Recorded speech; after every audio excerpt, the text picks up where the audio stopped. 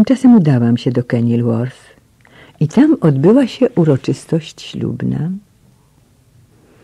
Musimy jeszcze zachować ślub w tajemnicy. Trzeba znaleźć właściwy moment, aby ją zawiadomić, powiedział Robert. Wiedziałam, że ma rację, więc się zgodziłam. Byłam szczęśliwa. Osiągnęłam swój cel. Byłam hrabiną Lester, żoną Roberta. Kiedy wróciłam do House, odwiedził mnie ojciec. Zawsze interesował się życiem swoich dzieci, a sądzę, że przysparzałam mu więcej troski niż moi bracia i siostry. Choć po moim ślubie z Walterem uwierzył, że ustatkowałam się i będę żyć na wsi do końca życia. Po śmierci Waltera ojciec odwiedzał mnie częściej, a nie miałam wątpliwości, że doszły do jego uszu pogłoski o tajemniczych okolicznościach zgonu Waltera. Francis Knowles był bardzo zacnym, pobożnym człowiekiem i byłam z niego dumna, ale z biegiem lat stawał się coraz bardziej purytański. Interesował się moimi dziećmi, a szczególnie ich wychowaniem religijnym. Żadne z nich nie przywiązywało większego znaczenia do religii, a muszę przyznać, że się z nimi zgadzałam. Teraz zjawił się nieoczekiwanie, a mojego stanu nie można było już ukryć. Był przerażony i po uściskaniu mnie zatrzymał mnie przed sobą w odległości ramienia, przyglądając mi się badawczo. Tak, ojcze, powiedziałam, oczekuję dziecka.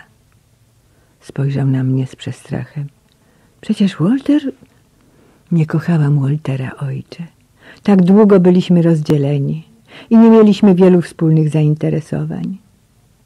Tak nie powinna mówić żona o swoim mężu. Muszę z tobą być szczera, ojcze. Walter był dobrym mężem, ale nie żyje, a ja jestem za młoda do wdowieństwa przez resztę życia. Znalazłam mężczyznę, którego bardzo kocham i oczekujesz jego dziecka. Jest moim mężem, ale na razie musi pozostać to sekretem. Sekret? Co to ma znaczyć? A ty już jesteś brzemienna. Jeszcze raz spojrzał na mnie przerażony. Słyszałem imię mężczyzny kojarzonego z tobą i to mną wstrząsnęło. Hrabia Lester jest moim mężem, powiedziałam. O Boże! wykrzyknął mój ojciec i zaczął głośno się modlić, bo nie był człowiekiem, który używał imienia Boga nadaremno. Oby to nie było prawdą. To prawda, wyjaśniłam cierpliwie. Robert i ja pobraliśmy się. Co w tym złego? Robert Dudley jest znacznie potężniejszym człowiekiem niż mógłby stać się Walter. Jest znacznie ambitniejszy. A dlaczego ambicja ma być niedobra? Przestań się wykłócać. Ojciec powiedział to surowo. Chcę dowiedzieć się wszystkiego. Nie jestem dzieckiem, ojcze, przypomniałam mu. Jesteś moją córką. Chcę dowiedzieć się najgorszego. Nie mam nic złego do powiedzenia. To tylko najlepsze wiadomości. Kochamy się z Robertem i dlatego pobraliśmy się, a wkrótce będziemy mieli dziecko. A jednak musisz się ukrywać, zatajać swoje małżeństwo. Letis, czy straciłaś rozum? Jego pierwsza żona zmarła w tajemniczych okolicznościach. Zawsze ufał, że poślubi królową. Słyszałem kłopotliwe pogłoski o Lady Sheffield. Są nieprawdziwe. Mówią, że była jego kochanką, zanim została żoną. Nigdy nie została jego żoną. Chodzą takie plotki, bo ma z nim dziecko. A ty uważasz, że wszystko jest w porządku. Zgodzę się na wiele, jeśli chodzi o Roberta. A teraz znalazłaś się w podobnej sytuacji jak ta Lady Sheffield. Z całą pewnością. Nie, ja poślubiłam Roberta. Ona też tak myślała. Moje dziecko, bo jesteś nim, jeśli tak pozwoliłaś się oszukać. Wiadomo, że wziął jakiś potajemny ślub z Lady Sheffield, a powodem jego kroku była jedynie chęć wykpienia się. Potem, gdy mu to odpowiadało, mógł się od niej odżegnać. Czy nie widzisz, że ciebie postawił w takiej samej sytuacji? To nieprawda, krzyknęłam, ale nie mogłam powstrzymać drżenia głosu. Ojciec miał rację. Ślub Douglas to była rzeczywiście sekretna ceremonia. Sheffield musiała zostać oszukana, bo z całą pewnością nie była kobietą zdolną do kłamstwa. Chcę się zobaczyć z Lesterem, twardo powiedział ojciec. Chcę dokładnie się dowiedzieć, o co tu chodzi i doprowadzić do małżeństwa w mojej obecności i przy świadkach. Jeśli masz być żoną Roberta Dudleya, musi to być pewne, aby nie mógł odżegnać się od ciebie, jeśli zwróci oczy na inną kobietę. Ojciec opuścił mnie, a ja zastanawiałam się, co zaplanował. Wkrótce miałam się dowiedzieć. Ojciec zjawił się ponownie w Darham House. Był z nim hrabia Warwick, brat Roberta, i jego bliski przyjaciel hrabia Pembroke. Przygotuj się do natychmiastowego wyjazdu, powiedział ojciec. Udamy się do Wanstead. Tam nastąpi twój ślub z hrabią Lesterem. Czy Robert zgodził się na drugą uroczystość? Czeka na nią z niecierpliwością. Przekonał mnie, że cię kocha i pragnie, aby wasz związek był legalny. Mimo, że w tym czasie moja ciąża była już bardzo zaawansowana, z zadowoleniem udałam się w podróż. Gdy dotarliśmy do Wanstead, czekał tam Robert z Lordem Northem, który zawsze należał do jego najbliższych przyjaciół. Uścisnął mnie, mówiąc, że mój ojciec zdecydował, że odbędziemy tę drugą ceremonię, a on nie ma nic przeciw temu. Nie chce, aby były jakiekolwiek wątpliwości wobec jego pragnienia dzielenia życia ze mną, jak mąż z żoną. Nazajutrz dołączył do nas mój brat Richard i jeden z kapelanów Roberta, niejaki Tyndall, który miał celebrować ślub. Tak więc w galerii domu w Wanstead mój ojciec powierzył mnie hrabiemu Lesterowi. Uroczystość odbyła się przy tylu świadkach, że nikt nie mógłby nigdy kwestionować, że ślub nie był formalny. Moja córka wkrótce urodzi twoje dziecko, powiedział ojciec. Musi zatem nastąpić potwierdzenie małżeństwa, aby zachować jej dobre imię. Możesz pani powierzyć to mnie, zapewnił go Robert, ale mojego ojca niełatwo było przekonać.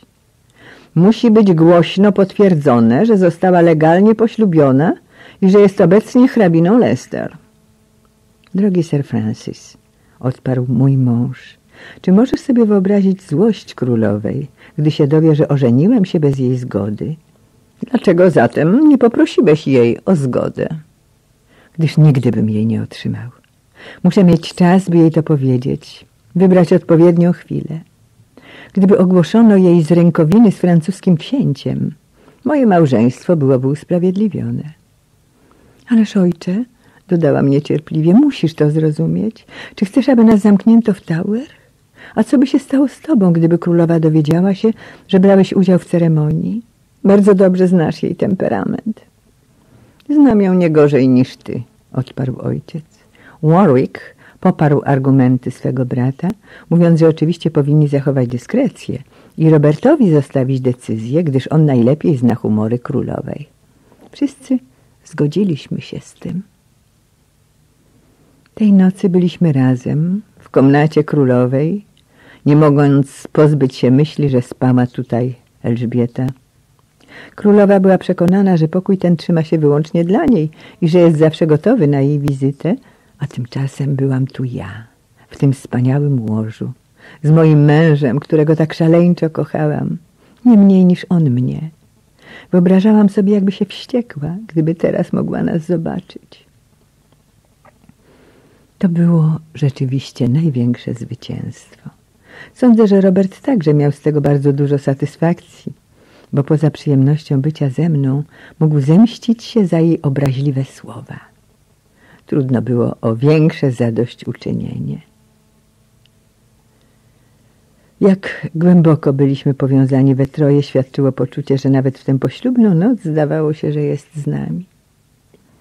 Bez względu jednak na następstwa, było teraz pewne, że jestem żoną Roberta. Nazajutrz Robert otrzymał niepokojące wiadomości. Przybył posłaniec od królowej. Słyszała, że hrabia Lester jest w rezydencji Wanstead. Postanowiła więc przybyć tam na dwa dni przed ostatnim odcinkiem drogi do Greenwich, gdzie się wybiera. Skoro jej oczy tak były smutne, gdy była tam ostatnio, skróciła swoją podróż, aby spędzić dwa dni w jego towarzystwie. Przyszło nam na myśl, że Elżbieta już wie. Oboje pomyśleliśmy, że dlatego zaaranżowała ten plan. Roberta bardzo to zmartwiło, bo jak mi tłumaczył, to on powinien zawiadomić królową, a nie ktoś inny. W tym celu musi wybrać odpowiednią chwilę. Było bardzo niepokojące, że to musiało się stać następnego dnia po naszym ślubie. Ale przynajmniej było to ostrzeżenie.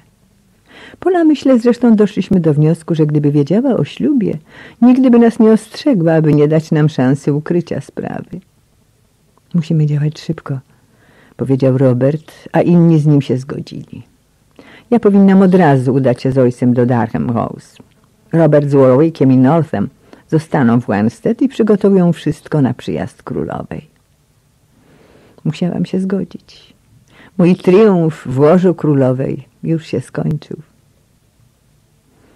Z ociąganiem, trochę zrezygnowana, opuściłam Wanstead i wróciłam do Darham, by cierpliwie czekać na powrót Roberta.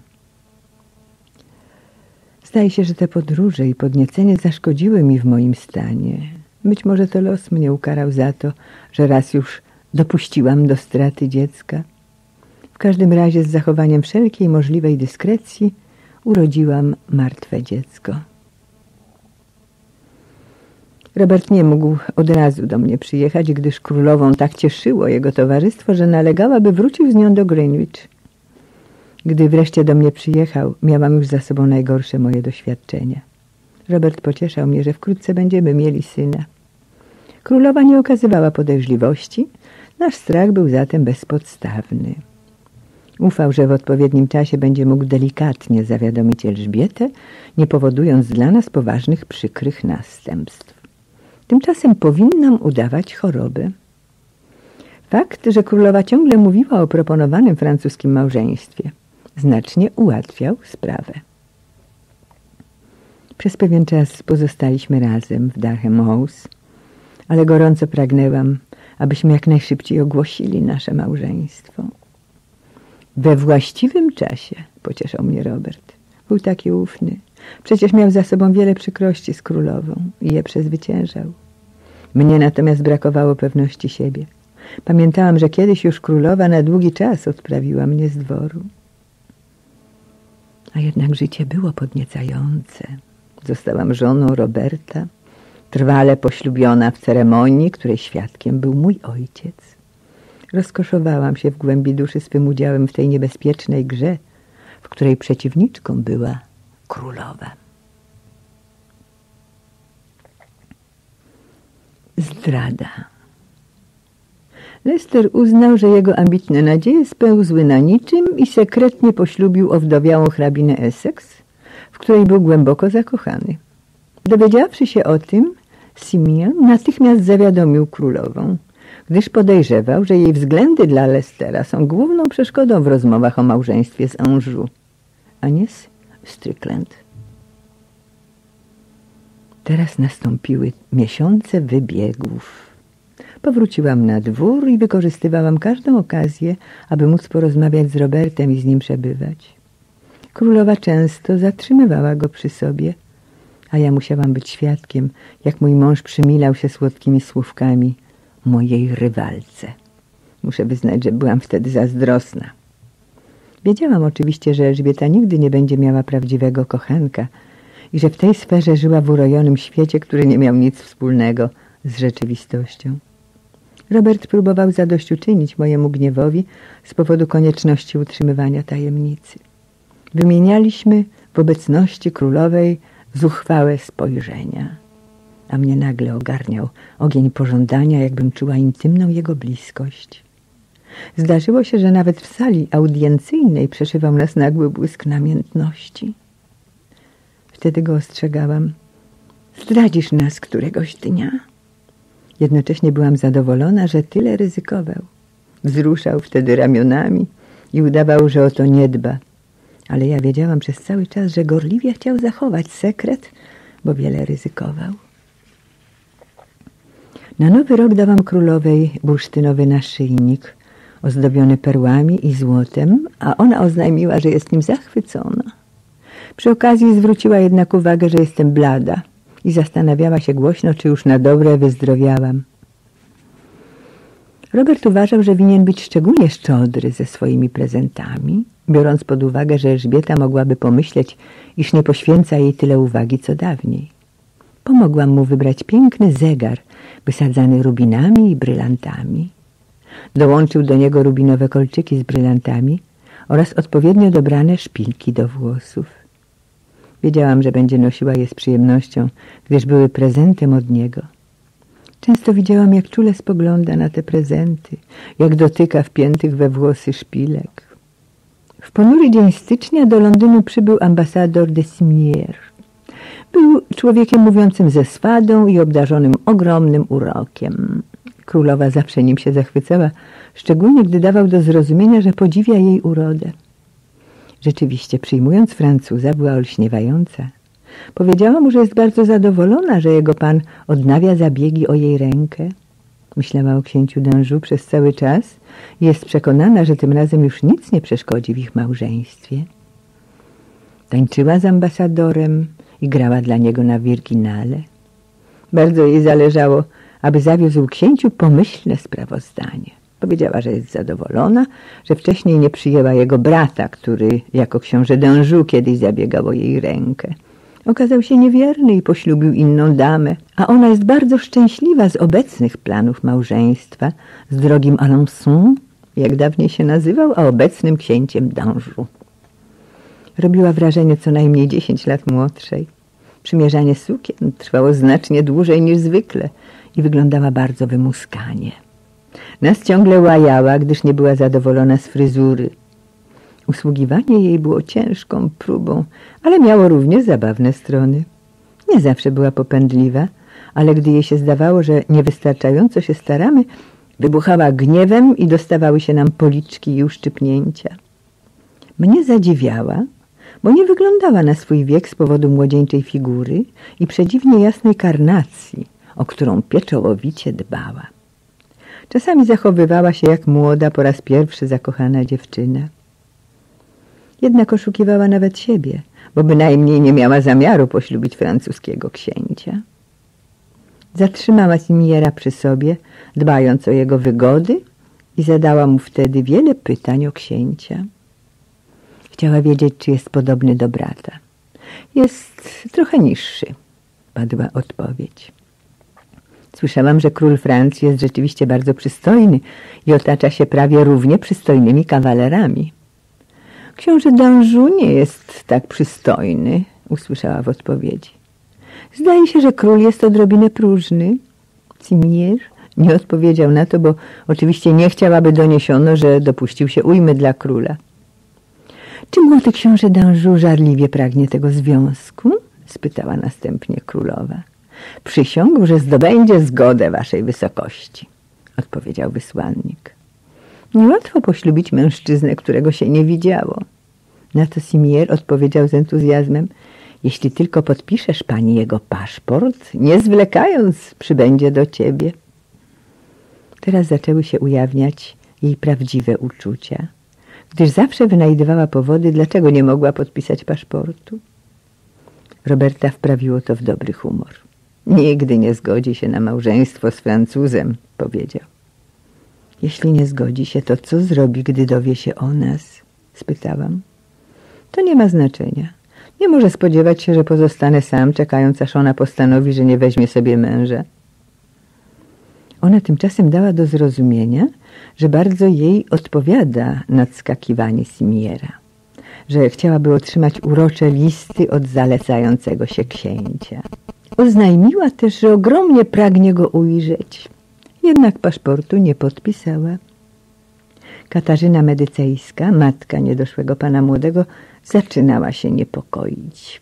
Przebiegła, jak Elżbieta, zdawała sobie sprawę, że te zabiegi małżeńskie toczą się jak wszystkie inne. Nie było jednak wątpliwości, że królowa Anglii byłaby wspaniałą nagrodą dla jej młodego syna, który odznaczał się jedynie tym, że nie można go było wyróżnić z ciżby. Katarzyna Medycejska i król Francji wysłali wtedy sekretny list do Roberta. Sugerowali w nim, że jeśli książę Dążu przybędzie do Anglii, to proszą, aby Robert był jego doradcą i przewodnikiem w zwyczajach angielskich. Z całym naciskiem podkreślali, że to małżeństwo w żadnym przypadku nie zagrozi pozycji Lestera. Roberta to ubawiło, ale także zadowoliło, gdyż oznaczało, że nawet we Francji doceniono jego władzę. Nigdy nie poślubi D'Anjou, stwierdził. Mówiono mi, że to brzydkie, niepokaźnego wzrostu stworzenie. A ona zawsze miała słabość do przystojnych mężczyzn, dodałam. To prawda, odparł Robert. Ładna twarz od razu budzi jej zainteresowanie. Ostrzegałem ją, aby nie igrała z Francuzami i widzę, że zgodnie z moją radą nie załatwiła mu paszportu. Co ona ci mówi, kiedy jesteście sami? spytałam. Jak wyjaśnia to kokieteryjne postępowanie wobec francuskiego księcia? Zawsze to samo. Gdy go krytykuje, mówi, że jestem zazdrosny, a to oczywiście cieszy ją. Nieraz się zastanawiałam, jak będąc tak mądrą, można grać taką idiotkę. Nie daj się oszukać, Letis. Czasami myślę, że wszystko, co robi, ma jakiś ukryty cel. Przecież utrzymuje pokój między Francją i Anglią, stwarzając pozory, że nastąpi sojusz. Nieraz to obserwowałem. Głęboko wierzy w pokój. A czy znajdzie się ktoś, kto powie, że nie ma racji? Odkąd wstąpiła na tron, Anglia rozkwita. Gdybyś teraz powiedział jej o naszym małżeństwie, nie mogłaby być zła. Mylisz się, byłaby wściekła. Ale dlaczego obecnie, gdy sama rozważa możliwość małżeństwa z Francuzem? Nie pytaj dlaczego. Bardzo by się wściekała. Ona może zawrzeć małżeństwo, ja nie. Ja mam być oddanym jej niewolnikiem aż do końca moich dni. Wcześniej czy później odkryje swoją pomyłkę. Drżę na myśl o tym. Drżysz, a przecież zawsze mogłeś się przekonać. Nigdy nie musiałem zwracać się do niej w tak trudnej sprawie. Wsunęłam rękę pod jego ramię. Ale zrobisz to, Robercie, powiedziałam. Wykorzystaj ten swój czar, któremu żadna z nas nie może się oprzeć. Możliwe jednak, że nie rozumiał królowej tak dobrze, jak mu się wydawało. Nie można było dłużej utrzymać naszego małżeństwa w sekrecie przed moimi córkami. Penelopa była pełna życia i z wyglądu tak bardzo była podobna do mnie, że wszyscy od razu domyślali się między nami pokrewieństwa. Wielu twierdziło jednak, a ponieważ nie lubię fałszywej skromności, więc powiem szczerze, iż mieli rację, że wyglądamy jak siostry. Dorota miała spokojniejszą urodę, ale była ładna na swój sposób. Obie były w wieku, w którym interesowały się, co się wokół nich dzieje, szczególnie gdy w grę wchodził mężczyzna. Hrabia Lester był częstym gościem w moim domu i córki zdawały sobie sprawę z jego sekretnych przyjazdów, które je bardzo intrygowały. Wiktoria Holt. Mój wróg królowa. Taśma ósma. Koniec ścieżki drugiej.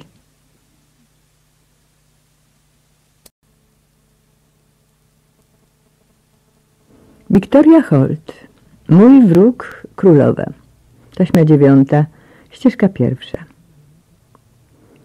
Gdy Penelopa spytała mnie, czy mam romans z hrabią Lesterem, powiedziałam jej prawdę, uważając, że tak będzie najwłaściwiej. To zachwyciło dziewczynki.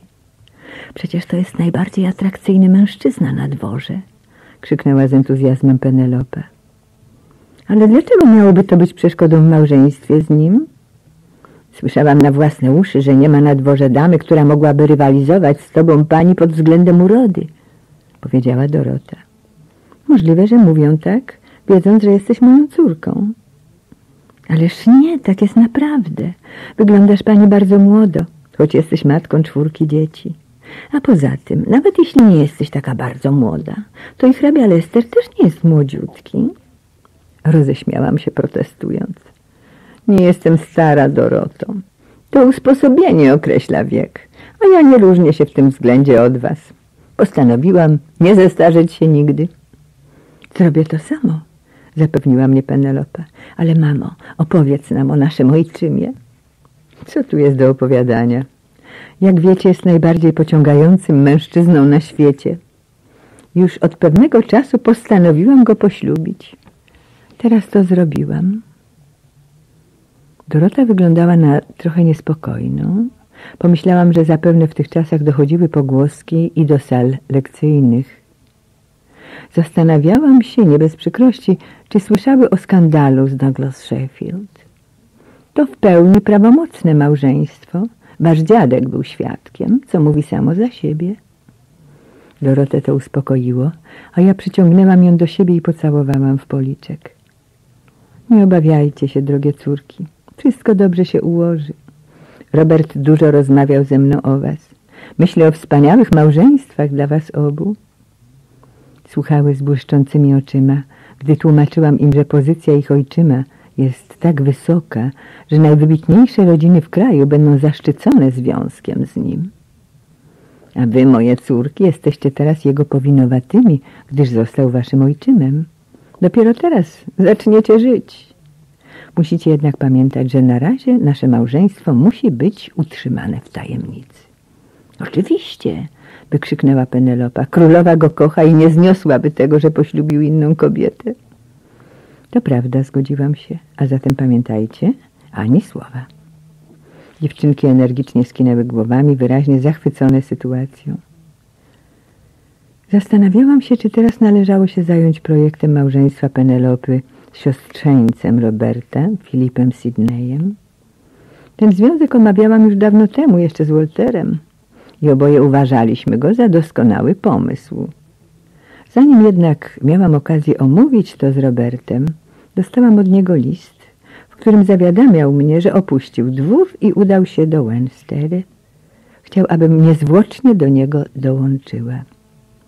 To było tylko sześć mil drogi, także natychmiast wyruszyłam, zastanawiając się, co go skłoniło do tak gwałtownego opuszczenia dworu. Gdy przybyłam do Wanstead, czekał na mnie bardzo rozgniewany. Powiedział mi, że wbrew jego radzie królowa dostarczyła paszport Zimierowi. Ale oznacza to, że D'Anjou przybędzie teraz do Anglii. Ona dotąd nie widziała żadnego z kandydatów, z wyjątkiem Filipa Hiszpańskiego, jeśli można było uważać go za ubiegającego się o jej rękę. Nie jestem w stanie tego zrozumieć. Wiem tylko, że z premedytacją kpi ze mnie. Powtarzałem jej bez przerwy, że sprowadzenie go do Anglii jest szaleństwem. Gdy go odrzuci i odeślę, we Francji zrodzi się niechęć. Jeśli udaje, że interesuje się tym małżeństwem i kokietuje go w listach, to inna sprawa, choć niebezpieczna, jak wielokrotnie mówiłem, ale sprowadzić go tutaj to już głupota. Co ją do tego skłoniło? Wygląda na to, że straciła zmysły. Już przedtem negocjacje małżeńskie tak na nią wpływały, ale nigdy nie zaszła tak daleko. Wiedziałam, co miał na myśli Robert i zapewne miał rację. To on był mężczyzną, którego kochała. Jeśli podejrzewała, że Robert wstąpił w związek małżeński, byłaby wściekła. Ten ostatni wybuch, kiedy krzyczała, że nie poniżyłaby się, zaślubiając sługę, którego wyniosła, mógł być zewnętrznym znakiem, że poczuła się zraniona. Chciała Roberta wyłącznie dla siebie. Sama mogła flirtować i swawolić, ale on powinien wiedzieć, że to nie jest poważne. Był tym wybranym. Robert zastanawiał się, czy usłyszała jakieś dotyczące nas plotki, gdyż coraz trudniej było utrzymać sekret. Gdy dowiedziałem się, co zrobiłam, poszedłem do niej. Ona zaś w obecności kilku ludzi spytała mnie, jak śmiałem wejść, nie prosząc o pozwolenie. Przypomniałem jej, że robiłem to wielokrotnie bez nagany, na co odparła, żebym uważał. Była w dziwnym nastroju. Oświadczyłem wtedy, że opuszczę dwór, gdyż widzę, że z tego życzy sobie królowa. Odpowiedziała na to, że gdyby sobie tego życzyła, nie omieszkałaby mi tego powiedzieć. Skoro jednak to proponuje, myślę, że to dobry pomysł. Ukłoniłem się zatem, gotowy do wyjścia, gdy jeszcze raz spytała, dlaczego wpadłem tak bezceremonialnie do jej prywatnego apartamentu. Zauważyłem, że nie życzę sobie omawiać tego przy jej gościach. Wtedy odprawiła ich, a ja powiedziałem Myślę pani, że sprowadzenie Francuza tutaj jest błędem. Dlaczego? spytała. Czy spodziewasz się, że poślubię kogoś nie oglądając go? Nie, pani. Gorąco pragnę tylko, abyś nie wybrała męża poza krajem. Wtedy roześmiała się szyderczo. Tego się spodziewałam po tobie, bo zawsze miałeś za duże ambicje.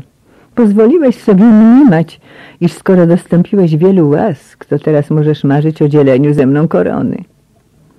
Powstrzymując się od gniewu, odparłem, że nikt nie byłby tak głupi, aby żywić nadzieję na dzielenie z nią władzy. Pragnę tylko jej służyć, a jeśli da mi możliwość czynienia tego w przyjaznej atmosferze, mógłbym uważać się za szczęśliwego. Oskarżyła mnie następnie o utrudnianie misji Simiera, który jej się uskarżał na brak przychylności z mojej strony. Także, że zadzieram nosa i uważam, że ona przypisuje mi dużą rolę na dworze. Powinienem trochę spuścić z tonu, bo skoro królowa wyjdzie za mąż, wątpi, czy jej małżonek będzie chciał to tolerować. Na to poprosiłem ją o pozwolenie opuszczenia dworu. Wtedy wrzasnęła do mnie, zgoda, idź i nie wracaj. Ostatnio za dużo było pychy i chwały mojego lorda Lestera na dworze. Wróciłem zatem do Wanstead i jestem tutaj. Czy rzeczywiście myślisz, że dojdzie do francuskiego małżeństwa? Nie chce mi się wierzyć. To byłoby potworne. Nigdy nie urodzi dziedzica. A jaki inny mógłby być powód małżeństwa? On ma 23 lata, ona 46. To niepoważne z jej strony. Nie powinna o tym myśleć. Ręczę, że uważa, że to jej ostatnia szansa wziąć udział w zabawie w zaloty. Taka jest odpowiedź. Potrząsnął głową, ale ja na tym nie skończyłam. Może teraz, Robercie, kiedy straciłeś jej łaski, byłby odpowiedni czas do ogłoszenia naszego małżeństwa. Bądź co bądź odrzuciła cię. Dlaczego nie miałbyś znaleźć pocieszenia gdzie indziej? W jej obecnym nastroju byłaby to katastrofa, nie, Letis. Z Bożą pomocą musimy jeszcze trochę poczekać. Był tak zły na królową, że postanowiłam nie naciskać go teraz. Dużo mówił o tym, jakie dla nas fatalne znaczenie mogłoby mieć wycofanie łask królowej. Jakby musiał mi tłumaczyć rzecz tak oczywistą. Człowiek, który korzystał z takich względów królowej, musiał czuć się bardzo rozgoryczony. Zawiść należy do najważniejszych uczuć w świecie i dwór Elżbiety nie był wyjątkiem. Robert był jednym z najpotężniejszych i najbogatszych ludzi w kraju, a zawdzięczał to przychylności królowej. Posiadał wspaniały Leicester House na Strandzie, nieporównywalny z niczym zamek w Kenilworth, Wanstead oraz grunty na północy, południu i w środkowych hrabstwach Anglii. Wszystkie te posiadłości przynosiły mu znaczne dochody. Zgłaszali się do niego ludzie pragnący, aby Robert pomógł im zapewnić życzliwość królowej. Wiedziano bowiem, że w okresie, gdy cieszył się jej względami, niczego mu nie odmawiała. Co więcej, Elżbieta chciała, by wszyscy wiedzieli o jej szczerym oddaniu dla niego. Była jednak despotką. W wielu jej działaniach przejawiały się cechy jej królewskiego ojca. Ileż to razy król ostrzegał poddanych, wyniosłem cię, ale również łatwo mogę cię strącić z wyżyn. Była także bardzo próżna i nigdy nie mogłaby wybaczyć komuś, kto uchybił jej dostojeństwu. Tak, Robert słusznie uważał, że musimy postępować rozważnie. Cały ten dzień i długo w nocy Rozmawialiśmy o naszej przyszłości. Choć Robert nie wierzył, że królowa poślubi księcia Dężu, gdyby nawet przyjechał do Anglii, to jego przyjazd dałby już powód do zmartwienia. Następnego dnia przyszło wezwanie od królowej. Robert bezzwłocznie miał powrócić na dwór. Zastanawialiśmy się nad tą nagłą zmianą. Nie podoba mi się to, stwierdził Robert. Czuję, że jeśli pokornie wrócę, będzie chciała pokazać, jak jestem od niej uzależniony. Nie pojadę. Nieposłuszeństwo królowej? Wykorzystam taktykę stosowaną przez nią, tak pomyślnie w jej młodości. Będę udawał chorobę. Tak więc Robert rzekomo przygotowywał się do wyjazdu, ale zanim był gotów, zaczął narzekać na ból i opuchnięcie nóg. W takich przypadkach jego lekarze zalecali, aby udał się do łóżka. Tak więc Robert położył się, wysyłając wiadomość do królowej. Potwierdził, że dostał jej wezwanie i błagał ją o wyrozumiałość, bo z powodu choroby przez parę tygodni nie będzie mógł podróżować i pozostanie w łóżku w Wanstead. Wskazane było, żeby pozostał w swoim apartamencie, gdyż musieliśmy uważać, aby nieżyczliwi nam ludzie nie zanieśli plotek na dwór. A przecież skąd mieliśmy wiedzieć, kto należał do naszych przyjaciół? Na szczęście byłam w domu, gdy zauważono zbliżającą się kawalkadę. Przyjazd Elżbiety obwieszczały kołyszące się na wietrze królewskie sztandary. Przerażona stwierdziłam, że władczyni jedzie odwiedzić chorego w Wanstead. Ledwo starczyło czasu na upewnienie się, że Robert wyglądał dość mizernie i blado w łóżku oraz do usunięcia z sypialni wszelkich oznak mogących wskazywać, że dzieliła z nim łoże kobieta. Niebawem zabrzmiały trąbki. To królowa przybyła do Wanstead. Usłyszałam jej głos. Zażądała, aby bezzwłocznie zaprowadzić ją do hrabiego. Pragnęła upewnić się co do stanu jego zdrowia, gdyż niepokoiła się bardzo jego chorobą. Zamknęłam się w jednym z mniejszych pokoi, słuchając bacznie, co tam się działo. Byłam przerażona, co ta wizyta może oznaczać. Jednocześnie intrygowało mnie, że ja, pani domu, nie ośmielam się pokazać. Miałam kilka służących, którym, jak przypuszczałam, mogłam ufać. Jedna z nich przyniosła mi wiadomości. Królowa była z hrabią Lesterem, okazując wielką troskę o jego zdrowie. Nie chciała zaufać nikomu w pielęgnacji jej drogiego przyjaciela. Pozostanie w pokoju chorego, a pomieszczenie, które jest dla niej przeznaczone w Wanstead, powinno być gotowe, gdyby go potrzebowała. Byłam przerażona. A więc to nie będzie krótka wizyta. Co za sytuacja.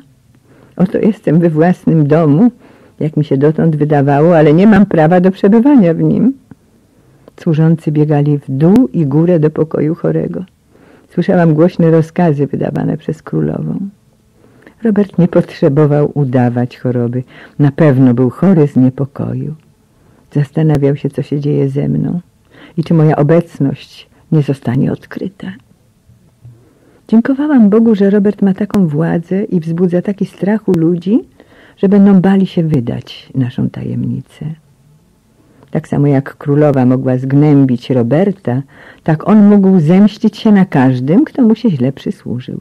Co więcej, miał opinię sprawcy mrocznych czynów. Ludzie jeszcze pamiętali Amy Robsart, hrabiów Sheffielda i Essexa. Szeptano po kątach, że wrogowie hrabiego Lestera nie powinni jadać z nim przy jednym stole.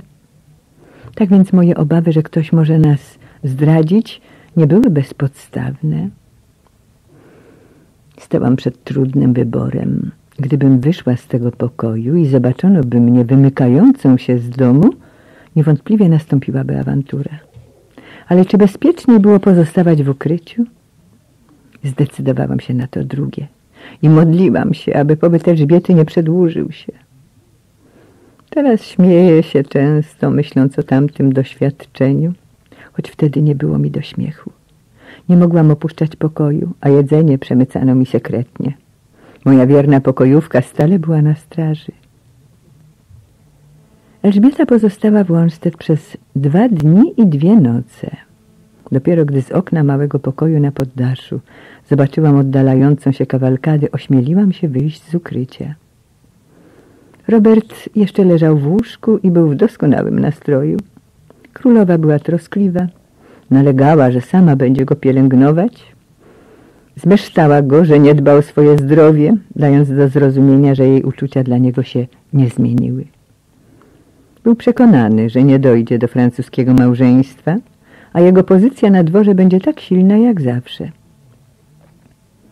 Zwróciłam mu uwagę, że królowo może rozłościć wiadomość, że się ożenił, skoro wyglądało na to, że nie przestała go kochać. Ale Robert tak był zadowolony, że znowu jest dla niego łaskawa, że nie pozwolił na ponure argumenty.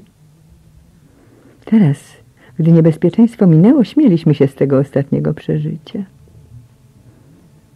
Robert był jeszcze w Wanstead, gdy zdarzył się wypadek, który mógł kosztować królową życie.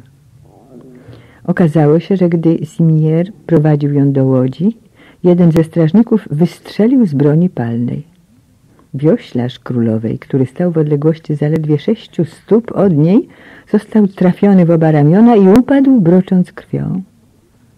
strzelającego natychmiast zatrzymano, królowa zaś pochyliła się nad leżącym u jej stóp wioślarzem. Gdy przekonała się, że rana nie jest śmiertelna, zdjęła z siebie szal i poprosiła zajmujących się nim, by obwiązali mu ramiona, co pomoże zatamować krew. Sama zaś pochylona nad rannym powiedziała mu, aby nie tracił otuchy, bo i on, i jego rodzina będą zaopatrzeni do końca życia. Była przekonana, że kula była przeznaczona dla niej. Strzelającego, niejakiego Tomasza Appletree, zabrano z miejsca wypadku. Królowa zaś rozmawiając z Simierem udała się do Łodzi. To zdarzenie omawiano w całym kraju. Gdy Tomasza Appletree postawiono przed sądem, oświadczył, że nie zamierzał strzelać, a broń wypaliła przez przypadek. Królowa, jak zawsze wspaniałomyślna wobec swych poddanych niskiego stanu, odwiedziła oskarżonego w więzieniu. Powiedziała, że jest przekonana o tym, że więzień mówi prawdę i że jest niewinny.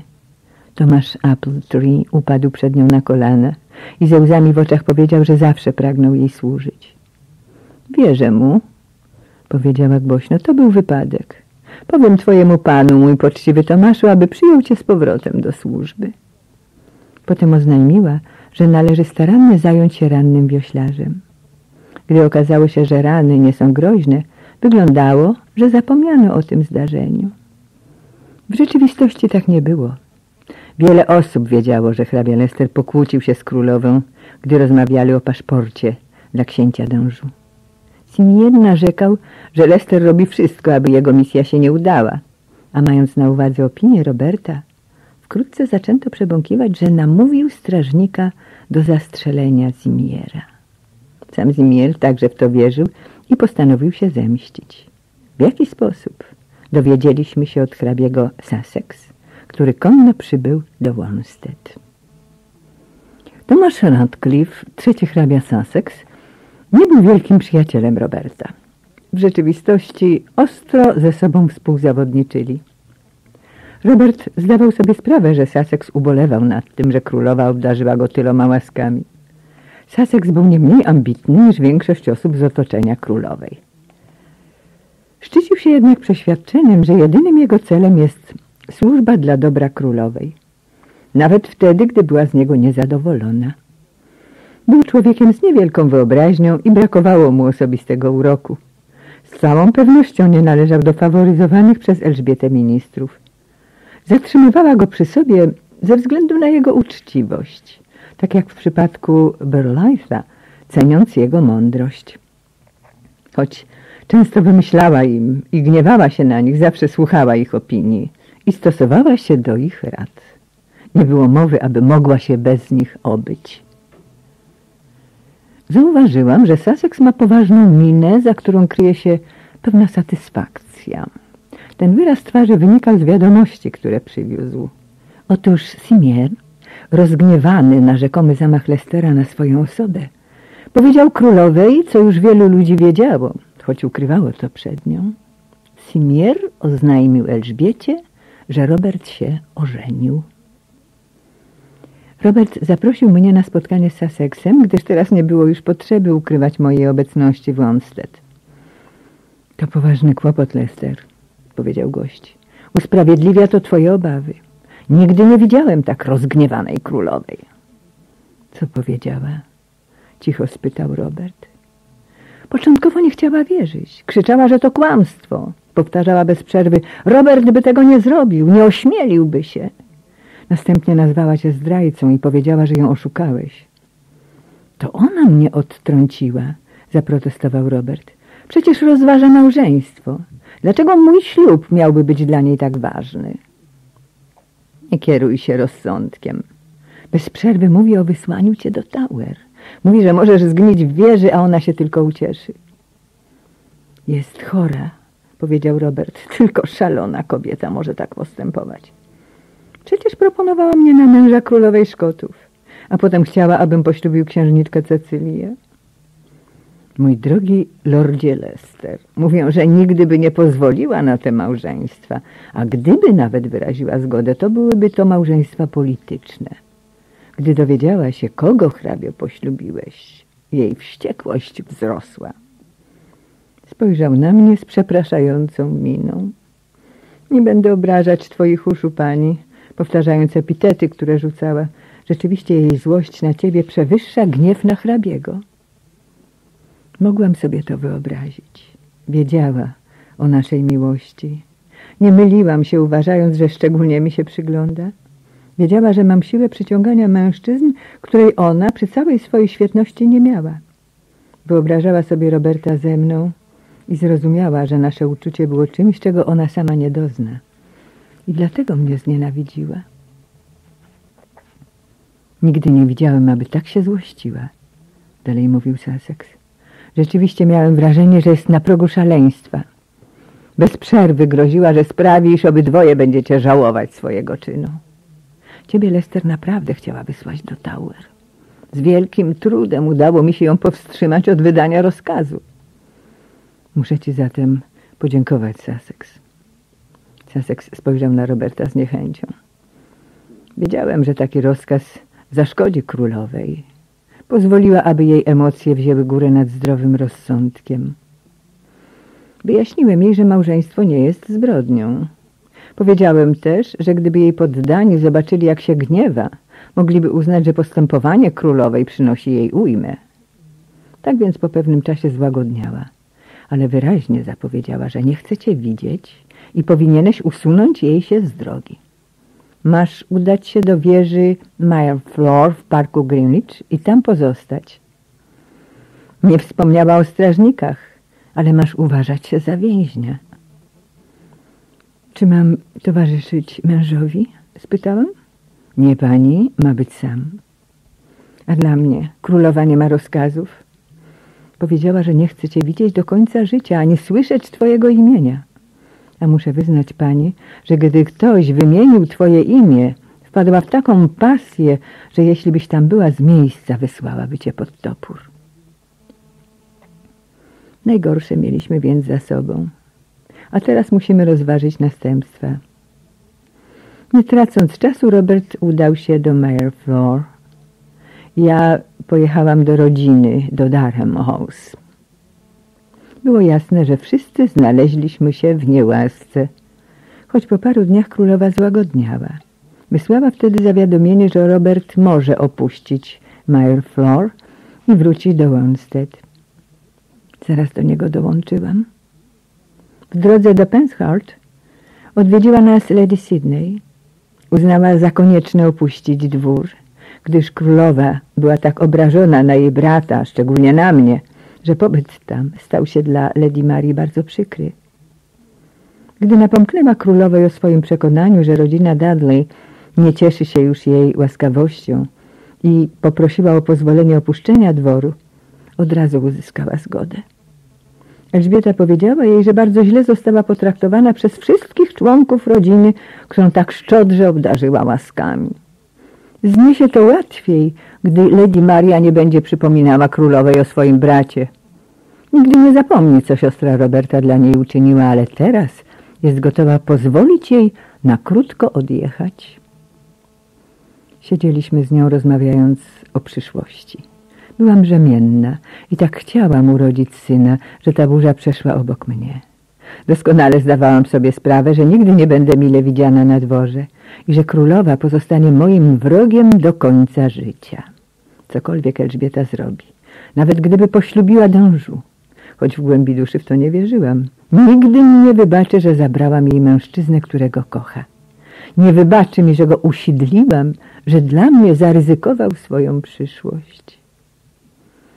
Mimo oszukiwania siebie, że jest piękna, Elżbieta wiedziała, że gdyby chodziło o wybór między dwiema kobietami, ja bym była wybrana. Ta świadomość zawsze będzie stała między nami i dlatego będzie mnie nienawidzieć. Ja jednak poślubiłam Roberta, miałam urodzić jego dziecko i teraz mogłam gardzić królową. Lady Maria była zdania, że skończyła się łaskawość królowej dla rodziny – uważała za bardzo prawdopodobne, iż królowa poślubi księcia Dężu z powodu urazy do Roberta. Nie zgadzałam się z tym. Bardzo dobrze ją znałam, a rywalizacja między nami pomogła mi lepiej ją zrozumieć.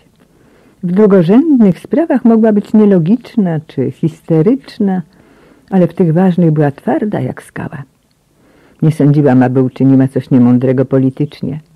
To prawda, że dała paszport d'Anjou, ale naród był przeciwny przymierzu z Francją. Jedynym powodem francuskiego małżeństwa mogło być dziedzictwo korony, ale jej wiek czynił to mało prawdopodobnym. Co więcej, ośmieszyłaby się, biorąc za męża młodego chłopca. Skoro jednak bawiły ją zaloty i chciała stworzyć iluzję, że jest w wieku odpowiednim do małżeństwa, dalej grała tę farsę. Może także dlatego, że była bardzo dotknięta ślubem Roberta. Czy było to postępowanie rozsądnej, mądrej kobiety? Chyba nie. A jednak kierowała tym wszystkim żelazną ręką przenikliwej monarchini. Kobiety, która umiała zjednać sobie schylających przed nią głowy najmądrzejszych mężów królestwa, ofiarowujących jej swoje zdolności i wiernie jej służących. Oddalenie z dworu stworzy pustkę w moim życiu. Jednak aż do kresu naszego życia będą istniały więzy między nami, królową i mną. Nienawiść może jeszcze je wzmocnić. Wreszcie pokazałam jej moją siłę. Odniosłam największe zwycięstwo w naszej wojnie. Tak ujarzmiłam Lestera, że zdecydował się ją porzucić, aby poślubić mnie. W stosunkach między nami trojgiem było to najbardziej istotne wydarzenie. Ona była tego świadoma. Udowodniłam z wszelką pewnością, że nie jestem nieznaczącym trzecim bokiem w trójkącie. Wkrótce po wyjeździe Marii do Penshert Robert dostał od królowej wezwanie do stawienia się na dworze. Miał przyjechać sam. Wyruszył pełen złych przeczuć, a powrócił po pewnym czasie z mieszanymi uczuciami. Na powitanie królowa rzuciła się na niego z pięściami. Nazwała go zdrajcą i niewdzięcznikiem. Wyliczyła mu wszystkie łaski, których od niej doświadczył. Przypomniała, że go wyniosła, ale łatwo może spowodować jego upadek. Protestował, że w okresie wielu lat stawiała jasno sprawę, że nie ma zamiaru go poślubić.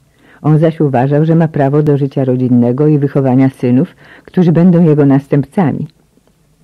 Powiedział jej, że jest gotowy całe życie służyć swojej królowej, ale uważa, że ma prawo korzystać z dobrodziejstw rodziny, nie umniejszając usług dla monarchini i kraju. Ponuro go wysłuchała, a potem powiedziała, żeby był ostrożny. Powiem ci, Robercie Dudley, krzyknęła, poślubiłeś wilczycę i przekonasz się o tym ze szkodą dla siebie. Mój wróg królowa. Taśma dziewiąta, koniec ścieżki pierwszej.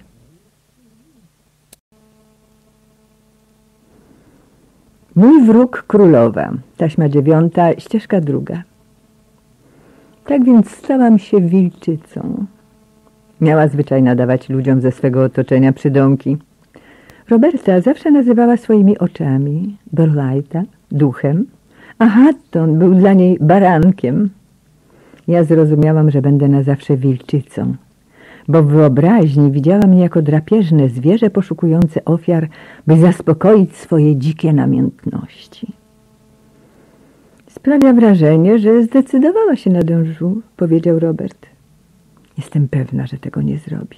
W obecnym nastroju jest zdolna do wszystkiego. Wrzeszczała na mnie i kleła, że słychać ją było w całym pałacu.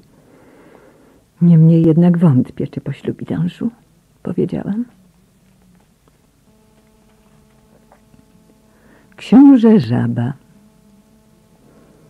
Jakżeż urazisz swój lud, pani, a nawet odwrócisz go od siebie, gdy zobaczą, że wybierasz na męża Francuza, papistę. Prości ludzie wiedzą, że jest synem współczesnej Jezabel, a jego brat wykorzystał zaślubiny własnej siostry, aby łatwiej dokonać rzezi naszych braci w wierze. Dopóki ma władzę przynależną monsieur, będzie papistą, ani nie może, ani nie zechce osłaniać cię, pani. A jeśli zostanie królem, jego obrona będzie jak tarcza Ajaxa, która opadła w dół, nie atakując odsłoniętych mieczy. Philip Sidney Francuskie małżeństwo może zadławić Anglię, jeśli pan nie sprzeciwi się temu wiszącemu nad nią nieszczęściu, uświadamiając grzech i karę w następstwie. John Stubbs W mojej rodzinie nastąpił nowy kryzys.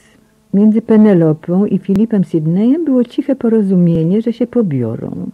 Serdecznie pragnął tego związku Walter, a nawet wspominał o tym na łożu śmierci. Filip Sydney był niezwykłym człowiekiem. Sprawiał wrażenie uduchowionego i nie był szczególnie entuzjastycznie nastawiony do małżeństwa. To można było uznać za przyczynę odkładania z rękowin. Pewnego dnia odwiedził mnie Francis Hastings, hrabia Huntington, którego wyznaczono na opiekuna moich córek. Był to człowiek o dużych wpływach, głównie z powodu swego rodowodu ze strony matki. To królewskie pochodzenie wywodziło się od jej przodka, którym był brat Edwarda IV, książę Clarence. Z tego powodu Hastings rościł sobie prawa do tronu, utrzymując, że wyprzedza w prawach królową Szkotów i Katarzynę Grey. Był wpływowym, zdecydowanym protestantem, a w sytuacji, gdyby się sprawdziło, że Elżbieta najprawdopodobniej nie urodzi dziedzica, mógł w przyszłości zostać królem. Jego żona Katarzyna była siostrą Roberta. Pobrali się w okresie, gdy ojciec Roberta z całą energią doprowadził do związków swoich dzieci z najbardziej wpływowymi rodzinami w królestwie. Celem jego wizyty było powiadomienie mnie, że jego zdaniem nadszedł czas znalezienia mężów dla moich córek i miał propozycję dla Penelopy. Poinformowałam go, że mamy na uwadze Filipa Sydneya, na co on przecząco potrząsnął głową. Lester stracił łaski królowej i prawdopodobnie tak pozostanie. Związek z należącym do jego rodziny kandydatem nie jest najlepszym rozwiązaniem dla Penelopy. Zakochał się w niej Robert Orridge i będzie prosił o jej rękę. Zdaje się, że dopiero zmarł jego ojciec. Tak, i Robert odziedziczył tytuł i znaczny majątek. Nazwisko Rich dobrze charakteryzuje stan majątkowy hrabiego. Sprawdzę, jakie są jej uczucia w tej sprawie. Droga pani, to wspaniały związek. Huntington wyglądał na zniecierpliwionego. Twoja córka winna go przyjąć z wdzięcznością. Wątpię, czy to zrobi. Będzie do tego zmuszona. Mówmy otwarcie. Jest twoją córką, a ty, pani, dzięki opinii królowej nie masz wysokiej pozycji. Nie wiemy, czy Lesterowi przywróci łaski, ale przysięgła, że ciebie nigdy nie przyjmie na dwór. W tych okolicznościach pomyślne zamęście twoich córek może się okazać dla nich zbawienne. Zrozumiałam jego punkt widzenia i przyrzekłam poruszyć sprawę z Penelopą. Huntington z niecierpliwością wzruszył ramionami, dając do zrozumienia, że narada z przyszłą panną młodą nie jest wcale potrzebna. To byłby dobry związek, najlepszy, na jaki może liczyć Penelopa, gdy jej matka jest w niełasce. Powinien dojść do skutku bezzwłocznie.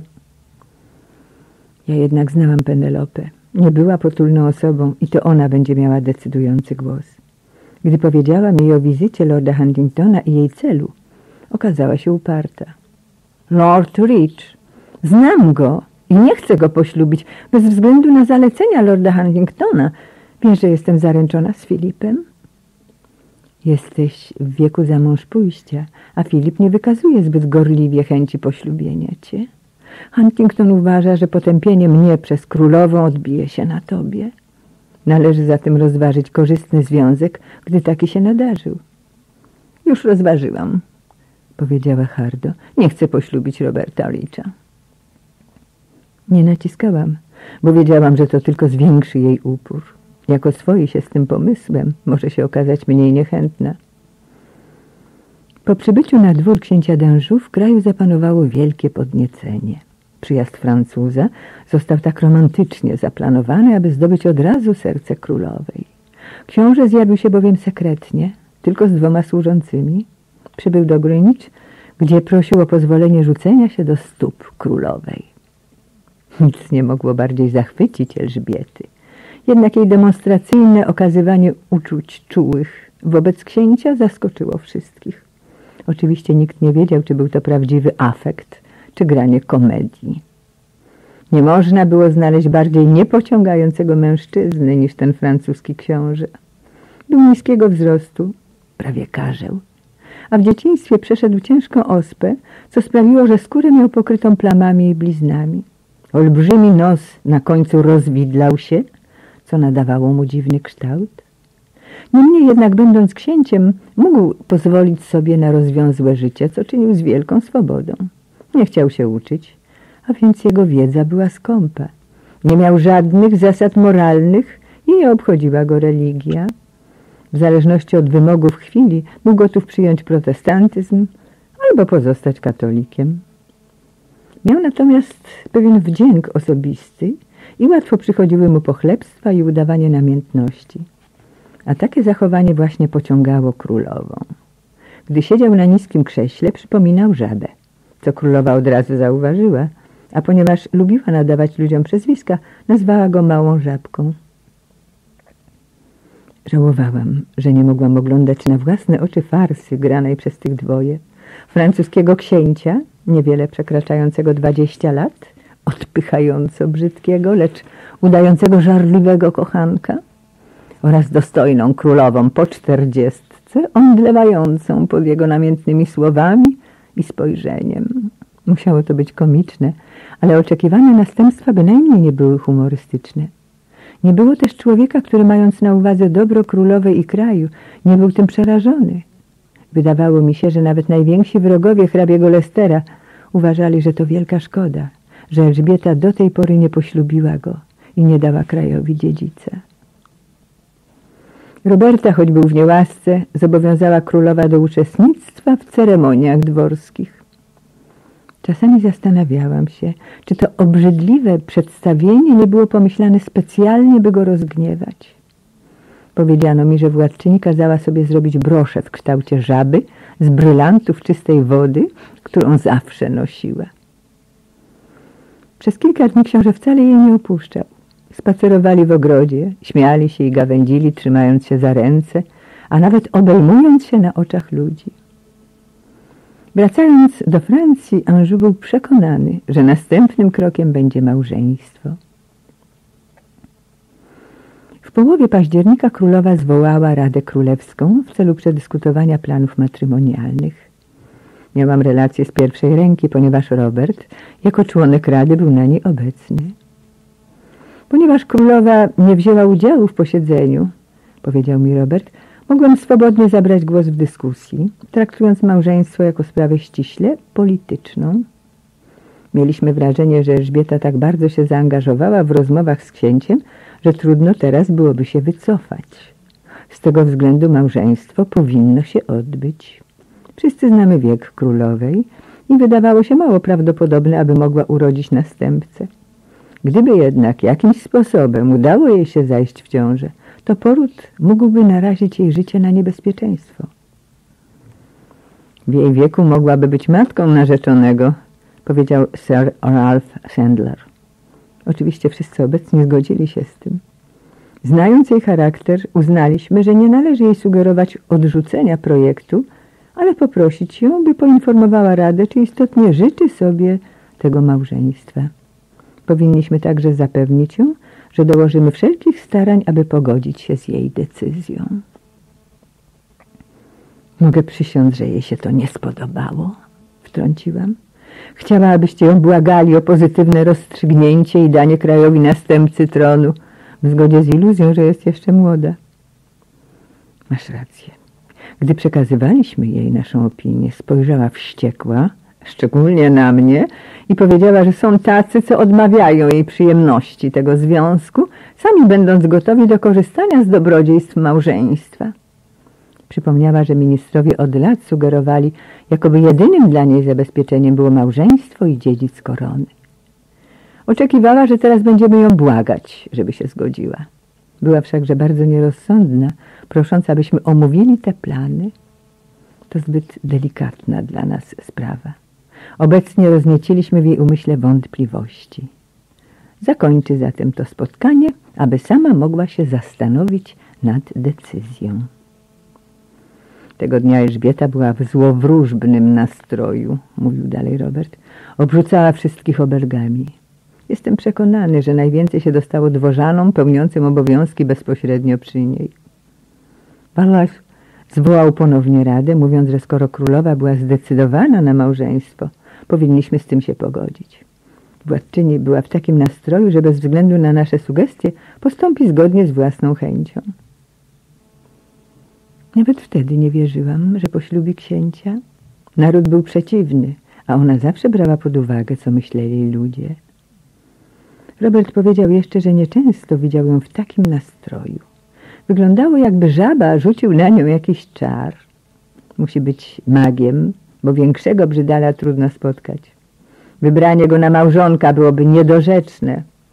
Do tego wszystkiego Anglicy nienawidzą Francuzów. Czy to nie Francuzi popierali Marię, królową Szkotów, podsuwając jej ambitne plany dziedzictwa tronu angielskiego? Ten związek stałby się największym dobrodziejstwem dla Francji.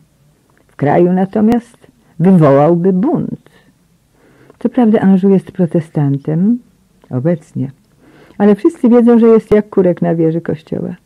Obraca się dzisiaj na pogodę, jutro na deszcz. Książę raz jest katolikiem, a raz protestantem. Pojechaliśmy do Penshurst, aby omówić z Sydneyami, co powinniśmy zrobić. Tam przywitano nas bardzo serdecznie. Zawsze uderzała mnie rodzinna lojalność Dudleyów. Roberta przyjmowano z jeszcze większą serdecznością, odkąd był w niełasce, niż w szczytowym momencie jego popularności. Pamiętam, że Maria opuściła dwór, gdyż nie mogła znieść obelg królowej rzucanych na jej brata. A Filip przyjechał tu z tego samego powodu. Królowa wprawdzie szczególnie go wyróżniała i mianowała go swoim podczaszym, chętnie jednak pozwoliła mu teraz odejść. Uznała bowiem, że za każdym razem, gdy ona gniewa się z powodu postępowania jego wuja, wyglądał tak posępnie, iż miała ochotę wytargać go za uszy. Filipa należało uznać za pięknego raczej niż przystojnego. Królowa lubiła go z powodu jego urody, wiedzy, uczciwości i dobroci. Jednakże pociągał ją zupełnie inny typ mężczyzn. Filip bardzo przejmował się planami małżeńskimi królowej. Uważał, że ten związek przyniósłby katastrofę. A ponieważ miał dar pisania, uznano, że byłoby dobrze, aby wyraził swoje zastrzeżenia w liście do monarchini. Tak więc pobyt w Penshurst przebiegał na dyskusjach. Wy troje, Robert, ja i Filip, spacerowaliśmy w parku, omawiając niebezpieczeństwa wynikające z małżeństwa królowej. Choć byłam głęboko przekonana, że nie dojdzie do tego związku, oni chwiali się w swoich opiniach. O Robercie można było powiedzieć, że znał królową lepiej niż ktokolwiek, był przecież bardzo blisko niej. Ja jednak uważałam, że znam ją jako kobietę. Filip zamknął się w gabinecie i wreszcie ułożył list, który po przeczytaniu przedyskutowaliśmy i złagodziliśmy mocniejsze sformułowania. Tekst ostatecznie brzmiał następująco. Jakżeż urazisz twój lud, pani, a nawet odwrócisz go od siebie, gdy zobaczą, że wybierasz na męża Francuza, papistę. Prości ludzie wiedzą, że jest synem współczesnej Jezabel, a jego brat wykorzystał zaślubiny własnej siostry, aby łatwiej dokonać rzezi naszych braci w wierze. Nawiązywał do Katarzyny Medycejskiej, tak znienawidzonej w całej Francji, że nazywano ją królową Jezabel. Również do rzezi w noc świętego Bartłomieja, która nastąpiła, gdy w Paryżu zebrał się tłum hugenotów z okazji małżeństwa Małgorzaty, siostry d'Anjou, z królem Nawarry, hugenotą Henrykiem. Dopóki książę d'Anjou ma władzę przynależną Monsieur, Będąc papistą, ani nie może, ani nie zechce osłaniać cię pani. A jeśli zostanie królem, jego obrona będzie tarczą Ajaksa, która opadła w dół, nie atakując odsłoniętych mieczy. List doręczono, a my z drżeniem czekaliśmy w Penshurst na reakcję królowej. Nastąpiło jednak inne zdarzenie, które niewątpliwie osłabiło wymowę listu Filipa. Jeszcze mocniej zaatakował ideę królewskiego małżeństwa John Stubbs. Stubbs był purytaninem. Po studiach w Cambridge zajął się pisaniem. Jego nienawiść do katolicyzmu miała narazić go na niebezpieczeństwo. Pod wpływem sprzeciwu wobec francuskiego małżeństwa napisał broszurę zatytułowaną Odkrycie ziejącej przepaści, która przez nowe francuskie małżeństwo może zdławić Anglię, jeśli pan nie sprzeciwi się temu wiszącemu nad nią nieszczęściu, uświadamiając jej wysokości grzech i karę w następstwie. W broszurze nie było akcentu wrogości wobec królowej, której wiernym sługą pokornie nazywał siebie Stabs.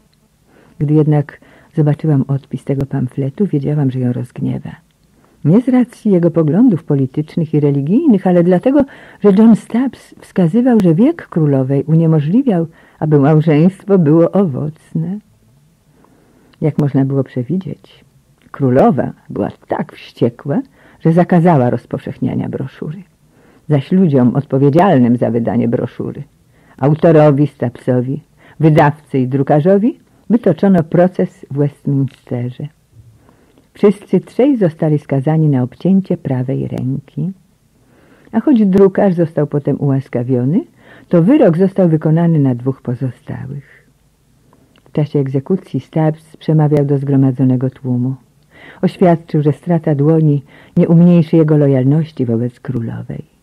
Wtedy z miejsca wykonano wyrok, odcinając im ręce w nadgarstku. Użyto do tego noża kuchennego i młotka drewnianego.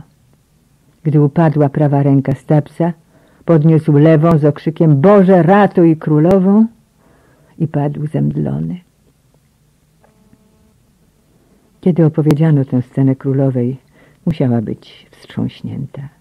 Choć czasami wraz z innymi dziwiłam się jej szaleństwu, teraz patrząc na to z perspektywy czasu, dostrzegam w postępowaniu monarchini przebiegły plan – i grając przez prawie dwa lata z D'Anjou, w rzeczywistości prowadziła grę z Filipem Hiszpańskim, którego polityki najbardziej się obawiała. I nie była w tym pozbawiona rozsądku. Najbardziej jej zależało na przeszkodzeniu w przymierzu między dwoma państwami, które były potencjalnymi nieprzyjacielami Anglii. A jak Francja mogłaby sprzymierzyć się z Hiszpanią, gdy jeden z jej synów miał stać się małżonkiem królowej Anglii? To była mądra polityka, ale ludzie z jej otoczenia zrozumieli to dopiero znacznie później. Perspektywa czasu pozwoliła lepiej to dostrzec. Co więcej, w czasie tej gry z księciem Żabą, choć Elżbieta trochę straciła na popularności wśród własnego narodu, zasiewała niezgodę między królem Francji i jego bratem. Już wtedy planowała, co udowodniono później, wysłanie francuskiego księcia protestanckiego do Holandii aby wygrał dla niej bitwę z Hiszpanią. To były plany na później. Na razie flirtowała, kokietując małego księcia, ale ani on, ani jej ministrowie i dworzanie nie rozumieli jej motywów. Przyjście na świat naszego syna było dla mnie i Roberta wspaniałym przeżyciem. Otrzymał imię Robert i od razu snuliśmy dla niego wielkie plany. Przez pewien czas nie rozstawałam się z synem a opieka nad nim sprawiała mi dużo radości. Bardzo się ucieszyłam, słysząc, że Douglas Sheffield zaślubiła Sir Edwarda Stafforda, ambasadora królowej w Paryżu. To Edward Stafford prowadził rozmowy na temat małżeństwa Elżbiety i D'Anjou, a jego działanie w tym zakresie zyskało aprobatę królowej. Od pewnego czasu ambasador kochał Douglas, ale jej upór, że jest żoną Lestera, uniemożliwił im pobranie się. Teraz, gdy już wszyscy wiedzieli o moim małżeństwie z Robertem, Douglas, działając jak zwykle niekonwencjonalnie, poślubiła Edwarda Stafforda. Zawierając to małżeństwo, Douglas przyznała, że nigdy nie wzięła formalnego ślubu z Robertem. Była to pocieszająca wiadomość i siedząc z niemowlęciem w ramionach uważałam, że wszystko dobrze się ułoży i po jakimś czasie odzyskam łaski królowej. Zastanawiałam się, jaka będzie reakcja Elżbiety, kiedy się dowie, że mamy z Robertem dziecko. Byłam pewna, że królowa ze wszystkich rzeczy na świecie najbardziej pragnęła syna. Bardziej jej na tym zależało niż na mężu. Od przyjaciół z dworu dowiedziałam się, że przyjęła nowinę bez słowa, a potem nastąpił wybuch złego humoru. Było oczywiste, że wiadomość ta wywołała gniew monarchini ale dopiero doniesienia o jej nowym zamierzeniu nas przeraziły. I tym razem nowinę przyniósł Sussex, ten zwiastun złych wieści. Obawiam się, że szykują się kłopoty, powiedział Robertowi. Królowa zadaje pytania dotyczące Douglas Sheffield. Doszło do jej uszu, że Douglas ma syna, który nazywa się Robert Dudley. I mówią, że to ślubne dziecko z hrabią Lesterem. Gdyby to była prawda, jak Douglas mogłaby zostać żoną Sir Edwarda Stafforda? Spytałam. Królowa utrzymuje, że jest zdecydowana rozwikłać tę tajemnicę. Twierdzi, że Douglas jest córką wybitnej rodziny i nie może dopuścić, aby mówiono, że popełniła bigamię, poślubiając ambasadora. Nie było małżeństwa Douglas Sheffield ze mną, stanowczo oznajmił Robert. Królowa uważa, że mogło być. Jest zdecydowana zbadać sprawę, by odkryć prawdę. Może badać, ale nic nie wykryje. Czy wyzywał los? Nie byłam pewna. Niewątpliwie wyglądał na mocno poruszonego. Jej wysokość mówi, że jej zdaniem takie małżeństwo się odbyło. W tym przypadku twój obecny związek nie jest legalny. Twierdzi, że jeśli rzeczywiście poślubiłeś Douglas Sheffield, powinieneś, panie, żyć z nią jako żoną albo gnić w Tower. Wiedziałam, co to oznaczało. Jeśli jej się uda, chciała wydrzeć mi moje zwycięstwo. Pragnęła udowodnić, że mój związek z Robertem nie jest małżeństwem, a mój syn jest nieślubnym dzieckiem. Nastąpiły dla mnie niespokojne dni. Nawet teraz, przypominając je sobie, drżę z wściekłości. Robert zapewnił mnie, że nie znajdą dowodów, bo ślubu nie było. Nie mogłam mu jednak wierzyć do końca. Dobrze go znałam i wiedziałam, że jego poczynaniami kierowała przemożna ambicja. Jednocześnie był bardziej męski niż większość mężczyzn i gdy pragnął kobiety, to emocja mogła przejściowo przewyższyć ambicje. Douglas, mimo że została jego kochanką, była kobietą z natury cnotliwą. Zapewne z powodu dziecka, które miała urodzić, mogło udać jej się przekonać Roberta do małżeństwa. Ale teraz to my mieliśmy syna, naszego małego Roberta. Powiedziałam więc sobie, że jego ojciec, tak wprawny w niweczeniu przeszkód na swej drodze, z pewnością będzie w stanie usunąć dowody małżeństwa, jeśli takie były. Mój syn nie będzie nazwany nieślubnym. Nie będę stała z boku, aby pozwolić zatriumfować królowej. Pokrzyżuję jej niecne plany, udowadniając, że nie ma racji i doprowadzę do jeszcze jednego zwycięstwa wilczycy. Sussex powiadomił nas, że królowa poleciła mu rozwikłać tę sprawę. Chciała się przekonać, czy rzeczywiście odbył się ślub Roberta z Douglas. Mieliśmy dobrego sojusznika, po sobie Sir Edwarda Stafforda, który głęboko kochał Douglas i nie mniej gorąco niż my pragnął udowodnić, że nigdy nie było jej ślubu z Robertem. Douglas początkowo chciała bronić swojej czci i praw swego syna, ale potem zmieniła zamiar. Jak się wydawało, postanowiła opowiedzieć się za legalnością swojego ostatniego małżeństwa. To był czynnik działający na naszą korzyść. Także to, iż wszyscy wiedzieli, że Lester był człowiekiem bardzo rodzinnym. Z całą pewnością nie chciałby wyprzeć się tak bystrego i inteligentnego chłopca, jakim był syn Douglas, gdyby ten urodził się w legalnym związku. Z drżeniem czekaliśmy na wynik dochodzenia. Nasz niepokój był tym większy, że wiedzieliśmy, iż Sussex nie lubi Roberta. Byliśmy pewni, że będzie zachwycony, mogąc wytoczyć nam sprawę. Douglas odpowiadała na pytania Sussexa. W krzyżowym ogniu pytań twierdziła, że przed laty odbyła się ceremonia, na której ona z Lesterem przyrzekli sobie wierność w sposób, który uważała za zobowiązujący. Wtedy Sussex zapytał ją, czy posiada jakiś dokument lub podpisaną umowę. Nie, odpowiedziała naiwna Douglas. Nic takiego nie było. Polegałam na hrabim Lesterze i miałam do niego pełne zaufanie. Potem zaczęła histerycznie płakać i poprosiła, żeby ją zostawili w spokoju. Była teraz szczęśliwie zamężna, a hrabia Lester i Lady Essex mieli ślicznego chłopca. Sussex został zatem zmuszony uznać, że to, co zaszło między Lady Sheffield i hrabią Lesterem, nie było formalnym małżeństwem i że hrabia Lester miał prawo poślubić Lady Essex, co swego czasu zrobił. Gdy dowiedziałam się o tym, nie posiadałam się z radości. Bardzo się bałam z powodu naszego synka. Teraz nie było wątpliwości, że mały chłopiec w kołysce był ślubnym synem hrabiego Lestera i jego dziedzicem. Ciesząc się z dobrego obrotu fortuny, jednocześnie byłam zadowolona z porażki królowej. Doniesiono mi, że na wiadomość o wynikach dochodzenia wściekała się. Nazwała mnie nienasyconą wilczycą, która przemierza świat szukając gotowych do pożarcia mężczyzn. Milord Lester któregoś dnia pożałuje, że zadał się z Letis Knowles, oznajmiła. To jeszcze nie koniec z tą historią. Z czasem Robert wyzwoli się z tego ogłupiającego szaleństwa i poczuje jadowite kły wilczycy. Nienawiść naszej wszechmocnej pani powinna mnie przerażać. Tymczasem czułam, że to dodaje podmiot memu życiu, szczególnie teraz, gdy wiedziałam, że ponownie z nią wygrałam.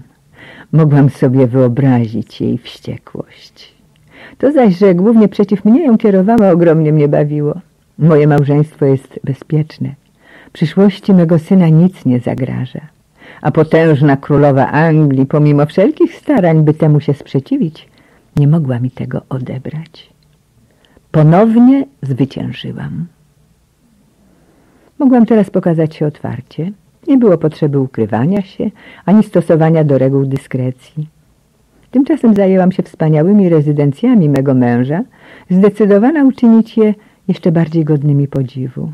Pragnęłam, by przewyższały reprezentacyjnością pałace i zamki królowej. Odnowiłam naszą sypialnię w Leicester House.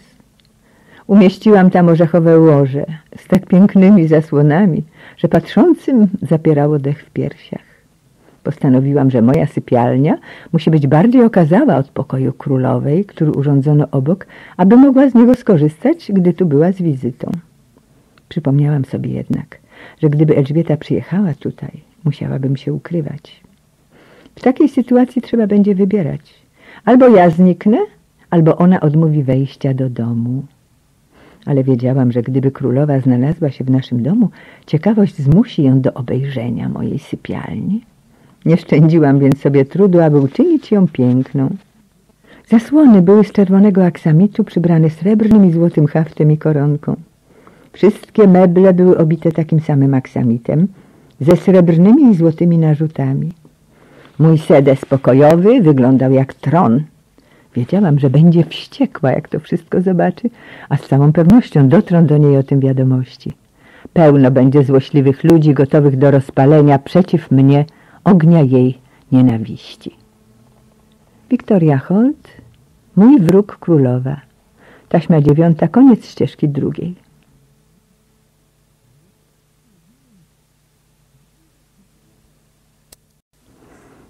Wiktoria Holt, mój wróg królowa. Taśma dziesiąta, ścieżka pierwsza. Byliśmy z Robertem szczęśliwi. Za wykwintnymi zasłonami w naszym łożu śmieliśmy się, w jak przemyślny sposób, wbrew wszystkim przeszkodom, doprowadził do naszego małżeństwa. Gdy byliśmy sami, nazywałam królową lisicą. Bądź co bądź była chytra jak lis, a samica lisa jest jeszcze bardziej przebiegła niż samiec. Skoro ona nazywała mnie wilczycą, ja nazywałam Roberta moim wilkiem. On odwzajemniał mi się, nazywając mnie swoim jagniątkiem. Mówił bowiem, że jeśli lew mógł leżeć z tym słodkim stworzeniem, to może także leżeć wilk. Przypomniałam mu, że niewiele było we mnie z jagniątka, a on przyznawał, że to widać w moim stosunku do świata. Ta zabawa trwała, ale zawsze, gdy używaliśmy tych przydomków, wracaliśmy myślami do królowej. Nasz synek był dla nas wielką radością, a ja upajałam się swoją rodziną. Nie tylko dlatego, że byłam im oddana, ale i z tej przyczyny, że królowa przy całym swoim majestacie musiała odczuwać brak synów i córek. Zapanował jednak w rodzinie pewien smutek z powodu Penelopy. Przez pewien czas oburzała się i unosiła gniewem, sprzeciwiając się małżeństwu z lordem Morichem. Lord Huntington był gotowy przekonać ją do uległości nawet siłą, ale ja na to nie pozwoliłam. Penelopa przypominała mnie. Była piękna i pełna wigoru. Zastosowanie przemocy tylko wzmocniłoby jej opór. Udało mi się ją przekonać. W czasie długich rozmów z Penelopą podkreślałam, że w obecnej chwili małżeństwo z Lordem Richem będzie najlepszym dla niej rozwiązaniem. Rodzina była w niełasce królowej, szczególnie ja, i moje córki nie będą przyjmowane na dworze. Jeśli jednak ona zostanie Lady Rich, małżonką takiej ważnej osobistości, to wszystko się odmieni. Może w tej chwili Penelopa uważa, że woli życie na wsi niż małżeństwo z niekochanym mężczyzną, ale zmieni zdanie, gdy poczuje się znudzona. Nie mogę powiedzieć, że byłam szaleńczo zakochana w waszym ojcu, gdy go poślubiłam. Zwierzyłam się córce. Ale to nie było nieudane małżeństwo i dzięki temu mam dzieci. Ale byłaś pani w wielkiej przyjaźni jeszcze w czasie małżeństwa z Robertem, przypomniała mi. Posiadanie przyjaciół nie przynosi szkody, odparłam. To dało jej do myślenia. I gdy Lord Huntington zjawił się ponownie z ostrą perorą, Penelopa ustąpiła. Biedne dziecko poślubiła Lorda Richa. Ludzie mówili, jakie to dla niej szczęście w świetle tego, że jej matka jest w niełasce, a królowa gniewa się na jej ojczyma, który nigdy nie wróci do poprzedniej pozycji na dworze. Wierzyłam wówczas, że królowa z czasem złagodzi swój stosunek do mnie, jak to się już stało w przypadku Roberta. Po paru miesiącach stopniowo odzyskiwał dawne łaski królowej. Jej uczucie dla niego nigdy nie przestało mnie zadziwiać. Sądzę, że Elżbieta pielęgnowała romantyczne marzenia dotyczące jego osoby. Widziała go zawsze jako przystojnego młodzieńca, towarzysza pobytu w Tower. A tymczasem Robert starzał się i raczej niebezpiecznie przybierał na wadze. Jego twarz była zbyt rumiana i miałam wrażenie, że z każdym tygodniem przybywało mu siwych włosów. Jedną z największych cnót Elżbiety była wierność wobec starych przyjaciół. Wiedziałam, że nigdy nie zapomni, że Maria Sidney z oddaniem pielęgnowała ją w czasie choroby. Za każdym razem, gdy Elżbieta patrzyła na zeszpeconą ospą twarz siostry Roberta, ogarniało ją współczucie i wdzięczność dla Marii. Królowa zaaranżowała małżeństwo młodej Marii Sidney z Henrykiem Herbertem, hrabią Pembroke. Choć hrabia było 27 lat starszy od swej żony, wszyscy uważali ten związek za bardzo pomyślny. Robert nigdy nie stracił miejsca w sercu królowej. Jeśli czasami usuwała go stamtąd, to nie na długo. Ona naprawdę przez całe życie go kochała. Nie zdziwiło więc nikogo, że po sześciu miesiącach całkowicie wrócił do jej łask. Elżbieta wybaczyła nasze małżeństwo Robertowi, ale nie mnie. Słyszałam, że samo wymówienie mojego imienia wystarczyłoby zezłościć władczynię i sprawić, że ze szkarłatną z oburzenia twarzą przeklinała wilczycę. Najbardziej próżna istota w kraju, jaką była królowa, nie mogła przebaczyć kobiecie bardziej pociągającej fizycznie niż ona. Nie darowała mi, że poślubiłam mężczyznę zawsze w głębi serca pożądanego przez nią samą. Był okres, gdy jej złość kierowała się przeciw niemu. Głównie dlatego, że wybrał inną kobietę, ale on nigdy się tym nie przejmował. Wierzył, że jej uczucie przetrzyma jego małżeństwo i przetrwa wszystko inne. Trudno wyrazić nieodparty urok Roberta. To był magnetyzm, a był tak silny, że nawet w okresie starzenia się hrabiego nie stracił nic ze swojej mocy. Tymczasem nikt nie mógł być całkowicie pewny Roberta. Był zagadką. Jego sposób bycia był czarujący i uprzejmy i zawsze okazywał łaskawość służącym czy ludziom o skromnej pozycji. Jednak od śmierci Amy Robsart przylgnęła do niego ponura reputacja. Niewątpliwie emanował siłą i możliwe, że to właśnie decydowało o jego uroku. Uwielbiała go jego własna rodzina, a odkąd moje dzieci poznały go jako swego ojczyma, pokochały go z całego serca. Czuły się z nim swobodniejsze niż kiedyś z Walterem. Zawsze mnie to zastanawiało, że przy jego ambicji i gotowości wykorzystania każdej sprzyjającej okoliczności dla własnego dobra, tyle czasu poświęcał rodzinie. W tym czasie Penelopa była bardzo nieszczęśliwa. Często odwiedzała nas w Leicester House, wylewając przed nami swoje żale z powodu nieudanego małżeństwa. Lord Rich był prostacko zmysłowy i nie mogła go pokochać. Będąc bardzo nieszczęśliwa, tęskniła za powrotem do domu. Nieraz rozmawiała z Robertem, który okazywał jej zrozumienie i życzliwość. Powiedział jej, że jeśli uzna to za możliwe, powinna uważać jego dom za swój. Bezzwłocznie zaproponował, aby jeden pokój urządzono zgodnie z jej upodobaniami. Nazwaliśmy ten pokój komnata Lady Rich. Kiedy tylko Penelopa czuła potrzebę samotności, komnata na nią czekała. W obecności Roberta poprawiał jej się trochę nastrój. Zgodnie z jego sugestią wybrała materię na zasłony do swego pokoju i interesowała się ich przygotowywaniem. Byłam wdzięczna Robertowi za okazywanie ojcowskich uczuć dla mojej nieszczęśliwej córki. Dorota także go kochała.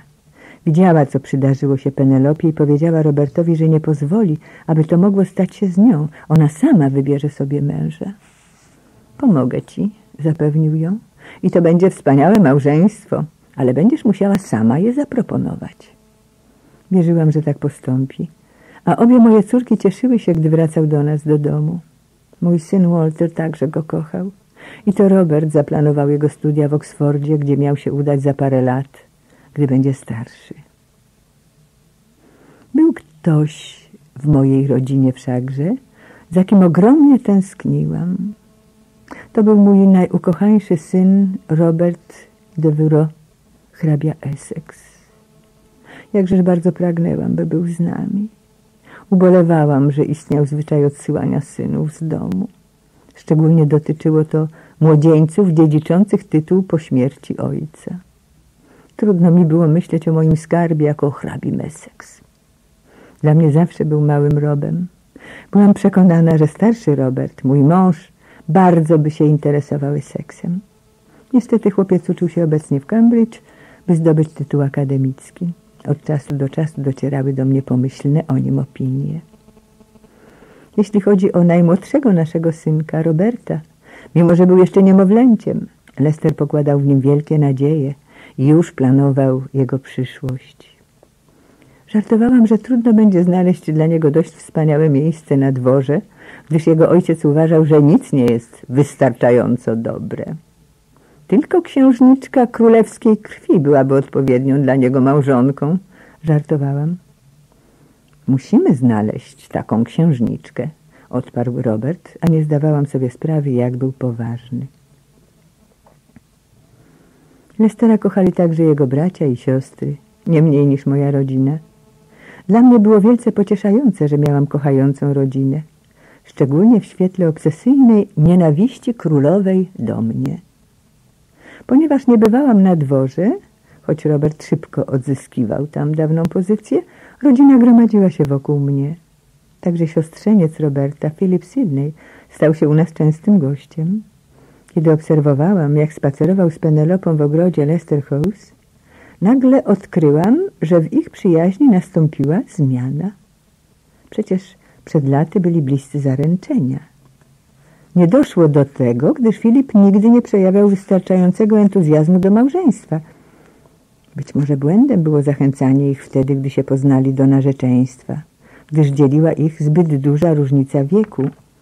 Filip miał 22 lata, a Penelope była jeszcze czternastoletnim dzieckiem. Teraz dopiero widział w niej kobietę i to tragiczną kobietę, a to przy jego romantycznym usposobieniu zdawało się go pociągać.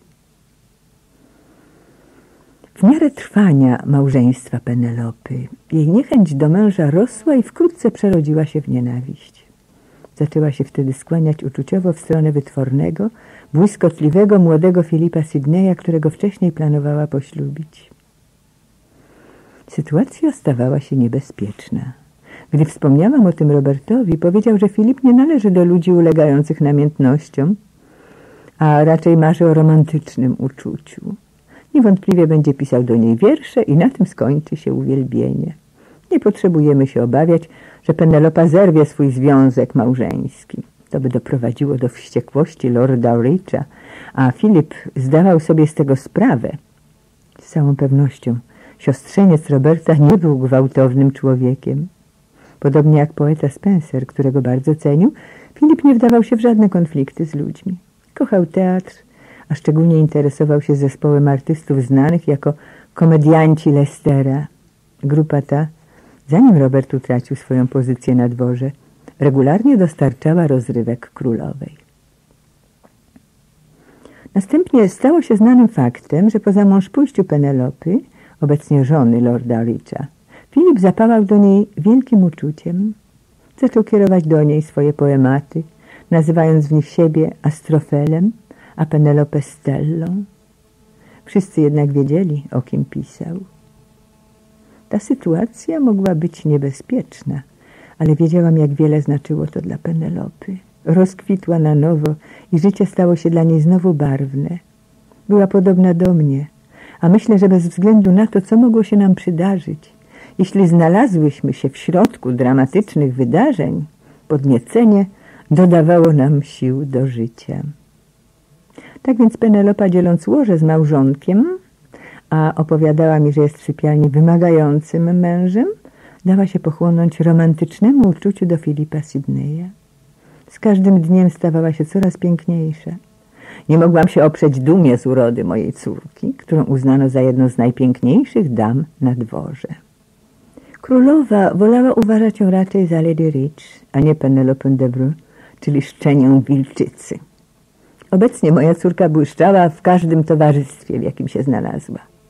Mogła też opowiadać mi, co się działo na dworze i jak jej ojczym robił wszystko, co w jego mocy, by wzmocnić jej pozycję. Ja natomiast muszę wyznać, że w miarę upływu czasu coraz bardziej czułam się rozdrażniona. Było mi smutno, że znajduję się poza zaczarowanym kołem. Ciągle mi jednak powtarzano, że na dźwięk mego imienia królowa dostaje szału, co zapowiadało, że na razie nie ma mowy o powrocie na dwór. Nawet Robert musiał postępować bardzo ostrożnie, bo wielkie oczy królowej często zerkały na niego z ostrzeżeniem. Musiał bardzo uważać. Książę Dężu ponownie przyjechał do Anglii, by odnowić swoje zaloty. Roberta to martwiło, gdyż Elżbieta spacerując z księciem w galerii Pałacu Greenwich oznajmiła w obecności ambasadora francuskiego, że powinna zawrzeć małżeństwo. To mnie bardzo zaniepokoiło, powiedział mi Robert i gdybym nie znał dobrze Elżbiety, pomyślałbym, że rzeczywiście go przyjęła. Oczywiście kokietowała go publicznie. Sprawiała wrażenie, jakby ją zaczarował, także nie widzi, jak reagują ludzie. Młody człowiek jest brzydszy niż poprzednio, bo trudno oczekiwać, że czas przysporzy mu urody. Bardziej przypomina obrzydliwą żabę niż dawniej, ale królowa pokazuje swoim zachowaniem, że dla niej jest piękny. To odpychający widok ich dwoje. Oczywiście wzrostem znacznie go przewyższa. Królowa chce, aby ludzie ich porównywali i dostrzegli, o ile jest od niego piękniejsza, pomimo jej wieku i jego młodości. To śmieszny widok, jak w farsie. Wiejskie wesele jest mniej komiczne niż oglądanie królowej i jej francuskiego zalotnika. W galerii praktycznie pocałowała go i włożyła mu na palec pierścień, oznajmiając ambasadorowi Francji, że go poślubi. A zatem zobowiązała się. Nie znasz jej. Spotkałem się z nią i spytałem, czy jest już jego kochanką. Na to mi odpowiedziała, że jest kochanką nas wszystkich. Wtedy spytałem ją otwarcie, czy jest jeszcze dziewicą. Roześmiała się, popychając mnie, był to przyjacielski gest i odpowiedziała Jestem dziewicą, Robercie, mimo że wielu mężczyzn próbowało namówić mnie do zmiany tego szczęśliwego stanu. Przytrzymała moje ramię, mówiąc Moje oczy nie powinny się obawiać. Zrozumiałem to jako wyznanie, że pomimo wszystko go nie poślubi. Sądzę, że teraz zacznie wyplątywać się z tego kłopotu, w którym z własnej woli się znalazła. I to właśnie zaczęła robić. Monarchini zawiadomiła swoich ministrów, że należy zyskać na czasie, utrzymując Francuzów i Hiszpanów w niepewności.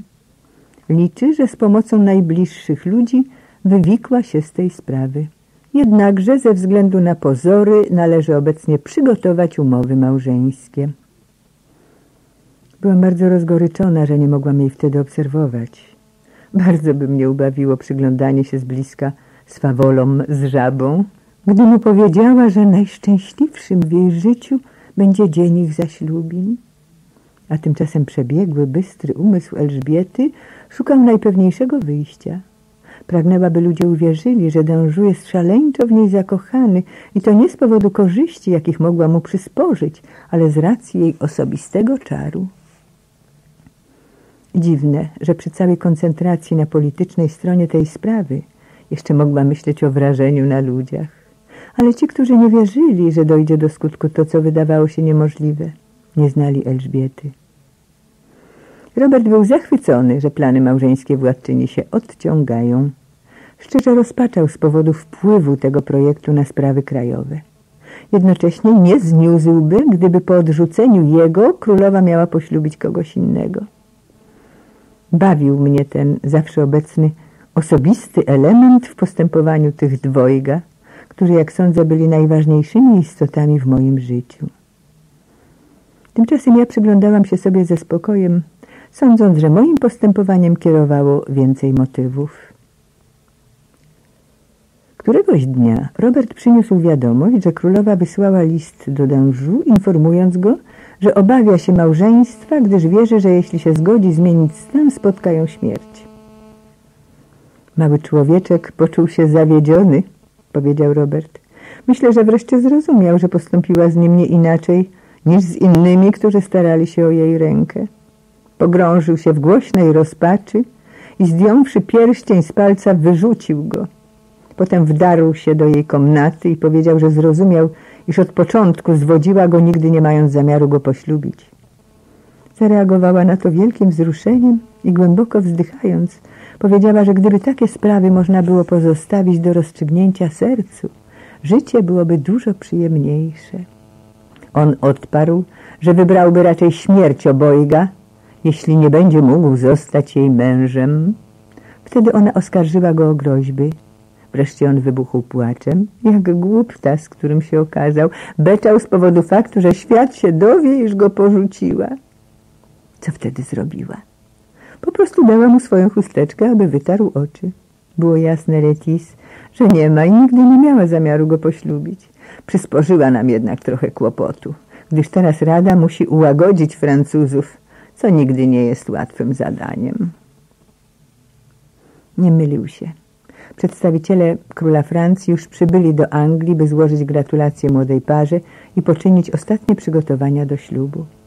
Gdy wyjaśniono prawdziwy stan rzeczy, ambasador francuski przeraził Radę, oświadczając, że skoro książę Dążu został obrażony przez królową, Francja sprzymierzy się z Hiszpanią, a to nie stworzy miłej perspektywy dla Anglików. Robert powiedział mi, że po długiej naradzie Ministrowie doszli do wniosku, że sprawy zaszły za daleko, by teraz się wycofać. Królowa bawiła się ogniem jeśli nie wykażą ostrożności, mogą mocno się poparzyć. Elżbieta, która potem ich przyjęła, spytała, czy chcą jej powiedzieć, że nie ma dla niej innej alternatywy poza poślubieniem Francuza. Oznajmiła, że musi się znaleźć wyjście z tej sytuacji i ona je znajdzie. Zaczęto omawiać warunki małżeństwa i Francuzi nagle z całą gorliwością godzili się na wszystkie wymagania królowej. Wreszcie zrozpaczona złożyła oświadczenie, że jest jeden podstawowy warunek, który musi być spełniony.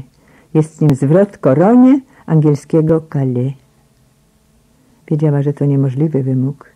Calais, ostatni bastion angielski na wybrzeżu, straciła na rzecz Francuzów jej siostra Maria. Francuzi nie mogli teraz dopuścić, aby Anglicy ponownie odzyskali twierdzę dającą dostęp do Francji. Wreszcie zrozumieli, że Elżbieta z nimi gra. Wtedy sytuacja zaczynała być niebezpieczna. Ona wiedziała to lepiej od nich i znalazła odpowiedź. Prawdziwym zagrożeniem była katolicka Hiszpania. W tym czasie książę D'Anjou przechodził swoje protestanckie nawrócenie i w następstwie musiałoby dojść do konfrontacji z Hiszpanami. Królowa była głęboko przekonana, że powinno się to odbyć poza jej królestwem. A skoro powtarzały się prośby o pomoc z Niderlandów, tam należało szukać pomyślnego rozwiązania tej sytuacji. Można było upiec dwie pieczenie na jednym ruszcie. Królowa chciała, aby książę D'Anjou opuścił dwór i udał się do Niderlandów, kierując kampanią mającą wyzwolić ten kraj spod władzy Hiszpanów. Elżbieta obiecała dostarczyć środki na tę wyprawę. Trudno było wymyślić coś bardziej irytującego dla Henryka III króla Francuzów i Filipa Hiszpańskiego. Jednocześnie miało to odwrócić uwagę małego księcia od planów małżeńskich. usychający z tęsknoty do królowej, jak mówił o sobie książę, wreszcie dał się namówić na wyprawę do Niderlandów.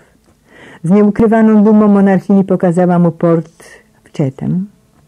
Widok tylu wspaniałych statków bardzo mu zaimponował, choć niewątpliwie zwiększył pragnienie zostania jej mężem, a tym samym właścicielem tej floty. A ponieważ dalej okazywała mu wielką czułość, musiał uważać, że małżeństwo jest jeszcze możliwe. Robert powrócił z dworu i przekazał mi najświeższe nowiny. Okazało się, że miały one związek z jego osobą. Władczyni oświadczyła bowiem księciu, że na znak, jak wielkim otacza go szacunkiem, zamierza wysłać z nim do Antwerpii człowieka, którego obecność na dworze była dla niej zawsze bardziej znacząca niż kogokolwiek innego. Ciebie, Robercie, krzyknęłam. Przytaknął mi. Wyczułam jego podniecenie i sądzę, że od tej chwili zaczynał się zmieniać mój stosunek do niego. Wrócił do łask i zdałam sobie sprawę, że znowu opanowała go ambicja. Moja królewska rywalka mogła dać mu to, czego najbardziej pragnął. Ale ja nie należałam do kobiet godzących się z przejściem na drugą pozycję. Robert cieszył się z wyjazdu do Niderlandów, choć oznaczało to rozstanie ze mną. Widział w tej wyprawie swoją szansę, a fakt, że królowa wysyłała go za Anjou, oznaczał, że mu ufa. Znowu byli razem, mój mąż i jego królewska pani. Ja byłam kobietą, do której pociągały go zmysły. Lecz rozum mówił mu, że powinien słuchać Elżbiety, gdyż ona zaspokoi jego ambicje, która była silniejsza niż pragnienia miłosne. Nawet nie zauważył chłodu w moim zachowaniu. Czy widzisz, co ona zamierza? Mówił dalej podniecony. Przez cały czas trzymała Francuzów w ryzach dzięki obietnicy małżeństwa. Teraz zaś udało jej się wysłać do Anjou, aby dla niej walczył. Oczy mu błyszczały. Okazała się wspaniałą kobietą i niezwykłą królową. Co więcej, cała serdeczność okazywana małej żabie była przebiegłą polityką. Był tylko jeden człowiek, którego tak kochała, że nawet mogła zapomnieć mu przejściową zdradę. Był nim Robert Dudley. Podlegał jej rozkazom. Wybaczyła mu ożenek i zawsze będzie trzymała go przy sobie. Małżeństwo się nie liczyło. Przecież w żadnym razie nie chciała go poślubić, ale może odebrać mi męża, kiedy tylko zechce. On powrócił do uprzywilejowanej pozycji, ale jego żony nie dopuści na dwór. To była jej zemsta. Czułam, jak wzbiera we mnie chłodny gniew. Nie, nie byłam kobietą, której łatwo było się pozbyć. Oczywiście kochał mnie namiętnie. Zapewniał, że to, iż musi mnie opuścić, jest dla niego strasznym ciosem. Myślami był jednak już w Niderlandach, marząc o korzyściach, jakie tam miał osiągnąć. Opuścił Anglię w lutym. Królowa towarzyszyła oddziałowi aż do Canterbury. Ja nie mogłam odprowadzić męża, nie narażając się na jej wściekłość. Słyszałam, że czule żegnała mego Roberta i gorzko go strofowała, obawiając się, że nie będzie wystarczająco wstrzemięźliwy w jedzeniu i piciu i nie dość zadba o siebie. Oczywiście, dalej go kocha. A choć zapowiedziała, że wyznacza milion funtów, aby jej żabka przepłynęła tamizę, myślała jedynie o Robercie.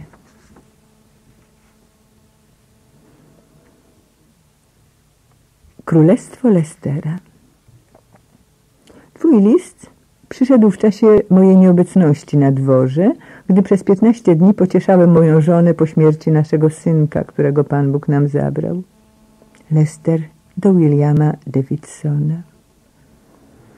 Jego lordowska mość Lester zmienia żony i faworyty, mordując jedne i odrzucając inne. Dzieci cudzołożników strzezną, a pęd wyrosły z nasienia grzesznego łoża będzie wyrwany z korzeniami. Królestwo Lestera Gdy Robert powrócił z Niderlandów, byłam w Leicester House z Dorotą i naszym małym synkiem Robertem. Mój starszy syn Robert de Vreux Hrabia Essex ostatnio otrzymał stopień magistra w Cambridge. Wyraził wtedy pragnienie prowadzenia cichego wiejskiego życia. Jego opiekun, Lord Burleigh, uznał, iż doskonałym rozwiązaniem dla niego będzie osiąść w jednym z majątków w Lanfield w hrabstwie Pembroke. Tu będzie mógł oddać się zajęciom ziemianina i studiować książki. W tym czasie widywałam go nieczęsto i to mnie smuciło, gdyż ze wszystkich moich dzieci jego najbardziej wyróżniałam. Lester wyraźnie się postarzał, przybyło mu siwych włosów, a rumieńce na twarzy były mocniejsze. Królowa miała rację, ostro mu wyrzucając zbytnie folgowanie sobie przy stole. Wkrótce po ujawnieniu naszego małżeństwa popadł w łagodne przygnębienie spowodowane przypuszczeniem, że na zawsze stracił łaski królowej. Teraz pozbył się tego smutku i promieniał pewnością siebie. Na jego powrót oczekiwałam w naszym domu. On chwycił mnie w ramiona, oznajmiając, że jestem piękniejsza niż przedtem. Kochał się ze mną jak człowiek, który przez dłuższy czas, nie mając okazji uprawiać miłości, gwałtownie jej potrzebuje. Ja jednak wyczuwałam u niego pewne roztargnienie i wiedziałam, że moją rywalką jest ambicja. Trochę mnie zirytowało, że przed przyjściem do mnie był u królowej. Wiedziałam, że to było konieczne, ale zazdrość uczyniła mnie nierozsądną. W nieskończoność opowiadał o przyszłości, która jego zdaniem zapowiadała się wspaniale. Królowa przyjęła mnie bardzo serdecznie, mówił, wyrzucając mi, że długo nie wracałem. Wspomniała nawet, że myślała, iż tak zakochałem się w Niderlandach, że zapomniałem o ojczyźnie i o mojej łaskawej królowej. A może wtrąciła mi o twojej zawsze cierpliwej żonie? Ciebie nie wspominała. Ta odpowiedź mnie rozśmieszyła. Jakie to było uprzejme z jej strony, że nie narażała twoich uszu na słuchanie obelg. Ach, ona w końcu to przeboleje. Mogę przysiąc ci, Letis, że za parę miesięcy będzie cię przyjmowała na dworze. A ja mogę przysiąc, że do tego nie dojdzie. Postaram się o to. Szkoda wysiłku. Ale ja ją znam lepiej niż ty. Jedynym sposobem, abym uzyskała przebaczenie Elżbiety, byłoby to, gdybyś porzucił mnie albo pozbył się w jakiś inny sposób. Nie przejmuj się tym. Wygląda na to, że znowu włączyła cię do swego grona faworytów. Co do tego nie ma wątpliwości. Mój wróg królowa. Taśma dziesiąta. Koniec ścieżki pierwszej.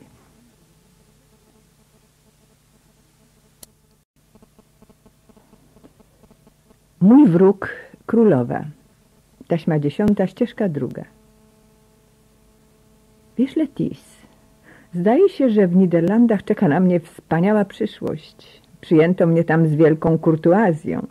Uważam, że są gotowi dać mi stanowisko namiestnika. Są w rozpaczliwej sytuacji, a mnie uważają za swego wybawcę. A zatem, jeśli nadarzy się taka okazja, będziesz gotowy porzucić swoją królewską władczynię? Ciekawa jestem, co na to powie. Będę musiał ją przekonać.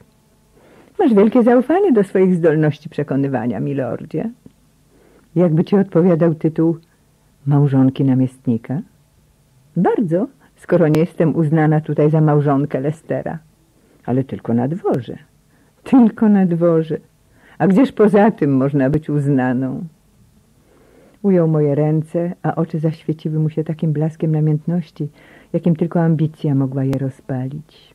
Postaram się o pomyślność dla naszej rodziny, powiedział. Czy jeszcze tego nie dokonałeś? Myślałam, że już ci się udało umieścić wszystkich swoich krewnych i stronników na właściwych miejscach w całym kraju. Zawsze myślę o zabezpieczeniu swojej pozycji. Ale teraz przekonałeś się, że grymas królowej może ją podważyć. To prawda. Dlatego muszę się upewnić, że moja pozycja jest mocna. Jest jeszcze młody Essex. Najwyższy czas, aby przestał obijać się w walii i znalazł się na dworze. Mogę znaleźć mu odpowiednie stanowisko. Mój syn lubi wieś, jak wynika z jego listów do mnie i do lorda Burlife'a. To absurd. Mam wspaniałego pasierba. Chcę lepiej go poznać i wprowadzić w świat. Napiszę mu o tych planach. A jeszcze jest nasz mały Robert. Mam wobec niego plany. Ależ on jest jeszcze niemowlęciem. Zapewniam cię, że nigdy nie jest za wcześnie planować przyszłość dzieci. Zmarszczyłam brwi. Byłam niespokojna o naszego synka. Był delikatny, co zakrawało na ironię, gdy pomyślałam o krzepkości jego ojca i o sobie. Moje dzieci z małżeństwa z hrabią de Vreux były zdrowe i silne. Złośliwym zrządzeniem losu było to, że syn Lestera był herlakiem.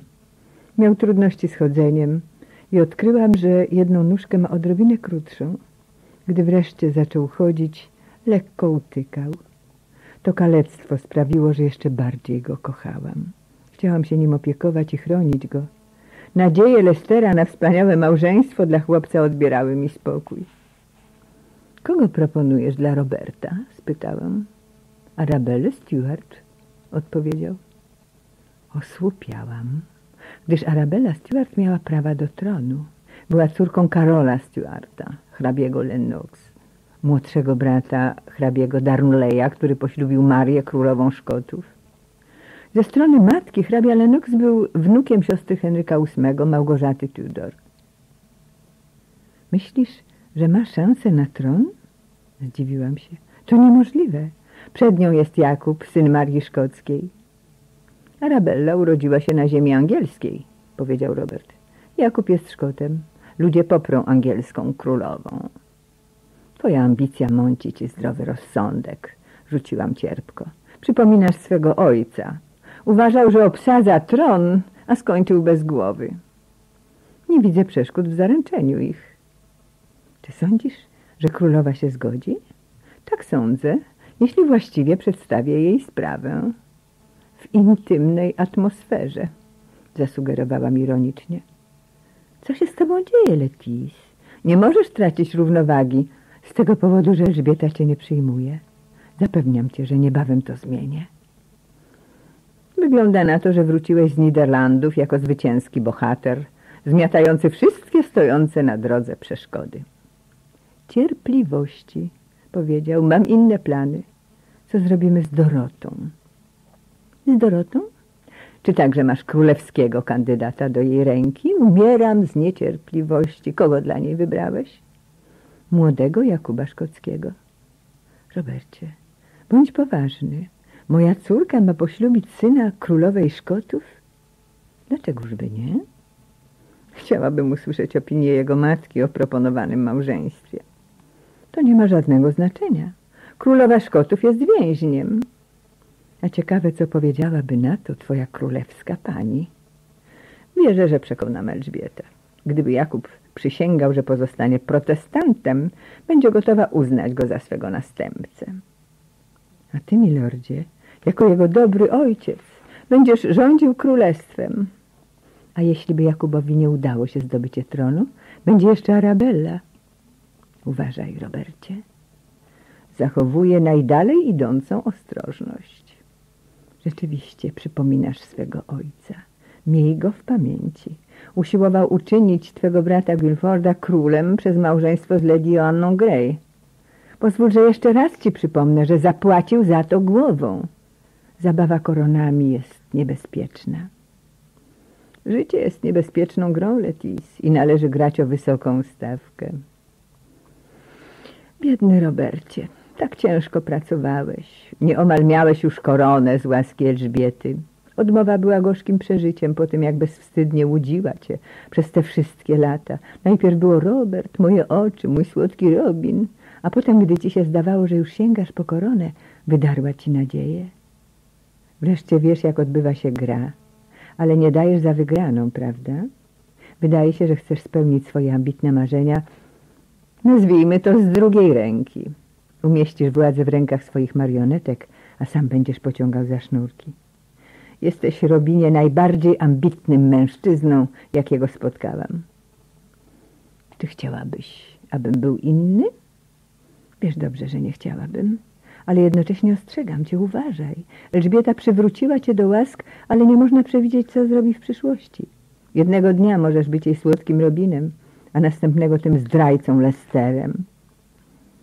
Wiesz jednak, że zawsze mi wybacza. Nie mogło być dla niej większego ciosu niż nasze małżeństwo. A gdybyś tylko mogła zobaczyć, jaka była serdeczna, gdy odpływałem do Niderlandów. a także po moim powrocie. Na szczęście oszczędzono mi tego. Nie bądź zazdrosna, Letis. Moich związków z nią nie można porównać z uczuciem do ciebie. Nie, gdyż odmówiła ci małżeństwa. Byłoby zupełnie inaczej, gdyby cię przyjęła, nieprawdaż? Powtarzam, bądź ostrożny. Nie uważaj, że skoro poklepała cię po policzku i powiedziała, że za dużo jesz, to możesz sobie na wiele pozwolić z naszą łaskawą panią. W nieprzychylnych okolicznościach stwierdzisz, że bynajmniej nie jest łaskawa. Moja droga Letis, sądzę, że znam ją lepiej niż ktokolwiek. Powinieneś, to długa znajomość, ale zdaje mi się, że mimo pochlebstw, które spłynęły na ciebie w Niderlandach, powinieneś patrzeć na siebie bardziej realnie. Zapewne nie jesteś tak wszechpotężnym człowiekiem, jak sobie wyobrażasz. Chodzisz po grząskim gruncie, Robercie. I jako twoja żona proszę tylko, abyś był rozważny. To mu się nie podobało. Chciał usłyszeć pochwały za jego pomysły i ślepy podziw dla jego możliwości przeprowadzania wszystkiego zgodnie z jego wolą.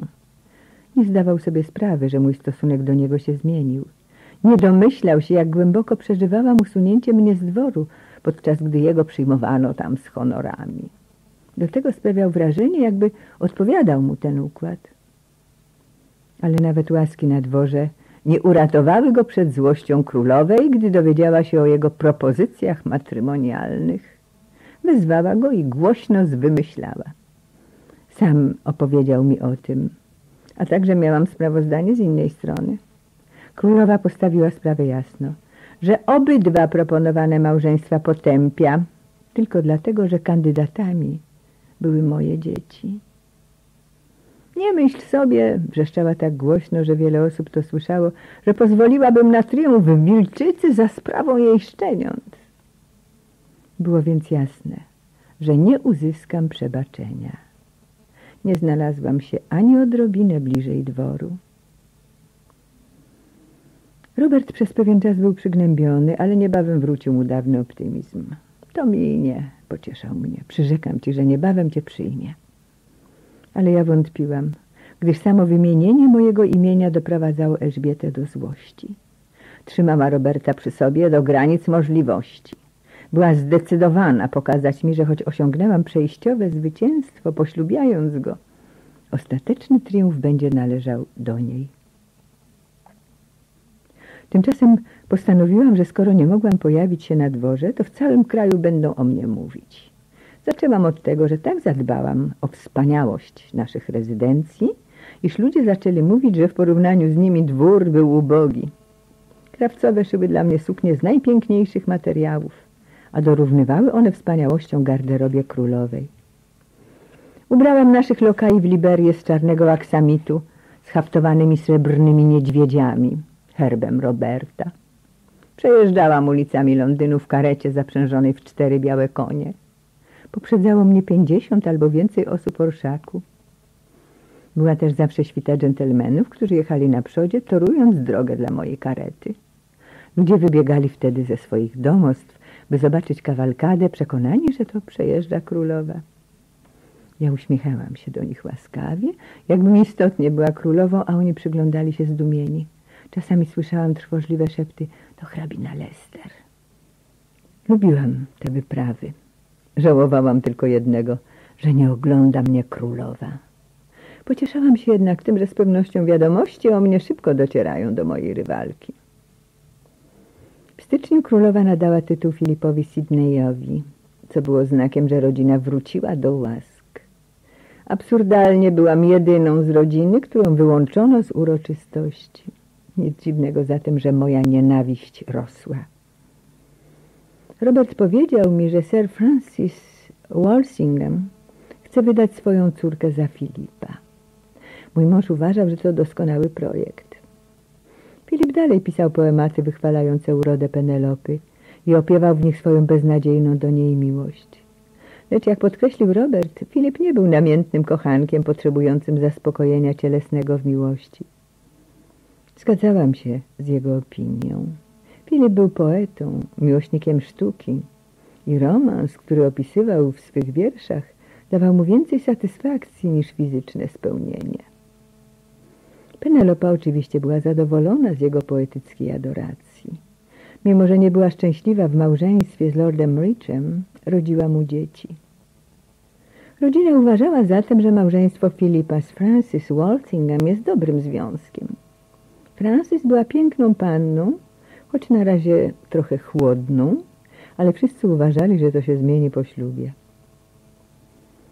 Ku mojemu zaskoczeniu Filip zgodził się na to małżeństwo i pozwolił, aby zaczęły się przygotowania. Dorota natomiast z dużą niechęcią podchodziła do pomysłu Roberta, aby poślubiła Jakuba Szkockiego. Wyznała mi, że za żadne skarby nie zgodzi się na to małżeństwo, nawet gdyby królowa wyraziła zgodę. Słyszałam, że jest bardzo nieprzyjemny, powiedziała, niechlujny i lekceważący wszystkich. Twój mąż jest zbyt ambitny, pani. Nie ma powodu do zmartwień, odparłam. Małżeństwo na pewno nie dojdzie do skutku. Królowa skazałaby ciebie, mnie i twego ojczyma na Tower, gdybyśmy się na to ośmielili. Roześmiała się. Nienawidzi cię pani. Wiem dlaczego. Ja również, odpowiedziałam. Spojrzała na mnie z podziwem w oczach. Nigdy się nie zestarzejesz, matko. Byłam zachwycona, bo takie słowa w ustach młodej, krytycznej córki były prawdziwą pochwałą. Sądzę, że dlatego, że masz podniecające życie, dodała. Czy moje życie jest tak podniecające? Zastanawiałam się. Oczywiście. Wyszłaś za mego ojca, a potem zjawił się Robert, który rzekomo miał żonę Douglas Sheffield.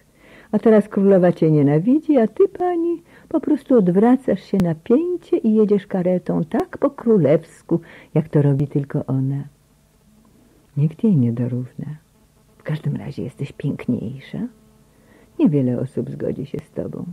Każdy przyzna mi rację, choć nikt głośno tego nie powie.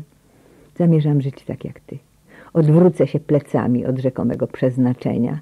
A jeśli twój mąż sprowadzi dla mnie choćby króla Francji albo Hiszpanii, odpowiem na to ucieczką z mężczyzną, którego sama wybiorę. Obaj ci królowie są żonaci. A nawet gdyby tak nie było, i tak by cię nie poślubili. To jednak nie powinny odbierać nam spokoju. Ucałowała mnie, mówiąc, że życie jest ekscytujące, jak podniecający jest los Penelopy. Małżeństwo z wilkołakiem, a na dworze piękny młody mężczyzna piszący do niej miłosne sonety, które wszyscy czytają jako dzieła sztuki i w przyszłości unieśmiertelnią jej imię. Wierzę, że radość z życia to droga do szczęścia, dodała. Coś w tym jest, przyznałam. Zapewne powinnam przyjąć tę rozmowę jako ostrzeżenie. Dorota miała 17 lat i romantyczną naturę, a ja ciągle traktowałam ją jak dziecko. Co więcej, tak byłam przejęta własnymi sprawami, że nie przyszło mi na myśl, by głębiej wnikać w to, co przeżywała moja córka. Gdy dostała zaproszenie od Sir Henryka Kołka i jego żony, aby spędziła z nimi parę tygodni w Broxton, wydawało się to nam doskonałym pomysłem. Pojechała tam z wielkim zapałem. Wkrótce po wyjeździe Doroty do Leicester House przyjechał z Greenwich Robert. Wystarczyło spojrzeć na niego, by domyślić się, że zdarzyło się coś nieprzyjemnego. Królowa była wściekła. Dowiedziała się, że Philip Sidney zaręczył się z Francis Walsingham, a jej nie poproszono o pozwolenie. Miała pretensje do wszystkich zainteresowanych. Ponieważ wiadomo było, że Filip jest siostrzeńcem Roberta, który zawsze okazuje duże zainteresowanie sprawami rodzinnymi, królowa uważała, że umyślnie ukrywał przed nią zaręczyny. Robert wyjaśnił jej, że nie traktował tej sprawy za wystarczająco ważną, aby ją tym kłopotać. Nie bardzo ważna, wrzasnęła. Czyż nie okazywałam względów temu młodemu człowiekowi? Dopiero co nadałam mu tytuł, a on uznaje, że może się zaręczać z córką Walsinghama, nie zawiadamiając mnie o tym? Walsingham zachowywał się pokornie, a gdy wściekłość królowej trochę przygasła, wyjaśnił, że on także myślał, że jego rodzina nie jest dość znacząca, by budzić jej zainteresowanie. Nie dość znacząca, krzyknęła królowa. Powinieneś wiedzieć, że wszyscy moi poddani wiele dla mnie znaczą, a ty, mój murzynie, tak samo jak wszyscy inni. Użycie tego przezwiska miało być dla niego wyrzutem, bo wszystkim swoim bliskim dworzanom nadawała przydomki. Walsinghama nazywała murzynem z powodu jego ciemnej karnacji. Wiesz doskonale, że interesuje się twoją rodziną, a mimo to próbowałeś mnie oszukać. Czuję, że powinnam odmówić pozwolenia na ślub tych dwojga. Przez kilka dni okazywała niezadowolenie, ale ostatecznie zmiękła i wezwała młodą parę do siebie. Pobłogosławiła ich i przyrzekła trzymać do chrztu ich pierwsze dziecko. Tym czasie zmarł jeden z największych wrogów Roberta. Był to Thomas Radcliffe, hrabia Sussex. Od pewnego czasu chorował i rzadko bywał na dworze, co cieszyło Roberta. Sussex, jak twierdził, służył królowej całym sercem i nawet jej niezadowolenie nie mogło przeszkodzić jego oddaniu dla monarchini. Sussex nigdy nie wrócił do zdrowia po zwalczaniu buntu północnych hrabstw, gdy usiłował pokonać wrogów Elżbiety.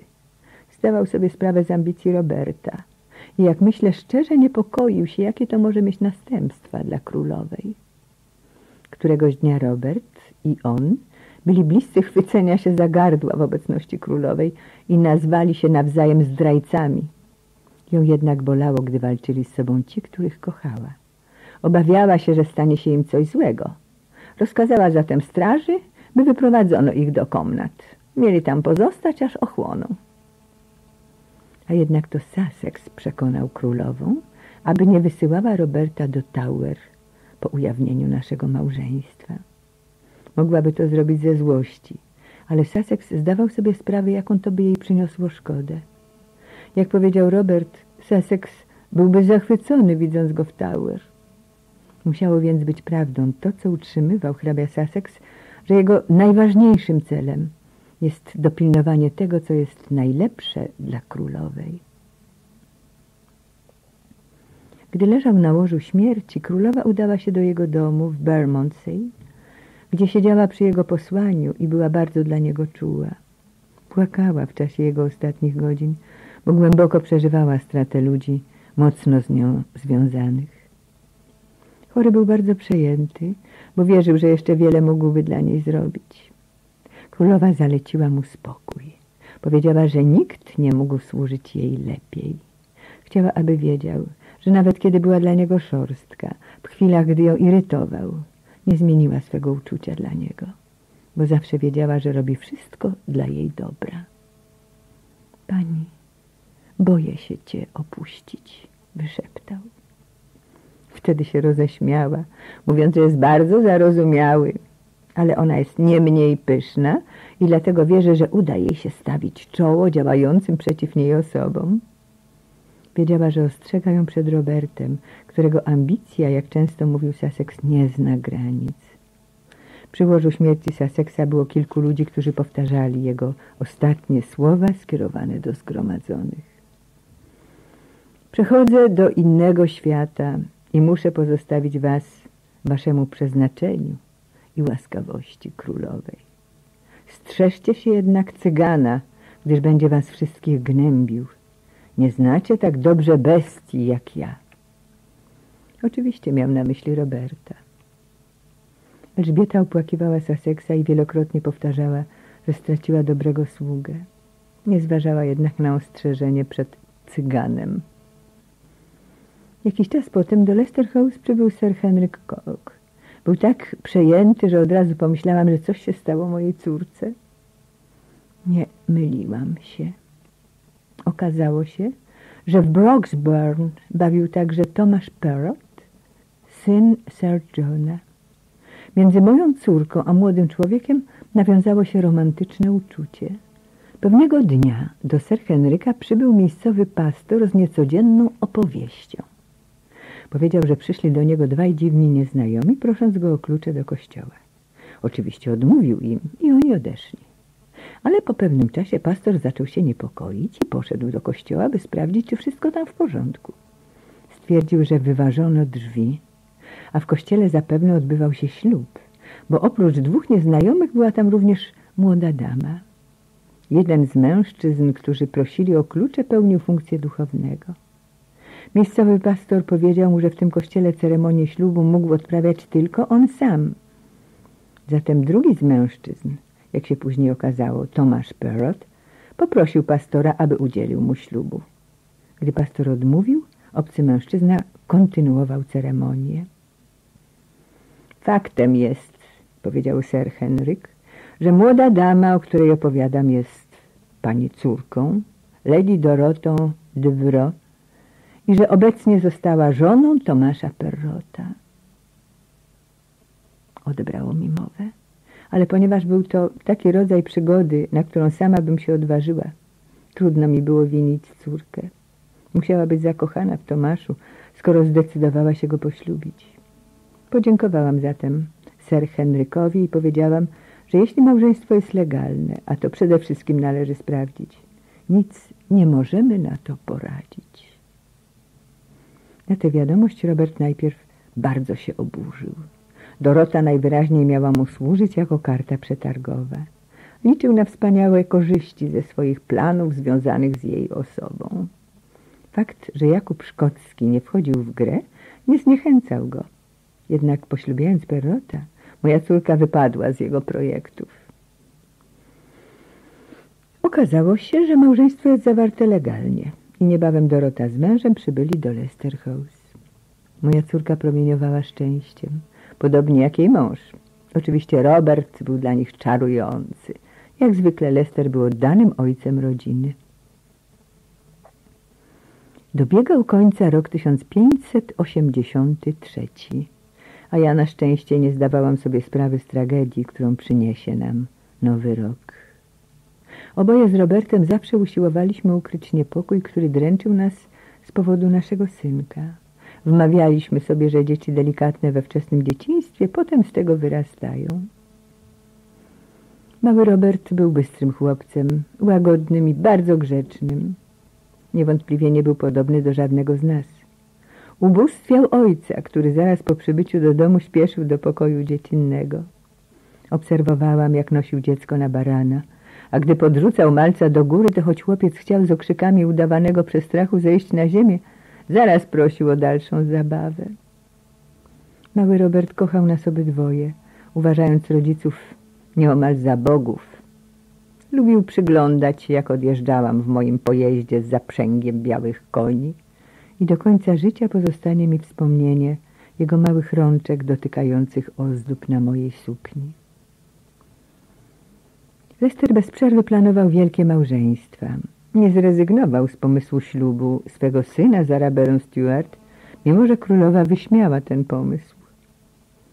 Po śmierci Sussexa mój mąż jeszcze więcej niż poprzednio przebywał z królową. Wiedziałam, że jednym z powodów stałego zatrzymania go przy sobie była satysfakcja Elżbiety, iż pozbawia mnie jego towarzystwa. Możesz być jego żoną, mówiła sobie, ale ja jestem królową. Kochała go.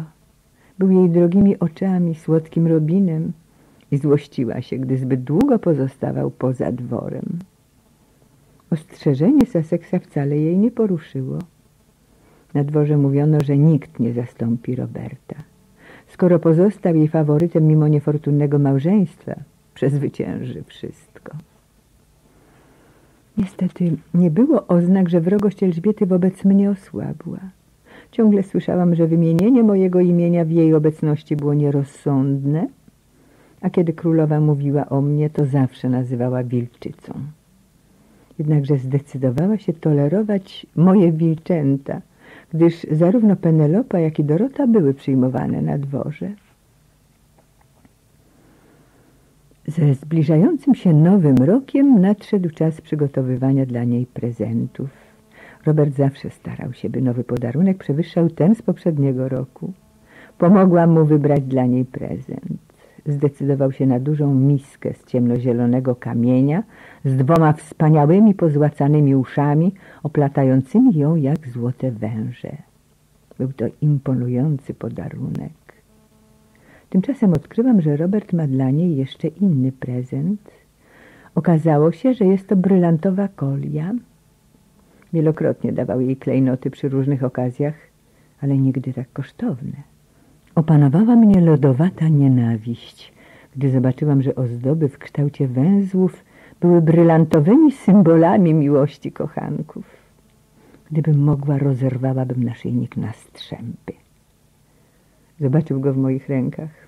To aby ułagodzić jej wysokość, powiedział. Masz na myśli węzły kochanków? To tylko ozdoba, mam na myśli brylanty. To raczej śmiały wzór, ale jestem pewna, że spodoba się królowej.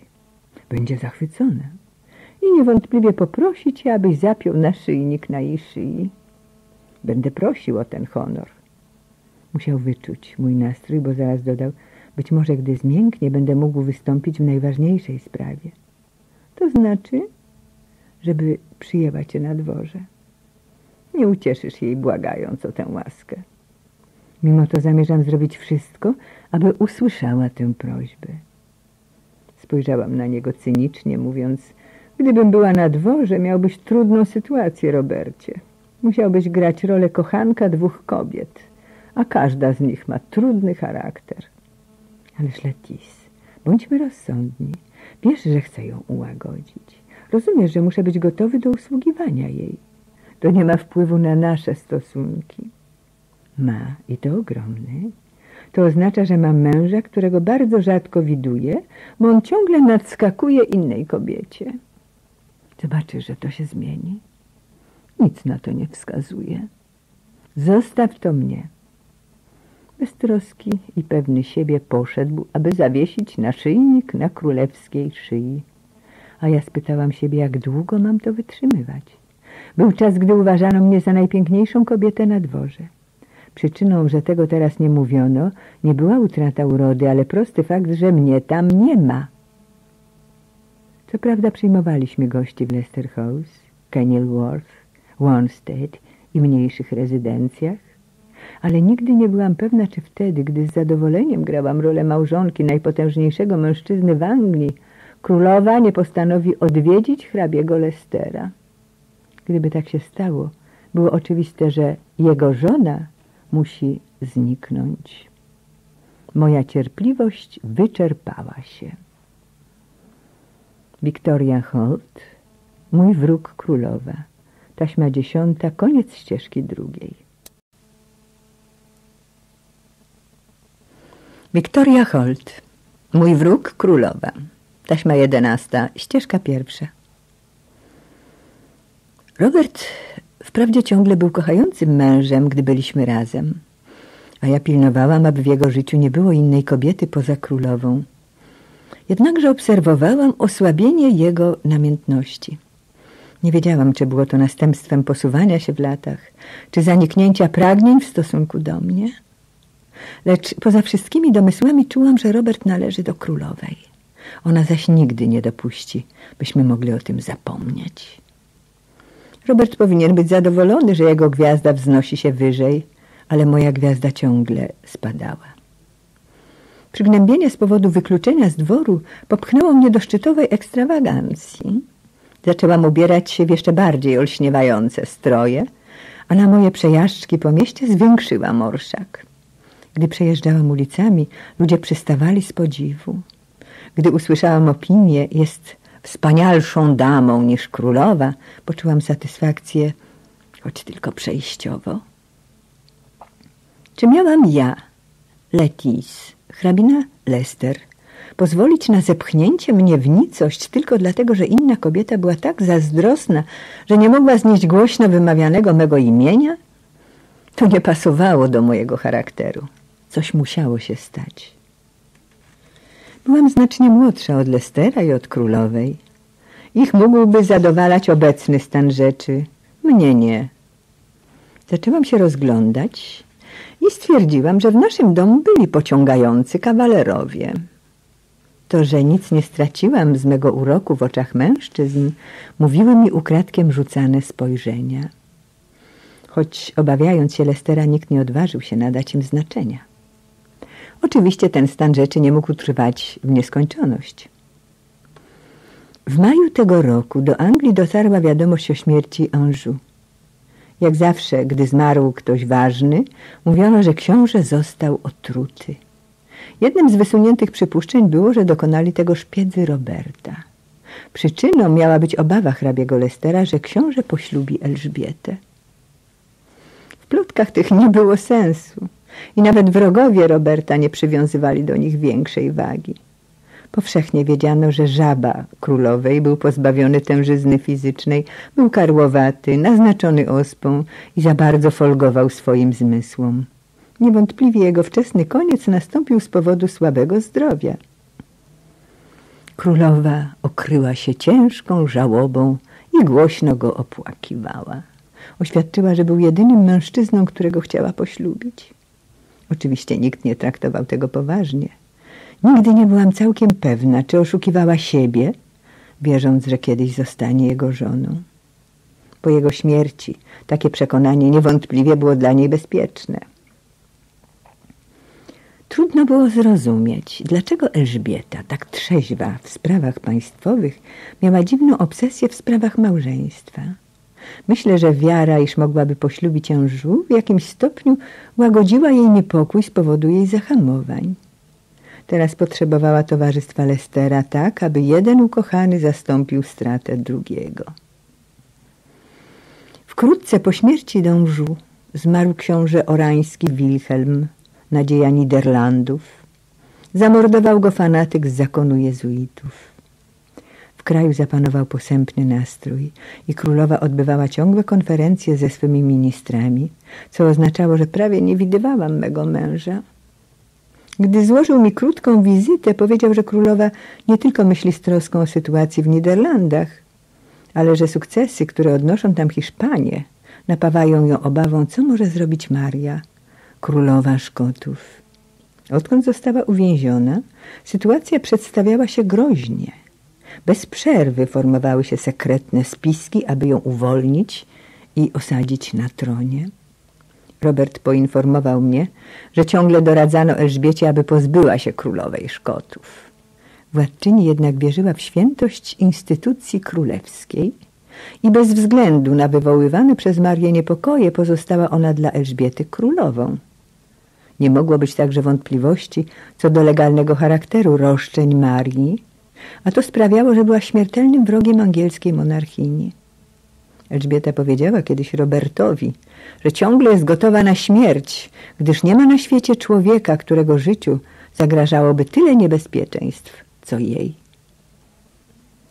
Gdy dwór był w Nonsuch, a ja przebywałam w Wanstead, znacznie pogorszyło się zdrowie mego najmłodszego synka.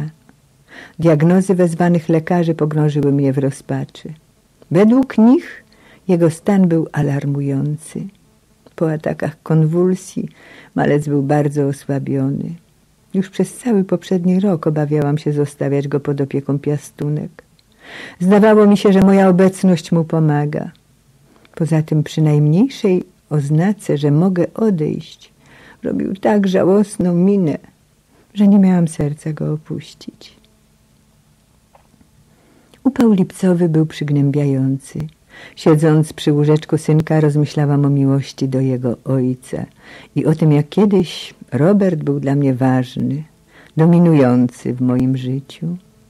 Myślałam wtedy, że nasze uczucie będzie trwało wiecznie, a nawet teraz zdawałam sobie sprawę, że nigdy się od niego nie uwolnię. Wierzyłam, że gdyby nad naszym życiem nie krążył zawsze cień królowej, stworzylibyśmy najpiękniejszą historię miłosną wszechczasów. Niestety, niezmiennie uczestniczyła w nim królowa. Było nas troje, podczas gdy powinno być tylko dwoje. Zawsze miałam poczucie, że królowa i Robert byli silniejsi niż życie. Być może we mnie też było trochę tej siły, Nikt z nas trojga nie rezygnował z dumy czy ambicji, miłości własnej, jakkolwiek to nazwać. Gdybym była potulną, ubóstwiającą męża żoną, jaką mogłaby stać się Douglas Sheffield, łatwiej byłoby mi pozostać w cieniu. Wtedy mogłabym także pozwolić mężowi na asystowanie królowej i obdarzanie jej pochlebstwami, których wymagała i traktować to jako niezbędny element jego kariery. Nie byłam jednak do tego zdolna. Wiedziałam, że wcześniej czy później dla wszystkich stanie się to jasne. Teraz nasze dziecko było w niebezpieczeństwie i czułam, że jeśli umrze, czego się obawiałam, więzi łączące mnie z Robertem osłabną jeszcze bardziej. Na wysłaną na dwór wiadomość o złym stanie naszego synka Robert natychmiast do nas przyjechał. Witając go w holu, nie mogłam się powstrzymać od drobnej złośliwości. A więc jesteś. Zwolniła cię. Przyjechałbym i bez zwolnienia, odparł. Ale jest bardzo przejęta. Jak się ma chłopiec? Obawiam się, że jest poważnie chory. Razem udaliśmy się do naszego dziecka. Leżał w łóżeczku mały i mizerny, we wspaniałym pokoju dziecinnym, który dla niego urządziłam. Uklękliśmy przy jego posłaniu, a Robert trzymał jedną jego rączkę, a ja drugą i zapewnialiśmy go, że pozostaniemy z nim tak długo, jak tylko zechce. Uśmiechnął się do nas, a uścisk jego gorących paluszków tak mnie wzruszył, że ledwo mogłam to znieść. Umarł spokojnie w naszej obecności. Ogarnął nas żal tak ogromny, że mogliśmy tylko przylgnąć do siebie i połączyć nasze łzy. Nie byliśmy wtedy ambitnymi lesterami, jedynie dwojgiem nieszczęśliwych rodziców po śmierci synka. Pochowaliśmy go w kaplicy Beauchampów w Warwick.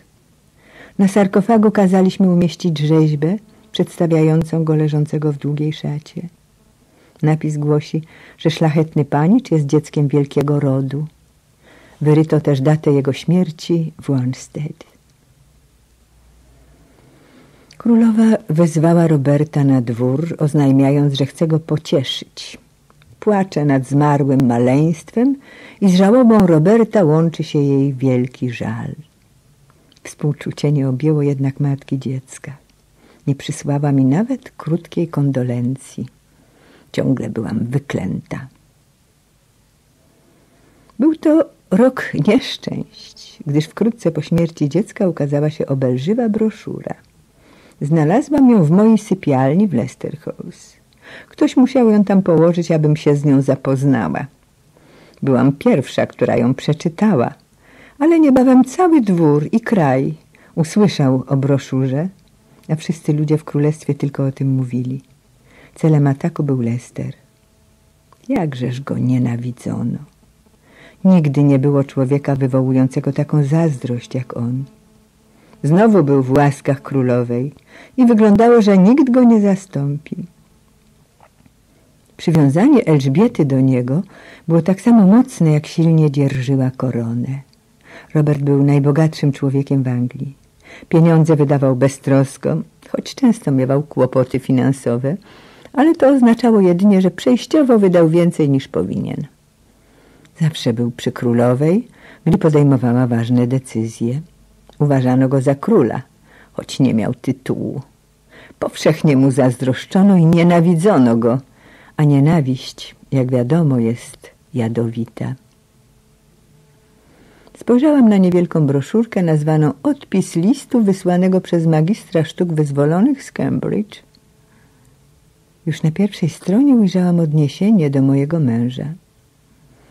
Wszyscy znają miłość niedźwiedzia do swego brzucha, przeczytałam i nie miałam cienia wątpliwości, że to Robert jest owym niedźwiedziem. Potem był przewrotny opis jego stosunku do królowej.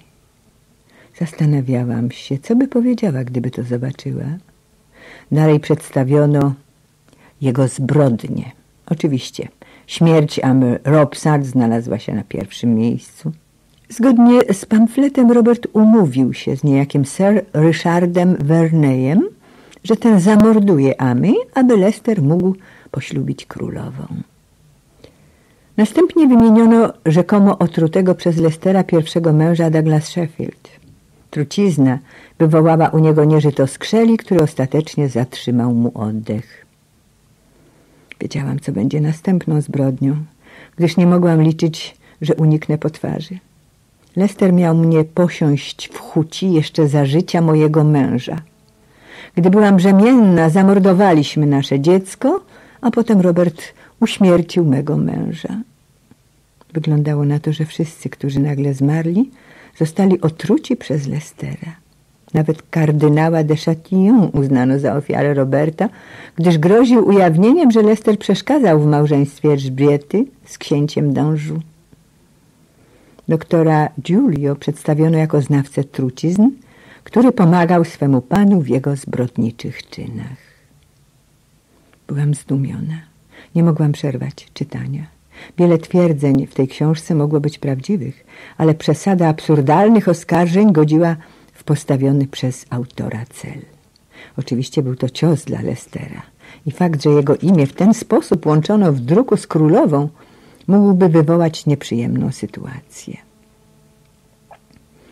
Po paru dniach wydrukowany w Antwerpii pamflet obiegł Londyn i prowincję. Wszyscy mówili o nim, nazywając go królestwem Lestera. Do Lester House zjechał Philip Sidney. Oznajmił, że napisze odpowiedź w obronie swego wuja. Królowa poleciła swojej radzie, aby zakazano rozpowszechniania pamfletu, który w jej opinii był całkowicie fałszywy. Wykonanie jej rozkazu nie było jednak łatwe. Ludzie byli gotowi wiele ryzykować, by dostać broszurę. Była znacznie bardziej interesująca niż pięknie napisana odpowiedź Filipa, w której wzywał autora obelżywego pamfletu do ujawnienia się, choć wiedział, że nędznik nie odważy się mówić we własnym imieniu. Filip dodał, że po mieczu należy do wspaniałej, szlachetnej rodziny, ale najwięcej dumy przynosi mu pochodzenie pokądzieli z rodu Dudleyów. To nic nie pomogło. Królestwo Lestera triumfowało. Wszystkie nikczemne aluzje szeptane w przeszłości znalazły się teraz w druku i dodano do nich dalsze oszczerstwa. Nie było wątpliwości, że u schyłku roku Robert był na ustach całej Anglii. Zamorska przygoda do Wielkiej Izby przybyła deputacja, zwracając się do mnie z uroczystym przemówieniem. Przyszli ofiarować mi, jednocześnie z wielkimi pochwałami na cześć królowej, absolutne rządy wszystkich prowincji. Leicester do Barlife'a. Królowa jest niezadowolona z przyjęcia absolutnych rządów przed zawiadomieniem jej i wysłuchaniem królewskiej opinii, choć ja ze swej strony uważam to za honorowe i korzystne – jednakże jej wysokość nie przyjęła mojej obrony w tej sprawie. Marlight do Lestera.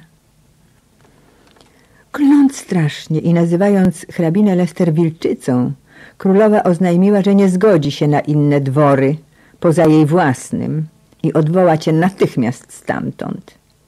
Thomas Dudley do swego pana, hrabiego Lestera. Oskarżenia zawarte w królestwie Lestera nie mogły pozostać bez wpływu nawet na moją osobę. Zaczęłam się zastanawiać, ile w broszurze było prawdziwych faktów i spojrzałam na mego męża innymi oczyma. Był to niewątpliwie dziwny zbieg okoliczności, że ludzie stojący na jego drodze znikali w odpowiedniej chwili. Oczywiście on sam nieczęsto był w pobliżu miejsca zbrodni, ale przecież wszędzie miał szpiegów i sługi. Wiedziałam o tym od dawna. Opanowały mnie złe myśli. Jak dalece znam swojego męża. Gdyby w tym, co czytałam, było choćby ziarno prawdy, musiałabym przyznać, że moja sytuacja jest niebezpieczna. Co by zrobił, gdyby pomimo wszystko królowa zdecydowała się go poślubić? Czy uznałby, że nie może zrezygnować z takiej perspektywy? Czy może znaleziono by mnie u podnóża schodów ze złamanym karkiem? Wyobraźnia podpowiadała mi taki tragiczny koniec. Rozmyślałam o naszym niezwykłym trójkącie. Mieliśmy skomplikowane charaktery i nikt z nas nie grzeszył nadmiarem skrupułów. Robert i Elżbieta prowadzili bardzo niebezpieczne życie. Matka Elżbiety i ojciec Roberta zginęli na szafocie. Także królowa i Lester byli o krok od podobnego losu. Ja z woli królowej żyłam w cieniu, ale byłam jego żoną, która zgodnie z królestwem Lestera dostarczała mu bez skrupułów kielichy z trucizną. Nigdy nie wyjaśni się tajemnica śmierci Amy Robsart. Wiedziano jedynie, że jej śmierć wówczas mogła przynieść wywyższenie Roberta przy boku królowej. Pomyślałam o Douglas Sheffield, która także kiedyś groziła mu kłopotami. Wkrótce zachorowała, zaczęły jej się łamać paznokcie i wypadać włosy. Nie umarła, ale była bliska śmierci. Cóż możemy wiedzieć o niebezpieczeństwie, jakie jej groziło? Przynajmniej teraz jest szczęśliwą żoną, bo Edward Stafford ją ubóstwia. Moje rozgoryczenie rosło. Byłam przekonana, że królowa nigdy wobec mnie nie złagodnieje. Pewną satysfakcją byłaby dla mnie odmowa przyjmowania na dworze Roberta. Był już tak bogaty, że nawet gdyby królowa przestała go nagradzać, mógłby żyć w wielkim stylu w Kenir Walls, Wanstead, Cornbury czy Leicester House. Wtedy uważano by mnie za kobietę, dla której z własnego wyboru stracił łaski królowej. Tak się jednak nie stało. Elżbieta postanowiła mnie ukarać i złośliwie znajdowała przyjemność w pozostawianiu mnie samej, zatrzymując go przy sobie. Po co? Aby pokazać, że to ją wybiera. Chciała uzmysłowić mnie i światu, że Robert w każdej chwili jest gotów porzucić żonę dla niej. I on to potwierdzał. W czasie jego krótkich wizyt kochaliśmy się żarliwie, ale zastanawiałam się, czy zdawał sobie sprawę, że nawet nasza dawna namiętność oziębiła się. Zadałam sobie pytanie, czy Elżbieta tak jak ja widzi, że Robert się starzeje? Tryb życia, który prowadził, nie mógł pozostać bez wpływu na jego zdrowie. Żył zbyt intensywnie, korzystał z nadmiarem z tego, co ludzie nazywają przyjemnościami doczesnymi. Co jakiś czas wyjeżdżał do Buxton, gdzie pił źródlane wody i żył trochę wstrzemięźliwie z nadzieją, że ustąpi podagra. Jego wysoki wzrost sprawiał, że ciągle wyglądał imponująco i wyróżniał się z tłumu. Lester był człowiekiem, który sam kierował swoim losem. Związane z nim legendy niewątpliwie napawały ludzi obawą. Nie było nikogo w kraju, o kim więcej by mówiono. To mu odpowiadało, a nawet o to zabiegał. Nie można było też zapomnieć o trwającym niemal całe życie uczuciu królowej do niego. Starzał się jednak i zawsze, gdy widziałam go po dłuższym rozstaniu, jego wygląd mnie przerażał. Ja natomiast bardzo się starałam o podtrzymanie swojej urody, zdecydowana zachować młodość tak długo, jak mi się uda. Niedopuszczana na dwór, miałam dużo czasu, aby sprawdzać działanie napojów, ziół i płukanek, dzięki czemu moja cera była piękna. Kąpałam się w mleku i przygotowywałam wyszukane specyfiki do mycia włosów, które nadawały im połysk i żywy kolor. Używałam farb i pudru ze znakomitym skutkiem, jakiego nie udało się osiągnąć nawet królowej. W ten sposób zachowałam młodzieńczy wygląd mimo swego wieku. Myślałam o starszej ode mnie Elżbiecie.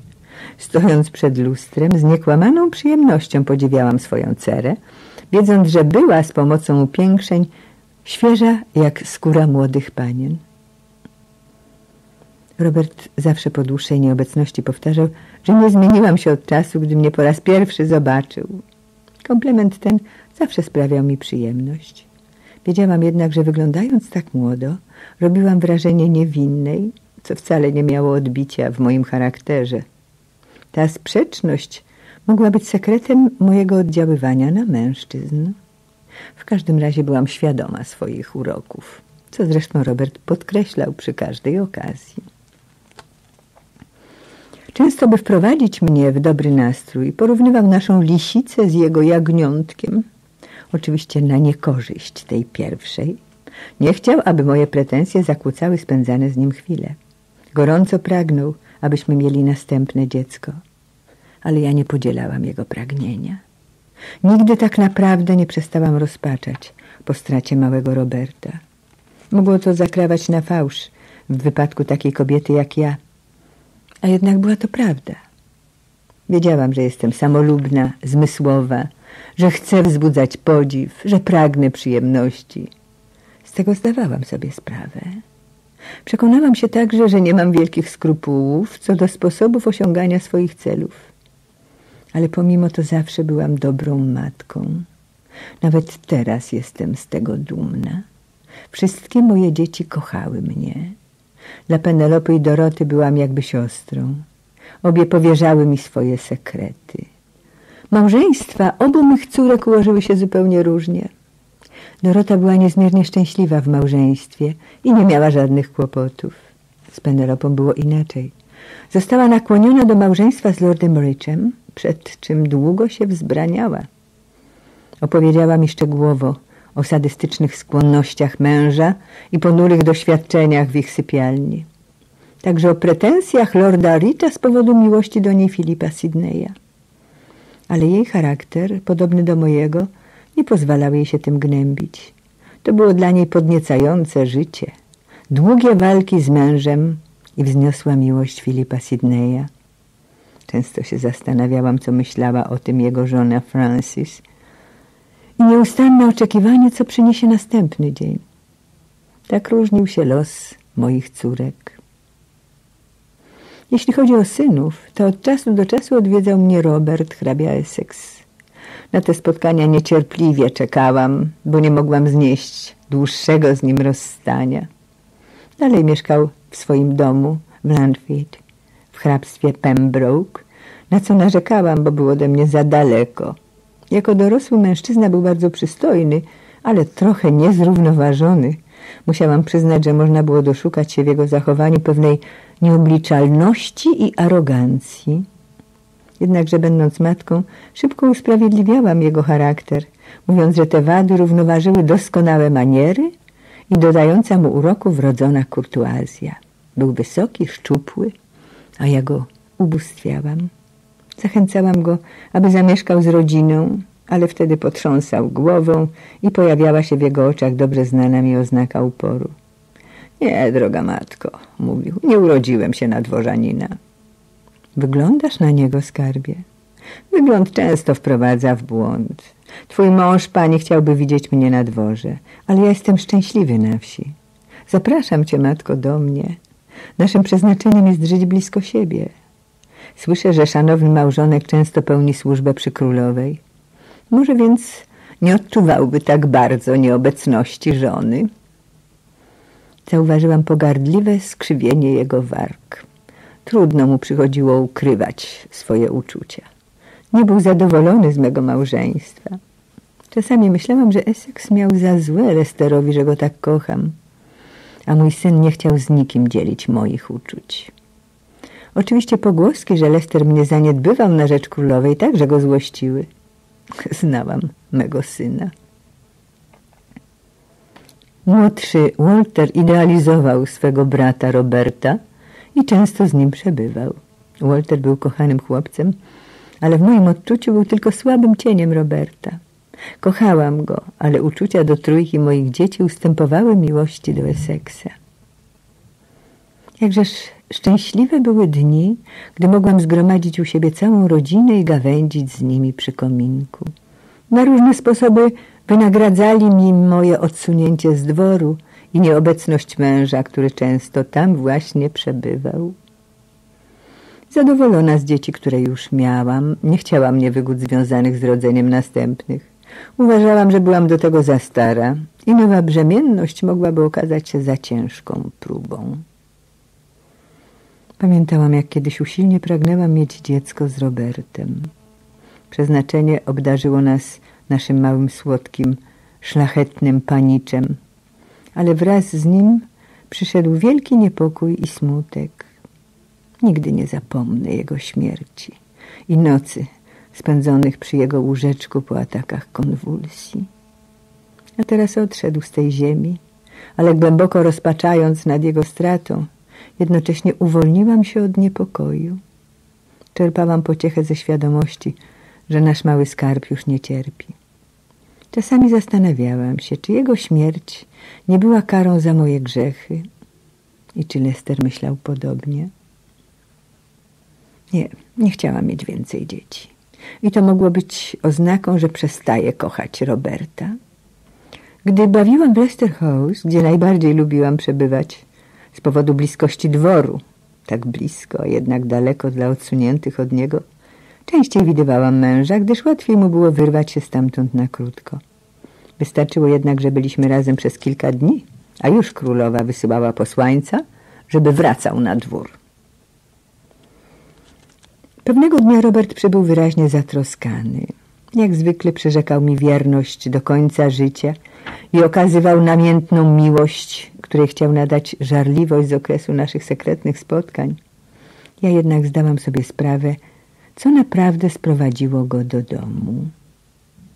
Chodziło o Waltera Relife'a, który zaburzył samopoczucie Roberta. Oczywiście słyszałam o Relife'ie. Jego imię było na ustach wszystkich. Penelopa go poznała i oceniła, że jest przystojny i czarujący. Królowa szybko włączyła go do swego ścisłego dworskiego koła. Mówiono, że łaski, którymi go obdarzyła, miały swój początek w dniu, gdy królowa, wracając pieszo do jednego ze swoich pałaców, zatrzymała się przed błotnistą kałużą, którą miała ominąć. Wtedy Relife zdjął swój wykwintny płaszcz z aksamitu i rozłożył go na błotnistej drodze, aby królowa przechodząc nie zmoczyła sobie nóg. Mogłam sobie wyobrazić tę scenę. Czarujący gest, kosztowny płaszcz, błysk olbrzymich oczu królowej, gdy zobaczyła przystojnego młodego człowieka. I wyrachowanie w oczach łowcy przygód, który niewątpliwie doceniał koszt wykwintnego płaszcza poświęconego dla przyszłych korzyści.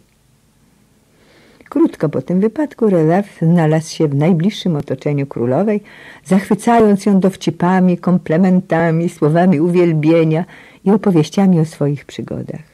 Bardzo go polubiła i jeszcze tego roku nadała mu tytuł. Penelopa opowiedziała mi, że w jednym z pałaców, zdaje się, że było to w Greenwich, Relife, będąc w towarzystwie królowej, sprawdzał jej uczucia, wydrapując diamentem na szybie okiennej. Rad Wspinam się, choć wielce boję się upadku. Jakby prosił ją, aby zapewniła go, że nie potrzebuje obawiać się zdobywania jej łask. Mój wróg królowa. Taśma jedenasta, koniec ścieżki pierwszej.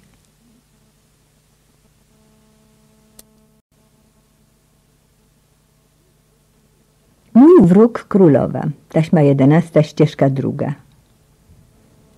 Jak można się było spodziewać, Elżbieta wzięła od Life'a diament i za jego dwuwierszem wyskrobała słowa Jeśli ma zawieść cię serce, nie wspinaj się wcale. Chciała mu przez to powiedzieć, że jej względy trzeba zdobywać wiecznie i nie można ich otrzymywać bez zasług. Robert myślał, że od chwili, gdy wrócił do łask, jego pozycja jest bezpieczna. Byłam pewna, że tak było. Bez względu na jego postępowanie królowa nie zapomni łączących ich więzów. Tymczasem teraz Lester zaczął się obawiać, że jakiś młody człowiek może zająć jego pozycję na dworze. Wyglądało na to, że tak działo się z Life'em. Roberta drażniła nieustanna obecność tego młodego mężczyzny przy boku królowej. Ciągle się obawiał, że jej względy spłyną na młodszego. Ona oczywiście o tym wiedziała i z przyjemnością go drażniła. Byłam przekonana, że okazywała więcej łaskawości Relajfowi w obecności Roberta, niż gdy go nie było w pobliżu. Relajf zadziera nosa, powiedział mi. Wkrótce będzie uważał się za najważniejszego człowieka na dworze. Jest bardzo przystojny, wtrąciła mnie śmiało. Ma cechy, które zdają się przemawiać do jej królewskiej mości. To prawda, ale brak mu doświadczenia i nie dopuszcza, aby tak się pysznił. Jak go powstrzymasz? Robert zamyślił się. Najwyższy czas, aby na dworze znalazł się Essex. Jest zupełnie szczęśliwy w Landfade. Nie może tam spędzić życia. Ile ma lat? Siedemnaście. Akurat odpowiedni wiek, aby zaczął się przebijać w życiu. Ma dużo uroku i powinno mu się powieść na dworze. Nie zapominaj, że jest moim synem, to właśnie jest jedna z przyczyn najdroższa, dlaczego chcę go wprowadzić na dwór. Pragnę uczynić dla niego wszystko, co mogę, bo wiem, jak go kochasz. Jest synem, z którego mogę być dumna, ciepło powiedziałam. Gdyby tylko był moim. Ale pociesza mnie to, że ty jesteś jego matką. Sprowadźmy go tutaj. Przyrzekam ci, że zrobię wszystko, by zrobił karierę na dworze. Spojrzałam na niego przenikliwie. Świetnie rozumiałam jego sposób myślenia. To prawda, Lester lubił pomagać w zdobyciu znaczenia członkom swojej rodziny, gdyż zawsze był zwolennikiem, jak to nazywał, osadzania własnych ludzi na wysokich stanowiskach. Ale sam fakt, że Essex jest moim synem sprawi, że Lisica nie przyjmie go na dworze. Nie sądzę, aby to się stało po tym, jak go zobaczy. W każdym razie warto spróbować. Zdaje się, że bardzo zirytował cię Life. Zaśmiałam się. To właściwa chwila, powiedział szorstko. Sądzę, że królowa będzie zadowolona. Wzruszyłam ramionami. Poproszę syna, aby mnie odwiedził, a jeśli twoja pani pozwoli ci na opuszczenie jej na pewien czas, będziesz mógł trochę dłużej z nim pobyć i ocenić go. Robert powiedział, że z wielką przyjemnością pozna mego syna, a ja mogę być pewna, że zrobi wszystko, co w jego mocy, aby go przedstawić na dworze. Po odejściu Roberta długo rozmyślałam o tym pomyśle. Wyobraziłam sobie, jak przedstawia go królowej. Mój pasierb, hrabia Essex, wasza wysokość. Olbrzymie oczy królowej okażą czujność. Jej syn, szczenie wilczycy. Jaką będzie miał szansę?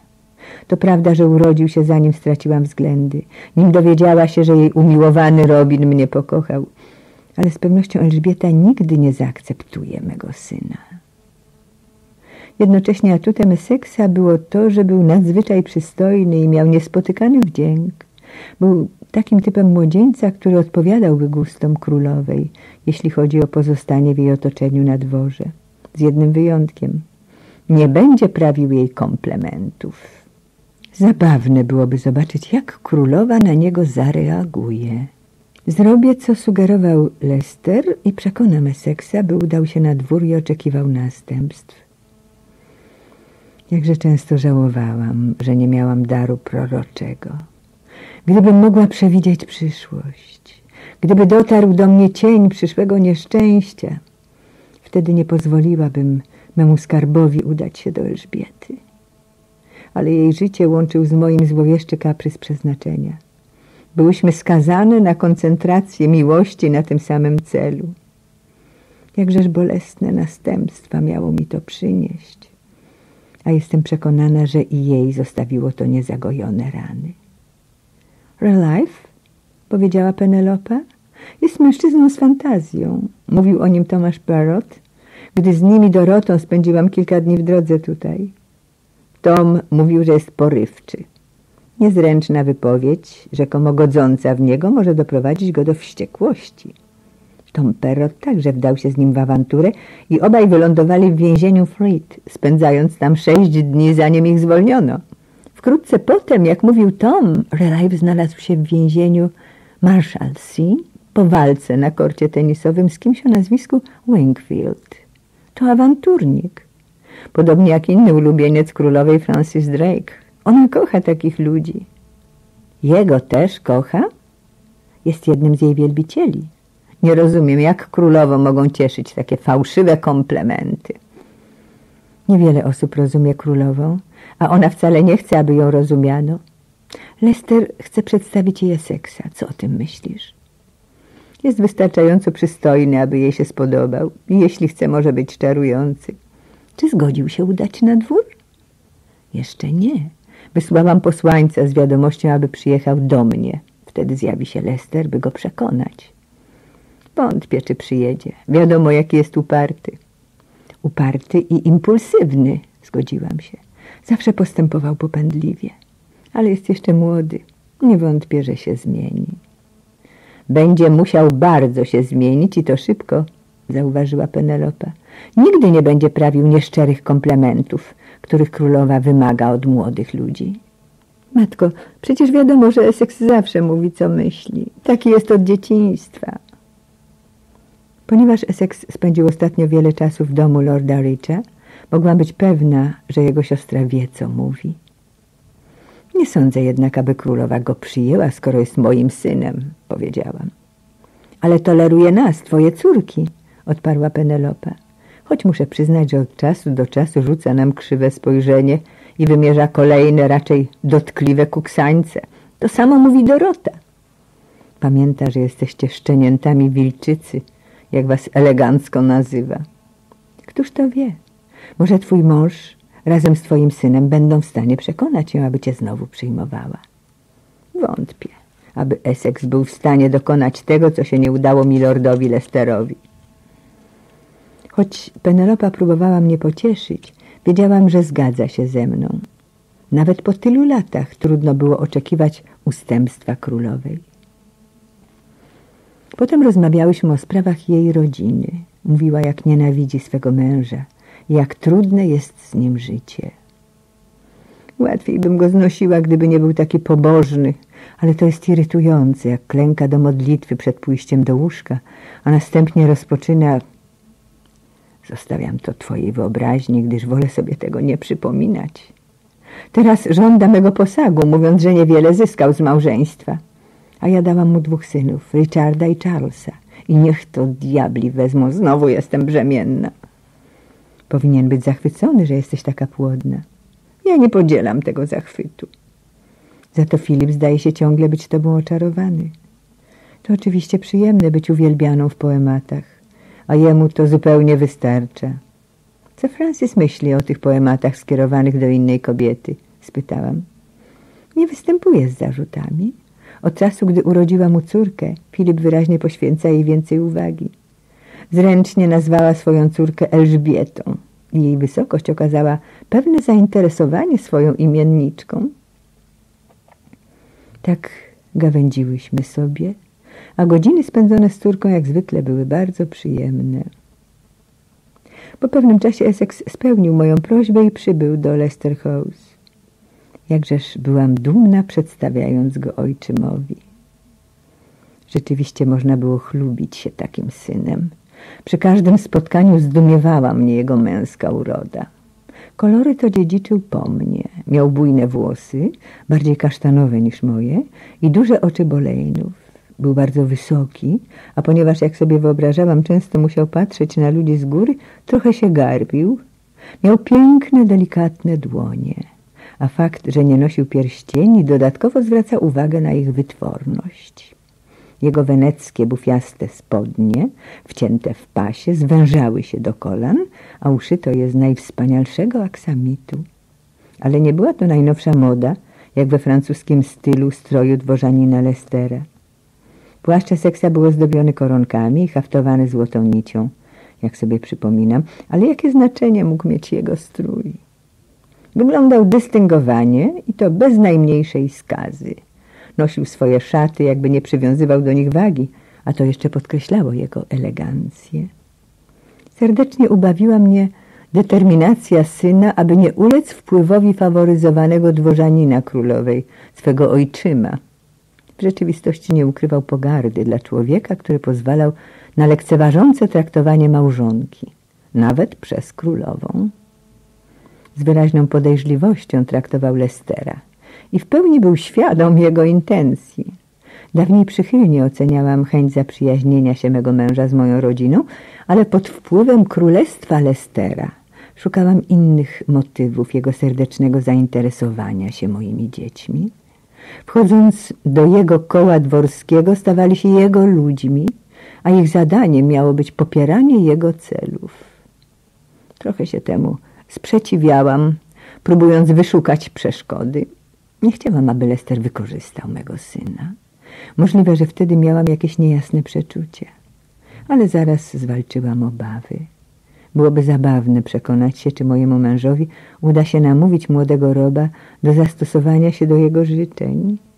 A poza tym byłam niezmiernie ciekawa, jak przyjmie go królowa. Przed przyjazdem Lestera powiedziałam synowi, że jego ojczym chce z nim omówić pewną sprawę związaną z dworem. Essex odpowiedział krótko, że dwór go nie interesuje. Proszę cię o zachowanie kurtuazji wobec rodziny, Zganiłam go. Nie podoba mi się obecny stan rzeczy, odparł Robin. Lester nadskakuje królowej, mimo faktu, że ona nie przyjmuje ciebie, pani, na dworze. Ma jeszcze inne obowiązki, poza przypochlebianiem się królowej. Wykonuje różne zadania w rządzie. Essex patrzył na mnie z upartą miną. Jeśli ona ciebie, pani, nie przyjmuje, powinien odmówić jej swego udziału w dworze. Rob, mówisz o królowej. Nie dbam o to. Lester przede wszystkim winien być lojalny wobec żony. Słyszę różne pogłoski i oburzam się. Zawsze będę czuł się dotknięty, gdy ciebie będą poniżać, matko. Rob, mój skarbie, kocham cię za twoje poglądy. On jednak nie może nic zrobić. Zrozum to. Królowa nienawidzi mnie, bo został moim mężem. Postanowiła, że będzie go odciągała ode mnie. Musisz zrozumieć, że nieposłuszeństwo byłoby dla niego katastrofą. Gdybym był na jego miejscu, szepnął Rob, zaciskając pięści, na co roześmiałam się czule. Było cudownie mieć takiego szermierza swej sprawy. Za długo przebywałeś na wsi, powiedziałam mu. Lester zawdzięcza królowej swoją sławę i bogactwo, a ty także będziesz jej to zawdzięczał. Ja. Nigdy nie zrobisz ze mnie dworzanina, pani. Wolę godne życie na wsi. Doszedłem do tego przekonania w domu Berlajfa. Patrzyłem na mądrego starego męża stanu trzęsącego się pod rozkazami kobiety. Nie, to nie dla mnie. Będę trzymał się mojej wolności, mojej niezależności. Sam ułożę sobie życie. Nie wątpię, że to zrobisz, synu, ale przecież wiesz, że twoja matka życzy ci najlepiej. Czyżbyś tego nie rozumiał? Wtedy objął mnie i uściskał. Ogarnęło mnie uczucie wielkiej miłości do niego. Niebawem zjawił się Lester. Był czarujący i dobroduszny. Cieszę się, że cię widzę, wykrzyknął. Jesteś już dorosłym mężczyzną. Tak chciałem lepiej cię poznać. Pamiętaj, że jesteś moim pasierbem, a rodzina winna trzymać się razem. Podzielam ten pogląd, ostro odpowiedział Essex, i dlatego dziwię się, że mąż pozostaje na dworze, gdy jego małżonki tam nie przyjmują. Osłupiałam. Dobrze wiedziałam, że Essex nie dobiera właściwych słów, ale trochę musiał wiedzieć o możliwościach Lestera i niemądrze było go obrażać. Czyżby nie czytał Królestwa Lestera? Nie wierzyłam, aby Lester mógł zaszkodzić memu synowi. Ale nikt nie powinien stać się jego wrogiem. Nie znasz charakteru królowej, Rob. Szybko zareagowałam. I nie chcę go znać, odparł.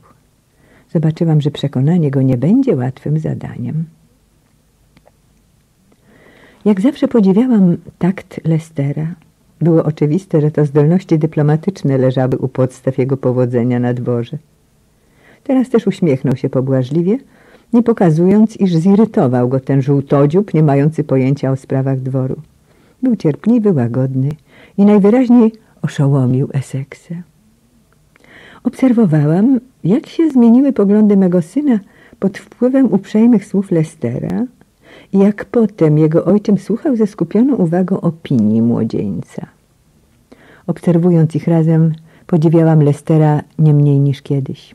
Myślałam wtedy, jakie to szczęście, że dwóch takich mężczyzn zajmuje ważne miejsce w moim życiu. Lester, którego imię wzbudza lęk i szacunek w całym kraju i Essex.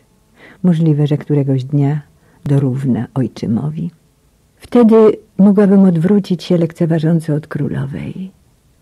Lester może tańczyć, jak zagra Elżbieta, ale tylko dlatego, że ona jest królową. Jednak to ja jestem jego żoną, kobietą, którą kocha. A do tego mam takiego wspaniałego syna, Lester i Essex. Czegoż więcej może oczekiwać kobieta? Zdałam sobie sprawę, że Essex zastanawia się, gdzie jest ten nikczemnik z królestwa Lestera i impulsywnie odrzuca tę broszurę jako absurdalne pomówienie. Patrząc na nich zauważyłam, jak się różnią ci dwaj moi hrabiowie. Lester taki mądry, przebiegły, mówiący zawsze z niezmierną ostrożnością i Essex z gorącą głową, nigdy nie zastanawiający się, jakie następstwa przyniosą jego słowa i czyny. Tak dobrze znając ich charaktery, nie zdziwiłam się, że wkrótce Lester przekonał Essexa, aby ten udał się na dwór.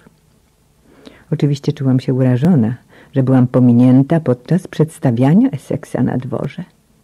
Byłoby to wielką przyjemnością oglądać sokole oczy królowej przyglądające się mojemu przystojnemu synowi. Pozostało mi jednak wysłuchanie relacji z drugiej ręki. Opowiedziała mi o tym Penelopa. Oczywiście byliśmy bardzo niespokojni, gdyż od razu królowa musiała sobie uświadomić, że Essex jest twoim synem, matko. Czy dalej tak mocno mnie nienawidzi? Penelopa nie odpowiedziała. Zrozumiałam, że tak jest. Był taki moment, że nawet królowa zdawała się być niepewna. Pani, powiedział Lester z czarującym uśmiechem, pragnę poprosić o łaskę przedstawienia mego pasierba, hrabiego Essexa. Spojrzała na niego ostro i przez chwilę milczała. Pomyślałam, że wygłosi tyradę. Przeciw wilczycy, dodałam. Wtedy Essex wysunął się do przodu. Jest taki wysoki i spogląda tak dumnie, a to jego przygarbienie nie ujmuje mu wdzięku. Przy spotkaniu z kobietą jest tak uprzejmy, delikatny, jak to nieraz obserwowałam w moim domu, nawet wobec najpokorniejszej usługującej dziewki. Jednej rzeczy nie wiedzieliśmy, pani. Essex lubi kobiety, a królowa jest kobietą. Miało się wrażenie, że coś między nimi się zaiskrzyło. W jej wypadku widziałam to już przedtem, gdy decydowała się na wybór dworzanina, któremu chce zapewnić łaski. Teraz królowa wyciągnęła rękę, a Essex ją ucałował z wielkim wdziękiem. Wtedy uśmiechnęła się, mówiąc, twój ojciec dobrze nam służył. Żałuję, że umarł. To było przedwczesne. Kazała mu usiąść przy sobie i zadawała pytania o życiu na wsi. A on? Czy był czarujący? To ona go oczarowała. Znasz ją dobrze, pani. Można jej nienawidzić i złorzeczyć w intymnym kole. To musi być bardzo intymne koło, zauważyłam ironicznie. Oczywiście, jeśli jest się mądrym. Nawet jednak nienawidząc jej, trudno nie zauważyć jej wielkości. Essex to dostrzegł od razu. Jego zarozumiałość wywietrzała. Sprawiał wrażenie, jakby się w niej zakochał. Tego właśnie królowa oczekuje od mężczyzn, a oni wszyscy udają, że olśnił ich jej czar. Lecz Essex nie udaje, a więc w jego wypadku to było prawdziwe oczarowanie.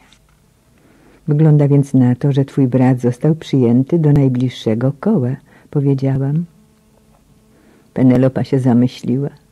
To całkiem możliwe.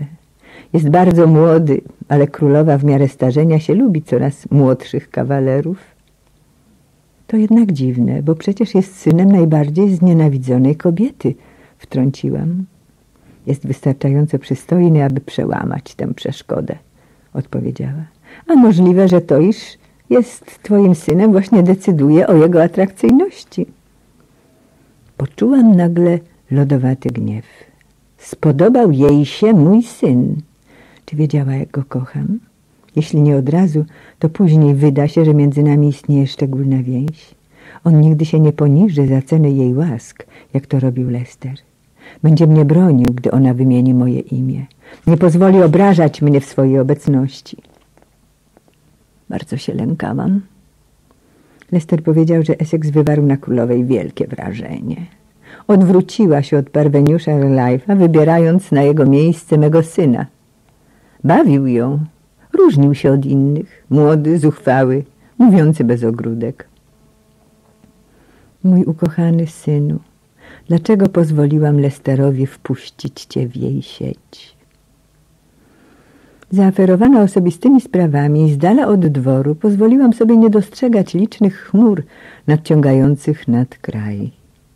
Od tylu lat mówiono o tych zagrożeniach.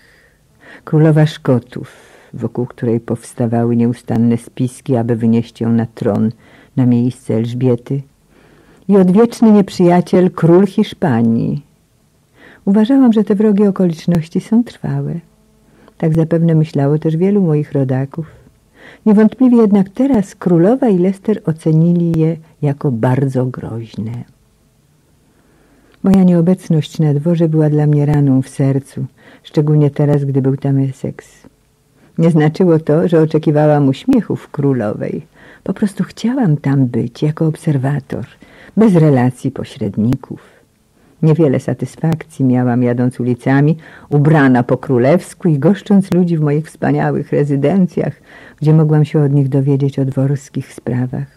Tak więc tęskniłam, aby znaleźć się na dworze, a to wydawało się nieosiągalne, bo królowa wymyśliła taką zemstę. Lester często rozmawiał o królowej Szkocji.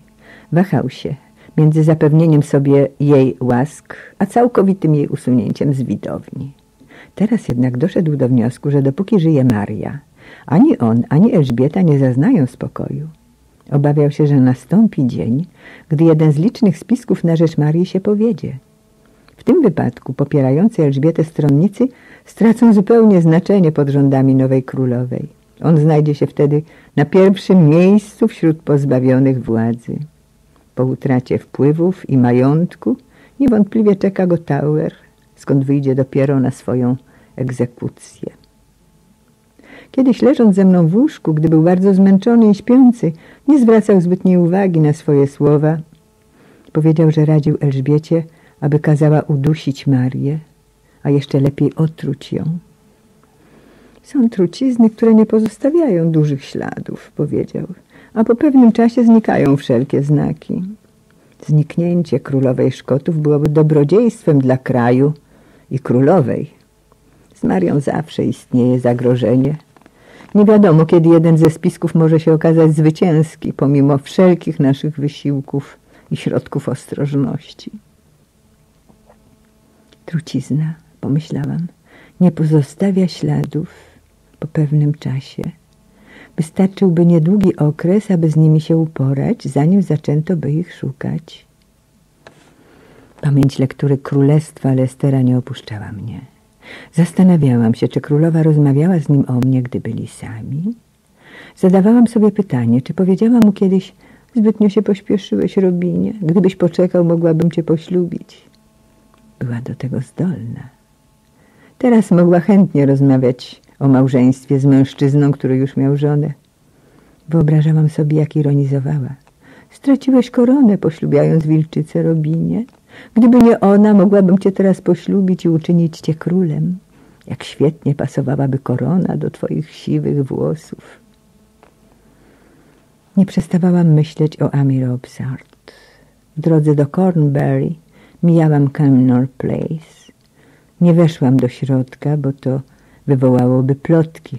Chciałam jedynie zobaczyć klatkę schodową, z której spadła Ami. Ta klatka nie ustępowała z moich myśli i przy każdej okazji schodzenia po wysokich schodach spoglądałam trwożnie przez ramię. Wspomniałam, że krajowi zagrażała stale sprawa królowej Szkotów i Hiszpanów. Z trwogą powtarzano wtedy, że Filip Hiszpański buduje wielką flotę i zamierza nas zaatakować. W naszych dokach także trwała gorączkowa praca i tacy ludzie jak Drake, Relife, Howard z Effingham i Frobisher krążyli wokół królowej jak pszczoły, ponaglając ją do przygotowań do wojny z Hiszpanami. Lester powiedział, że królową niepokoi, że pewnego dnia Hiszpanie wystąpią przeciw niej. Dlatego uważała, że interwencja w Niderlandach jest tak ważna. Wiedziałam, że po śmierci Anjou i Wilhelma Orańskiego przybyła do Anglii deputacja, ofiarowując królowej koronę niderlandzką, jeśli w zamian będzie broniła tego kraju. Nie zgodziła się przyjąć korony. Nie pragnęła poszerzać swoich zobowiązań, i wyobrażała sobie reakcję Hiszpanów, gdyby przyjęła propozycję Holendrów. Uznaliby to za akt wojenny. Nie oznaczało to jednak, że nie wysłała funduszy i ludzi do Holandii do walki przeciw okupacyjnym oddziałom hiszpańskim. Pewnego dnia Robert zjawił się w Leicester House w stanie wielkiego podniecenia. Usłyszawszy stukot kopyt jego konia na dziedzińcu, wybiegłam mu na spotkanie. Jak tylko go zobaczyłam, wiedziałam, że stało się coś ważnego. Królowa wysyła armię do walki po stronie Zjednoczonych Prowincji, powiedział bez tchu. Postanowiła, że musi bardzo starannie wybrać dowódcę i mianować najodpowiedniejszego do tego zadania, choć wolałaby zatrzymać go w kraju. A zatem będziesz dowodził, szorstko odpowiedziałam. Opanowała mnie nagła złość. Elżbieta będzie cierpiała nad rozstaniem z nim, ale i mnie pozbawi jego towarzystwa. To była dla niej rekompensata. Wyobrażałam sobie, jak ją to cieszyło. Jest mężem wilczycy, ale to ja decyduję, czy z nią będzie. Potwierdził moje przewidywania. Była ogromnie serdeczna, nawet trochę płakała. Wzruszające, powiedziałam z ironią, której zdawał się nie dostrzegać. To dla mnie zaszczyt, jeden z największych, jakie mogły mnie spotkać. Dziwi mnie, że pozwala ci się oddalić, ale przynajmniej ma tę satysfakcję, że także mnie pozbawiła twojego towarzystwa. Lester nie słuchał. W swojej próżności już widział siebie zdobywającego zaszczyty i sławy. Niedługo pozostał w Leicester House. Królowa dawała do zrozumienia, że skoro wkrótce mają opuścić, powinien przed wyjazdem pozostać z nią. Z nią, gorzko myślałam. Mówiła mi w ten sposób, że wprawdzie jestem jego żoną, ale ona jest najważniejszą kobietą w jego życiu. Ona wydaje rozkazy, a on je wykonuje. I każda spędzona z nim godzina jest czasem nienależącym do mnie. Kilka dni później usłyszałam, że mimo wszystko Robert nie udaje się do Niderlandów. Królowa była bardzo chora i czuła, że wkrótce umrze. Nie mogła zatem pozwolić hrabiemu Lesterowi, aby ją opuścił. Zbyt długo byli razem, aby teraz mogli się rozstać z myślą, że już nigdy się nie zobaczą. Robert musi zatem pozostać, a ona rozważy, komu powierzyć dowództwo armii w Niderlandach. Kipiałam ze złości. Byłam przekonana, że wszelkie jej decyzje są skierowane przeciw mnie. Chciała mnie jeszcze bardziej upokorzyć. Gdy powiedziała, że mój mąż ma udać się do Niderlandów, to był gotowy do odjazdu. Kiedy powiedziała, że ma pozostać, został. Musi być cały czas gotów na jej rozkazy. Gdy jest chora, pragnie go mieć przy sobie. Gdybym natomiast to ja była chora, musiałby wyjechać. Chciała dać mi do zrozumienia, że niewiele znaczę w jego życiu. Opuściłby mnie, gdyby tego zażądała. Jakże jej nienawidziłam. Jedynym moim pocieszeniem było to, że jej antagonizm do mnie dorównywał mojej wrogości do niej. Wiktoria Holt, mój wróg królowa. Taśma jedenasta, koniec ścieżki drugiej.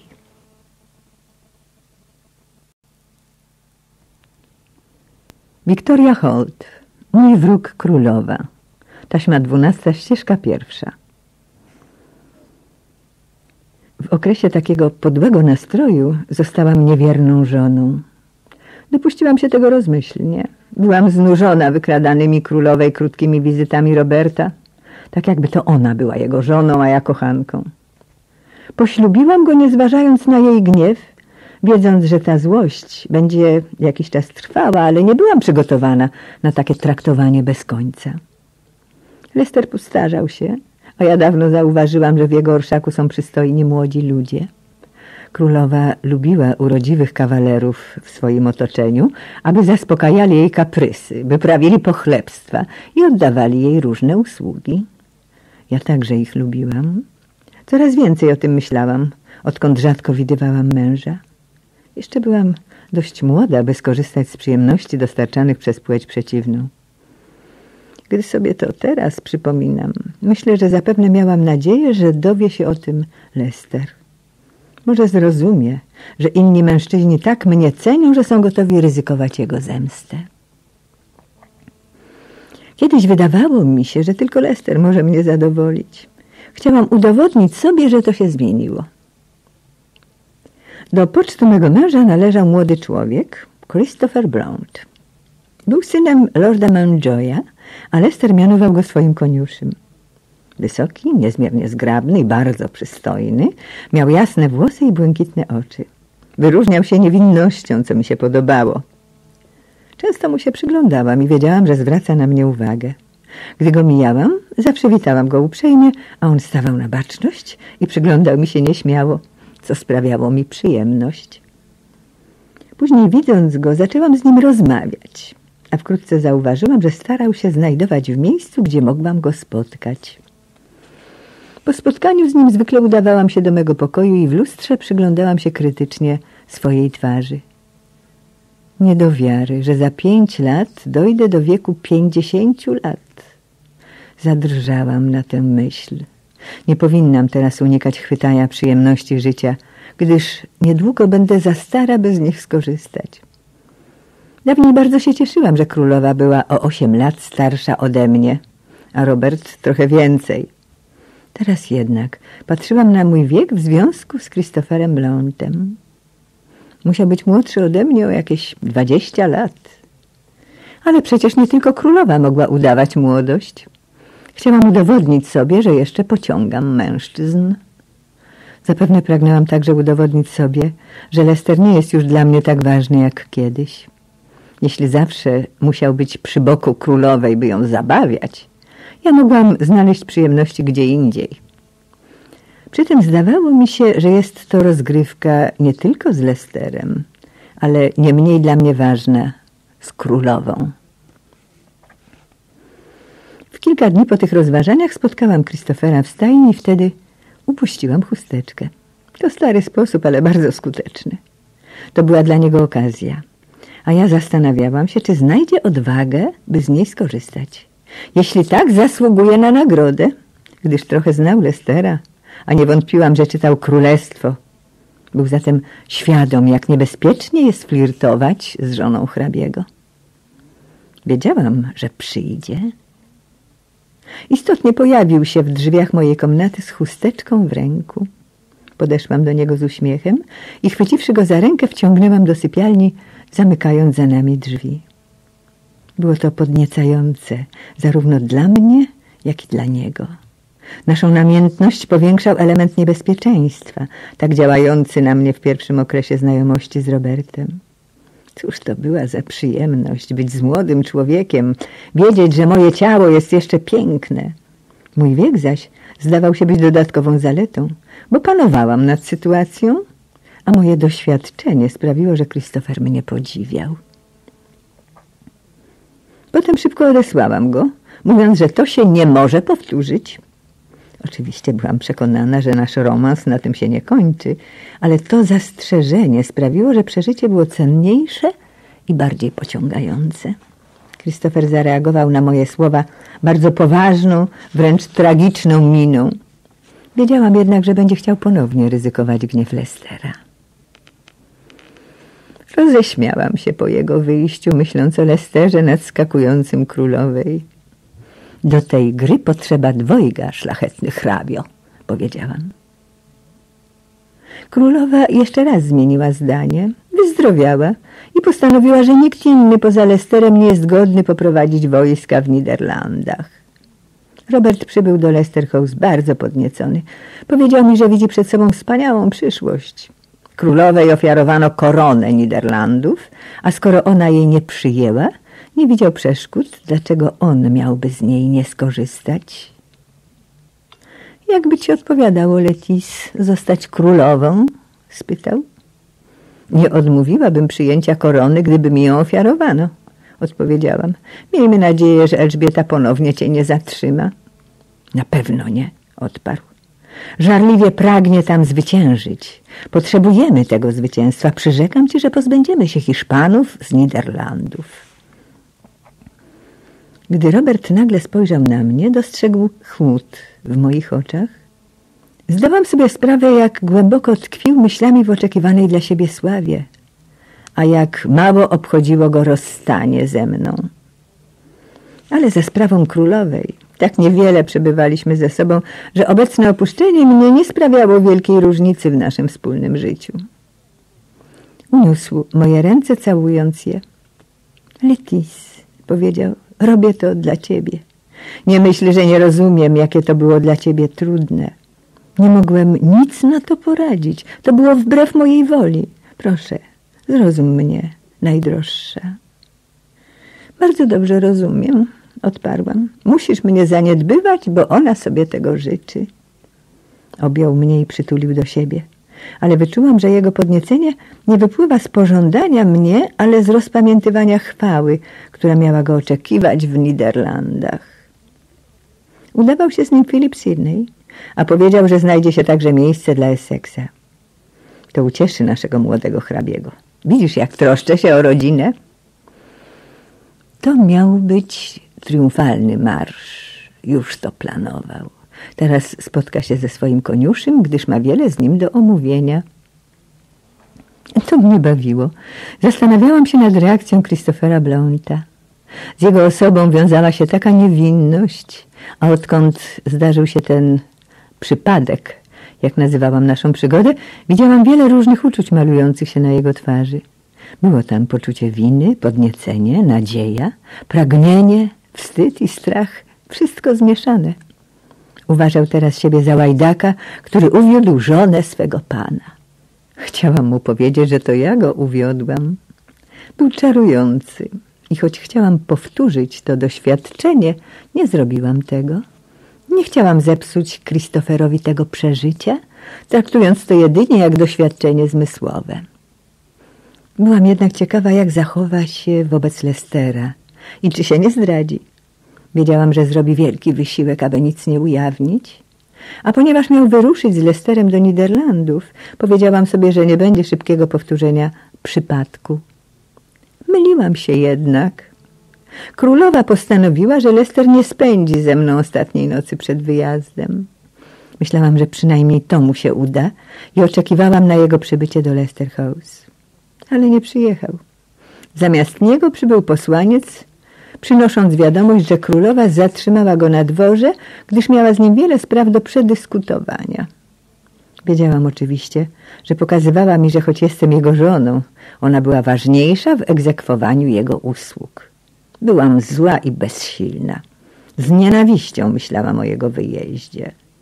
Sądzę, że w głębi duszy ciągle go kochałam. Wiedziałam, że w przyszłości nie znajdzie się nikt, kto zajmie jego miejsce w moim sercu. Ale myśląc o tych dwojgu razem, byłam chora z dręczącej mnie zazdrości. Niewątpliwie Elżbieta będzie tańczyła do wczesnych godzin rannych, a on będzie obsypywał ją przyprawiającymi ją mdłości komplementami, mówiąc jej, jaki jest nieszczęśliwy, opuszczając ją.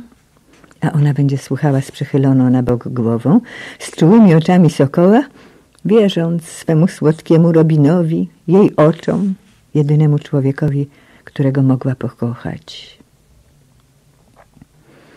Był to zimny dzień grudniowy, ale pogoda nie była gorsza niż mój nastrój. Stwierdziłam, że jestem głupia. Do diabła z Elżbietą, do diabła z Lesterem. Kazałam służącym dobrze napalić w kominku w mojej sypialni, a gdy zrobiło się tu ciepło i przytulnie, posłałam po Christophera. Był taki młody, naiwny i niedoświadczony. Wiedziałam, że mnie ubóstwia i jego zachwyt był balsamem dla mej zranionej próżności. Nie mogłam znieść, że jego opinia o mnie może się zmienić. Powiedziałam mu zatem, że posłałam po niego, aby go zapewnić, że nie powinien czuć się winny za to, co się stało. Spadło to na nas tak nagle, że nie było czasu, by zdać sobie sprawę z tego, co robimy. To nie może się powtórzyć i powinniśmy o tym zapomnieć. Odpowiedział, jak tego oczekiwałam. Zrobi wszystko, o co go poproszę, z wyjątkiem zapomnienia. To niemożliwe. To najcudowniejsze doświadczenie w jego życiu będzie zawsze pamiętał. Młodzi ludzie są tak czarujący. Zrozumiałam, dlaczego królowa takich lubi. Ich niewinność ożywia kobiety, odnawia naszą wiarę w życie. Zachwyt Christophera był nieomal bałwochwalczy i to przywróciło mi wiarę w siebie. Już zaczynałam wątpić w swój uwodzicielski urok z powodu zachowania Lestera, który opuszczał mnie z entuzjazmem dla oczekiwanej w Niderlandach sławy. Odsunęłam się trochę od Christophera, albo udawałam, że to robię, gdyż pragnęłam, aby został na noc. I zaraz położyłam ręce na jego ramionach, całując go w usta. Oczywiście to była chubka do ognia pożądania. Uroczo przepraszał, uważając siebie za winnego, a to było takie podniecające. Odesłałam go z komnaty o świcie. Odchodząc powiedział mi, że ponieważ może zginąć w bitwie w Niderlandach, to chciałby, abym wiedziała, że gdyby nawet dożył setki lat, nie mógłby pokochać innej kobiety poza mną. Drogi Christopher, śmierć wtedy wydawała mu się chwalebną okazją. Byłam tego pewna. Widział siebie umierającego za wiarę protestancką z moim imieniem na ustach. Było to bardzo romantyczne i sprawiło mi dużą przyjemność. Zastanawiałam się wtedy, dlaczego tak długo odmawiałam sobie takich rozkoszy. Wyruszyli następnego dnia po pożegnaniu królowej przez Lestera. Robert stanął na czele oddziału, w którym był również mój kochanek i mój syn. Potem dowiedziałam się, że w drodze podejmowano ich z wielką gościnnością w Colchester, zanim następnego dnia stanęli w Harwich.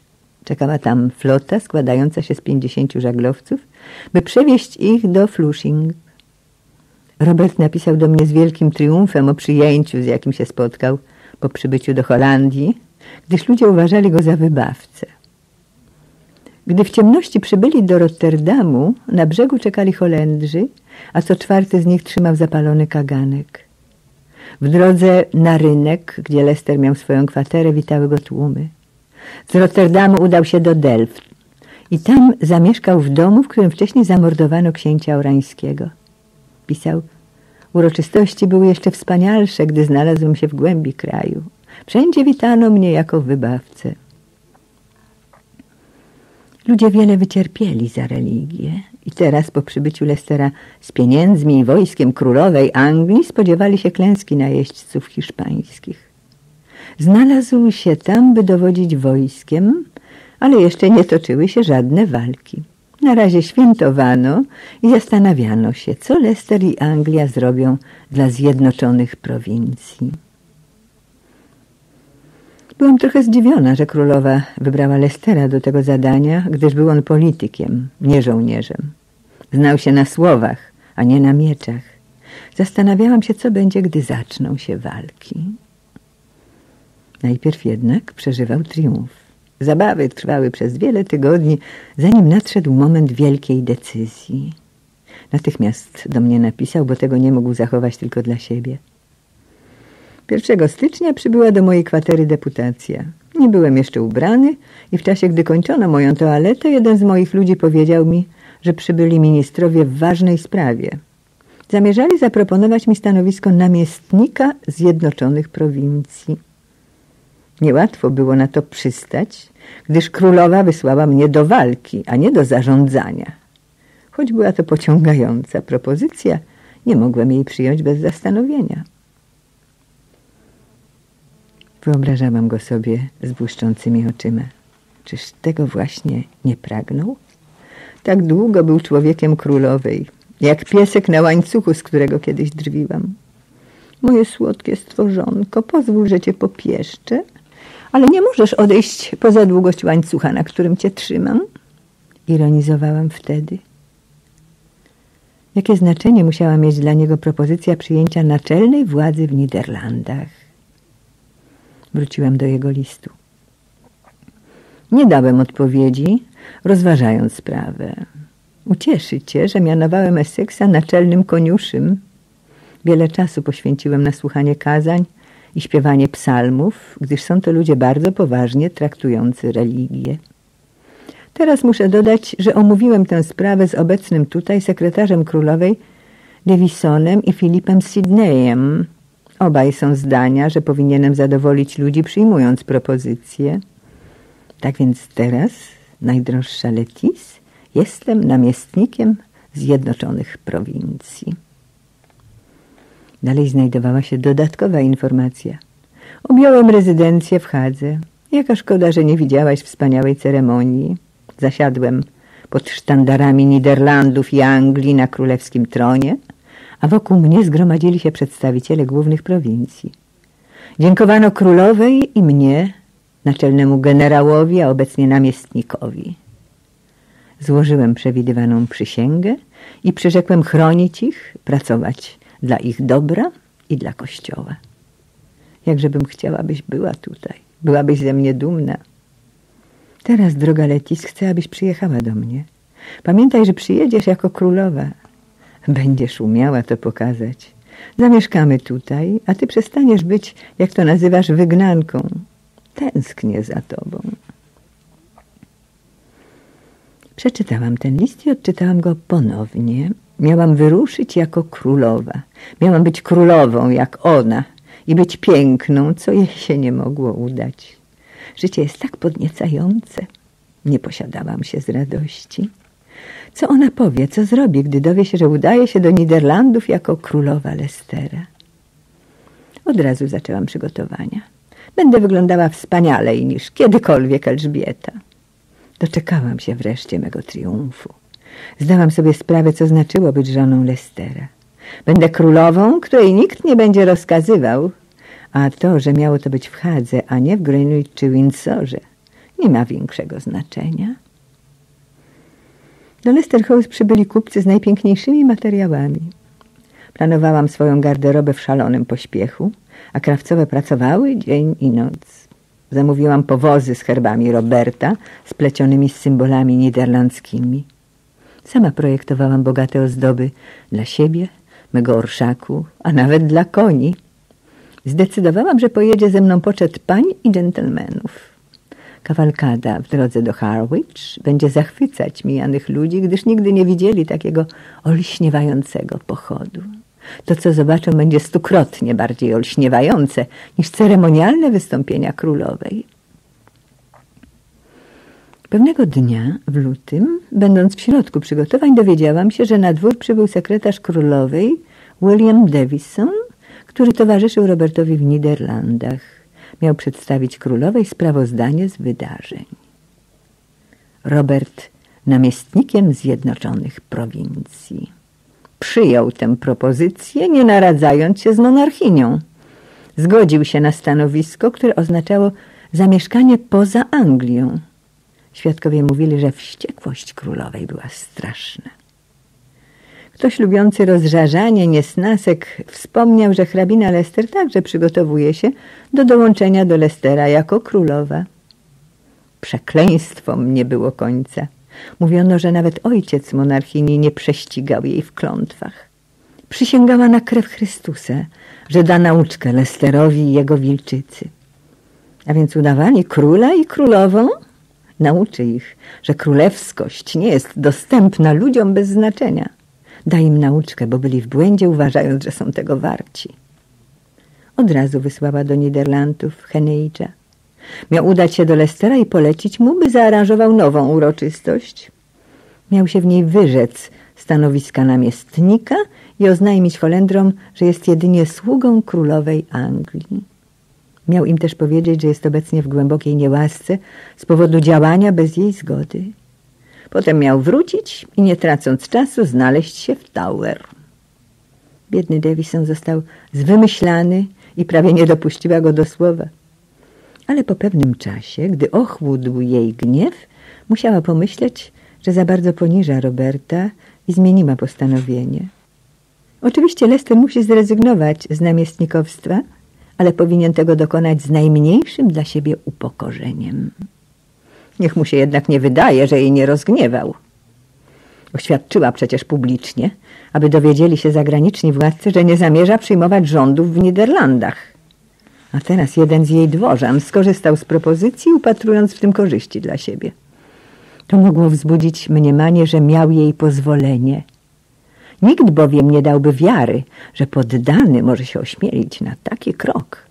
Przecież mogło to doprowadzić do przekonania, że złamała słowo. A jeśli chodzi o wilczycę, krzyknęła, to może rozpakować swoje klejnoty i odłożyć wspaniałe stroje. Musi zrezygnować z paradnej jazdy do Hagi. Zamiast tego może pokornie udać się do Tower i błagać o pozwolenie zobaczenia się z więźniem, a przez cały czas powinna uważać na swoje postępowanie, aby nie przypadł jej długi pobyt w tym miejscu. Biedny Robert, jak krótka była jego chwała. A ja biedna myślałam, że wreszcie wyjdę z cienia i znowu mi przypomniała, że w nim tkwie. A nienawiść królowej nawet wzrosła. Wiedziałam, że przekonała siebie, że to nie jej ukochany Robin wymyślił wyniesienie mnie na tron, ale ja to przeprowadziłam. Tylko Robert mógł przeżyć tę nieszczęsną przygodę w Niderlandach. Wiedziałam, że nie jest wojownikiem, był świetny jedynie w stwarzaniu wspaniałego wrażenia podczas parad w mieście. Mogłam to sobie wyobrazić. Inaczej było jednak, gdy trzeba było stanąć twarzą w twarz z doświadczonym, bezwzględnym Hiszpanem, księciem Parmy, który nie próżnował, gdy Robert ze swymi ludźmi uczestniczył w paradach. Było wielkim ciosem dla Roberta, gdy książę Parmy pojawił się tam, gdzie go nie oczekiwano, w mieście Grave które Lester uważał za bardzo dobrze ufortyfikowane, a potem w Venlo. Gniew królowej spotęgował trudności Lestera, gdyż z Anglii nie przysłano środków na żołd żołnierzy. Tymczasem dochodziło do kłótni wśród oficerów. Później dowiedziałam się od Roberta, w jakim żył koszmarze i jak nie chciałby kiedykolwiek wrócić do Niderlandów. Bardzo kochałam rodzinę Sydneyów, a Filip był przez nas wszystkich szczególnie wyróżniany. Z jego matką, Marią, zaprzyjaźniłyśmy się serdecznie, odkąd obie stałyśmy się wygnankami z dworu. Ona z własnej woli, ja przymusowo. Maria ciągle nosiła na twarzy cienki welon i rzadko bywała na dworze, choć królowa, szanując potrzebę jej prywatności, zapraszała ją do rezydencji królewskich, gdzie urządzała dla niej prywatne apartamenty. Elżbieta nigdy nie zapomniała, dlaczego Maria miała zeszpeconą twarz i nie przestała jej kochać. W maju dostałam od Marii wiadomość, że znacznie pogorszyło się zdrowie jej męża. Od pewnego czasu nie czuł się dobrze, ale ciągle nie godził się na odpoczynek. Nie było zatem zaskoczenia, że wkrótce dowiedzieliśmy się, że zmarł. Wyjechałam do Penhurst, by dotrzymać towarzystwa wdowie. Byłam bardzo zadowolona z tej decyzji, ponieważ niebawem i ona zachorowała, a w sierpniu zmarła. Jej córka Maria, hrabina Pembroke, przyjechała do Penshurst, by być przy umierającej matce. Bolałyśmy nad tym, że Filip był z armią w Niderlandach i nie mógł przyjechać. W gruncie rzeczy był to dar boski, że Maria nie dożyła tragedii, która by na nią spadła. Znając ją dobrze, wiedziałam, że to, co miało się stać, byłoby największym ciosem, jaki mógł ją spotkać. We wrześniu, po śmierci Lady Sydney, Robert zdecydował się na zaatakowanie miasta Sufen. Potem zebrano wszystkie wiadomości dotyczące tej bitwy. Był to jeden z przykładów brawury i bohaterstwa. Często myślę, że gdyby Filip patrzył na świat bardziej realistycznie i trochę wyrzekł się rycerskości, nigdy by się nie zdarzył ten dramat. Do tragedii doprowadziło kilka faktów. Po opuszczeniu namiotu w drodze na pole walki Filip wpadł na Williama Pelhama, który zapomniał włożyć swoich nagolenników. Filip powiedział, że nie może być w lepszej sytuacji niż jego przyjaciel i niemądrze zdjął własne nagolenniki. Był to bezsensowny gest, za który zapłacił najwyższą cenę, gdyż w czasie akcji kula trafiła go w lewe udo. Trzymał się ciągle na koniu, ale cierpiał bardzo z powodu upływu krwi. Otaczającym go towarzyszom krzyknął, że umiera raczej z pragnienia niż z upływu krwi. Podano mu flaszkę z wodą, ale właśnie wtedy, gdy zamierzał się napić, zobaczył na ziemi umierającego żołnierza wołającego słabym głosem o podanie mu wody. Weź ją, powiedział Filip, ty bardziej potrzebujesz niż ja. Gest ten zapamiętano na zawsze jako przykład bohaterstwa. Towarzysze zanieśli Filipa do łodzi Lestera, którą popłynął do domu w Arnhem, gdzie złożono go na łożu. Udałam się do jego żony Francis, która choć była w zaawansowanej ciąży, przygotowywała się do odjazdu do Holandii. Powiedziała, że musi tam się znaleźć, bo Filip będzie potrzebował starannej pielęgnacji. Nie nadajesz się do podróży w twoim stanie, powiedziałam, ale ona nie chciała mnie słuchać, a jej ojciec uznał, że jeśli jest tak zdecydowana, nie będzie jej zatrzymywał. Tak więc Francis wyjechała do Arnhem. Biedna kobieta. Jej życie nie było bardzo szczęśliwe. Musiała go jednak kochać. Któż by nie kochał Filipa Sydneya? Możliwe, że Francis uważała, że Filip, poświęcając swoje poematy mojej córce Penelopie, nie przynosił ujmy żonie. Niewiele kobiet godziłoby się z taką sytuacją, ale Francis była nadzwyczajną kobietą. Filip okrutnie cierpiał przez 26 dni przed zgonem.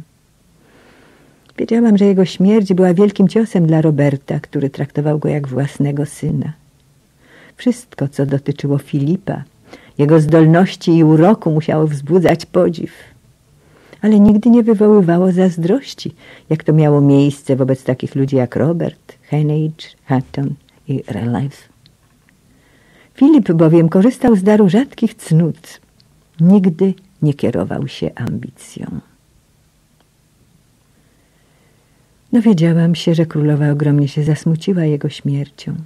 Niedawno straciła swoją drogą przyjaciółkę Marię Sydney, którą kochała, a teraz zmarł Filip, którego zawsze podziwiała.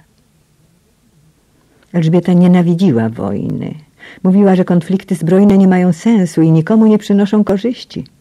Przez całe swoje panowanie starała się ich unikać, a teraz popadła w przygnębienie po stracie drogich przyjaciół.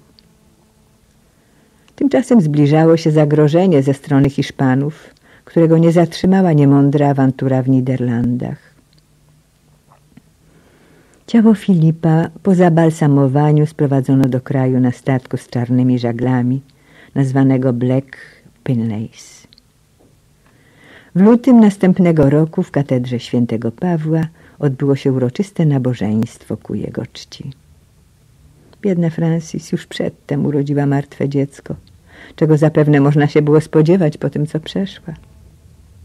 Lester wrócił do Anglii w zimie, gdyż ta pora roku nie sprzyjała kampaniom wojennym. Z nim wrócił mój syn Essex. Mój wróg królowa, taśma dwunasta, koniec ścieżki pierwszej.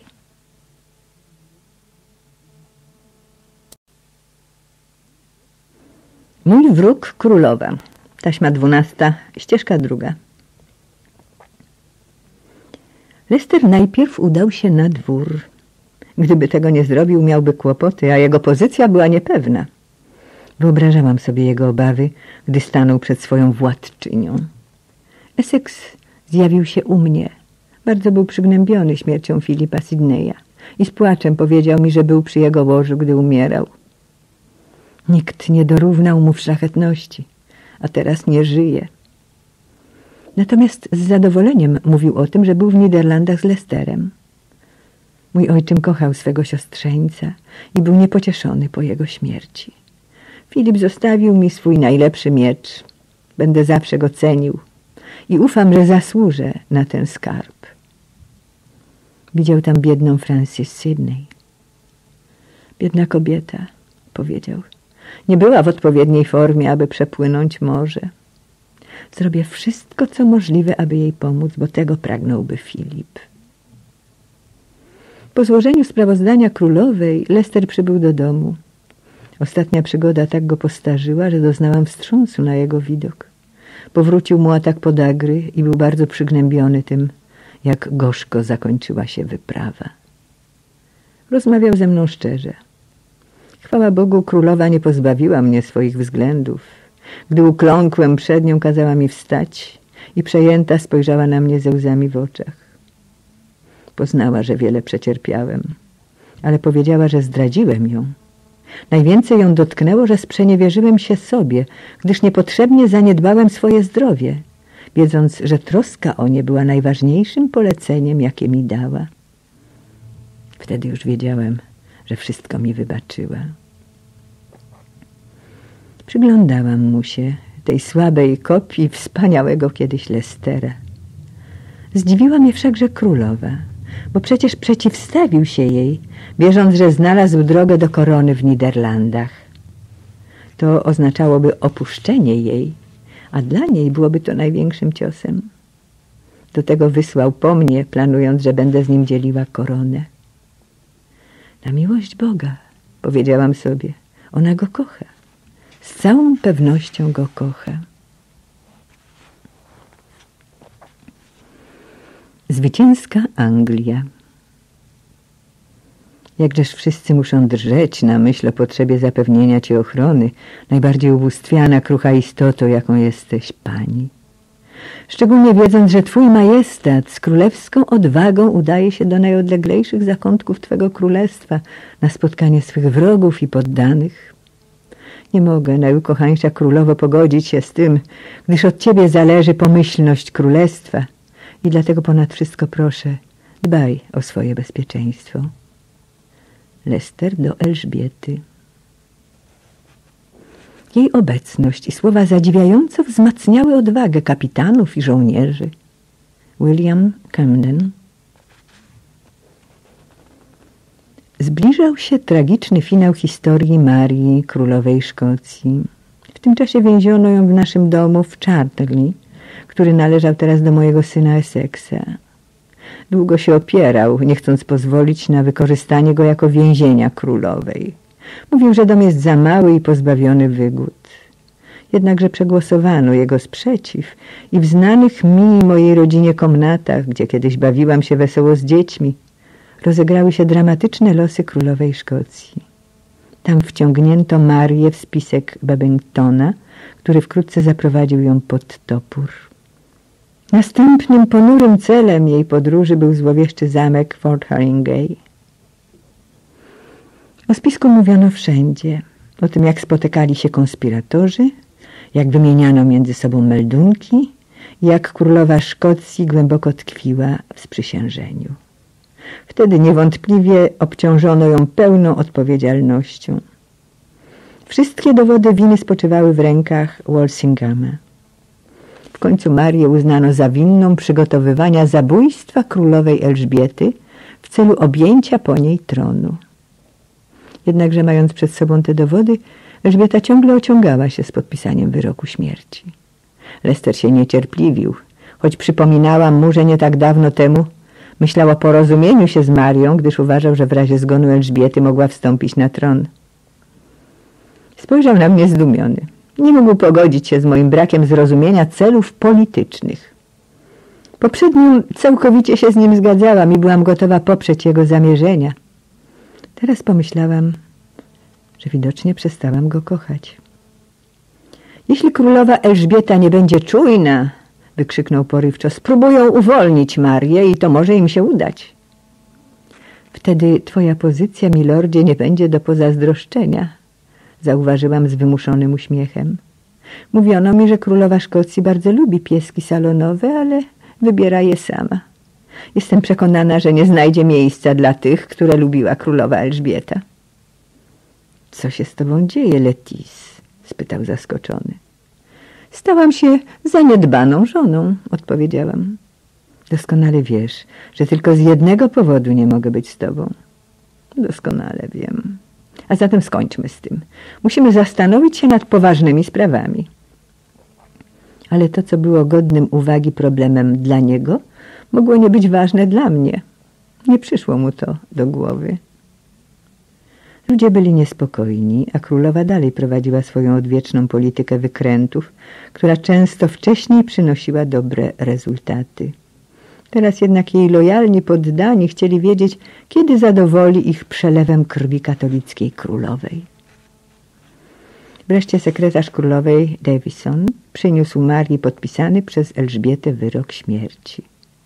Scena ta, o której usłyszeliśmy, odbyła się w zamku Haringey. Zagrożenie dla Anglii ze strony Marii skończyło się, ale czekało ją większe – Hiszpania. Tymczasem nasza nadzwyczajna królowa miała wyrzuty sumienia. Mądrą, wrażliwą kobietę dręczyły sny. Gnębiło ją, że podpisała wyrok śmierci, skazując królową Szkotów na ścięcie. Król Francji powiedział, że lepiej byłoby podać Marii truciznę, aby pozostała wątpliwość, jak zakończyła życie. Uważał, że istnieje wiele doskonałych trucizn, a pewni poddani Elżbiety niewątpliwie mają praktykę w ich stosowaniu.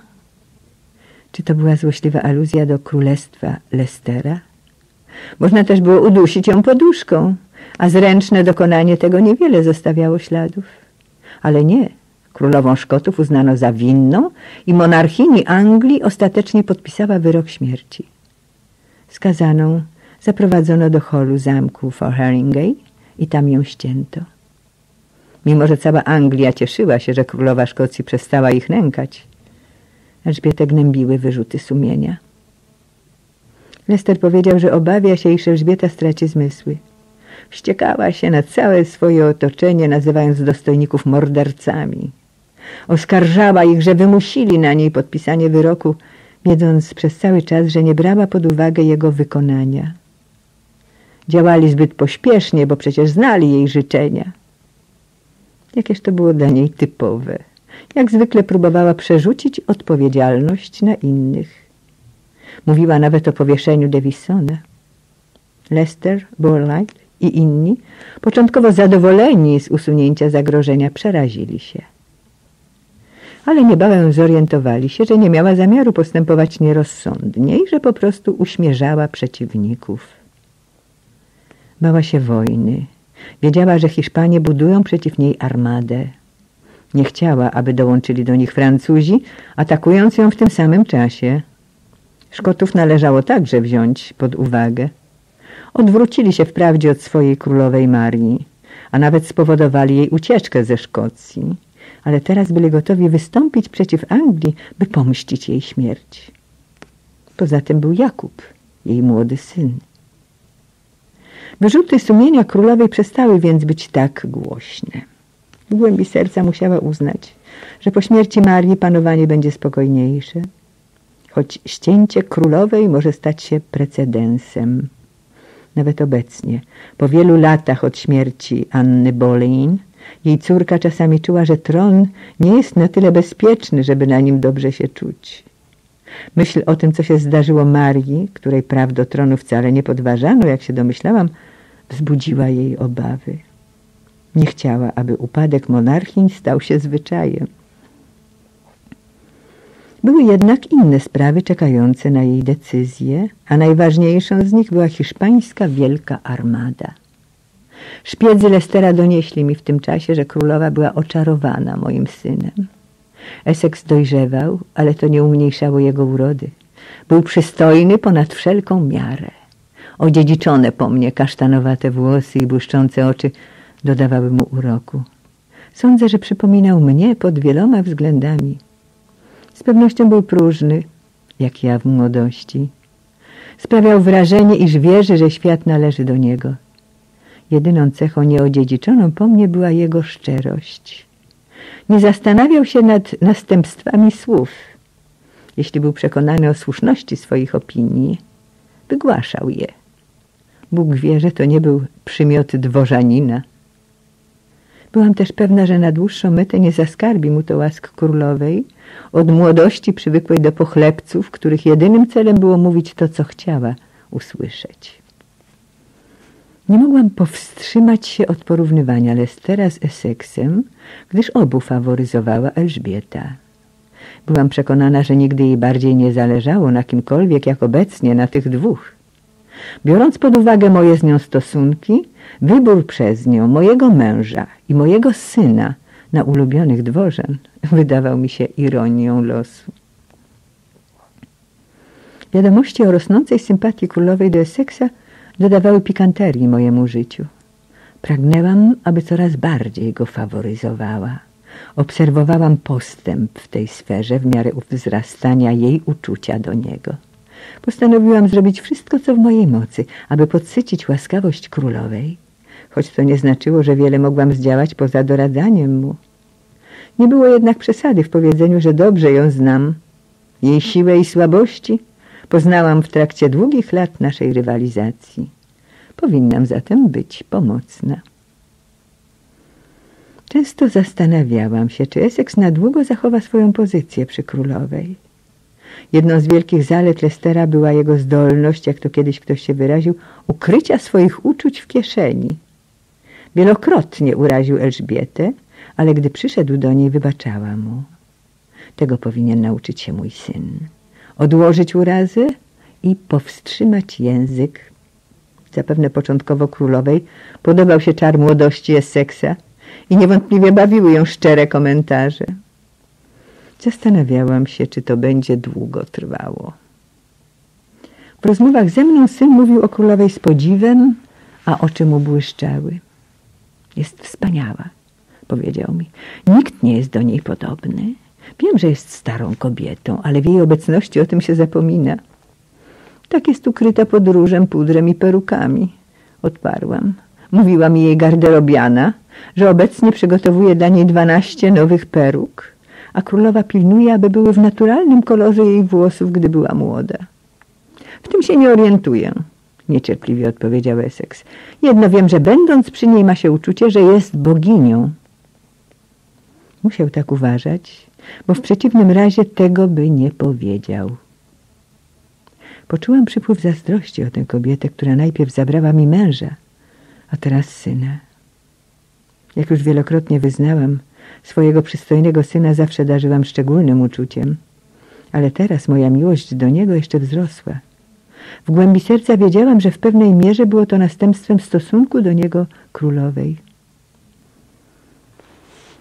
Nie osłabło jednak z powodu Essexa jej uczucie dla Lestera. Czasami myślałam, że Lestera uważa za swojego męża, Essexa zaś za kochanka. nie mogła znieść, aby któryś z nich szukał towarzystwa innej kobiety, a tym bardziej żony i matki. Będąc jednak królową, nie pozwalała im się oddalać z dworu, mówiąc, że może ich potrzebować.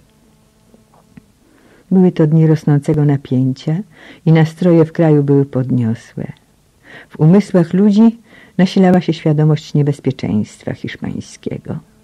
Prowincje niderlandzkie znowu były zagrożone i Lestera ponownie tam wysłano. Miał im ogłosić, aby doszli do porozumienia z Hiszpanią, gdyż w związku z zagrożeniem własnych granic królowa nie może dłużej ich ochraniać. Tym razem nie pozwoliła Eseksowi na towarzyszenie ojczymowi. Ktoś musi mnie rozweselać, powiedziała królowa i zaszczyciła go nadaniem tytułu koniuszego. Do tej pory tytuł należał do Lestera, którego teraz uczyniła marszałkiem swego dworu. Chciała przekonać Lestera, że były dla niej tylko jedne oczy i nic tego nie mogło zmienić. Jednocześnie pragnęła mieć przy sobie jego przystojnego pasierba. Lester musiał się wtedy przekonać, że miłość Elżbiety raz komuś ofiarowana miała zawsze trwać. Biedny Lester. Teraz był stary i schorowany. Gdzie jest ten dziarski bohater jej i mojej młodości? Zastąpił go mąż o wciąż wspaniałej postawie, ale zbyt otyły i o zbyt rumianej cerze. Podczas gdy kiedyś olśniewał zdrowiem, teraz w wyniku długiego nadużywania uroków życia zmogły go podagra i inne choroby. A jednak Elżbieta popierała go przez całe życie.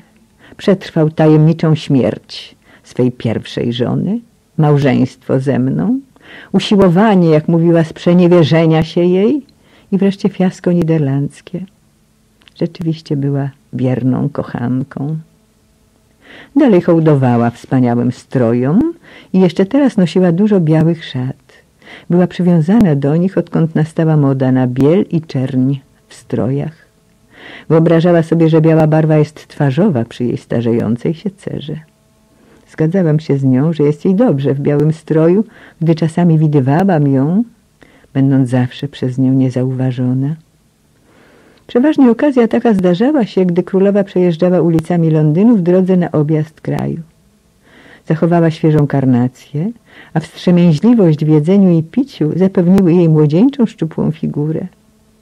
Patrząc na blask i wystawność jej ekwipażu, z łatwością można było uwierzyć w jej boskość. Znając seksa zdawałam sobie sprawę, że na swój sposób był w niej zakochany. Nie mógł oderwać się od jej towarzystwa. Przez całe lato przebywał na dworze. Grywali razem w karty do wczesnych godzin rannych. Fakt, że tak szczerze się wypowiadał, mógł ją zachwycać, gdyż jednocześnie jako mężczyzna, któremu obce było ukrywanie uczuć, okazywał dla niej niekłamany podziw. Ten zachwyt ze strony młodszego od niej o ponad 30 lat kawalera musiał być komplementem dla takiej kobiety jak ona. I zaiste bardzo jej się to podobało. Rozumiałam ją. Sama wszakże wiedziałam, jak się odczuwa podziw młodego, przystojnego mężczyzny. Pozwoliłam sobie na podtrzymanie przyjaźni z Christopherem Blountem, który powrócił z Niderlandów bardziej dojrzały niż wtedy, gdy wyjeżdżał. Stał się bardziej męski i miał większe wymagania. Były to cechy, którym się nie sprzeciwiałam. Pozwoliłam sobie na podporządkowanie mu się i dalej trwała ta interesująca przygoda. Pociągała mnie swoją romantycznością, gdyż musieliśmy być bardzo ostrożni. Uprzedziłam go, że obawiam się o jego życie, gdyby odkrył nas Lester. Ale on o tym wiedział. Była to dodatkowa podnieta w naszym romansie. Tymczasem Essex zaczął wzbudzać zazdrość wszystkich kawalerów na dworze, a szczególnie Waltera Raleigha, który uważał, że mój syn zajął jego miejsce. Raleigh był starszy od Essexa i o wiele mądrzejszy. Gdy chciał, był słodki w mowie, ale gdy uważał, że nadszedł stosowny moment, mówił królowej prawdę. Poza urzekającym wyglądem, który od razu oczarował królową, był bardzo uzdolniony i bystry. Nazywała go wodą, może z powodu imienia Walter, które brzmi podobnie, a może dlatego, że przynosił powiew świeżości, a zapewne i dlatego, że lubiła, jak krążył wokół niej. Sam fakt, że nadała mu przydomek, oznaczał, że darzyła go sympatią. Pozostali jeszcze dawni faworyci. Nieszczęsny Hatton starzał się jak Robert, podobnie Henage. Jednakże z powodu jej cnoty wierności i faktu, że ciągle byli użyteczni, trzymała ich przy sobie, będąc im nieomal tak oddana jak Lesterowi. Wszyscy jednak wiedzieli, że nikt nie mógł zająć w jej sercu miejsca Lestera, ukochanego z okresu jej młodości, któremu pozostała wierna przez całe życie. Essex i córki dostarczały mi z dworu ploteczki, które tak lubiłam. Penelopa była zachwycona, że jej brat zyskał taką łaskawość królowej. Twierdziła, że Essex niedługo wymusi na monarchini przyjęcie mnie na dworze. Wątpię, czy chciałabym tam pójść na takich warunkach. Zastrzegłam się. Będziesz pani rada udać się tam bez względu na warunki, odparła moja córka. Nie przyjmie cię pani jako damy dworu czy na podobne stanowisko, ale nie widzę powodu, dlaczego miałabyś nie skorzystać z miejsca odpowiadającego hrabinie Lester. Ciekawa jestem, czy ciągle lubi wzbudzać zazdrość. Ją to pobudza, odparła Penelopa. Hatton wysłał jej w prezencie kubek ze złota ze słowami, że może go potrzebować, gdy znajdzie się przy niej woda, mając na myśli oczywiście Relife'a. Można było oczekiwać, że każe mu się uspokoić, a ona odpowiedziała w tym samym tonie, że woda nie powinna występować z brzegów, bo wie, jakie są drogie wszystkie owieczki na dworze. Tak więc Hatton przyjął podziękowanie za udrękę zazdrości. Ona bardzo się cieszy, gdy z jej powodu walczą między sobą. Pomaga to jej zapomnieć o kurzych łapkach i zmarszczkach na twarzy, ukazujących się w jej okrutnym lustrze, które nie jest gotowe do pochlebstw, jak jej dworzanie. Spytałam Penelopę, jak jej się obecnie wiedzie w małżeństwie. Odpowiedziała mi, że ledwo urodziła dziecko, a znów jest brzemienna. Któregoś dnia powie lordowi Richowi, że dała mu dość dzieci i więcej nie będzie rodzić. Częste ciąże zdawały się nie umniejszać ani jej urody, ani zdrowia, gdyż była tak żywotna i piękna jak zawsze. Opowiedziałam jej wtedy o moim romansie z Christopherem Blountem. Penelopa uważała, że królowa z całą pewnością polubiła także Life'a i on jest największym rywalem Essexa. Sugerowała, że należy ostrzec Essexa, aby nie był zbyt otwarty w rozmowach z królową. Może pozwolić sobie na szczerość tylko wtedy, gdy Elżbiecie to się spodoba. Gdy władczyni rzeczywiście chce usłyszeć bezsporną opinię. Chcesz, aby postępował wbrew swojej naturze, powiedziałam. Sądzę, że nigdy się do tego nie dostosuje. Jeszcze dłuższą chwilę rozmawialiśmy serdecznie o Eseksie, gdyż Penelopa kochała go nieomal tak jak ja. Obie byłyśmy z niego dumne. Ale Relife'em kieruje mądrość, rzekła, jakiej nigdy nie osiągnie Robin. Chociaż Relife przedstawia jej ciągle jakieś żądania. Gdy któregoś dnia spytała, kiedy przestanie być żebrakiem, odpowiedział Hardo, że dopiero wtedy, gdy jej wysokość przestanie być dobrodziejką. Na to królowa głośno się roześmiała. Wiesz pani, jak lubi taki rodzaj dowcipów. Robin nigdy by jej tak nie rozbawił. Obawiam się tylko jednego, że mój brat może przeceniać swoją władzę nad królową. Jeśli tak się stanie, popadnie w kłopoty. Odpowiedziałam jej, że nawet w przypadku przekroczenia granicy przez jej faworytów Elżbieta często im przebaczała. Spójrz na Lestera. Ale nie będzie drugiego Lestera, trzeźwo powiedziała Penelopa. Wiedziałam, że ma rację. Zaczęłam się przywiązywać do Christophera. Uznałam, że gdy przestanie się obawiać, będzie bardziej interesujący i zabawny. Z czasem też jego niepewność zniknęła, gdy zorientował się, że nie mniej go pragnę niż on mnie. Opowiedział mi o swojej rodzinie. Należeli do wysoko utytułowanego, ale zubożałego rodu. Jego dziadek, Lord Mountjoy, nierozważnie wydawał pieniądze. Ojciec zaś roztrwonił dalsze fundusze rodzinne, usiłując wynaleźć kamień filozoficzny. Brat William nie liczył się z pieniędzmi i żył ekstrawagancko ponad stan. Wydawało się więc nieprawdopodobne, by zostało coś z majątku rodzinnego. Nadzieją był o parę lat starszy od Christophera brat Charles. Oświadczył on, że dostanie się na dwór i odbuduje zasoby rodziny.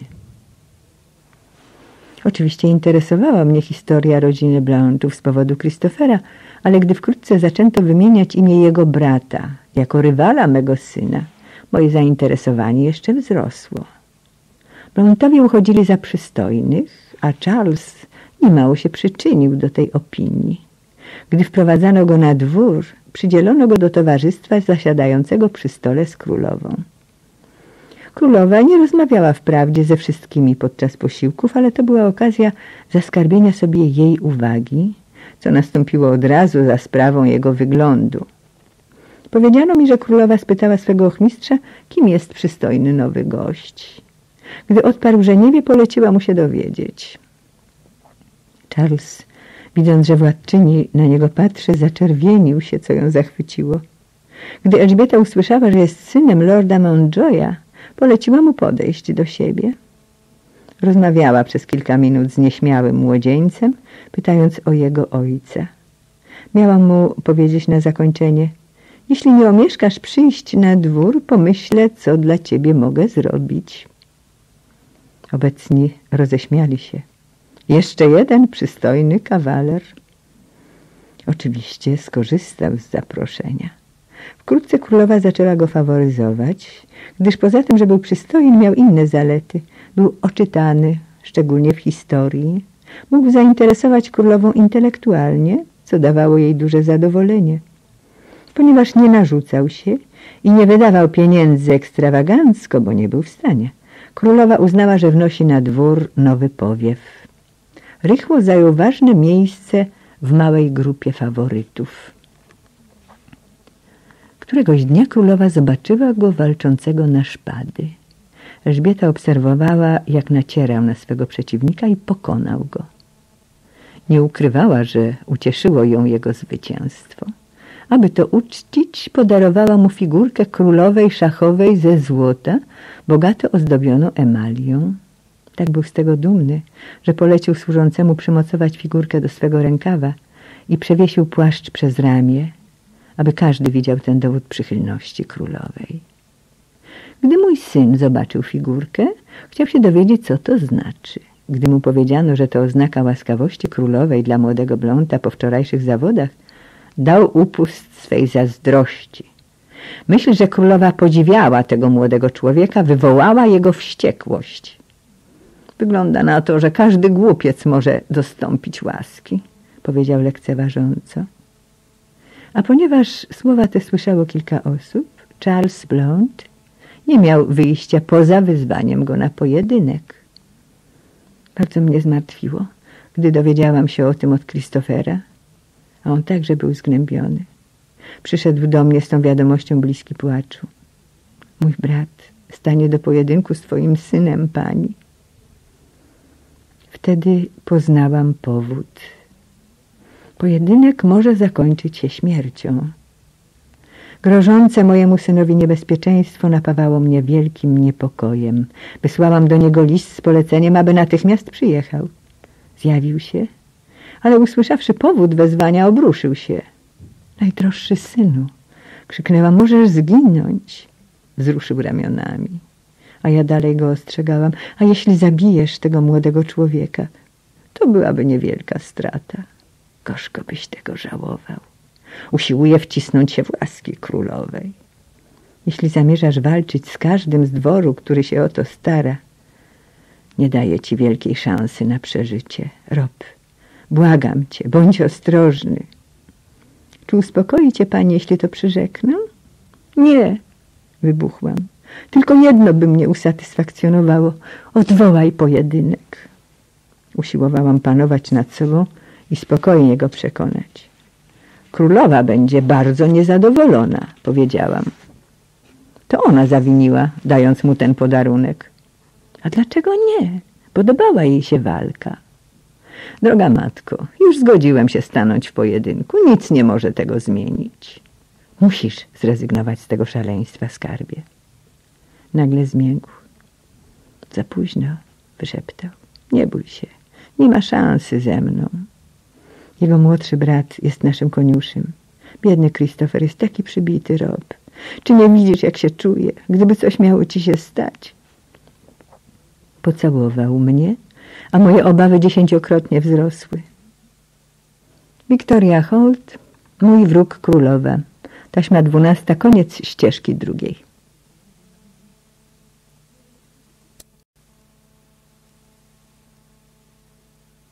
Wiktoria Holt, mój wróg królowa. Taśma trzynasta, ścieżka pierwsza.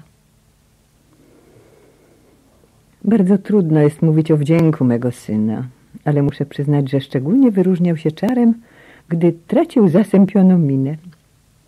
Zapewnił mnie wtedy, że mnie kocha, ale obecnie wystąpiono przeciw niemu i on zgodził się stanąć do walki. Honor nie pozwala mu się wycofać. Zorientowałam się, że pozostała mi jedynie gorąca modlitwa, aby wyszedł z tego szczęśliwie. Niebawem przyjechała Penelopa. Rob będzie walczył z synem Mountjoya. Oznajmiła, trzeba go powstrzymać. Czy to możliwe? Krzyknęłam. Już próbowałam. Tak się boję. Błagałam go, aby zrezygnował, ale odmówił.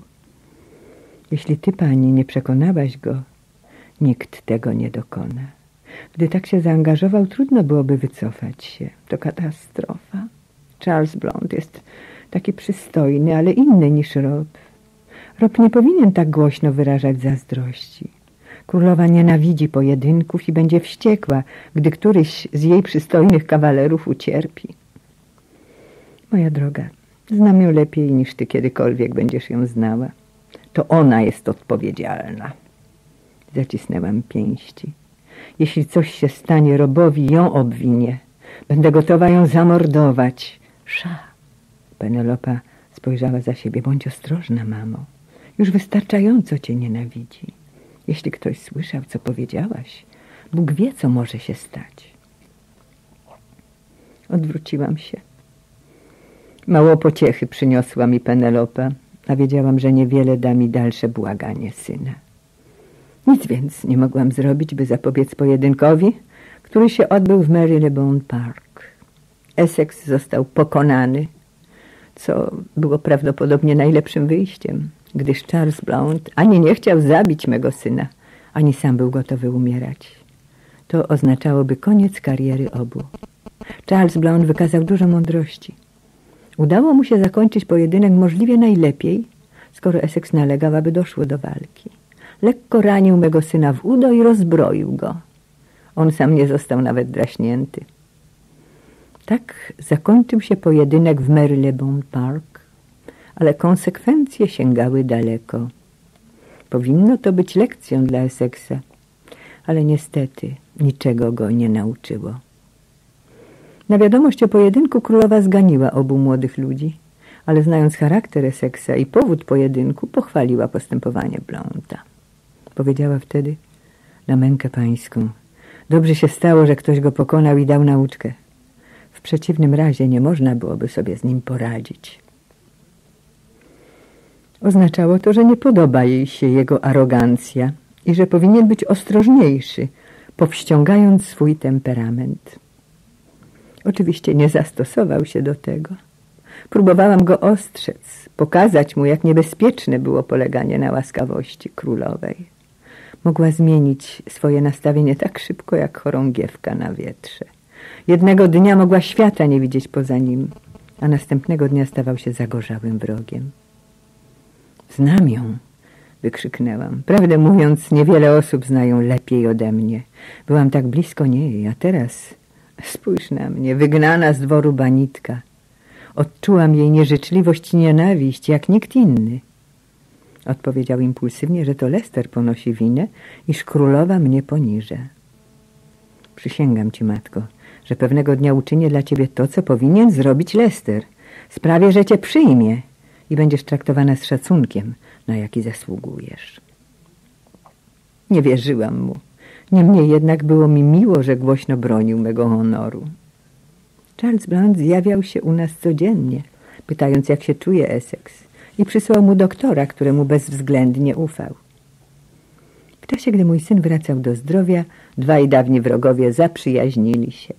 pielęgnująca brata Penelopa stwierdziła, że towarzystwo Charlesa Blount'a jest bardzo podniecające, a ten wypadek wpłynął także na zacieśnienie więzów między mną i Christopherem. Stało się tak dlatego, że miłość i podziw dla brata łączyły się u niego z niepokojem o mnie. Rozumiał bowiem moje obawy o syna. Stawał się teraz dojrzałym mężczyzną. Wyraźnie przestał być chłopcem. Konsekwencje pojedynku okazały się więc dla niego bardzo korzystne. Sprawa złotej figurki szachowej została zapomniana na dworze, ale patrząc wstecz widzę, że stała się ona kamieniem milowym w naszym życiu. Rok dobiegał końca. Ludzie byli świadomi, że rośnie zagrożenie ze strony Hiszpanii. Lester powiedział mi, że królowa nieustannie czuwa, aby nie dopuścić do otwartej walki.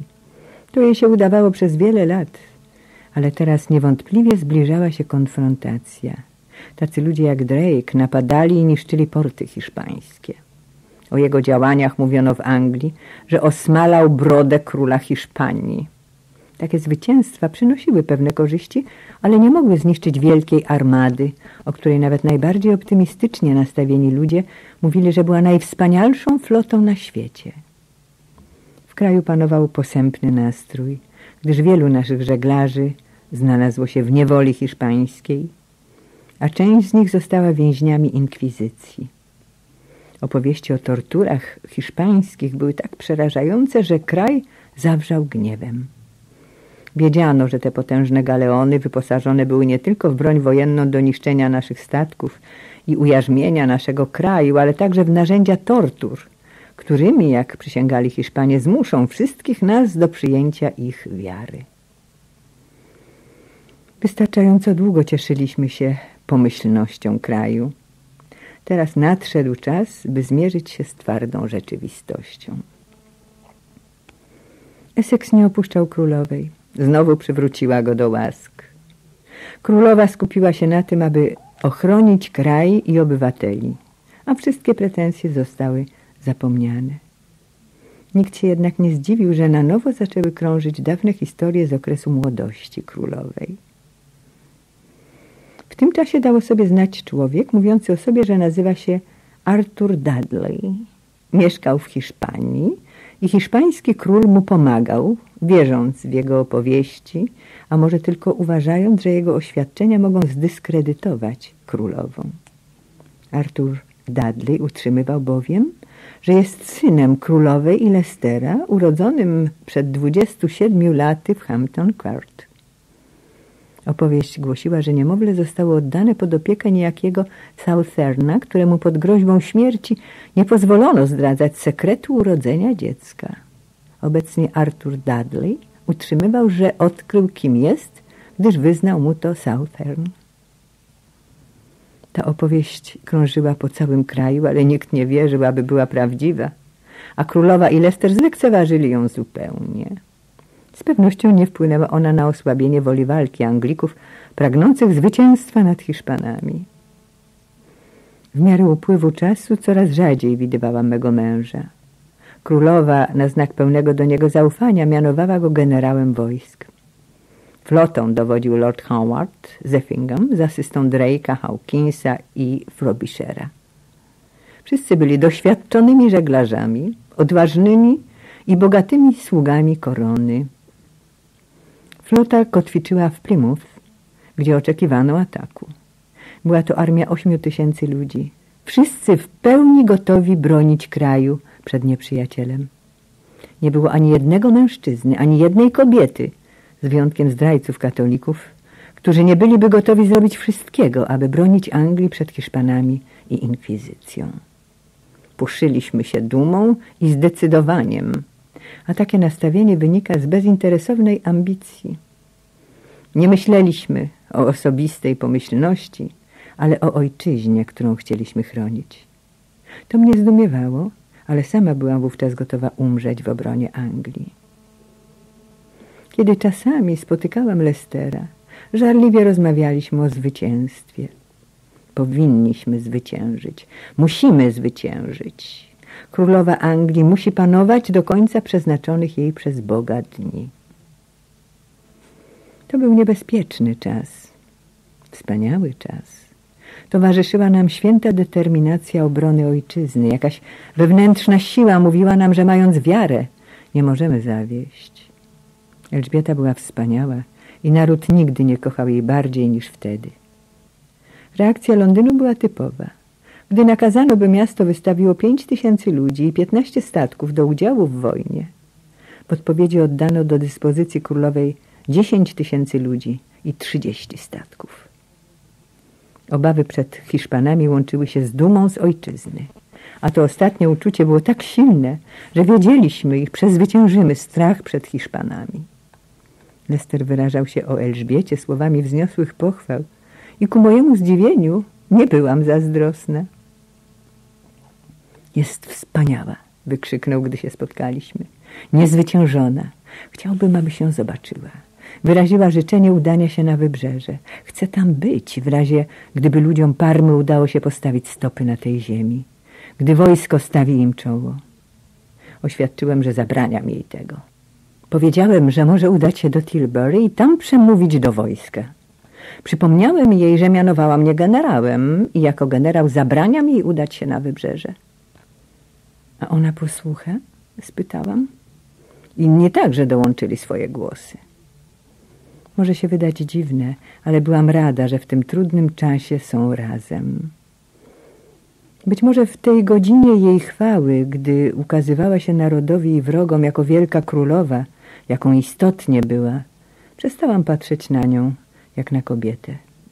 Nie była już rywalką w walce o jednego mężczyznę, którego obie kochałyśmy bardziej niż kogokolwiek innego, lecz jedynie Elżbietą Wielką, matką narodu i nawet ja składałam jej hołd. Wydarzenia z tego okresu są powszechnie znane. Udała się do Tilbury i wygłosiła mowę, którą do dzisiaj się pamięta. Przejeżdżała wśród szeregów w stalowym pancerzu z paziem u boku, który trzymał hełm ozdobiony białym pióropuszem.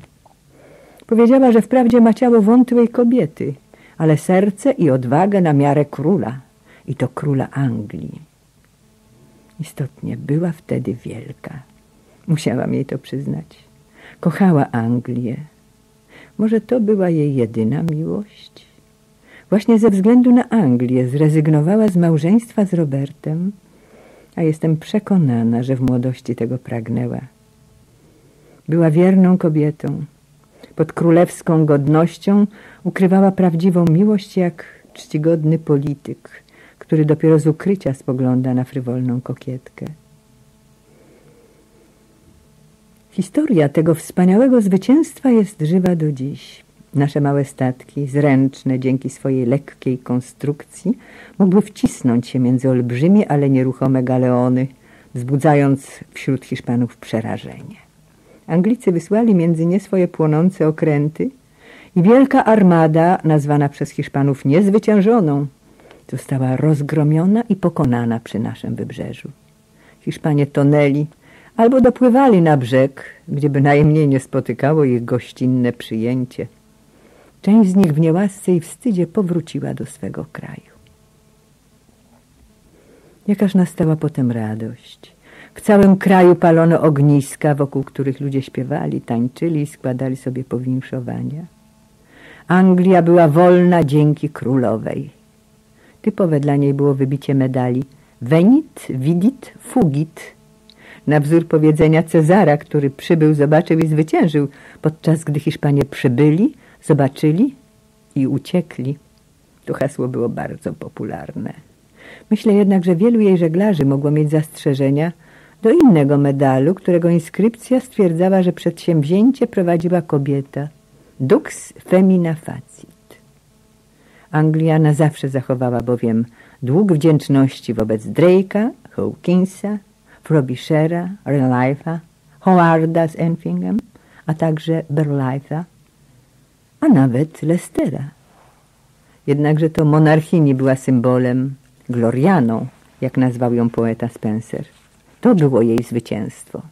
Ona uosabiała Anglię.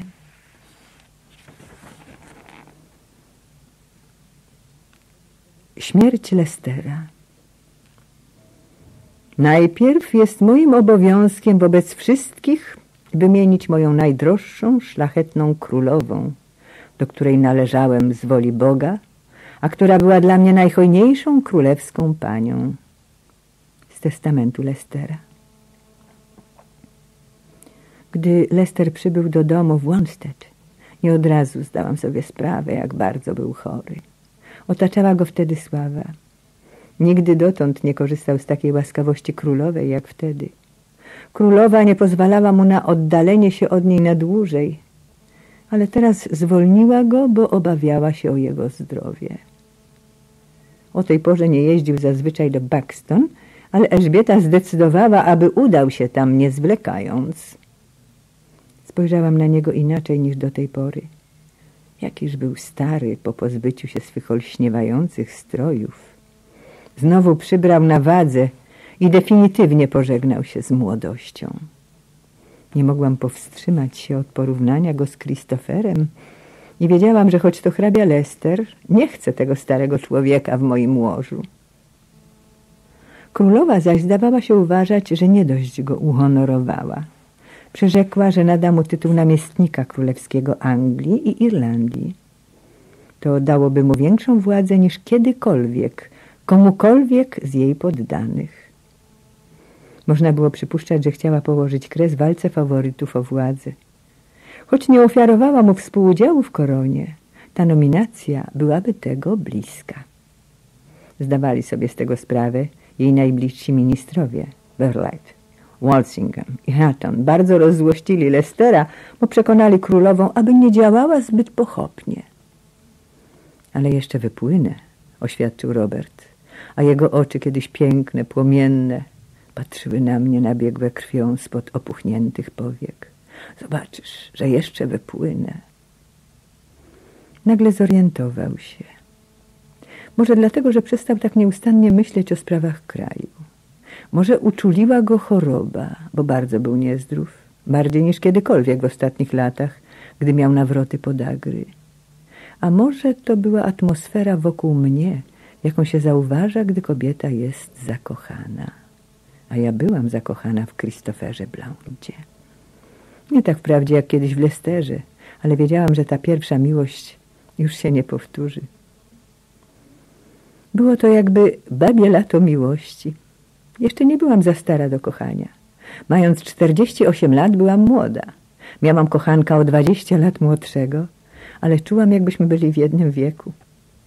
Zdałam sobie na nowo sprawę, jaka jeszcze byłam młoda, gdy stanęłam twarzą w twarz z Lesterem. Był chorym, starzejącym się mężczyzną i bardzo mnie zaniedbywał ze względu na królową. Zastanawiałam się, jak mogła Elżbieta, patrząc teraz na niego, dalej go kochać. To była jeszcze jedna strona nadzwyczajnego charakteru Elżbiety. Lester zobaczył mnie z Christopherem. Nie wiem, co go poruszyło. Możliwe, że sposób, w jaki na siebie patrzyliśmy. Może mimowolnie spotkały się nasze ręce. Mógł spostrzec jakieś iskry w naszych oczach albo usłyszeć szepty. Może powiedziano mu o nas, gdyż trudno się było ustrzec wrogów gotowych do przekazania o nas plotek. O mnie nie mniej niż o Robercie. Masz słabość do mojego koniuszego, powiedział mi w naszej sypialni w Wanstead.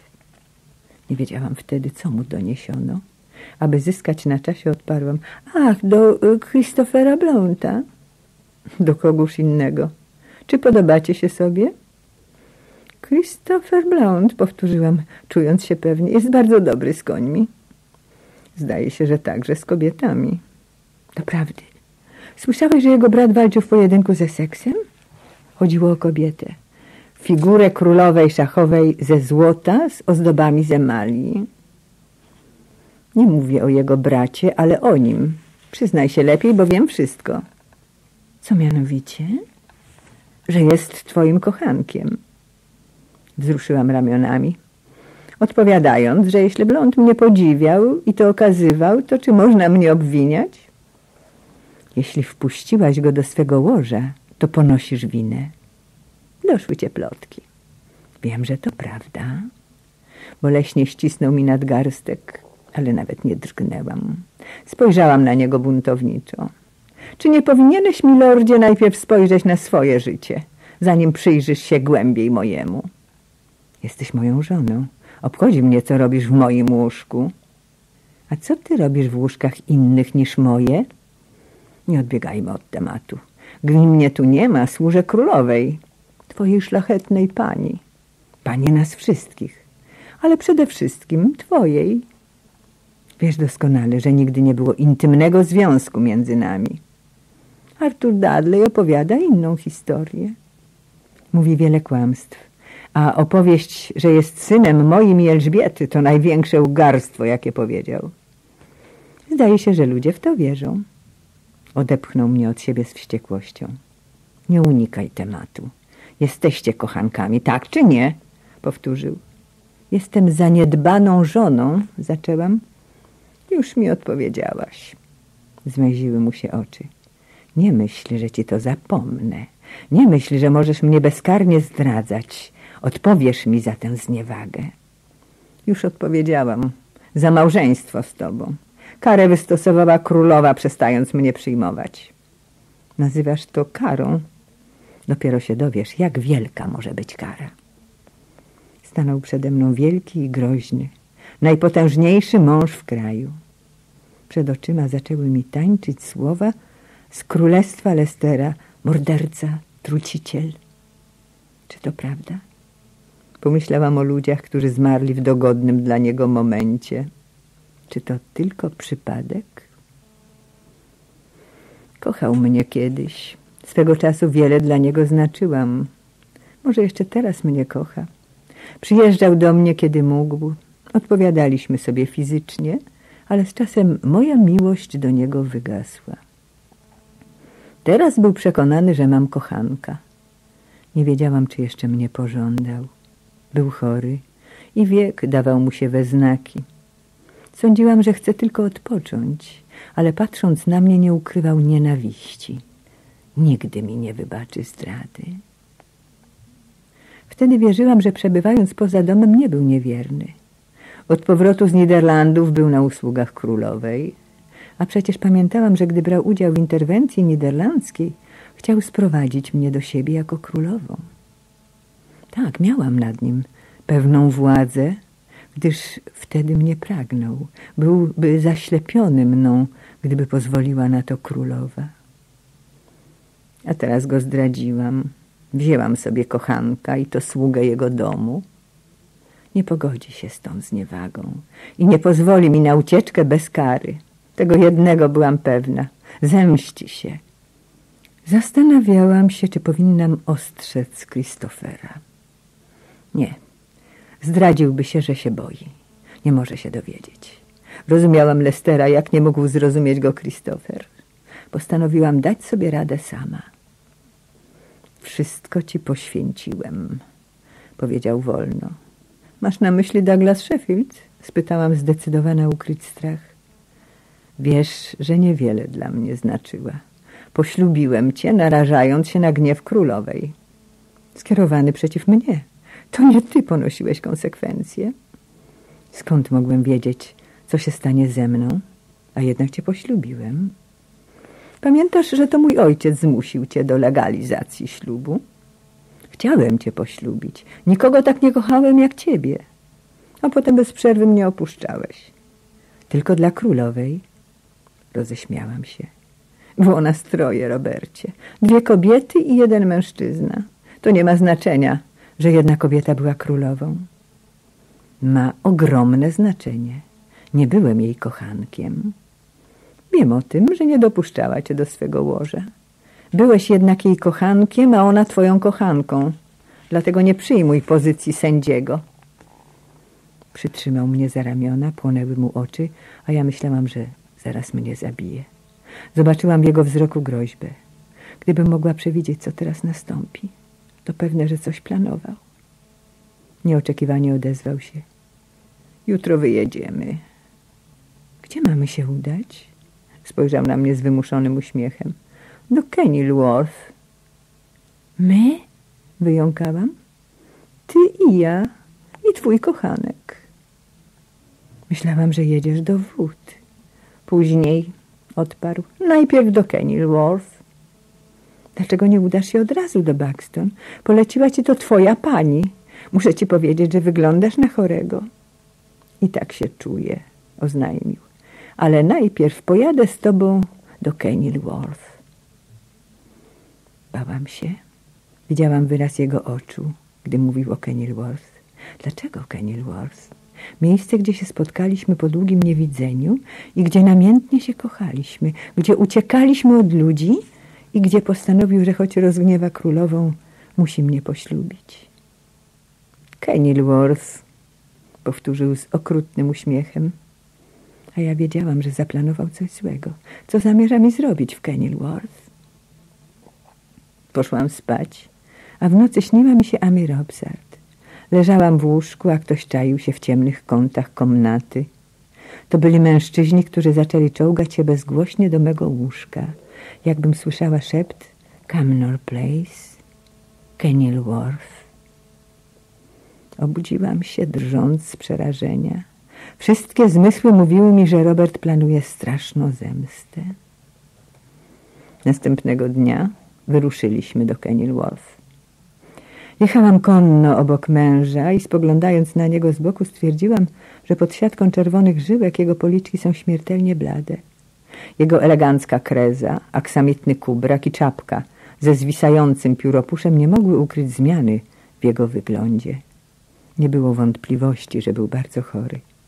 Zbliżał się do sześćdziesięciu lat, a cały czas żył niebezpiecznie i nie odmawiał sobie wiele z tego, co ludzie nazywali przyjemnościami życia. Teraz było widać tego skutki. Milordzie, powinniśmy udać się niezwłocznie do Buxton, powiedziałam. Wydaje mi się, że potrzebujesz leczniczych wód. Jedziemy do Kenilworth, odpowiedział krótko. Nie dotarliśmy jednak do Kenilworth. Zapadał zmierzch, gdy zauważyłam, że ledwo się trzyma w siodle. Zatrzymaliśmy się w Rycott, w domu rodziny Norrisa, gdzie Robert udał się do łóżka i pozostał tam przez kilka dni. Obsługiwałam go. Nawet nie wspomniał Christophera Blaunta. Napisał jednak do królowej. Ciekawiło mnie, o czym pisał i czy zawiadomił ją o mojej zdradzie. Zastanawiałam się nad jej reakcją, jeśli jej o tym doniósł. Byłam pewna, że rozwścieczyłoby to ją, bo choć potępiała moje małżeństwo, uznałaby za obrazę wobec siebie, że wybrałam innego mężczyznę. Miałam okazję przeczytać ten list, zanim go wysłano. Nie było w nim nic poza wyznaniami miłości i oddania dla jego bogini. Jeszcze teraz pamiętam każde jego słowo. Błagam pokornie wasz majestat o przebaczenie biednemu staremu słudze, że mam tyle śmiałości spytać, jak łaskawa pani się czuje i czy ulżyły jej ostatnie bóle. W słowie pokornie narysował w literach o kropeczki, jakby to były oczy. Ponieważ jest dla mnie najważniejszą osobą w świecie, modlę się za nią, za jej zdrowie i długie życie.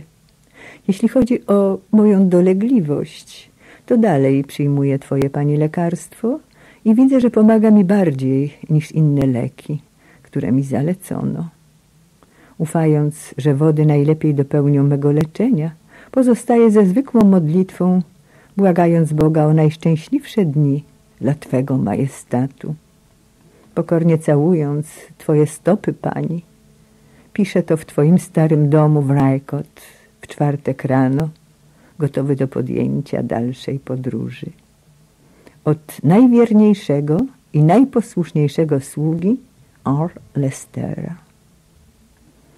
Dodał postscriptum, dziękując jej za wysłany przez nią prezent, doręczony nam w Rajkot w rezydencji, gdzie w przeszłości często przebywali oboje. Jeździli wtedy konno w parku i polowali. W wielkim holu ucztowali i pili, oddając się typowym zajęciom kochanków. Powiedziałam sobie, że wzięcie sobie przeze mnie kochanka było ze wszech miar usprawiedliwione. Czyż mój mąż przez te wszystkie lata nie był kochankiem królowej? Mój wróg królowa, taśma trzynasta, koniec ścieżki pierwszej.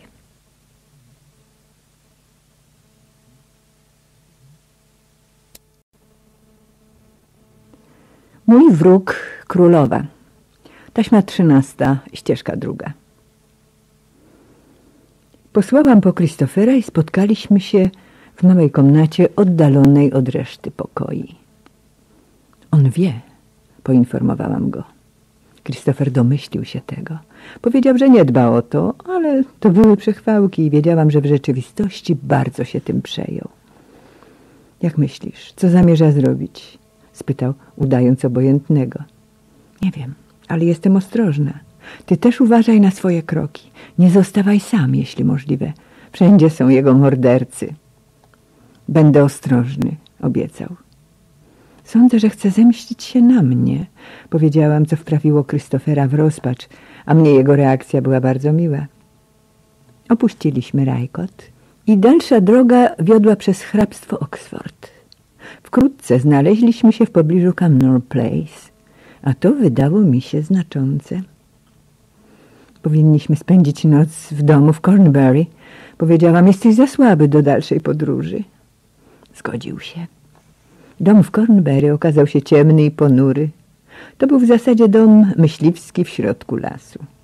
Służący pomogli mu przejść do pokoju wyłożonego boazerią, który szybko przygotowano i zaraz znalazł się w łóżku. Powiedziałam służbie, że musimy tu pozostać, dopóki hrabia nie poczuje się lepiej, by podjąć dalszą podróż. Potrzebował odpoczynku, bo nawet jazda z Rajko do Cornbury bardzo go wyczerpała. Robert zgodził się, że powinien odpocząć i zaraz zapadł w głęboki sen. Usiadłam przy jego łóżku. Nie potrzebowałam udawać niepokoju, bo rzeczywiście byłam zdenerwowana, nie wiedząc, co knuł. Jego pozorna obojętność mówiła mi, że coś planuje. W domu panowała posępna atmosfera. Nie mogłam zasnąć. Obawiałam się cieni, które nastały w mrokach nocy. Liście zaczynały brunatnieć, bo nastał wrzesień. Wiatr zrywał je i strącał na ziemię, zaśmiecając las. Wyjrzałam na te drzewa przez okno, słuchając jęków wiatru wśród gałęzi. Zastanawiałam się, czy Ami była pogrążona w podobnych myślach w czasie swoich ostatnich dni w Camnor Place. 3 września słońce jasno świeciło i Robert trochę przyszedł do siebie. Późnym popołudniem wezwał mnie do swego pokoju, zapowiadając, że jeśli utrzyma się poprawa, zamierza podjąć dalszą drogę następnego dnia. Powiedział, że omówimy nasze problemy i osiągniemy porozumienie. Oświadczył, że jesteśmy sobie zbyt bliscy, aby się rozstać, gdy jeszcze tyle w nas życia. Słowa te zabrzmiały złowieszczo, a do tego jego oczy błyszczały gorączkowo. Czuł się trochę lepiej i zażądał jedzenia, uważając, że posiłek wzmocni jego siły potrzebne do odbycia dalszej drogi. Czy nie powinieneś możliwie najszybciej udać się do wód? spytałam. Spojrzał na mnie uważnie i powiedział Zobaczymy. Zjadł kolację w sypialni. Był zbyt słaby, by zejść do jadalnego holu. Powiedział, że ma dobre wino, które chciałby, abym z nim wypiła. Natychmiast zaalarmowały mnie wszystkie zmysły, jakby w głowie odezwał się dzwonek. Nie powinnam pić tego dobrego wina. W całym kraju nie było sprawniejszego truciciela niż doktor Giulio, który wiernie służył swemu panu. Nie mogę wypić tego wina. Oczywiście wcale nie musiał mnie otruć. Mógł wymyślić gorszą zemstę niż śmierć. Gdyby uczynił mnie więźniem w Kenilworth, oświadczając, że postradałam zmysły, byłaby to boleśniejsza zemsta niż nagła śmierć. Musiałam jednak uważać. Poszłam do jego komnaty. Na stole stał dzban wina z trzema kielichami. W jednym było wino, dwa inne były puste. Leżał oparty na poduszkach. Twarz miał bardzo czerwoną i pomyślałam, że już wypił więcej niż powinien. Czy to jest wino, którego miałam spróbować? spytałam. Otworzył oczy, kiwając głową. Uniosłam kielich do ust, ale nic nie wypiłam. To byłoby szaleństwo. Dobre, powiedziałam. Wiedziałem, że ci posmakuje. Wydawało mi się, że usłyszałam triumf w jego głosie, Postawiłam kielich na stole i podeszłam do jego łóżka. Robercie, jesteś bardzo chory, powiedziałam. Będziesz musiał zrezygnować z części swoich obowiązków. Za dużo pracowałeś. Królowa się nie zgodzi, odparł. Dba o twoje zdrowie. Uśmiechnął się. Zawsze dbała, rzekł z czułością, a we mnie wezbrała fala gniewu na myśl o tych podstarzałych kochankach. Nigdy nie skonsumowali swej miłości, a teraz starzy i pomarszczeni jeszcze ją wynosili pod niebiosa, choć może tylko udawali, że to robią. Co uprawnia małżonka do głośnego wyrażania podziwu dla kobiety, która nie jest jego żoną, nawet jeśli jest królową? Mój romans z Christopherem jest usprawiedliwiony. Gdy Robert przymknął oczy, podeszłam do stołu. Stojąc do niego plecami, wylałam wino, którego bałam się wypić, do innego kielicha. Był to kielich, którego obecnie używał, bo był darem królowej. Ponownie podeszłam do łoża. Czuję się taki chory, poskarżył się. Za dużo zjadłeś. Ona zawsze to mówi. I ma rację. Odpocznij teraz. Czy chce ci się pić? Przytaknął głową. Czy chciałbyś, abym nalała ci wina? Spytałam jeszcze. Proszę, zrób to. Na stole stoi mój kielich. Podeszłam do stołu. Drżały mi palce, gdy dolewałam wina do kielicha z przeznaczonym dla mnie napojem. Co się z tobą dzieje? Strofowałam siebie. Jeśli nie chciał cię skrzywdzić, to wszystko w porządku i jemu nic się nie stanie. A jeśli chciał, to czy możesz czuć się winna? Zaniosłam kielich do łóżka. A gdy go podawałam, do pokoju wszedł jego paś, Willie Hines.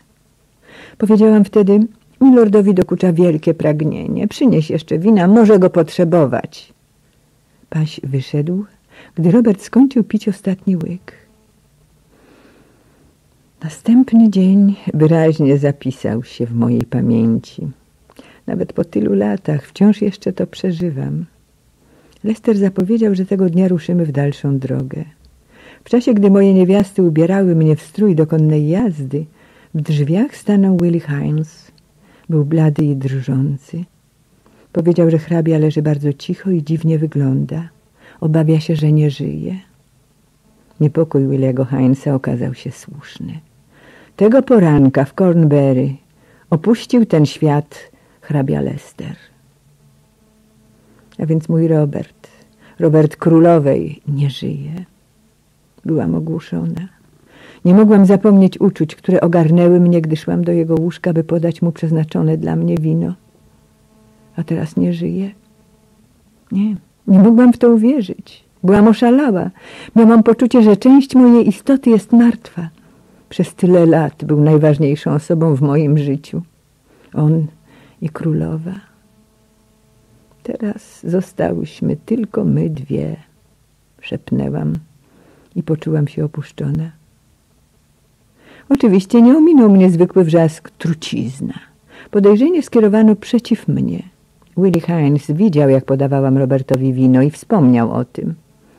Żeby człowiek uważany za naczelnego truciciela naszych czasów dał się zabić własnym złowieszczym środkiem, zdawało się być jedynie wymierzeniem sprawiedliwości. Jeśli rzeczywiście został otruty, zdawałam sobie sprawę, że posądzenie, iż to ja go zabiłam, przylgnie do mnie do końca życia. Przeraziłam się na wiadomość, że odbędzie się badanie pośmiertne. Nie wiedziałam, czy otrułam Lestera, czy nie. Wszak zupełnie możliwe, że wino dla mnie przeznaczone, które mu podałam, było bez trującej domieszki. Był w takim stanie, że mógł umrzeć każdej chwili. Ja nie miałam z tym nic wspólnego. Jak można było mnie obwiniać? Przyjęłam z wielką ulgą wiadomość, że nie znaleźli w nim oznak trucizny. Ale o doktorze Giulio mówiono, że jego trucizny po krótkim czasie nie zostawiały śladów w ciele.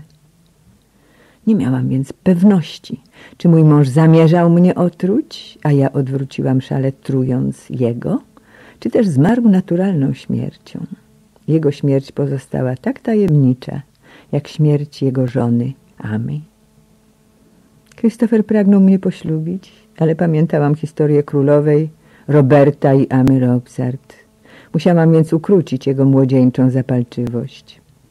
Oczywiście nie jestem królową, aby na mnie koncentrowała się uwaga świata, ale zostałam wdową po najbardziej osławionym człowieku, nie tylko w Anglii, ale w całej Europie. Powiedziałam, że cię poślubię, ale później, jeszcze nie teraz, oznajmiłam Christopherowi. Żałowałam, że nie byłam na dworze, aby zobaczyć, jak królowa przyjęła wiadomość. Potem się dowiedziałam, że najpierw nic nie powiedziała, ale spojrzała bez wyrazu przed siebie. Następnie poszła do prywatnej komnaty i zamknęła drzwi. Nie chciała jeść ani spotykać nikogo. Chciała być sama ze swoim smutkiem. Mogłam domyślać się, jak wielki to był żal. To mnie zawstydziło. Zdając sobie sprawę, jak głęboki był jej smutek, zrozumiałam, jak mocno mogła kochać i mściwie nienawidzić. Królowa długo nie opuszczała swej smutnej komnaty. Po dwóch dniach ministrowie się przerazili i Lord Borlight z kilkoma innymi panami siłą otworzyli drzwi. Wyobrażałam sobie jej uczucia. Znała go od dawna, od czasu, gdy byli dziećmi. Wiedziałam, że teraz była przekonana, że z jej życia zniknęło światło. Widziałam w myślach, jak stała przed zimnym, okrutnym lustrem ukazującym leciwą kobietę, której dotąd nie chciała dostrzec. Była stara, choć nadskakiwali jej młodzi przystojni kawalerowie. Wiedziała jednak, że tylko zabiegali o łaski. Gdy zdejmie koronę i przygasną światła, skończy się taniec nocnych motyli. Powie jednak sobie, że jej oczy, jej słodki Robert był jedynym w świecie, którego naprawdę kochała. I już go nie ma. I z pewnością pomyśli, jak inne miałaby życie, gdyby zaryzykowała koronę i go poślubiła. Jakież intymne radości mogliby dzielić. Może mieliby dzieci, pociechę na taki czas. Ile bólów, zazdrości by ją ominęło i ile radości by doświadczyła, wiedząc, że nie mogę dzielić z nim życia. Teraz byłyśmy ze sobą tak blisko jak zawsze. Jej żal był moim smutkiem. Byłam zdumiona, uświadomiwszy sobie, jak go jednak kochałam, choć w ostatnich latach odwróciłam się od niego. Zrobiłam to wszakże, bo ona weszła między nas.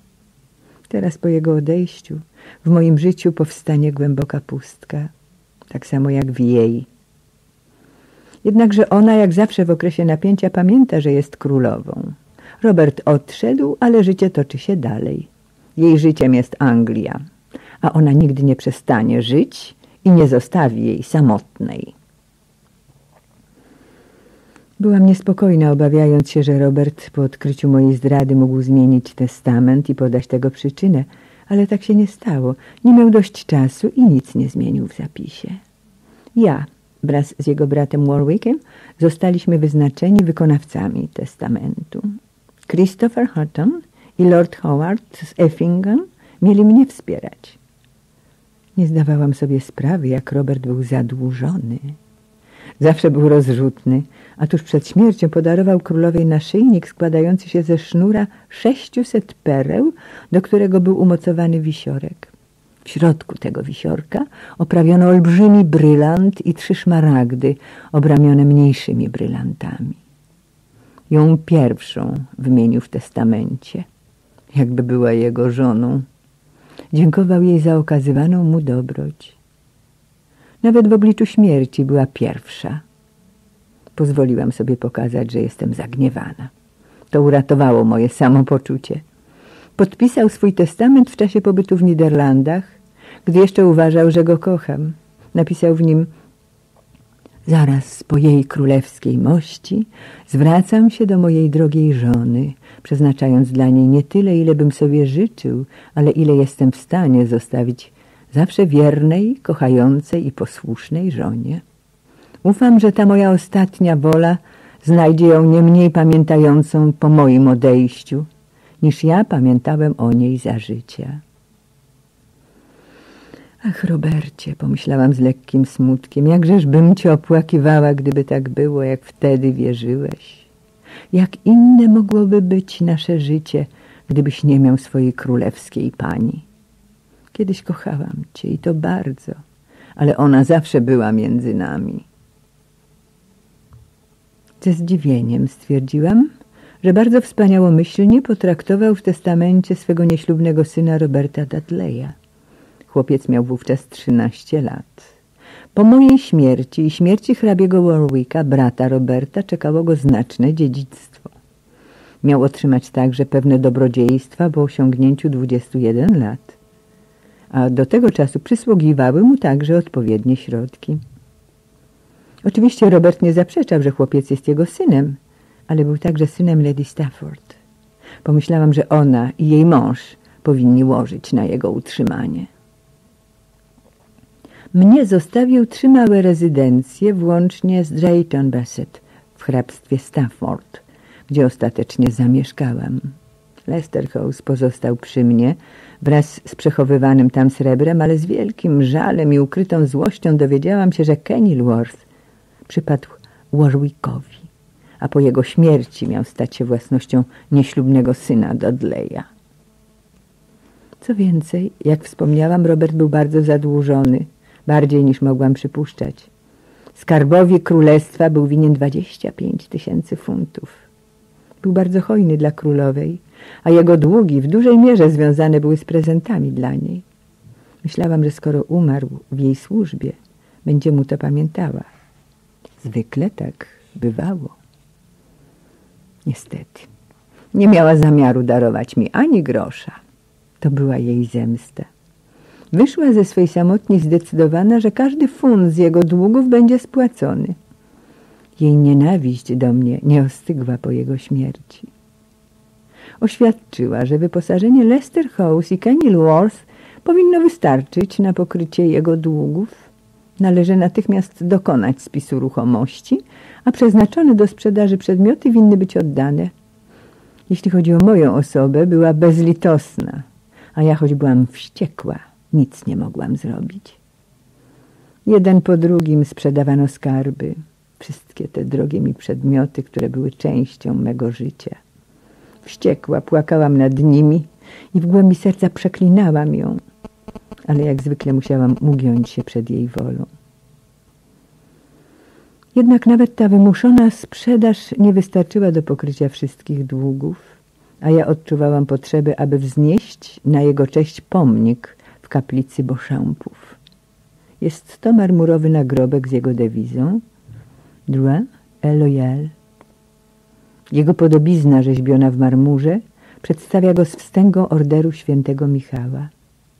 Obok jest miejsce dla mnie, gdy nadejdzie mój czas. Tak przeminął wspaniały hrabia Lester. Rok później poślubiłam Christophera Blanta. Essex. Łatwo może sobie wyobrazić, że twój niegodny wyjazd i porzucenie obowiązków było dla mnie bardzo przykre. Nasza wielka łaskawość względem ciebie i niezasłużone nagrody doprowadziły cię do zaniedbań i zapomnienia o zobowiązaniach. Tego dziwnego postępowania nie możemy inaczej tłumaczyć. Wobec tego zalecamy ci i rozkazujemy, abyś po otrzymaniu tego listu, odrzuciwszy wszelkie tłumaczenia i wyjaśnienia opóźnień, natychmiast się stawił przed naszą osobą i naprawił błędy, abyś mógł korzystać z dalszych naszych łask.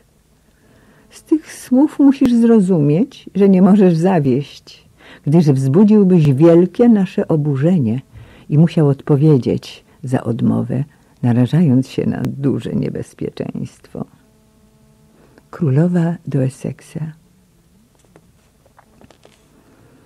Przez pewien czas rozkoszowałam się moim nowym małżeństwem i byłam szczęśliwa. Miałam przystojnego młodego męża, który mnie ubóstwiał i nie był nieustannie na usługach innej kobiety. Mój syn Robert szybko stawał się jednym z faworytów królowej i wydawało się całkiem prawdopodobne, że z czasem zajmie miejsce swego ojczyma. Któregoś dnia powiem królowej, zapewniał mnie, żeby przyjęła cię pani na dworze. Bardzo różnił się od Lestera, który zawsze był taki ostrożny i przebiegły. Czasami drżałam o syna. Brakowało mu taktu i nigdy ze względu na osobiste korzyści nie udawał, że coś mu się podoba, gdy tak nie było. To początkowo mogło budzić sympatię, Ale czy mogło się to podobać takiej próżnej, przyzwyczajonej do pochlebstw kobiecie, jaką była królowa? Zachowanie seksa można było traktować jak wyczyny enfant terrible, choć zawsze przesadnie próżny, nie przeceniał jednak swego wpływu na królową. Omawiałam to z Christopherem, który był zdania, że królowa, będąc pod wpływem uroku młodości i urody seksa, wiele powinna mu wybaczyć. Młodość i uroda Christophera także przemawiały na jego korzyść, ale ja bynajmniej nie tolerowałabym jego ewentualnego zuchwalstwa. Bez względu na to, że jest młody i przystojny. Nie wątpiłam, że Elżbieta myśli podobnie. Uznałam wówczas, że rozsądnie jest poczekać z moim zamąż pójściem ze względu na pogłoski o śmierci Roberta i fakt, że mój przyszły mąż był około dwudziestu lat ode mnie młodszy. Następny rok był dla mnie bardzo szczęśliwy. Zawsze byliśmy lojalną rodziną.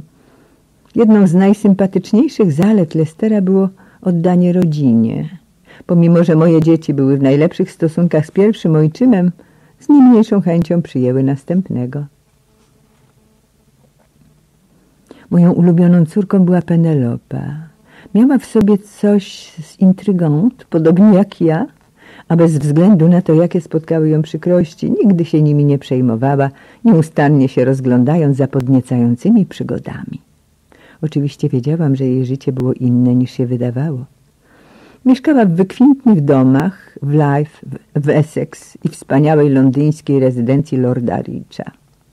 Na wsi uważano ją za wzór wszelkich cnót, kobietę poświęcającą się całkowicie wychowaniu rosnącej dziatwy.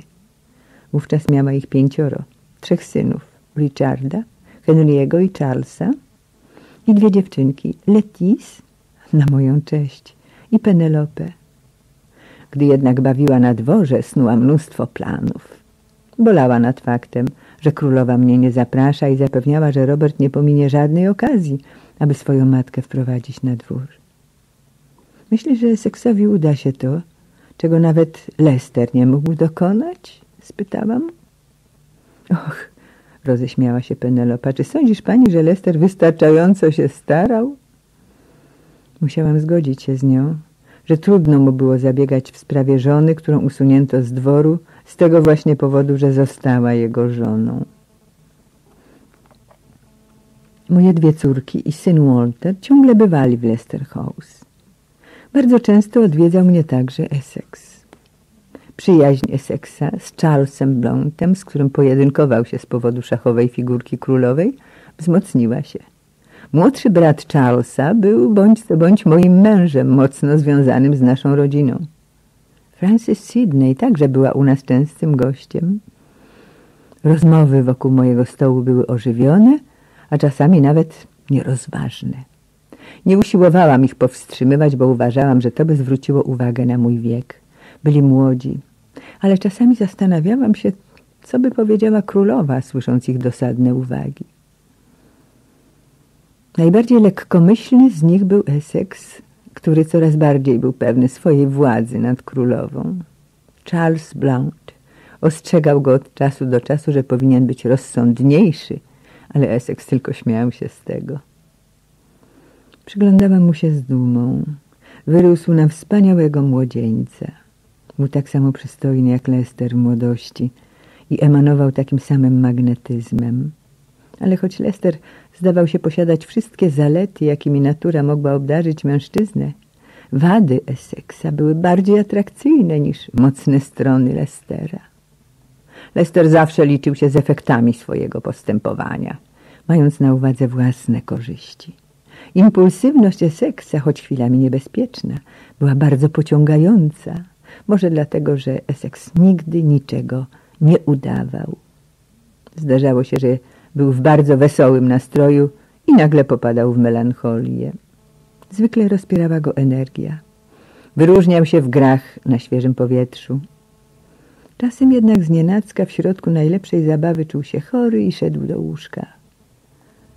Poruszał się dziwnie, chodził jakby urywanym, nieśpiesznym krokiem i po tym można było z daleka rozpoznać go w tłumie.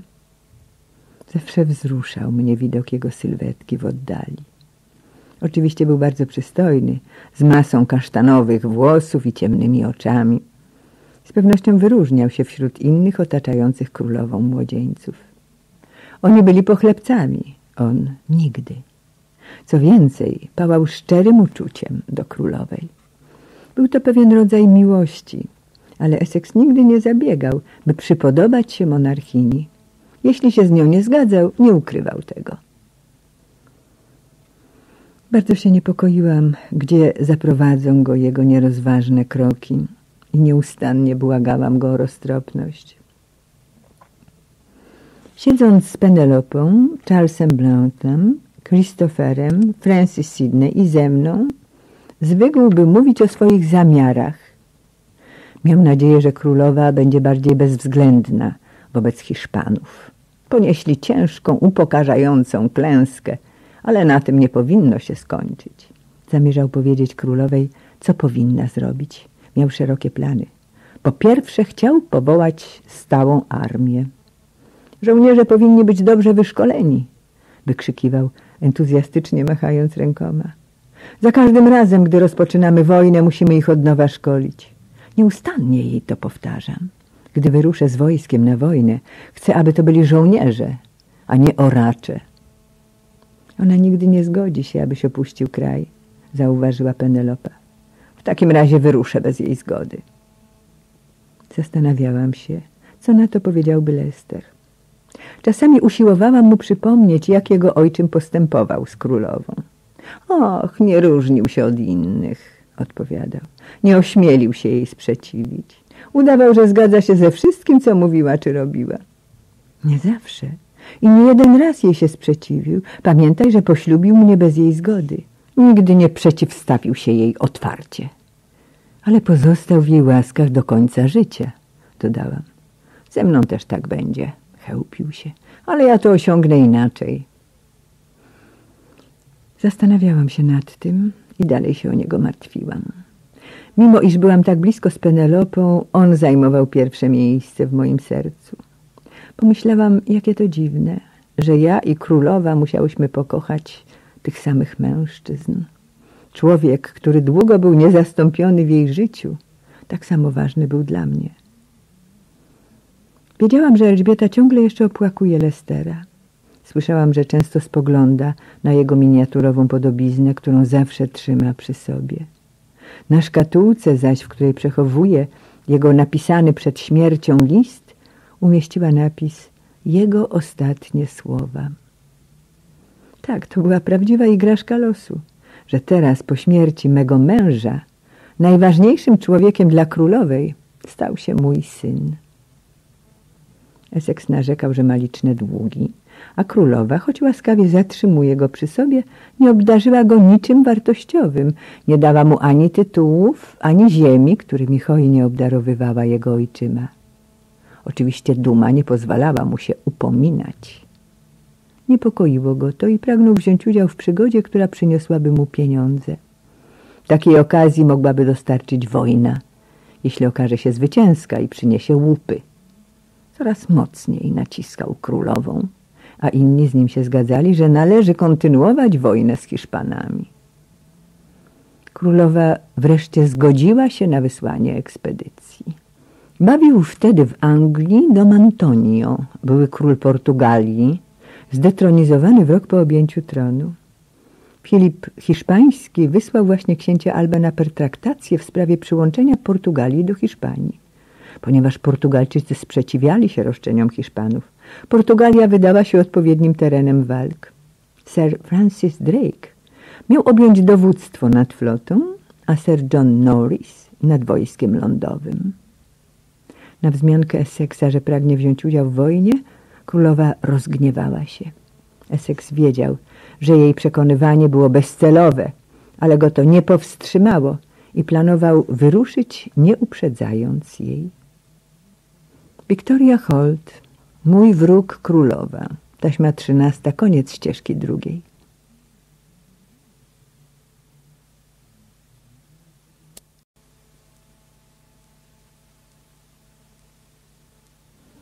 Wiktoria Holt, mój wróg królowa. Taśma czternasta, ścieżka pierwsza. Na parę dni przed wyruszeniem Essex przyjechał do mnie, aby się pożegnać. Schlebiało mi to, że dopuścił mnie do sekretu, podczas gdy królowa została pominięta. Będzie na ciebie wściekła, powiedziałam. Możliwe, że nie przyjmiecie potem na dworze. Tylko się roześmiał. Był pewny, że wie, jak z nią postępować. Ostrzegałam go, choć nie naciskałam. Prawdę mówiąc, cieszyła mnie myśl o jej złości. Essex nade wszystko kochał przygody. Swój wyjazd zaplanował razem z Penelopą. W wieczór wyjazdu zaprosił na kolację męża Penelopy, Lorda Richa. Gdy tylko Rich wyszedł, Essex udał się do parku, gdzie czekał jego stajenny z szybkimi końmi. Drake nie zgodzi się, abyś wszedł na jego statek, przewidywałam. Dobrze wie, że to jest niezgodne z życzeniem królowej. On nie należy do tych, którzy ryzykują jej obrazę. Essex roześmiał się. Drake mnie nie zobaczy. Umówiłem się z Rogerem Williamsem, że zabierze mnie na swój okręt. Udamy się na morze i jeśli Drake nie zechce, abyśmy do nich dołączyli, poprowadzimy własną kampanię. Przerażasz mnie, powiedziałam, ale byłam dumna z jego wojowniczej, brawurowej odwagi, którą, jak sądziłam, odziedziczył po mnie, gdyż z całą pewnością nie była spadkiem po jego ojcu. Ucałował mnie gorąco, pełen miłości. Nie, najdroższa matko, nie obawiaj się. Przyrzekam ci, że wrócę w promieniach takiej chwały i z takim ogromem hiszpańskiego złota, że wszyscy będą się dziwić. Przekażę królowej część tego skarbu i dam jej do zrozumienia, że jeśli chce mieć mnie przy sobie, musi także zgodzić się na moją matkę. Brzmiało to bardzo pięknie. Jego entuzjazm sprawił przynajmniej częściowo, że mu uwierzyłam. Napisał kilka słów do królowej, wyjaśniając jej swoje zamiary i zamknął list w swoim biurku. Wczesnym rankiem wyruszył konno do Plymouth, a po przebyciu dziewięćdziesięciu mil odesłał stajennego z kluczami do biurka z poleceniem oddania ich lordowi Richowi, aby ten otworzył szufladę i przekazał pismo królowej. Po przeczytaniu go królowa tak się zezłościła, że obecni na dworze uznali, że to koniec Essexa. Kleła na niego, obrzucając go wyzwiskami, jakie tylko przyszły jej na myśl i przyrzekła, że pokaże mu, co to znaczy lekceważyć królową. Trudno mi było nie odczuwać pewnego zadowolenia z jej złości i zawodu, ale jednocześnie obawiałam się, że Essex mógł zaszkodzić swej karierze. Królowa natychmiast napisała do niego, żądając jego powrotu, ale Essex powrócił dopiero po trzech miesiącach. Później pokazał mi otrzymane od niej listy. Musiała rzeczywiście być wściekła, pisząc do niego. Gdy po tygodniach, na ogół niepomyślnych przygód, dostał te listy, miał tyle rozsądku, że zdał sobie sprawę z konieczności natychmiastowego powrotu. Wyprawa Essexa zakończyła się klęską. Natomiast Drake i Norris przywieźli duże ładunki skarbów złupionych w Hiszpanii. Także trud Essexa był chybiony. Essex stanął przed królową, która zażądała wyjaśnień. Na to upadł do jej stóp, mówiąc, jakie to dla niego szczęście znów ją widzieć. Wszystko, co wycierpiał, warte było nagrody ponownego jej zobaczenia. Może ukarać go za jego szaleństwo, nie dba o to, ale wrócił do domu i mógł ucałować jej rękę. Naprawdę tak myślał. Był ogromnie szczęśliwy z powrotu. Ona zaś w olśniewającej sukni z aurą królewskości wokół siebie przerastała wszystkich w jego oczach. Poleciła mu, aby usiadł koło niej i opowiedział jej o swoich przygodach. Była wyraźnie szczęśliwa, że znowu z nią jest. Wydawało się zatem oczywiste, że królowa wszystko mu wybaczyła. To tak jak z Lesterem, mówiono. Essex nie może postąpić źle. Być może rozumiejąc, że Essex wyjechał, by zdobyć pieniądze, Elżbieta postanowiła, że powinien nauczyć się zarabiać je w kraju. Teraz była dla niego hojna, a on się bogacił. Najważniejszym przywilejem było przyznanie mu pozwolenia na pobór podatków za importowane do Anglii słodkie wina. W ten sposób przypadły mu w udziale duże dochody. Był to jeden z przywilejów nadany kiedyś Lesterowi i wiedziałam od niego, jakie przynosi korzyści. Mój syn był teraz pierwszym faworytem królowej. A dziwne mogło się wydawać, że na swój sposób ją kochał. Sprawa małżeństwa, która tak długo nurtowała Lestera, nigdy nie przyszła mu na myśl, lecz królowa fascynowała go bez granic, uwielbiał ją. Widziałam kilka listów, które do niej napisał. Wszystkie przepełnione były niecodzienną namiętnością. To nie przeszkadzało mu w licznych romansach i wkrótce zyskał opinię flirciarza. Oczywiście trudno było mu się oprzeć. Z takim wyglądem, czarującymi manierami i łaskami na dworze. Wyobrażałam sobie, jak zachwycał królową w tym czasie. Nie kochała go tak głęboko, jak kiedyś Lestera, ale to było inne uczucie. Ten młody człowiek, szczery w wypowiedziach, nienawidzący podstępnego działania, wyniósł ją na piedestał adoracji, a ją to zachwycało. Z przyjemnością przyglądałam się jego postępom na dworze. Byłam zdumiona, ale triumfowałam, gdyż mój syn, mimo niełaski matki, znalazł drogę do serca królowej. Jednocześnie byłam niespokojna. Był taki nierozważny. Nie zdawał sobie sprawy z czyhającego na niego niebezpieczeństwa lub je lekceważył. Wszędzie miał wrogów. Mądrego, wytwornego Ralajka królowa także kochała, ale nigdy tak mocno jak dwóch moich mężczyzn, męża i syna. Czasami dostrzegałam ironię tego układu i pękałam ze śmiechu. To było jak tańczenie kadryla. Odtwarzaliśmy we czworo figury do muzyki, która nie całkiem była naszym wyborem. Teraz jeden z tancerzy odszedł, ale troje pozostało. Essex nie miał głowy do pieniędzy. Jakżeż inny był Lester. A jednak mój mąż zmarł głęboko zadłużony. Często zastanawiałam się nad przyszłością mego syna. Im był bogatszy, za sprawą szczodrości królowej, tym bardziej był hojny. Korzystali z tego wszyscy pozostający na jego usługach. Deklarowali, że pójdą za nim na koniec świata, ale czasami się zastanawiałam, czy ich lojalność byłaby tak silna, gdyby stracił środki, którymi ich opłacał. Mój skarb. Jakże go kochałam, jak byłam z niego dumna, jak bałam się o niego. Penelopa zwróciła moją uwagę na wzrastające zainteresowanie seksa Francis Sidney. Francis była bardzo piękna. Jej ciemna karnacja, odziedziczona po ojcu, którego królowa nazywała swoim murzynem, przyciągała wzrok. Będąc wszakże nieśmiała, zawsze trzymała się trochę z boku zbierającego się przy moim stole młodego towarzystwa. Penelopa uważała, że Francis podoba się Essexowi, ponieważ tak się od niego różni. Czy sądzisz, że zamierza ją poślubić? spytałam. Nie zdziwiłoby mnie to. Jest starsza od niego, wdowa z córką. Essex od śmierci Filipa był wobec niej opiekuńczy. Jest spokojna i nie narzuca się. Nie usiłowałaby wtrącać się w jego sprawy. Sądzę, że mu to odpowiada. Moja droga Penelopo, w całej Anglii nie ma człowieka ze wspanialszymi perspektywami niż twój brat. Może wejść przez małżeństwo do najbardziej znaczącej i najbogatszej rodziny w kraju. Nie powinien wybrać córki Walsinghama. Moja droga mamo, odparła, to nie my wybieramy, ale on.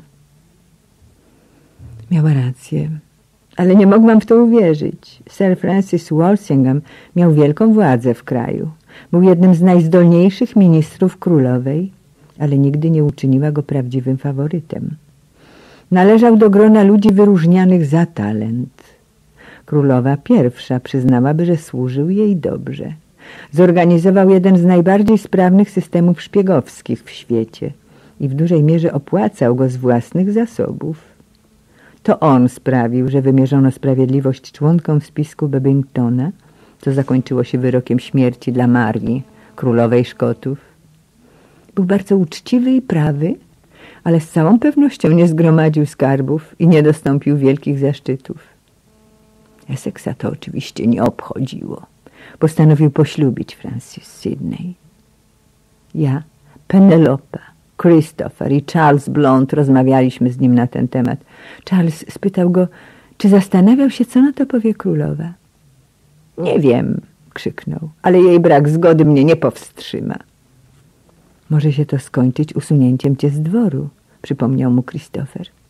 Drogi Christopherze, czy sądzisz, że nie wiem, jak przekonać królową? Nawet nie wspominaj o tym, błagał go Charles. Gdyby o tym doniesiono królowej... Jesteśmy przyjaciółmi, nie ma tu nikogo poza nami, odparł Essex. Lester ożenił się i przebaczyła mu.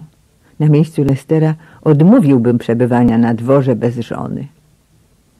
Nawet gdybyś był Lesterem, mój synu, nie zachowałbyś względów królowej przez całe życie. Błagam cię o rozwagę.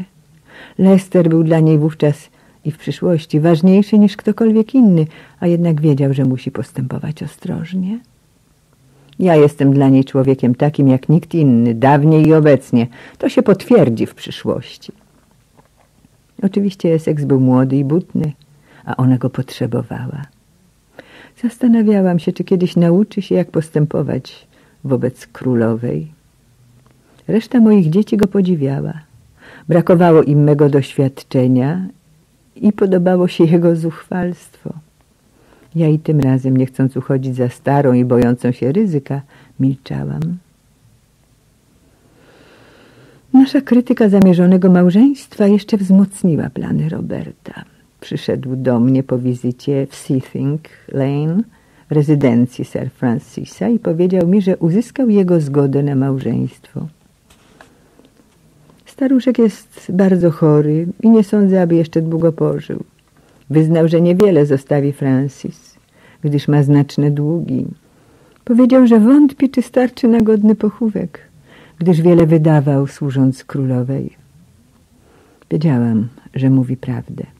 Wykazał brak rozsądku. Lester, służąc królowej, uczynił z tego bardzo intratne przedsięwzięcie, ale i on zostawił długi i właśnie przy ich spłacie opłakiwałam utratę wielu cennych dla mnie przedmiotów. Kosztowności te zostały sprzedane, by pokryć zobowiązania Lestera. Ostatecznie mój syn i córka Walsinghama, wdowa po Filipie Sydneyu, pobrali się sekretnie. Przeraziłam się na widok Sir Francisa, gdy zorientowałam się, odwiedzając go, jak był chory.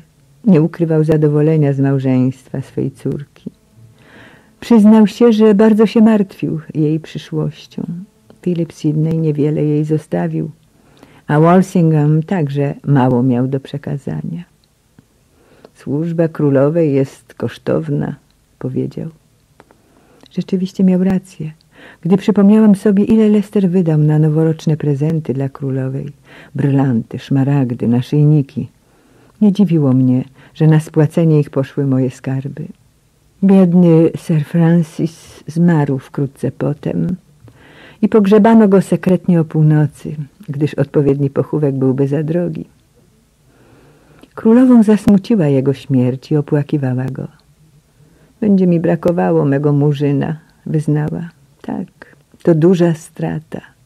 Był dobrym sługą, a ja nie zawsze dobrze go traktowałam. Wiedział jednak, że nie jestem niewdzięczną panią, jaka się czasami wydawałam. Słyszałam, że niewiele pozostało dla jego wdowy i córek.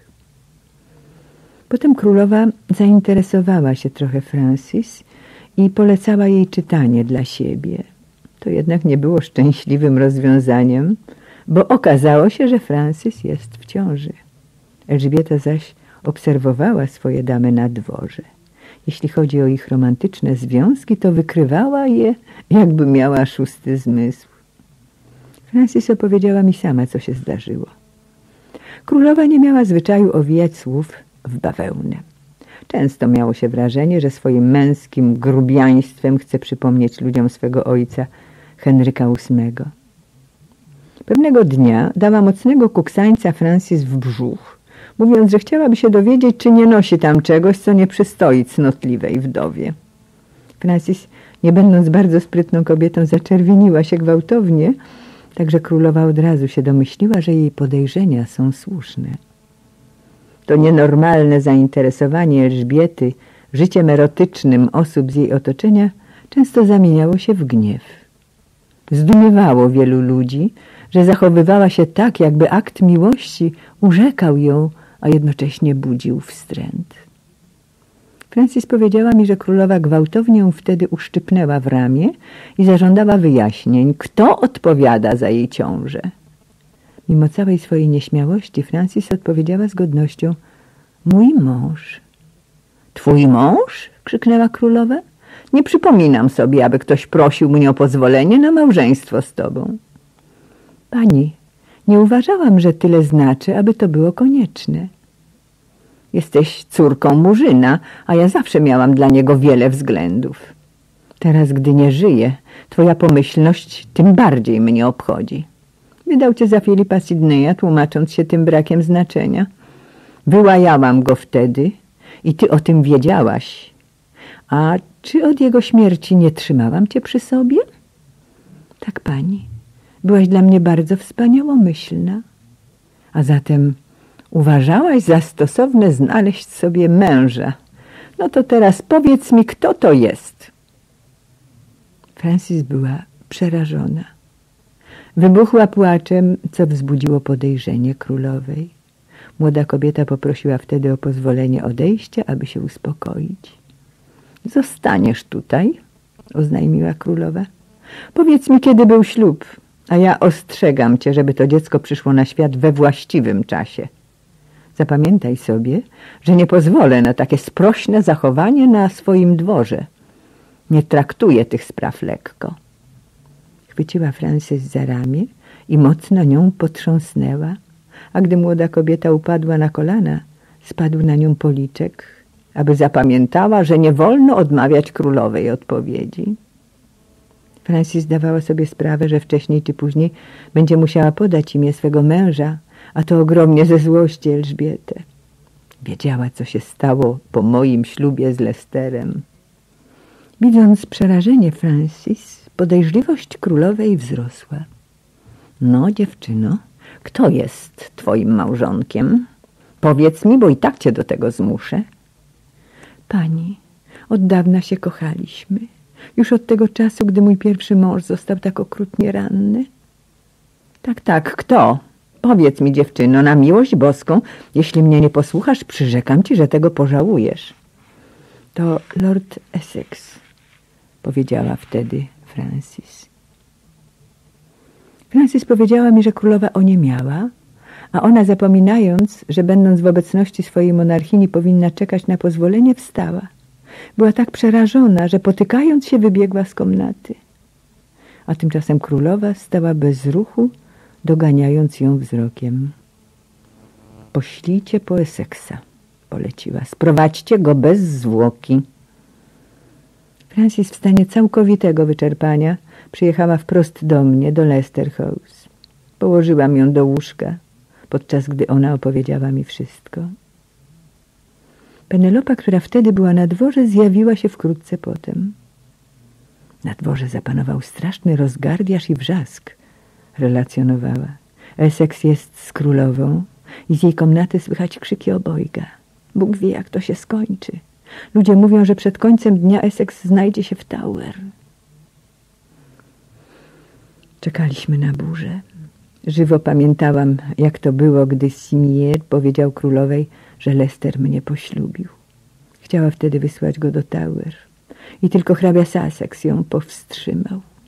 Ale wówczas zmiękła. Nie wiedziałam, jak głębokie było jej uczucie do mojego syna, ale byłam pewna, że było inne niż to, którym darzyła Lestera. Miłość do Dudleya sięgała głęboko, splatając się z okresem dojrzewania jej kobiecości. Sądziłam, że uczucie do Essexa było bardziej kruche i dlatego drżałam o niego. Brakowało mu taktu Lestera. Zachowywał się zuchwale, podczas gdy mój mąż umiejętnie wykorzystywał sztukę dyplomacji. Czekałam z Penelopą i Francis w Leicester House. Po pewnym czasie zjawił się Robert. A więc jest na mnie wściekła. Nazywa mnie niewdzięcznikiem, przypominając, że mnie wyniosła na dworze i że równie łatwo może mnie zrzucić z piedestału.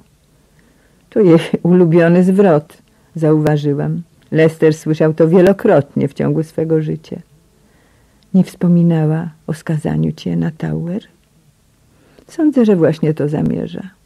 Powiedziałem, że choć ją czczę, Jestem mężczyzną, który będzie żył własnym życiem, a ożeniłem się, gdyż tak postanowiłem.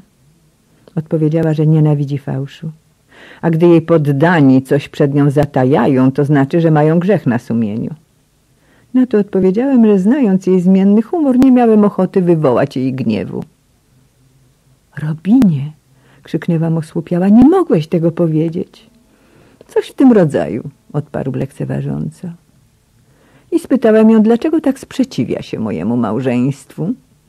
Na to odpowiedziała, że gdybym przyszedł do niej i powiedział jej, co zamierzam, zastanowiłaby się nad tym. I nie otrzymałbym pozwolenia, krzyknąłem. A to by oznaczało, że byłbym zmuszony nie wypełnić twojego rozkazu, pani, podczas gdy teraz tylko wywołałem niezadowolenie. Któregoś dnia posuniesz się za daleko, rzekłam. Przypomniałam sobie te słowa później, ale już wtedy zabrzmiały jak gorzkie ostrzeżenie nadchodzącego niebezpieczeństwa. Do tego pysznił się, powiedziała mi, że nie tylko rozgniewało ją utrzymane w tajemnicy małżeństwo, ale to, że miała wobec mnie wielkie plany, a ja wziąłem sobie żonę poniżej mego stanu. Spojrzałam na Francis, rozumiejąc, co czuła. Czy mnie nie spotkało kiedyś to samo? Chciałam ją pocieszyć i powiedziałam uspokajająco. Powiedziałaby to o każdej małżonce, chyba że byłby to królewski związek. Pamiętałam, jak zamierzała, a może tylko tak mówiła, ożenić Lestera z księżniczką. To było usprawiedliwienie jej wściekłości, spokojnie odezwał się Essex. Gniewałoby ją moje małżeństwo, bez względu na to, kogo poślubiłem.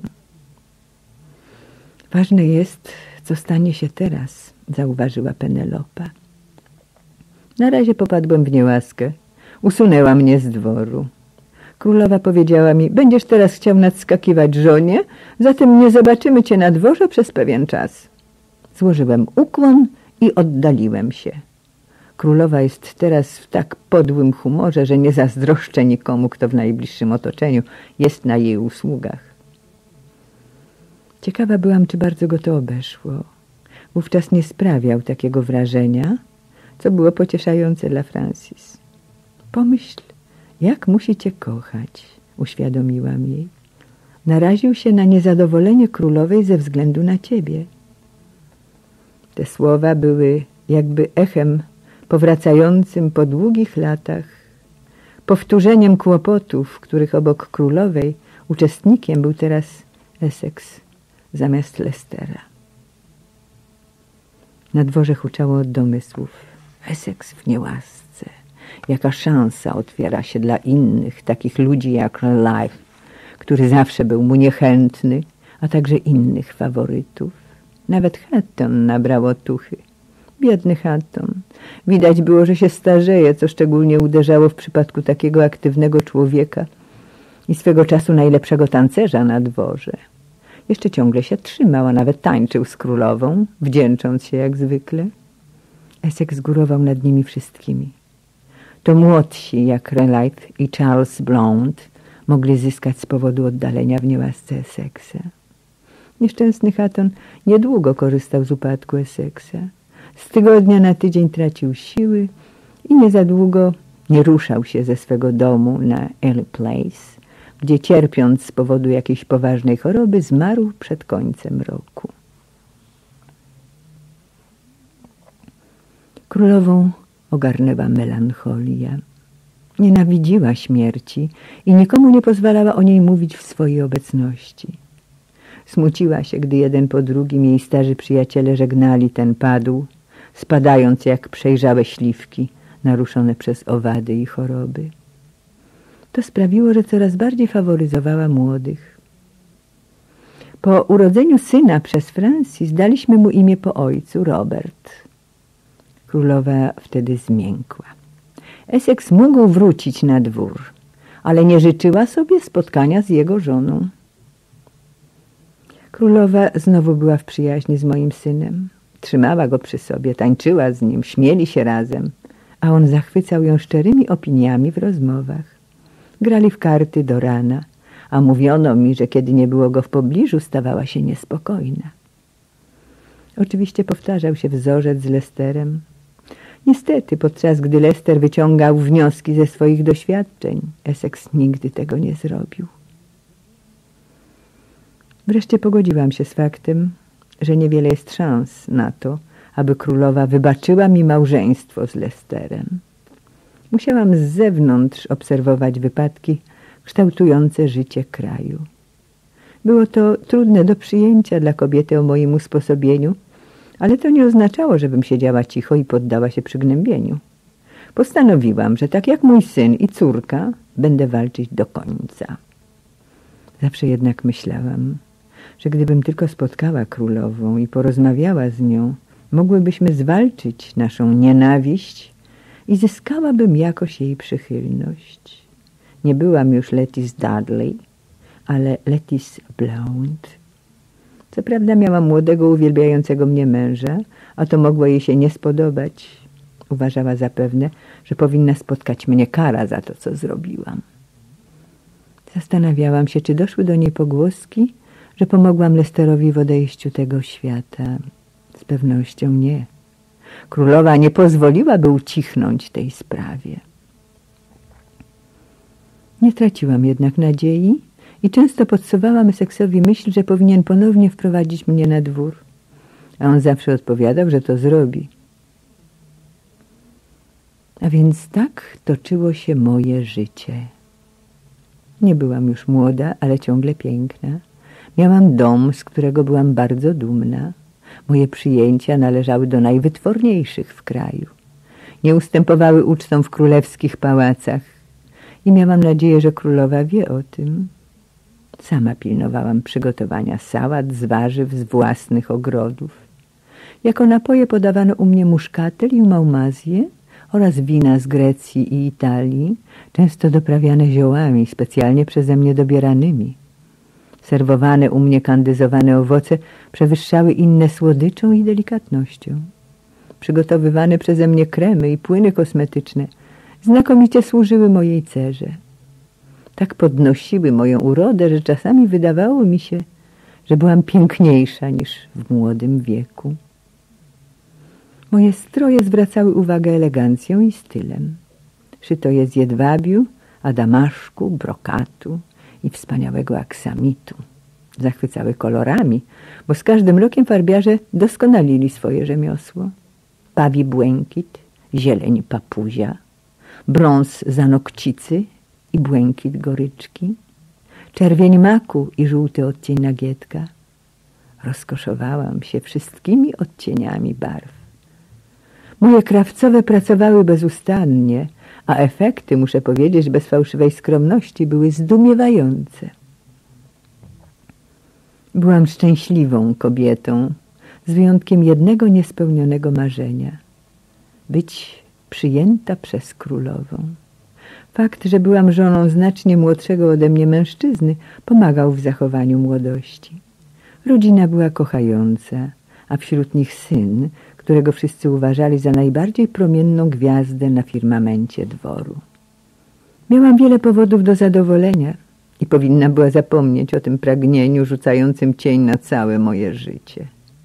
Powinnam przestać myśleć o królowej, która nie odstępowała od postanowienia ukarania mnie. Powinnam pogodzić się z życiem, jakie przypadło mi w udziale.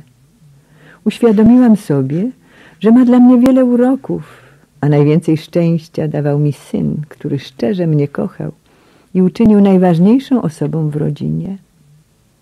Dlaczego miałabym pozwolić, aby starzejąca się mściwa niewiasta przeszkadzała mi w delektowaniu się życiem? Przestanę o niej myśleć. Lester odszedł. To jest moje nowe życie. Muszę być za nie wdzięczna i radować się nim. Nie mogłam jednak wyzbyć się myśli o Elżbiecie. Mój wróg królowa. Taśma czternasta, koniec ścieżki pierwszej.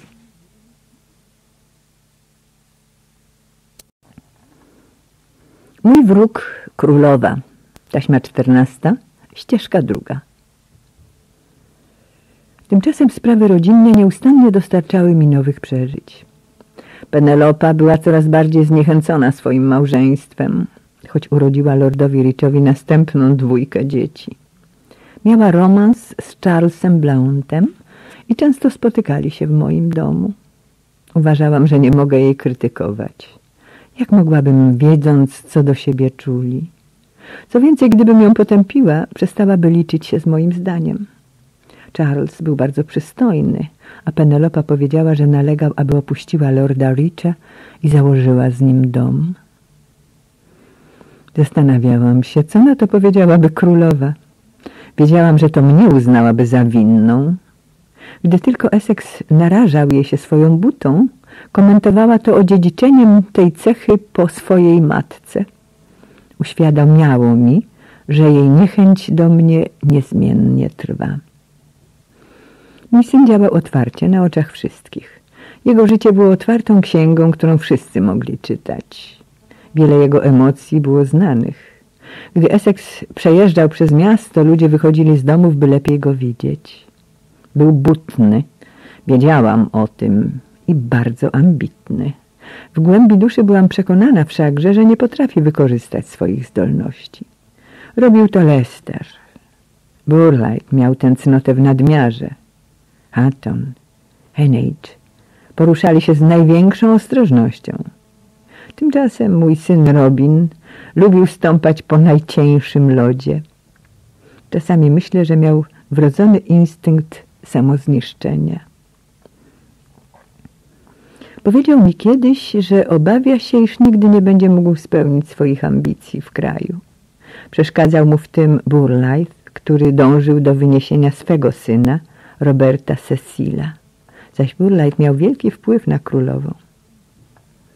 Zdumiałam się, że mój syn marzy o objęciu w rządzie miejsca Burlife'a, co oczywiście było najważniejszym urzędem w kraju. Królowa nigdy by nie zdymisjonowała Burlighta. Mogła obdarzać łaskami swego najważniejszego faworyta, ale w głębi serca doceniała wartość Burlighta.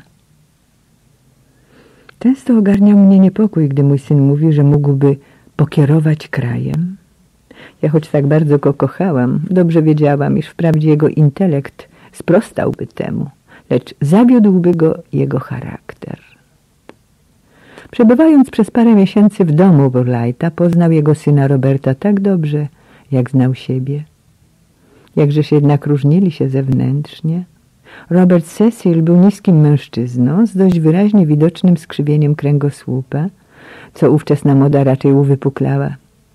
Był zresztą bardzo uczulony na to kalectwo. Królowa lubiła go i chętnie obdarzała awansami, zdając sobie sprawę z jego wyjątkowej błyskotliwości. Jednakże wybranie dla niego przydomku, co często stosowała wobec swych faworytów, pokazywało, że była świadoma jego zniekształcenia. Był dla niej krasnalkiem. Wobec mocnej pozycji Borlajta Essex uważał, że on sam mógł doczekać się awansu jedynie na polu bitwy. Tymczasem królową bardzo zajmowały wypadki we Francji, gdzie po zabójstwie Henryka III Henryk IV z Nawary miał trudności z zachowaniem tronu. Ponieważ Henryk był hugenotą, a katolicką Hiszpanię pomimo klęski armady uważano za zagrożenie dla protestantyzmu, Elżbieta postanowiła wysłać pomoc Henrykowi. Essex oczywiście chciał udać się do Francji.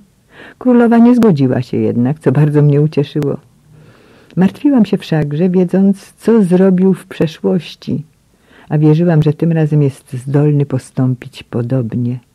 Był przecież przekonany, że cokolwiek zrobi, królowa mu przebaczy. Dąsał się, błagał ją i nie mógł mówić o niczym innym poza swoim pragnieniem. Wreszcie zgodziła się. Zabrał ze sobą Waltera. Niestety, nigdy już nie zobaczyłam młodszego syna, gdyż zginął w bitwie pod Rouen. Niewiele pisałam o Walterze. Był młody i nadzwyczaj spokojny. Moje dzieci przyciągały uwagę wszystkich. Walter był jednak inny. Sądzę, że pozostałe dzieci były podobne do mnie, a Walter do ojca. Ale tego delikatnego, uczuciowego chłopca kochaliśmy wszyscy, choć nie bardzo zwracaliśmy na niego uwagę, gdy był w naszym towarzystwie. Bardzo go nam jednak brakowało, gdy nas opuścił. Wiedziałam, że Robert jest zrozpaczony. Szczególnie, że to on namówił Waltera do wyjazdu do Francji. To on chciał jechać na wojnę, a Walter zawsze pragnął naśladować starszego brata. Essex był świadom, że gdyby został w kraju, jak sobie życzyłam, Waltera nie spotkałaby śmierć. Znając Essexa, wyobrażałam sobie, że jego żal był równy mojemu. Opowiedziano mi o zachowaniu Roberta we Francji. W bitwie odznaczył się odwagą. Oczywiście był dzielny, zgodnie ze swoim nieustraszonym charakterem. Kochał swoich żołnierzy i obdarzał ich łaskami. Orlight zresztą zwrócił uwagę królowej, że nie był do tego uprawniony. Bardzo byliśmy o niego niespokojni, gdyż powracający do kraju mówili o jego brawurze i lekceważeniu niebezpieczeństwa. Opowiadano, że gdy miał ochotę na polowanie, bez wahania wkroczył na nieprzyjacielskie terytorium. Utrata Waltera i lęk o Essexa sprawiały, że myślałam nawet o udaniu się do królowej, by ją ubłagać, aby wezwała Roberta do kraju. Gdybym znalazła się na dworze i miała szansę przekonania jej o celu mojej wizyty, może bym nie przyjęła. Nie musiałam jednak zdobywać się na ten krok, gdyż królowa, podobnie jak ja, niespokojna o niego, sama wezwała go do kraju. Essex tak długo zwlekał z powrotem, że byłam przekonana, że nie posłucha władczyni. W końcu jednak powrócił. Niewiele go jednak widziałam, bo królowa życzyła sobie jego obecności w dzień i do późnego wieczora. Zdumiało mnie zatem, że ponownie pozwoliła mu wrócić na teren wojennych działań francuskich. Sądzę, że tak długo ją błagał, aż dała się przekonać. Robert znowu opuścił kraj, a mój niepokój powrócił. Wreszcie zobaczyłam go całego i zdrowego. Przez następne cztery lata pozostał w Anglii. Droga na szafot. Boże, ześlij mi prawdziwą pokorę i wytrzymałość do przebycia tej ostatniej drogi. Wszystkich was proszę o modlitwę ze mną i za mnie, aby po wyciągnięciu ramion i szyi na pniu w obliczu czekającego mnie ciosu wiecznie obecny Bóg zesłał swoich aniołów, którzy zaniosą moją duszę do Jego miłosiernego tronu. Essex przed egzekucją.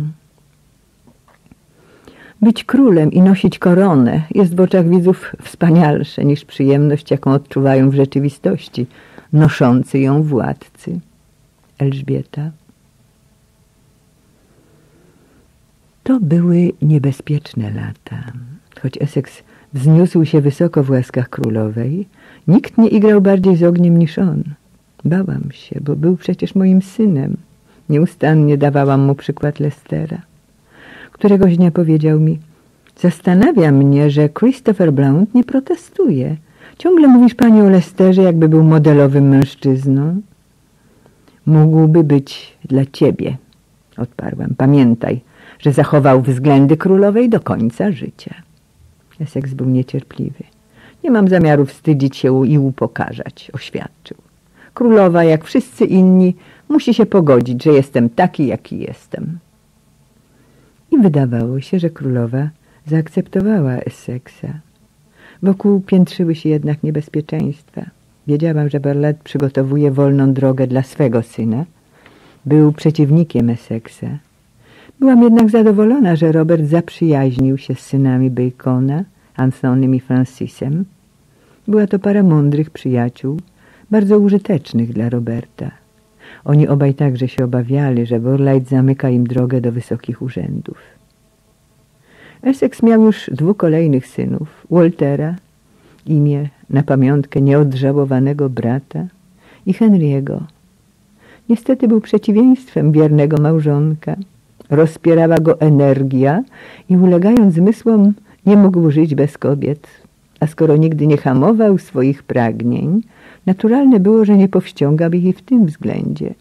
Nie wystarczyła mu jedna kobieta, gdyż kaprys szybko mijał, a przy jego pozycji nie brakowało kobiet gotowych mu ulec. Typowe było, że zamiast rozsądnie wybrać kochankę, którą mógłby odwiedzać sekretnie, musiał kochać się w damach do towarzystwa królowej. Były co najmniej cztery, które znałam. Elizabeth South urodziła mu syna. Nazwano go Walter de Vreux, a wywołało to wielki skandal. Potem była Lady Maria Howard i dwie panny o imionach Russell i Bridges, a wszystkie w oczach królowej zasługiwały na pogardę. Bardzo mnie niepokoiło jego niedyskretne postępowanie, gdyż Elżbieta była szczególnie surowa wobec swoich młodych dwórek, starannie wybierając je spośród wyróżnionych przez nią rodzin. Gdy ktoś z rodziny oddał królowej usługę, nagrodą było przyjęcie córki na dwór. Pozytywnym przykładem była Maria Sidney, którą królowa przyjęła w poczet dam po śmierci jej siostry Ambrozji. Królowa wyróżniła ją, współczując rodzinie, a wkrótce w wyniku starań królowej przypadło jej świetne małżeństwo z hrabią Pembroke'iem. Rodziców panien zawsze cieszył honor wybrania ich córki, bo wiedzieli, że królowa uczyni wszystko, aby otoczyć je najlepszą opieką. Jeśli któraś z nich wyszła za mąż bez jej zgody, bardzo się gniewała. Jeśli zaś podejrzewała, jak to nazywała, sprośne postępowanie, jeszcze bardziej się złościła. Gdy zaś wspólnikiem hańby był jeden z jej faworytów, po prostu się wściekała. Wiedząc to wszystko, Essex flirtował, nie tylko narażając swoją pozycję, ale przysparzając bólu swej żonie i matce. Często zastanawiałam się, jak długo będzie mógł bezpiecznie przepychać się przez te niebezpieczeństwa, których nie usiłował wyminąć. Oczywiście królowa była stara i coraz bardziej lgnęła do młodego towarzystwa, a czarowi Roberta nie można było się oprzeć. Wiedzieliśmy o tym wszyscy. Penelopa opuściła swego męża i otwarcie żyła z Charlesem Blountem, który po śmierci starszego brata został lordem Mountjoyem. Królowa nigdy nie darzyła Penelopy sympatią. Moja córka, podobnie jak jej brat, nie była taktowna. Królowa oczywiście nie akceptowała takiego zachowania pięknych kobiet, jakie uchodziło przystojnym mężczyznom. Co więcej, Penelopie okazywała niechęć, bo była moją córką. Elżbieta, słysząc, że Penelopa opuściła męża i mieszka z Mountjoyem, była gotowa pogodzić się z jego niekonwencjonalnym zachowaniem, lecz jej wyrozumiałość nie obejmowała Penelopy, choć ze względu na Mountjoya nie usunęła jej z dworu. Penelopa i Essex byli silnie związani przyjaźnią. Ona, mając dominujący charakter, nieustannie próbowała dawać mu rady. Była bardzo pewna siebie. Uważano ją za jedną z najładniejszych kobiet na dworze. Poematy Filipa Sidneya, wysławiające urodę, jeszcze ugruntowały jej dobre mniemanie o sobie. Mountjoy ubóstwiał ją, a Essex podziwiał. Była kobietą, która mogła być zadowolona ze swej sytuacji, szczególnie gdy pozbyła się nieprzyjemnego męża, po prostu go opuszczając. Pewnego dnia, gdy Penelopa gościła u Warwicku w North Hall, przybyli posłańcy z wiadomością, że niedaleko od tej rezydencji przebywa Elżbieta. Essex wiedział, że królowa będzie niezadowolona ze spotkania tu jego siostry i może ją poniżyć, odmawiając widzenia się z nią. Wyjechał więc na spotkanie królowej. To ją zachwyciło, ale wkrótce zorientowała się, że celem było nie tyle jej powitanie, ile zawiadomienie, że jego siostra jest w North Hall. Robert prosił królową, aby potraktowała ją uprzejmie. Elżbieta coś mruknęła w odpowiedzi i Essex, tak pewny siebie jak zawsze, myślał, że przyrzekła spełnić jego prośbę. Był bardzo zaskoczony, gdy wydano polecenie, żeby w czasie wizyty królowej w North Hall Penelopa pozostała w swoim pokoju. Impulsywny Essex nie mógł znieść zawodu. Był oddany rodzinie i nieustannie usiłował przekonać królową, aby przyjęła mnie na dworze. Nie do zniesienia było dla niego takie potraktowanie jego siostry. Po kolacji spytał królową, czy teraz przyjmie Penelopę. Uważał, że przyrzekła mu to i dał do zrozumienia, że czuje się dotknięty i zdumiony, iż złamała słowo. To nie było właściwe posunięcie, i królowa odpowiedziała ostro, że nie ma zamiaru przyjmować jego siostry, by go zadowolić. Nie, krzyknął gwałtownie, nie przyjmujesz jej pani, aby zadowolić tę kanalię Relajfa. Dalej mówił, że wiele by zrobiła, aby zadowolić Relajfa. Ze względu na uczucia do tego prostackiego awanturnika poniża jego i siostrę. Królowa kazała mu zamilknąć, ale on nie posłuchał. Nastąpiła tyrada pogardy dla Relajfa. Powiedział, że królowa obawia się tego typa.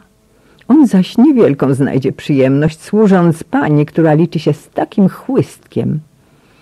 To było bardzo głupie, bo Relajf był wśród gości. Jeśli nawet nie słyszał tego, co mówił Essex, to było oczywiste, że inni mu powtórzą. Te obraźliwe wypowiedzi wystarczyłyby do uczynienia z Relajfa wroga Essexa, jeśli już przedtem nim nie był. Nie uważaj, że możesz się tak do mnie zwracać, krzyknęła Elżbieta. Jak śmiesz krytykować innych? A jeśli chodzi o twoją siostrę, jest wierną kopią twojej matki, a to jest kobieta, której nie wpuszczę na dwór. Ty też odziedziczyłeś jej wady i to mi wystarczy do odesłania cię. Zrób to zatem pani, wrzasnął. Ja też nie zostanę tutaj, aby słuchać po twarzy o mojej rodzinie. Nie mam ochoty służyć takiej pani. Niezwłocznie zabiorę siostrę spod tego dachu, ponieważ boisz się niezadowolenia tej kanali Relife'a, a on chce mojego odejścia, to ja także z nią pójdę. Mam cię dosyć, szalony chłopcze, chłodno ucięła królowa, odwracając się.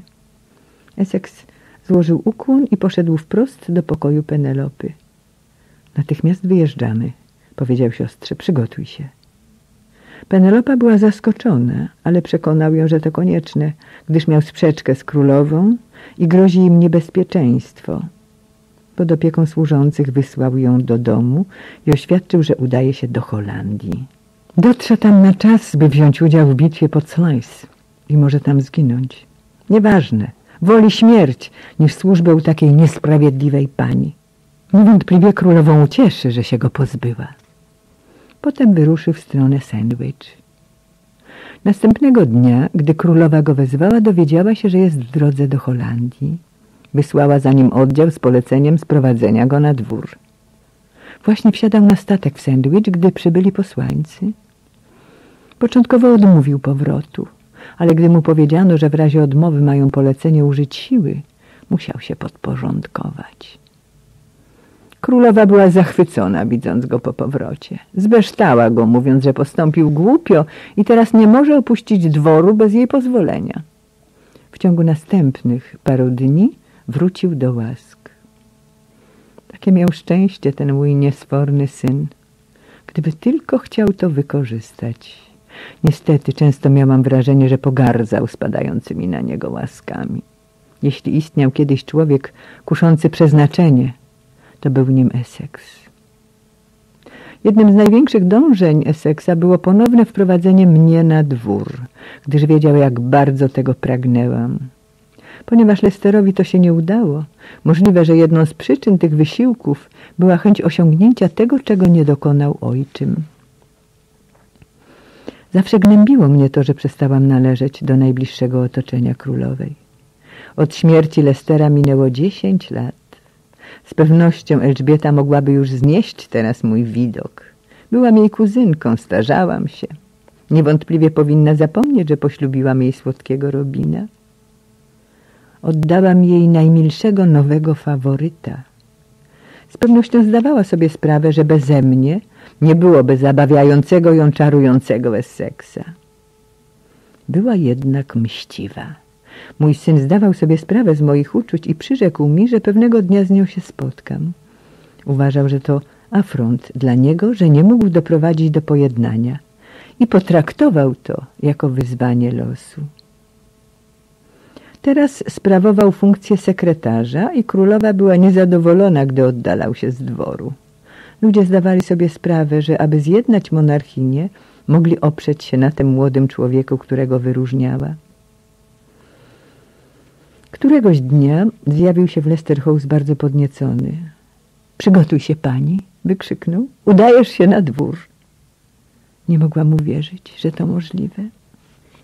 Królowa powiedziała mi, że będzie przechodziła ze swej komnaty do sali audiencyjnej, jeśli będziesz w galerii, spotka cię idąc tamtędy. To będzie bardzo oficjalne spotkanie, ale może okazać się dobrym początkiem następnych. Nie posiadałam się z radości.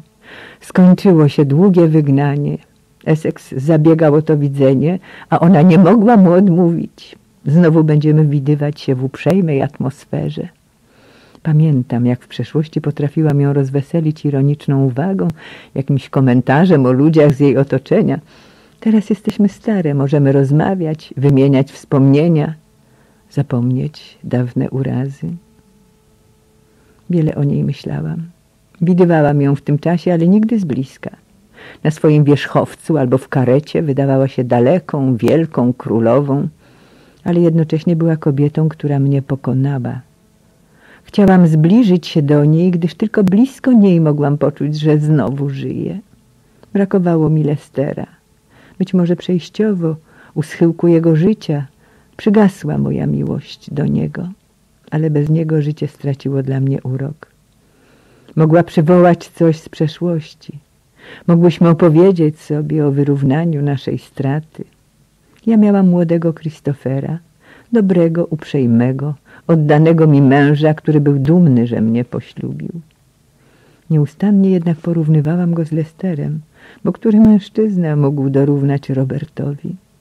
To nie była wina Christophera, że nie zajął jego miejsca.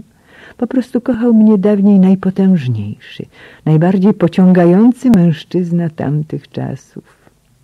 A ponieważ królowa także go kochała, dopiero teraz, tyle lat od jego straty, mogłam ponownie odzyskać smak życia, jeśli mnie ponownie przyjmie do swego koła. Będzie się ze mną śmiała, walczyła, jednym słowem wszystko będzie możliwe, jeśli powróci do mojego życia. Perspektywa udania się na dwór opanowała mnie całkowicie. Elżbieta zajmowała tyle miejsca w moim życiu. Była częścią mnie. Nie mogłabym nie dostrzegać jej obecności w moim życiu bardziej niż ona mojej roli. Bez Lestera była zgubiona i samotna, tak samo jak ja. Jeśli nawet zdawało się, że pod koniec życia przestałam go kochać, to teraz nie miało to znaczenia. Chciałam z nią rozmawiać, jak dwie kobiety, z pewnością za stare, by dać pole zazdrości. Chciałam przypomnieć jej dawne czasy, gdy go kochała i pragnęła małżeństwa. Chciałam usłyszeć z jej ust, ile wiedziała o śmierci pierwszej żony Roberta. Powinnyśmy się rozumieć. Nasze losy splatały się z życiem Roberta Dudleya i mogłyśmy mieć między sobą sekrety. Niedługo pozostałam w tym nastroju podniecenia. Wyznaczonego dnia ubrałam się z pewną powściągliwością, bez przesadnych ozdób, skromnie, bo takie chciałam sprawić wrażenie. Muszę być pokorna, wdzięczna i ukazać z umiarem głęboką przyjemność ze spotkania. Weszłam do galerii, gdzie czekałam z innymi osobami. Byli wśród nich zdziwieni moim widokiem i zauważyłam wymianę dyskretnych spojrzeń w moją stronę. Tymczasem minęła godzina, a jej nie było. Wreszcie przyszedł jeden z jej paziów.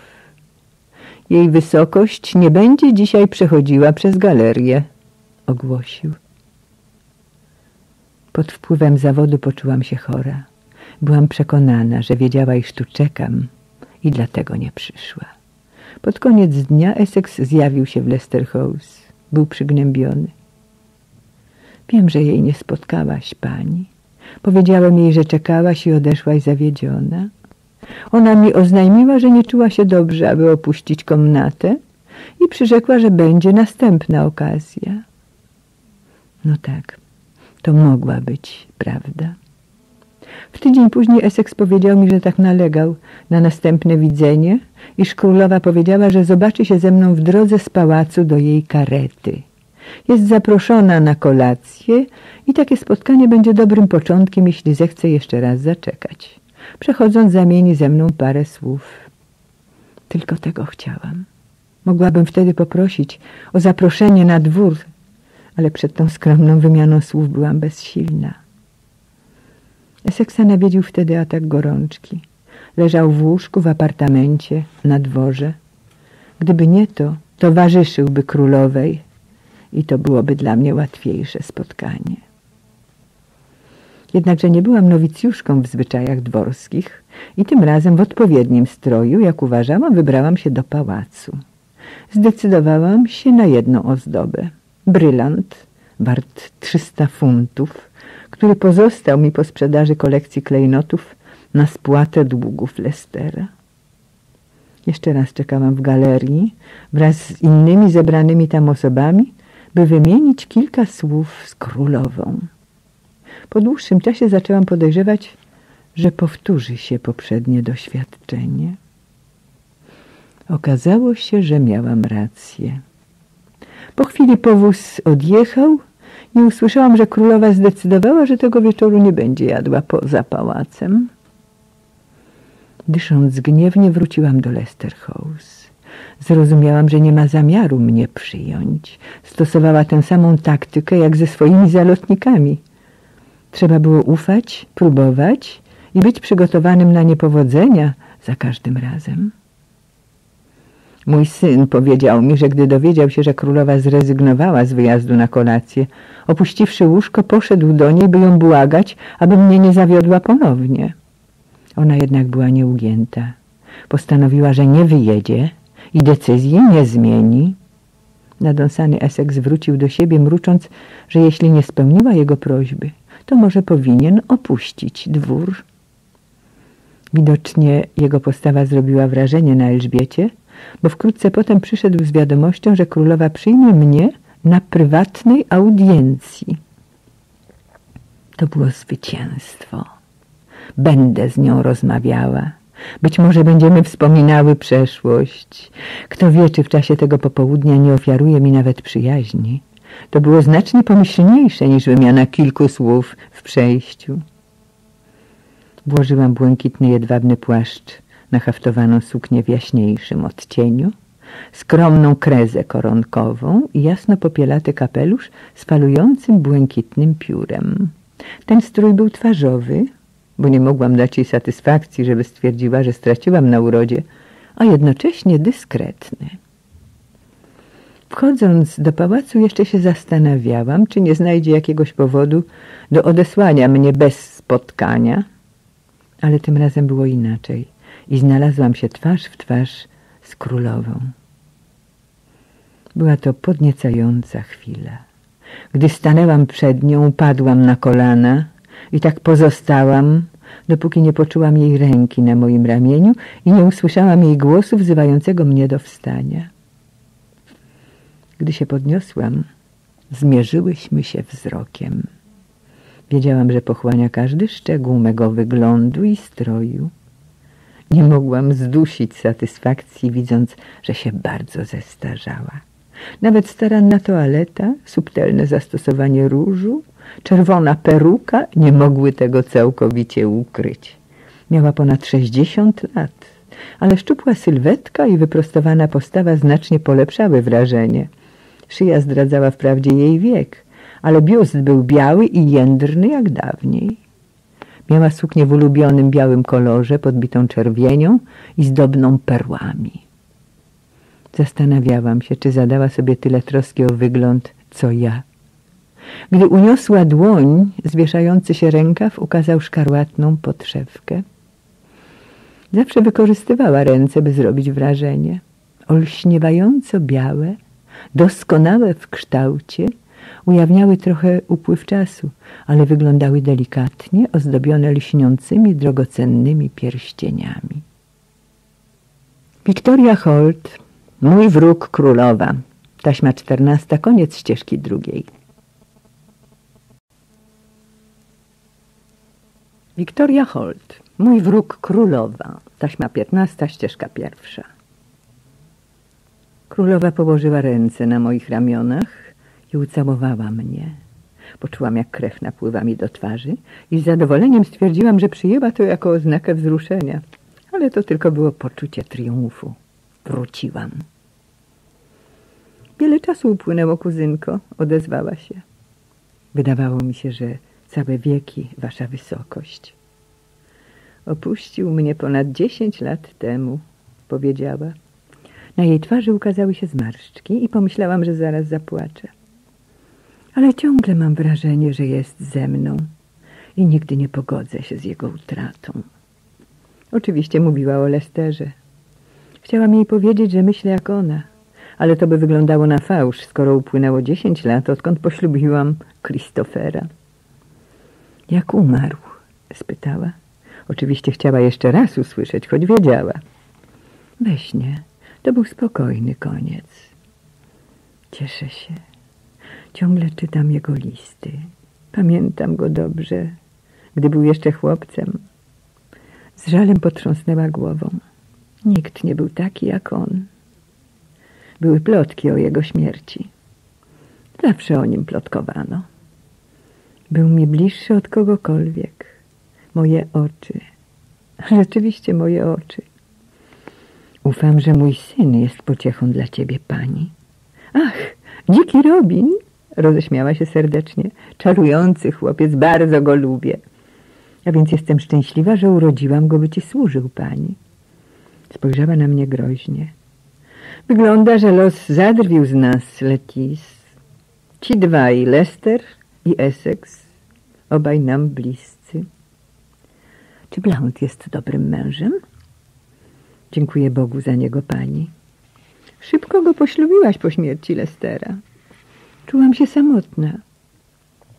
Skinęła głową. Ta twoja córka powinna uważać. Wasza wysokość myśli o Lady Rich? Lady Rich czy Lady Mountjoy? Nie wiem, jak powinniśmy ją nazwać. Lady Rich, wasza wysokość. Przypomina swego brata. Oboje mają zbyt wysokie mniemanie o sobie. Los szczodrze ich obdarzył. Tak, najpierw Sydney wydziwiający nad nią, a teraz Mountjoy łamiący dla niej zasady. Życie sprzyja ich wysokiej opinii o sobie, czego dzięki życzliwości waszego królewskiego majestatu doświadczył Essex. Roześmiała się. A potem mówiła o dawnych czasach, o drogim Filipie Sydneyu, który okazał się takim bohaterem i o tragediach ostatnich lat. Szczególnym okrucieństwem dla niej było, że po zwycięstwie nad armadą, gdy jej ramiona uwolniły się od wielkiego ciężaru, choć czekał ją następny, musiała stracić tego, który mógł z nią dzielić jej triumfy. Potem mówiła o Robercie Dudleyu, jak byli razem w Tower, jak przyszedł do niej po śmierci jej siostry.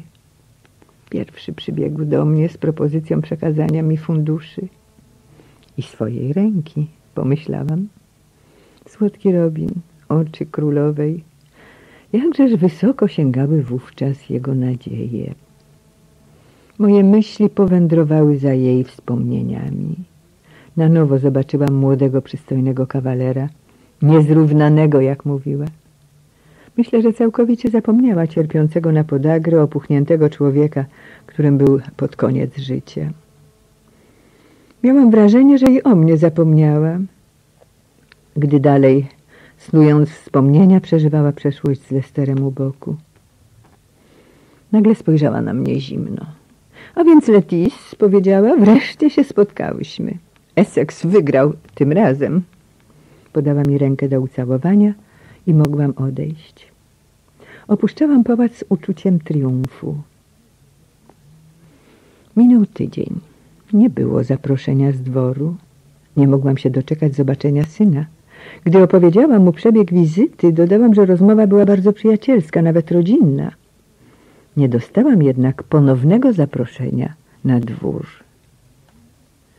Essex wspomniał o tym królowej, przekazując jej, że byłam zachwycona prywatną wizytą. Teraz żarliwie oczekiwałam zaproszenia, by ucałować dłoń królowej w sali audiencyjnej. Spojrzał na mnie ze smutkiem.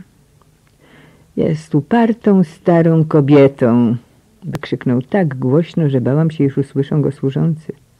Królowa powiedziała, że przyrzekła mi, że zobaczy moją matkę i dotrzymała słowa. I to, powiedziała mi, zamyka sprawę. Chyba nie chcesz powiedzieć, że już mnie nie przyjmie. Przeraziłam się. Powiedziała, że nic się nie zmieniło. Nie życzy sobie przyjmowania cię pani na dworze, Nie ma ci nic do powiedzenia. Okazało się, że nie jesteś dla niej przyjazna i nie chce cię spotykać. A więc moja sytuacja się nie zmieniła. To krótkie spotkanie nie miało znaczenia. Równie dobrze mogło się nie odbyć. Wyobrażałam sobie, jak śmiała się ze swymi damami, opisując nasze spotkanie.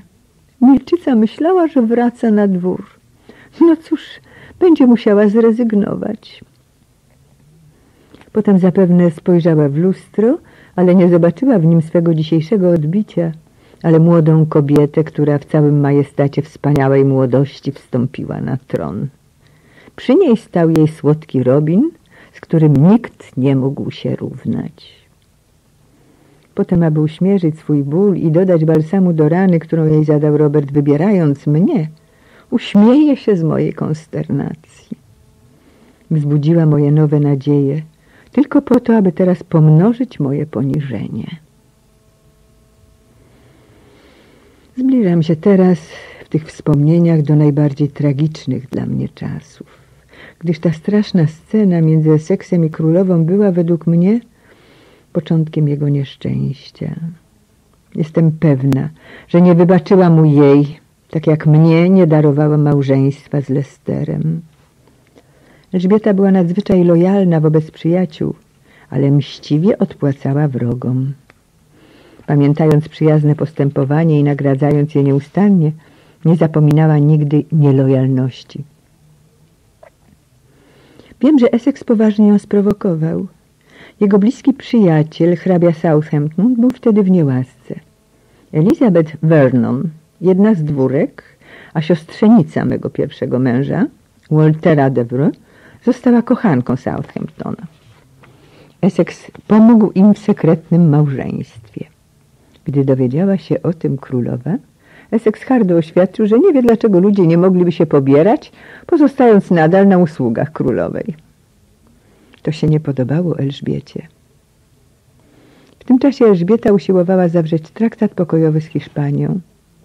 Jak zawsze nienawidziła wojny, często powtarzając, że działania zbrojne można wszczynać jedynie w razie wielkiego niebezpieczeństwa, jak swego czasu wobec zagrożenia atakiem armady, a w każdym innym przypadku należy za wszelką cenę ich unikać.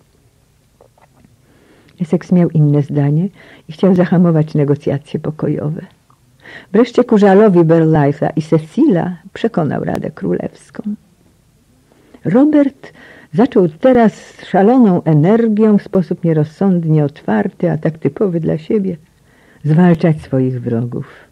Mój brat William, który po śmierci naszego ojca odziedziczył tytuł, usiłował pohamować gwałtowność jego poczynań. Christopher natomiast ślepo ubóstwiał Essexa. Choć byłam rada ze zgodności ich przekonań, teraz wolałabym, aby mój mąż okazał jego opiniom więcej krytycyzmu. Roberta ostrzegał Mountjoy, a także Francis Bacon, który pamiętał, jakim dobrym przyjacielem był dla niego Essex. Ale mój syn, będąc niezmiernie uparty, nie słuchał nikogo. Królowa nie zgadzała się wtedy z wieloma opiniami Essexa i ostro mu to okazywała. Pewnego lipcowego dnia, gdy sprawy się zaostrzyły, a sądzę, że postawił wówczas nieodwracalny krok na drodze do katastrofy, zachował się tak, że królowa nie mogła tego zlekceważyć i wybaczyć mu. Godził bowiem w jej godność i narażał majestat jej królewskiej osoby. Jak zwykle toczył się poważny spór wokół Irlandii. Królowa myślała o wysłaniu tam lorda namiestnika. Powiedziała, że powierzy tę misję Sir Williamowi Knowlesowi. To krewny, na którego lojalności może polegać. Jego ojciec wiernie służył koronie do końca życia. Zatem wybrała Sir Williama do tego zadania. Na to krzyknął Essex. On się nie nadaje. Odpowiednim człowiekiem jest George Carew. Carew brał udział w wyprawach do Kadyksu i na Azory. Był też w Irlandii i znał lokalne sprawy. Co więcej, był bliskim przyjacielem Cecilów. Jeśli zniknąłby z dworu, to byłoby na rękę Essexowi. Wyznaczyłam Williama Knollisa, oświadczyła królowa. Popełniasz błąd, pani, odparł Essex. Mój wuj się nie nadaje, to Carrier jest właściwym człowiekiem. Nikt nie zwracał się do królowej w tej formie. Nie wolno było jej powiedzieć, że popełnia błąd. Gdy jej ministrowie mieli inną niż ona opinię, delikatnie, z całą subtelnością przekonywali ją, żeby zmieniła zdanie. Ale zuchwałego powiedzenia popełniasz pani błąd nie mogła tolerować, nawet ze strony Essexa. Gdy królowa zignorowała go machnięciem ręki, dając do zrozumienia, że sugestia impertynenckiego młodzieńca nie ma znaczenia, Essex wpadł w furię. Obraziła go publicznie, uznała, że jego słowa są nieważne. Jego złość wzięła górę nad zdrowym rozsądkiem. Robert odwrócił się do królowej plecami. Pogodziła się z jego pierwszym wybuchem, za który niewątpliwie mogła udzielić mu nagany i ostrzeżenia, że to nie może się powtórzyć, ale tym razem uznała, że zrobił to z rozmysłem. Podskoczyła do niego i mocno wytargała go za uszy, krzycząc, żeby sobie poszedł do licha. Oślepiony złością Essex położył dłoń na rękojeści swojej szpady i wyciągnąłby ją, gdyby natychmiast go nie przytrzymano. Gdy wypychano go z komnaty, jeszcze wykrzykiwał, że nie zniósłby takiej obrazy od Henryka VIII. Nikt dotąd nie był świadkiem podobnej sceny między monarchą i poddanym.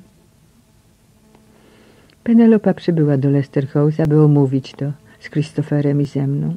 Wkrótce dołączyli do nas mój brat William i Mountjoy. William przewidywał, że to okaże się końcem kariery Essexa, ale Penelopa nie chciała z tym się zgodzić. Za bardzo go lubi, wybaczy mu. Ale gdzie on teraz jest? Wyjechał na wieś, wyjaśnił Christopher. Powinien pozostać tam przez pewien czas, dopóki nie minie burza, powiedział William. Oczywiście, jeśli minie. Ja naprawdę byłam zmartwiona, gdyż nie myślałam, że królowa może wybaczyć taką obrazę. Odwrócić się plecami do królowej wystarczyło, ale jeszcze szpada. To oburzające zachowanie i można było je uznać za zdradę, a on miał wielu wrogów. Pogrążyliśmy się w ponurym nastroju. Nie byłam pewna, czy Penelopa rzeczywiście wierzy w optymistyczne zakończenie, jakie sugerowała. Wszyscy mówili o upadku Essexa, dopóki sprawy wielkiej wagi nie zastąpiły powszechnego nim zainteresowania. Umierał Lord Burlife. Miał 78 lat i od pewnego czasu chorował. Bardzo dokuczały mu zęby. Temu utrapieniu szczególnie współczuła królowa, bo sama miała podobne kłopoty. I oczywiście przez całe życie uginał się pod ciężarem rządów. Podobnie jak z drobiazgową starannością zajmował się sprawami królestwa, tak skrupulatnie uporządkował swoje sprawy osobiste. Słyszałam, że położył się do łóżka, wezwał swoje dzieci, pobłogosławił je i królową, doręczył marszałkowi ostatnią wolę i cicho zmarł. Gdy doniesiono o tym królowej, była niepocieszona. Poszła do prywatnej komnaty i długo płakała. Przez pewien czas potem, gdy wymieniano jego imię, w oczach jej pojawiały się łzy. Od śmierci Lestera nie widziano u niej takiego wzruszenia. Berlife umarł w swoim domu na Strandzie. Ciało przewieziono na pogrzeb do Stamford Bayron, ale egzekwie odprawiono w opactwie westminsterskim. Essex wrócił ze wsi w żałobnym stroju na uroczystości. Zauważono, że żaden z żałobników nie był tak przejęty jak on. Potem przybył do Leicester House, gdzie spotkał się z moim bratem Williamem, Christopherem i Mountjoyem. William powiedział mu, teraz powinieneś udać się do królowej. Jest załamana żałością. Do ciebie należy złagodzić jej ból. Królowa się na mnie gniewa, mruknął Essex. Ale nie mnie ja na nią. Odpowiedziałam na to. Obraziła mnie, ale gdyby tylko jutro wezwała mnie na dwór, z największą chęcią tam się udam. Błagam cię, synu, nie błaznuj. Nie zwraca się uwagi na osobiste afronty, gdy ma się do czynienia z monarchami. William spojrzał na mnie ostrzegawczo. Mój brat, podobnie jak ojciec, był ostrożnym człowiekiem. Im bardziej będziesz jej unikał, tym bardziej będzie nieugięta, ostrzegał Essexa Mountjoy. Na razie wcale o mnie nie myśli, odparł Essex. Wysłuchałbym pochwały, jakim dobrym człowiekiem był Berlife, że nigdy jej nie rozgniewał. Czasami różnili się w opiniach, ale nigdy nie zapomniał, że jest jej poddanym. Nie, nie mam ochoty udać się na dwór, aby wysłuchać panegiryku na cześć Berlife'a. Na próżno usiłowaliśmy mu uświadomić, co jest w tej chwili dla niego korzystne. Uparta duma zamykała mu drogę. To ona musi go zaprosić, a wtedy zastanowi się, czy pójdzie. Nie uznawał rzeczywistości ten mój syn i bardzo się lękałam o niego. Mountjoy powiedział mi, że tak głęboko opłakiwała Berlife'a, że przestała myśleć o Eseksie. Mówiła obecnie, jakim dobrym człowiekiem był jej duch, bo dalej tak go nazywała. Nigdy mnie nie zawiódł. Przypomniała, że rywalizowali między sobą dwaj drodzy jej ludzie, Lester i Berlife. Nie mogłabym obyć się bez ich pomocy. I znowu zaczęła płakać. Jej oczy, jej duch. A teraz obaj odeszli. Jakże różnili się ludzie tej epoki. I znowu mówiła, jaki szlachetny był Berlife. Był dobrym ojcem. Pomyśleć, jak wyniósł swego syna Roberta, jej krasnala. Oczywiście, że Robert był mądry. Berlife wiedział to. Nie usiłował zwrócić mojej uwagi na najstarszego syna, obecnego lorda Berlife'a, gdyż wiedział, że nie ma dość rozumu, aby mi służyć. Nie. Wybrał garbusa Roberta z płaskimi stopami. Mojego małego krasnala, który jest geniuszem. A jego dobry ojciec wiedział to. Jakże mi brakuje, bardzo brakuje drogiego ducha. I tak się to ciągnęło, bez żadnych oznak, że brakowało jej Essexa. Nie mogę rywalizować z nieboszczykiem w sercu sentymentalnej kobiety, powiedział mój syn. Jego wypowiedzi stawały się coraz bardziej lekkomyślne. Drżeliśmy o niego wszyscy, nawet Penelopa, która ciągle zachęcała go do zrobienia pierwszego kroku, co wydawało mi się jeszcze bardziej nierozważne. Jednakże wszyscy myśleliśmy, że powinien spróbować pojednać się z królową. Posiedzenie rady, której Robert był członkiem, dawało mu do tego okazję. Odpowiedział dumnie, że nie zjawi się tam, jeśli przedtem nie spotka się z królową. Elżbieta nie zareagowała, a on, nie wziąwszy udziału w naradzie, wyjechał do Wanstead, gdzie oddał się posępnym rozmyślaniom. Z Irlandii tymczasem nadeszły wiadomości, że zbuntował się hrabia Tyrone i zagrażał Anglikom nie tylko w Ulsterze, ale i w innych prowincjach Irlandii. Dowódca angielski Sir Henry Bagnall poniósł kompletną klęskę i wszystko wskazywało, że jeśli nie będą podjęte natychmiastowe działania, Anglia może stracić Irlandię. Essex, opuściwszy niezwłocznie Wanstead, wziął udział w posiedzeniu Rady. Oświadczył, że doskonale znając sytuację w Irlandii, prosi królową o spotkanie. Elżbieta odmówiła i wtedy uniósł się gniewem. Ten gniew i zawiedzione nadzieje poważnie się na nim odbiły. Zawiadamiając mnie o tym, Penelopa obawiała się, że jest chory. Dotknął go jeden z ataków przejściowej gorączki i nieprzytomny wykrzykiwał oskarżenia przeciw królowej. Pojechałam z Christopherem i Penelopą do Wanstead, aby go pielęgnować i przeszkodzić gorliwcom gotowym do doniesienia królowej o jego atakach furii przeciw niej. Jakżeż go kochałam. Wtedy może bardziej niż zwykle. Był taki młody, taki podatny na ciosy. Moje serce matki wyrywało się, by go zobaczyć. Nigdy nie zapomnę, jak wyglądał. Jego zmierzwione, piękne włosy i dzikie spojrzenie. Ogarnął mnie gniew na królową, której postępowanie doprowadziło go do takiego stanu, choć w głębi duszy zdawałam sobie sprawę, że sam to spowodował. Zastanawiałam się, czy nigdy nie wyciągnie wniosków ze swych doświadczeń. Pragnęłam, aby był z nami Lester i z nim porozmawiał. Ale czy Essex kiedykolwiek słuchał rad? Mój brat William i Mountjoy, którego ze względu na więzy z Penelopą uważałam za syna, nieustannie go ostrzegali. Jeśli chodzi o Christophera, to tak podziwiał Roberta, że uważał, iż cokolwiek robi Essex jest słuszne. Na wiadomość, że Essex jest chory, królowa natychmiast zmieniła do niego stosunek. Być może odczuwała samotność po śmierci Berlajta. Któż to może wiedzieć? Tylu ich umarło. Oczy, duch, murzyn i Bellwether. Pozostał tylko jeden, którego mogła kochać. Krnąbrny, lekkomyślny, zachwycający syn odwiecznej nieprzyjaciółki. Wysłała do niego swego lekarza z poleceniem bezzwłocznego przekazania jej wiadomości o stanie jego zdrowia. Dodała, że jak tylko będzie zdolny do podróży, ale nie wcześniej, powinien zjawić się przed nią. To było pojednanie i Essex szybko wyzdrowiał. Christopher był szczęśliwy. Nikt mu się długo nie oprze, powiedział. Lecz mój brat William nie okazywał takiego entuzjazmu.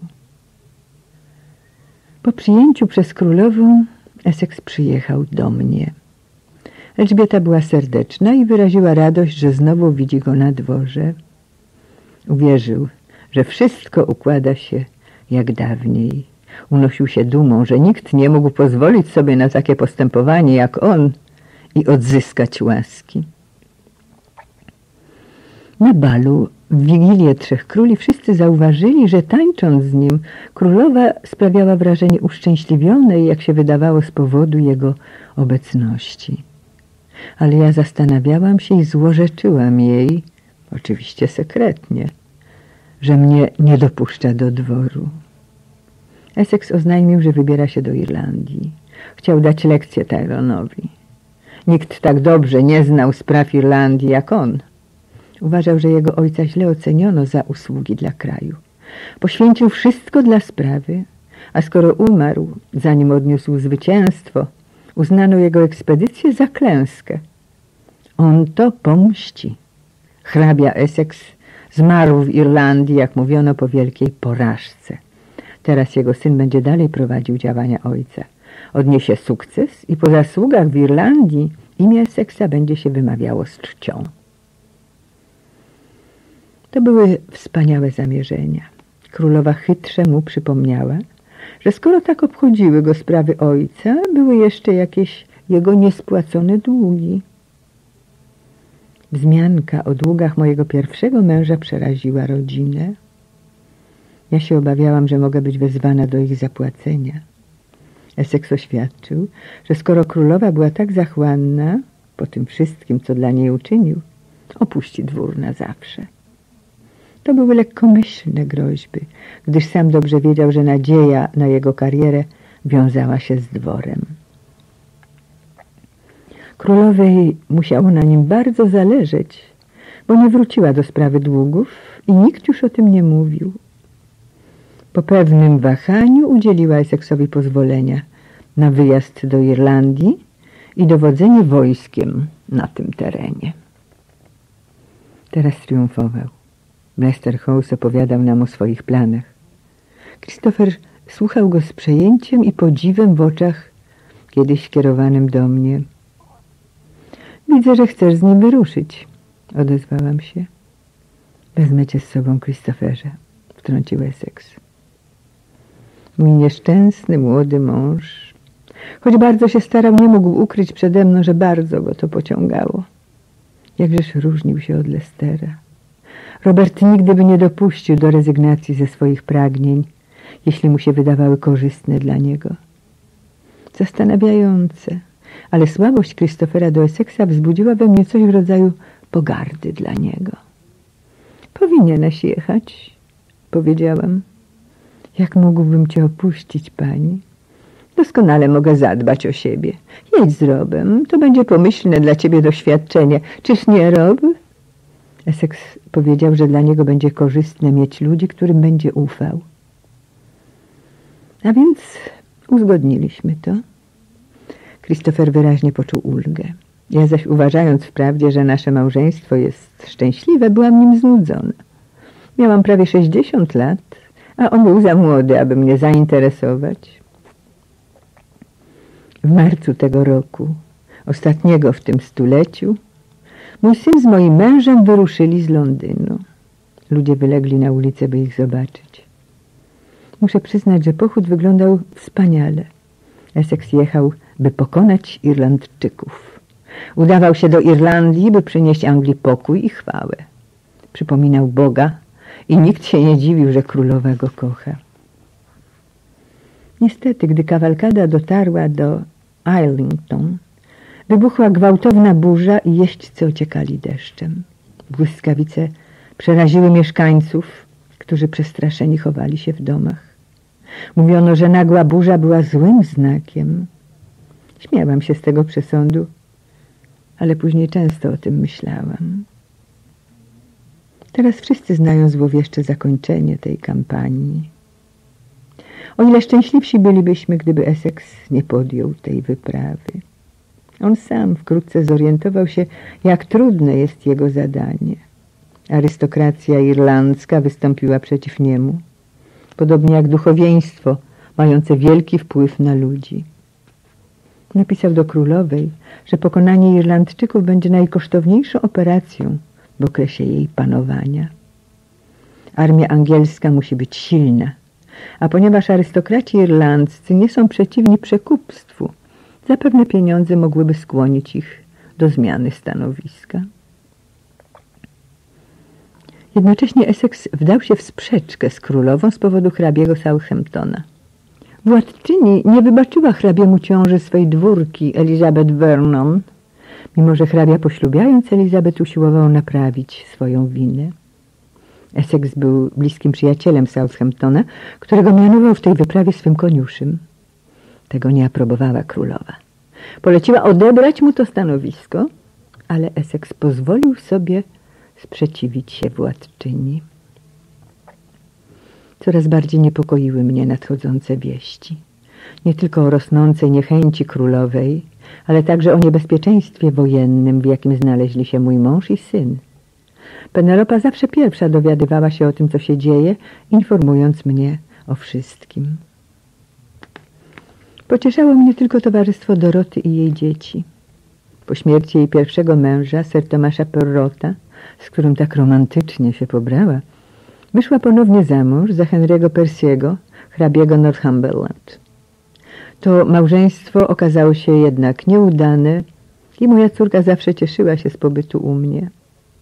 Rozmawiałam z nią czasami o próbach i pułapkach, jakie czyhają w małżeńskim życiu.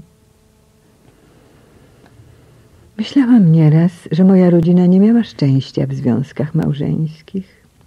W każdym razie Francis kochała Essexa.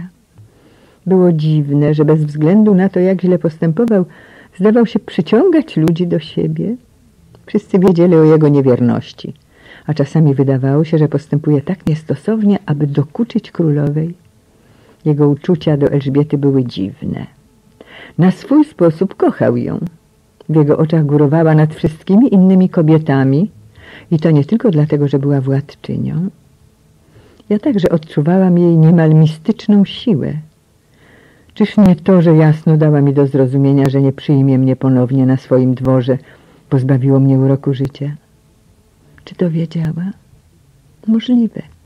Jestem dumną kobietą, a jednak podjęłam wielki wysiłek, by ją zadowolić. Czy śmiała się, mówiąc sobie, że jej zemsta jest pełna? Wygrała ostatnią bitwę. Zemściła się na poddanej, która ośmieliła się z nią rywalizować. A więc taka była moja rodzina. Essex romansował z wieloma kobietami, a Penelopa żyła otwarcie z lordem Mountjoyem. Urodziła mu nawet dziecko, które nazwano Mountjoy i oczekiwała następnego. Lord Rich na razie nie próbował z nią się rozwieść, jak sądzę z powodu wpływów Essexa na dworze. Gdyby żył mój najmłodszy Walter, nie wprowadzałby takiego niepokoju, żyłby szacownie ze swoją rodziną. Niestety odszedł. Burza wybuchła, gdy Essex spotkał się z buntownikiem Tyronem z zamiarem ugodzenia się z nim. Królowa zezłościła się, że Essex bez porozumienia z nią chce zawrzeć ugodę z wrogiem. Oświadczyła, że we własnym interesie powinien być rozważny. Wtedy Essex wrócił do Anglii. Jaki był lekkomyślny, jaki nierozważny. Gdy patrzę wstecz, widzę, jak krok po kroku zmierzał do katastrofy. Gdyby tylko chciał słuchać moich ostrzeżeń. Dotarł do pałacu Nonsuch o dziesiątej rano, w czasie, gdy królowa zajmowała się swoją toaletą. Myślę, że wtedy naprawdę musiał się bać. Wszystkie jego przechwałki o pokonaniu Irlandii okazały się przedwczesne. Wiedział, że królową otaczają jego wrogowie, niecierpliwie oczekujący jego upadku. Nie powinni go uprzedzić. Zanim spróbują przekręcić fakty i nastawić królową przeciw niemu, musi się z nią zobaczyć. Jest potężnym eseksem i jeśli sobie życzy zobaczyć królową bez względu na porę dnia, zrobi to. Jak mało znał kobiety. Pomimo obaw o niego nie mogłam powstrzymać się od śmiechu, wyobrażając sobie tę scenę. Zaskoczona Elżbieta zaledwie wstała z łóżka. Była otoczona jedynie kobietami dopuszczanymi do udziału w bardzo osobistej ceremonii toalety. 67-letnia kobieta nie chce wtedy, by ją oglądał młody wielbiciel. Essex powiedział mi potem, że ledwo ją poznał. Była pozbawiona wszelkich upiększeń, z wyjątkiem godności królewskiej. Siwe włosy zwieszały się jej wzdłuż twarzy, róż nie dodawał koloru jej licom i nie było iskier w oczach, do których widoku przyzwyczaili się dworzanie. A przed nią stał Essex, zabłocony po podróży, gdyż nie zatrzymał się po drodze, by umyć się i zmienić strój. Oczywiście była wspaniała, jak w każdych okolicznościach. Nie dała mu do zrozumienia, że nie jest gotowa, będąc bez kosmetyków, peruki, krezy i wspaniałej szaty. Podała mu rękę do ucałowania, mówiąc, że zobaczy go później. Triumfujący przyszedł do mnie. Powiedział mi, że podporządkuje ją sobie. Wdarł się do jej sypialni, zobaczył ją nieubraną, a wcześniej słyszał, że żaden mężczyzna takiej nie widział. A mimo to łaskawie się do niego uśmiechnęła. Na Boga, to stara kobieta. Nie zdawałam sobie sprawy, jaka jest leciwa, zanim jej dzisiaj nie zobaczyłem. Potrząsnęłam głową. Wiedziałam, co pomyślała. Zobaczył ją w takim stanie. Wyobrażałam sobie, jak zażądała lustra i dojrzałam żałość w jej sercu na widok odbicia w zwierciadle. Możliwe, że po raz pierwszy spostrzegła swą prawdziwą twarz. Teraz już z pewnością nie będzie mogła udawać, że jest tak młoda jak ta dziewczyna dokazująca z admirałem Seymourem albo żartująca w Tower z Robertem Dudleyem. Oni odeszli, a ona została skazana na desperackie trzymanie się swego obrazu z młodości. A teraz Essex zniszczył ten wizerunek owego ranka w Nonsuch. Wiedziałam, że nie mogła mu tego wybaczyć. Błagałam go o wielką ostrożność. Tymczasem królowa przy ponownym spotkaniu była bardzo łaskawa. Na obiedzie spotkał się z przyjaciółmi, wśród nich z Mountjoyem i Lordem Richem, gdyż nie żywili do siebie wzajemnej niechęci. Jeden, będąc kochankiem jego siostry, drugi jej mężem. Powiedziano mi, że Ralph z przyjaciółmi jadł obiad ze swoimi zwolennikami – byli to Lord Grey i hrabia Shrewsbury, wszyscy śmiertelni wrogowie Essexa. Pod koniec tego dnia królowa wezwała Essexa i już nie była przyjacielska. Oburzona, że opuścił Irlandię bez jej pozwolenia, dodała, że jego postępowanie tam zakrawało na zdradę. Był zaskoczony. Gdy wpadł rankiem do jej komnaty, wydawała mu się uprzejma, a nawet była łaskawa. Nieszczęsny Essex. Czasami myślę, że nie spotkałam nikogo tak ślepego w postępowaniu jak on. Choć nie o wielu mężczyznach można było powiedzieć, że wgłębili się w zakamarki kobiecej duszy. Mogłam sobie wyobrazić to spotkanie. Nie była wtedy olśniewającą postacią, jaką zwykle widziała w lustrze sali audiencyjnej, ale mizerną kobietą, prosto z łóżka, pozbawioną wszelkich upiększeń, ze spadającymi wokół twarzy siwymi włosami. Taką widział ją Essex i tego nie mogła mu wybaczyć. Powiedziała mu, żeby nie opuszczał swego pokoju. Był więźniem. Christopher przyszedł poinformować mnie, że Essex został uznany za winnego nieposłuszeństwa królowej. Opuścił Irlandię wbrew jej życzeniu i arogancko wtargnął do jej komnaty.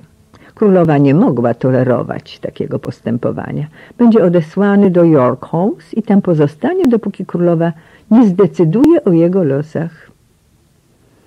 Dwór udaje się do Richmond, oznajmił Christopher. Nie mogę tego pojąć. Wygląda na to, że przestała się nim interesować. Oskarża go. Miałam złe przeczucia. Mój ukochany syn poszedł tym razem za daleko. A jednak ją rozumiałam. Nie mogła pozwolić, aby przebywał przy niej mężczyzna, który zobaczył ją jako starą kobietę. Zawsze uważałam ją za najbardziej próżną niewiastę w kraju, przekonaną, że jest piękna, jak głosili schlebiający jej dworzanie. Essex nie zastosował się do jej poleceń. W Irlandii poniósł klęskę. Wszystko to można było mu wybaczyć, ale zdzierając z jej oczu maskę, która przysłaniała jej prawdę i ujrzawszy widok nieprzeznaczony dla żadnego mężczyzny, popełnił niewybaczalny grzech. Byliśmy o niego niespokojni. Był bardzo chory. W Irlandii nabawił się dysenterii, z której się nie wyleczył. Ludzie niewierzący o nich, że jego ojca zabił Lester, uważali teraz, że ta sama choroba przyniesie koniec synowi. Nie mógł jeść, nie mógł spać. Otrzymywaliśmy te wiadomości od usługujących mu, bo nie pozwolono nam go odwiedzać. Obawialiśmy się, że mogą wysłać go do Tower. Mountjoy prawie nie opuszczał Lester House. Wiedziałam, że od pewnego czasu Essex koresponduje z królem Szkocji. Także Mountjoy i Penelopa zapewniali tego władcę, że popierają jego dziedzictwo tronu po śmierci Elżbiety. Zawsze uważałam, że ta korespondencja jest niebezpieczna, gdyż gdyby listy wpadły w ręce królowej, uznałaby je za zdradę. Lester nigdy nie był tak nierozważny.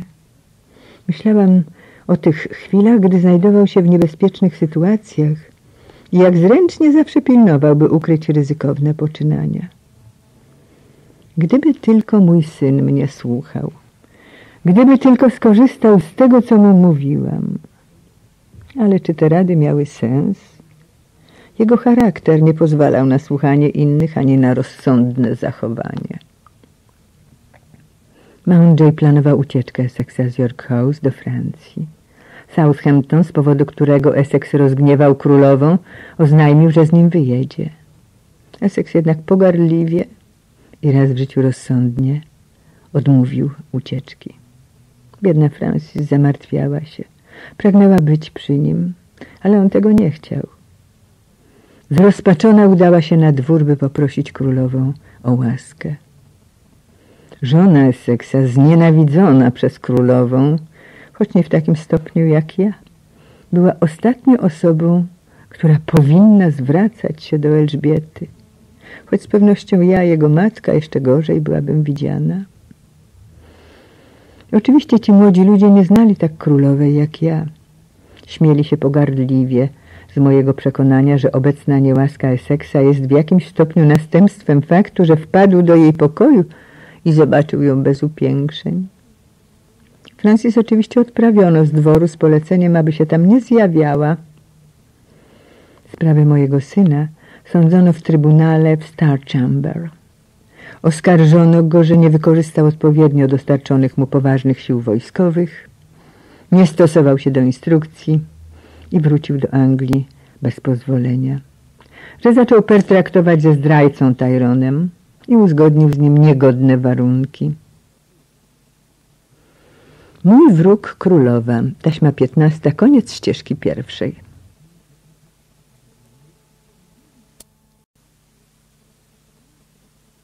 Mój wróg królowa, taśma piętnasta, ścieżka druga. To był upadek. W kilka dni później wdarto się do jego domu. Powiedziano służącym, aby poszukali sobie nowych panów, którym będą mogli służyć.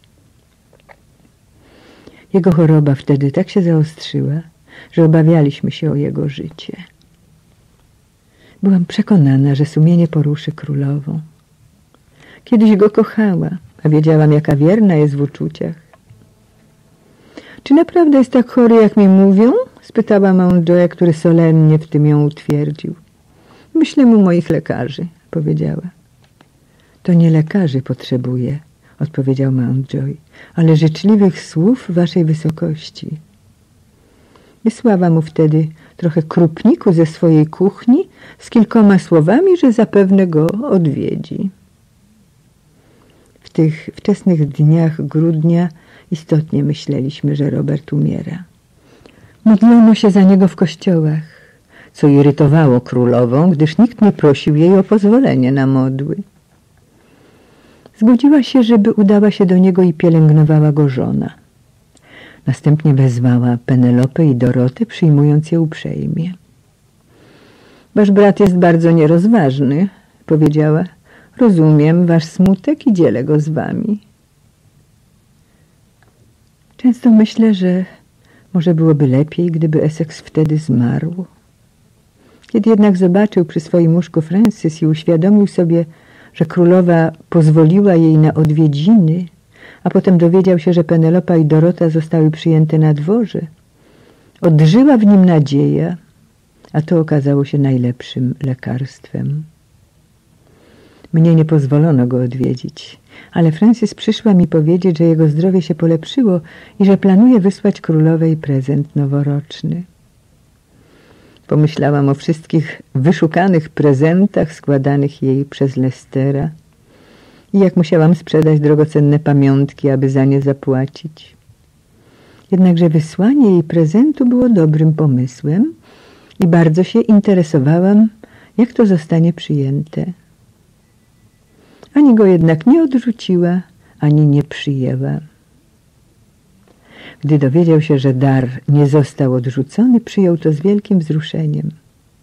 Po paru dniach wstał i zaczął chodzić. Z każdym dniem wyglądał lepiej.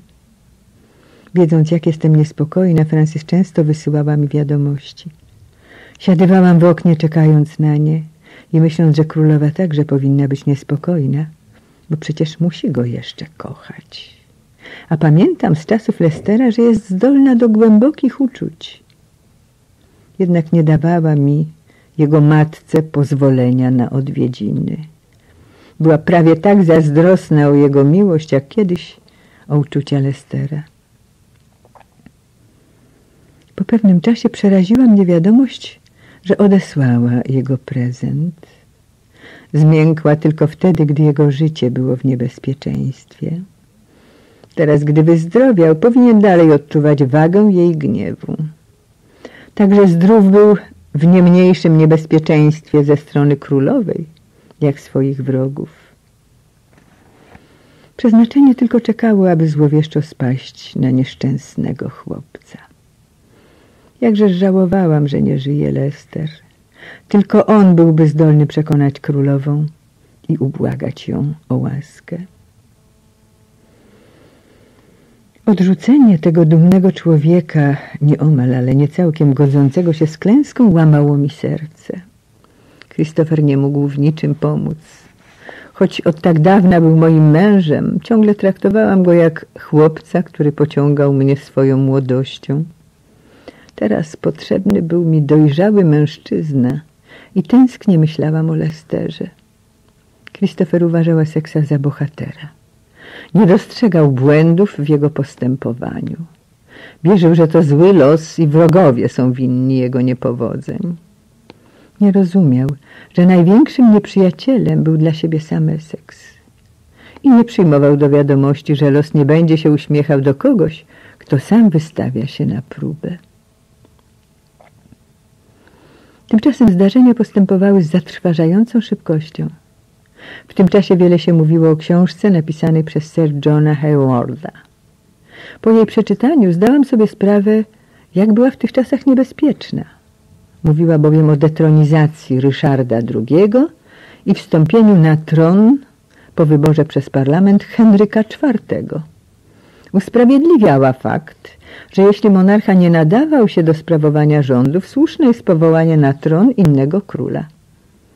Bardzo niefortunne było dedykowanie tej książki przez autora hrabiemu Essexowi. Wyobrażałam sobie, jak jego wrogowie, na przykład Relife, wykorzystają to przeciw niemu. Widziałam w wyobraźni, jak będzie przekonywać królową, że książka sugeruje, że ona jest niezdolna do sprawowania rządów. Skoro dedykowano ją Essexowi, czyżby uczestniczył w jej pisaniu? Czy królowa wie, że Essex ze swoją siostrą Lady Rich korespondował z królem Szkocji? Książkę wycofano z obiegu, a Hayward znalazł się w więzieniu. Królowa zaś zastanawiała się, że może nie był autorem, ale udawał go, by chronić kogoś szkodzącego koronie. Obie z Penelopą omawiałyśmy długo te sprawy, dopóki nie zmorzył nas sen z wyczerpania. Ale nic nie wymyśliłyśmy, nie widząc rozwiązania kłopotów. Mountjoy był w Irlandii, objąwszy dowództwo po nieudanych poczynaniach Essexa. Penelopa przypomniała mi opinię brata, że Mountjoy nie nadawał się na to stanowisko, bardziej interesując się książkami niż wojną. Jakżeż się mylił. W istocie rzeczy, czy Essex miał kiedyś rację? Był zadłużony, bo królowa odmówiła utrzymania przez niego licencji na podatki od słodkich win, którą wcześniej mu przyznała. Od tego zaś zależało spłacenie jego długów. Wyglądało na to, że jego sprawy nie mogły już przyjąć gorszego obrotu. Ale oczywiście mogły. Nigdy nie patrzył trzeźwo na życie. We własnych oczach był olbrzymem, podczas gdy inni byli zaledwie pigmejami. W tych ciężkich dniach zdałam sobie sprawę, że od okresu opętania Lesterem nikogo tak nie kochałam jak jego. To była inna miłość. Podczas gdy Lester zaniedbywał mnie dla Elżbiety, co ochłodziło moje uczucie do niego, nigdy nie mogłam przestać kochać Essexa. Robert przebywał teraz w Essex House i wokół niego zbierało się wielu ludzi. Jego dom zaczęto uważać za miejsce spotkań opozycjonistów. Ciągle obecny był tam Southampton, a przecież on także utracił łaski królowej. Zbierali się wszyscy niezadowoleni, uważający się za pokrzywdzonych przez królową i jej ministrów. Mój nierozważny, lekkomyślny synu, w przystępie złości na królową, ubolewając nad straconymi łaskami, Wykrzykiwałeś w obecności innych, że nie można jej ufać, że jej idee są tak oszukańcze, jak jej ciało. Gdybym mogła znaleźć się przy nim. Chciałam mu powiedzieć, że John Stubbs stracił prawą rękę nie dlatego, że wystąpił przeciw jej małżeństwu, ale dlatego, że sugerował, iż była za stara, by urodzić dziecko. Ale to nic by nie dało. Wiedziałam, że ta uwaga mogła pchnąć go na szafot, gdy znajdzie się na drodze do niego. Niewątpliwie szybko tam zmierzał. Skwapliwie podchwycił te słowa Sir Walter Raleigh. Wyobraziłam sobie, jak wcisnął je w uszy królowej. Tym bardziej znienawidzi Roberta, bo kiedyś darzyła go miłością. Jeszcze ją prześladowała scena, gdy wdarł się do jej komnaty i zobaczył starą kobietę. Resztę historii znają wszyscy. Jak zawiązano spisek, według którego Essex z innymi mieli opanować Whitehall, żądając spotkania z Elżbietą, zmusić ją do pozbycia się obecnych ministrów i do zwołania nowego parlamentu. Zapewne plany te wydały się im łatwe. Jakżeż inaczej wyglądało wprowadzenie ich w życie. Christopher miał tajemniczą minę, więc wiedziałam, że coś się szykuje – w tych dniach niewiele go widywałam, gdyż stale przebywał w Essex House. Potem się dowiedziałam, że Essex oczekiwał wysłanników króla Szkocji. Wmówił sobie, że będzie to wystarczający powód do wszczęcia działań, licząc na pomoc króla Jakuba. Oczywiste było, że wydarzenia w Essex House przyciągały uwagę wszystkich. Szpiedzy Essexa dowiedzieli się, że szykuje się inny spisek, przewodził Morelife. Miał na celu porwanie mego syna i może nawet zamordowanie go, a przynajmniej osadzenie w Tower. Zwykle, gdy Essex przejeżdżał przez miasto, z domów wychodzili ludzie pozdrawiając go. Zawsze budził zainteresowanie, a jego osobisty wdzięk pociągał ludzi. Wierzył wtedy, że opowie się za nim całe miasto. Gdy wyjdzie na ulicę, wzywając ludzi do przyłączenia się, to pójdą za nim, aby naprawić zło dotykające jego i wszystkich innych. W sobotę wieczór liczni jego zwolennicy udali się do Teatru Glob, przepłacając aktorów, aby wystawili Ryszarda II Szekspira. A to przedstawienie miało uświadomić, że króla można zdetronizować.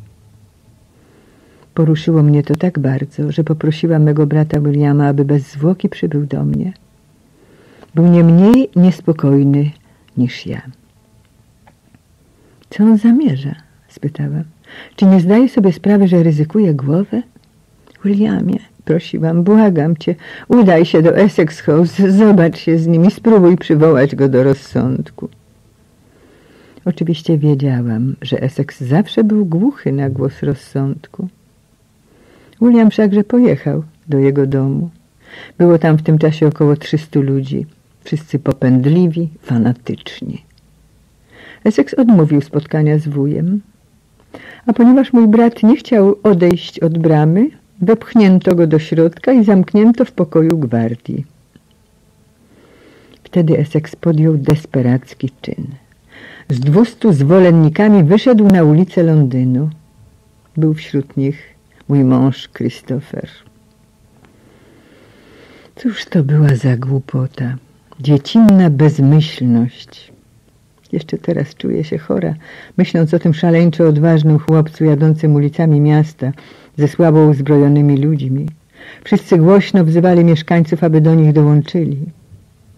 Wyobraziłam sobie jego zdumienie, gdy ci zacni ludzie szybko się odwrócili, spiesząc do domów. Dlaczego mieliby się buntować przeciw królowej, która stworzyła dobrobyt w kraju, uratowała ich od najazdu Hiszpanów? Tylko dlatego, że poróżniła się z jednym ze swych faworytów? Nawoływania do buntu trwały. Ale w Londynie i na prowincji również zwoływano ludzi do obrony królowej i kraju. Przeciw Eseksowi szybko zwerbowano wojsko. Stoczono kilka niewielkich potyczek. I to wystarczyło, by zabito kilkunastu ludzi. Mój Christopher był ranny halabardą w policzek i spadł z konia. Został wzięty, podczas gdy Essex wycofał się i udało mu się dotrzeć do Essex House. Tu szybko spalił listy od króla Szkocji i wszystkie inne, które mogły narazić jego przyjaciół. Dopiero w nocy przyszli po niego. Ogarnął mnie gniew. Francis Bacon, jego przyjaciel, opowiedział się za skazaniem go na śmierć.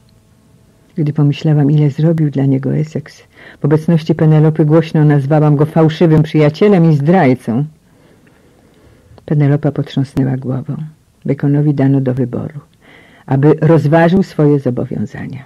Albo wypowie się za królową, albo za Essexem. Oczywiście, powiedziała Penelopa, musiał wybrać królową. Essex wybrałby przyjaciela, stwierdziłam stanowczo. Tak, droga matko, ale pomyśl, jakie to przyniosłoby następstwa. Wiedziałam, że mój syn jest skazany. Była jednak mała nadzieja, której się chwyciłam. Królowa go kocha, a ja sobie nieustannie przypominałam, jak wybaczyła Lesterowi. Jednakże Lester nigdy nie zorganizował przeciw niej zbrojnego spisku. Jak można było bronić Essexa? Rozsądek mówił mi, że to niemożliwe. Uznano go za winnego, czego się spodziewałam, i skazano na śmierć, a z nim biednego Christophera.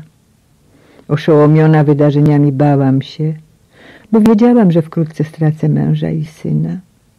Błądziłam wśród koszmarów. Przecież ona tego nie zrobi, Z pewnością nie będzie mogła. Ale dlaczego nie? Jej otoczenie przekona ją, że to konieczne. Jego odwieczny wróg Relife, Cecil, Lord Grey. Wszyscy oni wytłumaczą jej, że nie ma innego wyjścia. Była jednak bardzo uczuciową kobietą. Gdy kochała, była to głęboka miłość, a z pewnością kochała. Po Lesterze był najważniejszym mężczyzną w jej życiu.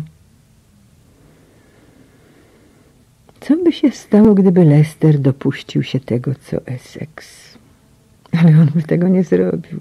Lester nie był szaleńcem. Biedny Essex, opanowany ambicją, podejmował samobójcze działania, a teraz nic go nie może uratować. A może jednak... Mój mąż i syn zostali skazani na śmierć. Ja zaś jestem kuzynką królowej. Czy okaże mi trochę litości, żebym tylko mogła stanąć przed nią? Pomyślałam, że może zechce zobaczyć Francis. Jak bardzo lubiła swego murzyna, a ona była jego córką. Co więcej, Essex notorycznie zdradzał Francis, a królowa może jej z tego powodu współczuć. Niewierność Essexa z pewnością mogłaby zmiękczyć serce Elżbiety dotknięte przez jego małżeństwo.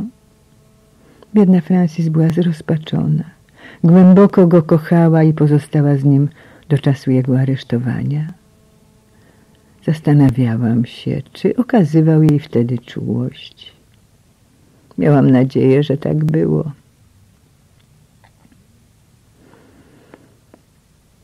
Francis, zaproponowałam, idź do królowej.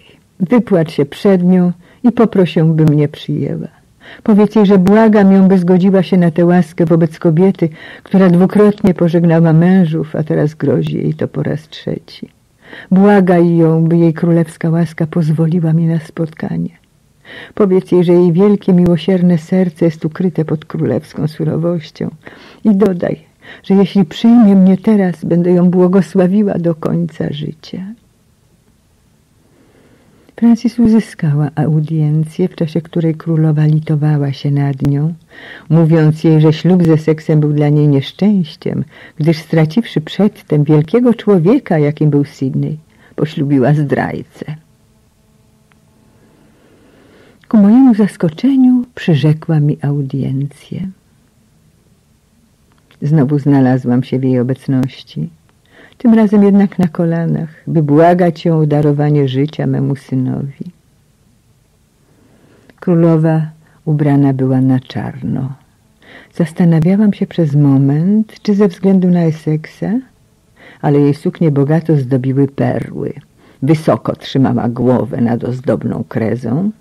Jej blada karnacja odcinała się od zbyt czerwonych loków peruki. Podała mi rękę do ucałowania, mówiąc Letis, Spojrzałyśmy na siebie.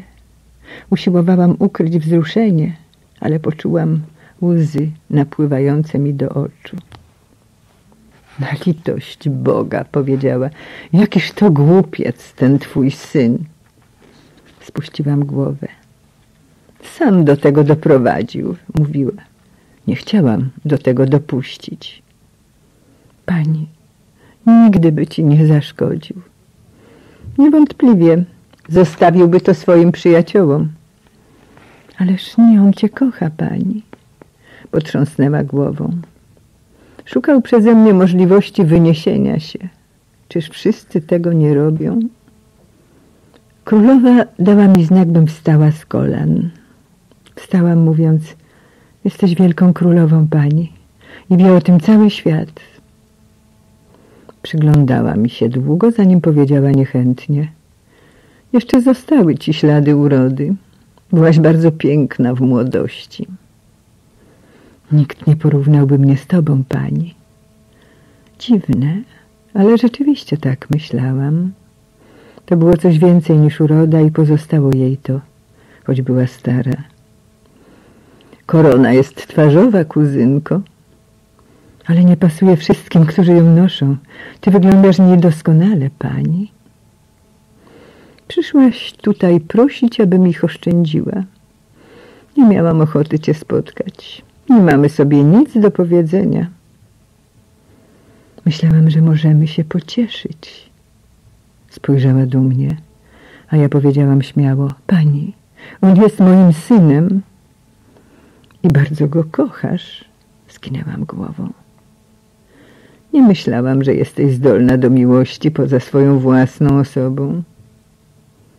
Czasami także tak mi się wydawało, ale teraz wiem, że to nieprawda. Kocham mego syna. A zatem musisz się przygotować, jak ja, na jego stratę. Czy nic nie możesz zrobić pani, by go uratować? Prosisz o swego syna? Jeszcze dodała, nie o męża? Proszę o obydwóch pani. Nie myślałam, że wybierzesz innego, powiedziała wolno. Gdyby on tutaj był, niecierpliwie poruszyła głową. Po jego odejściu życie już nie było takie.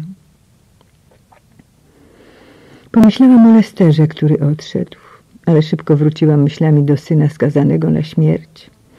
Skupiłam się na tym, że muszę go uratować. Ponownie rzuciłam się na kolana. Poczułam łzy spadające mi po twarzy i nic nie mogłam zrobić, aby przestać płakać. Nie możesz pozwolić mu umrzeć, wykrzyknęłam. Nie możesz. Odwróciła się ode mnie. To zaszło za daleko, wyszeptała. Możesz go uratować, pani. Zapomnij o wrogości między nami. To się skończyło. Jest zapomniane. A czy mamy przed sobą długie życie? Wzdrygnęła się. Zawsze nienawidziła, gdy mówiono o śmierci. Powinnam to wiedzieć. Mój smutek pozbawił mnie rozsądku. Bez względu na to, jak nienawidziłaś mnie pani w przeszłości, błagam cię, zapomnij o tym. On nie żyje, nasz ukochany Lester. Odszedł na zawsze. Gdyby był tu teraz z nami, klęczałby razem ze mną. Milcz, krzyknęła. Jak śmiesz tu przychodzić, ty wilczyco. Usiedliłaś go swymi sprośnymi sposobami. Opanowałaś najwspanialszego mężczyznę, jaki żył na tym świecie. Przyciągnęłaś go do świata fałszu.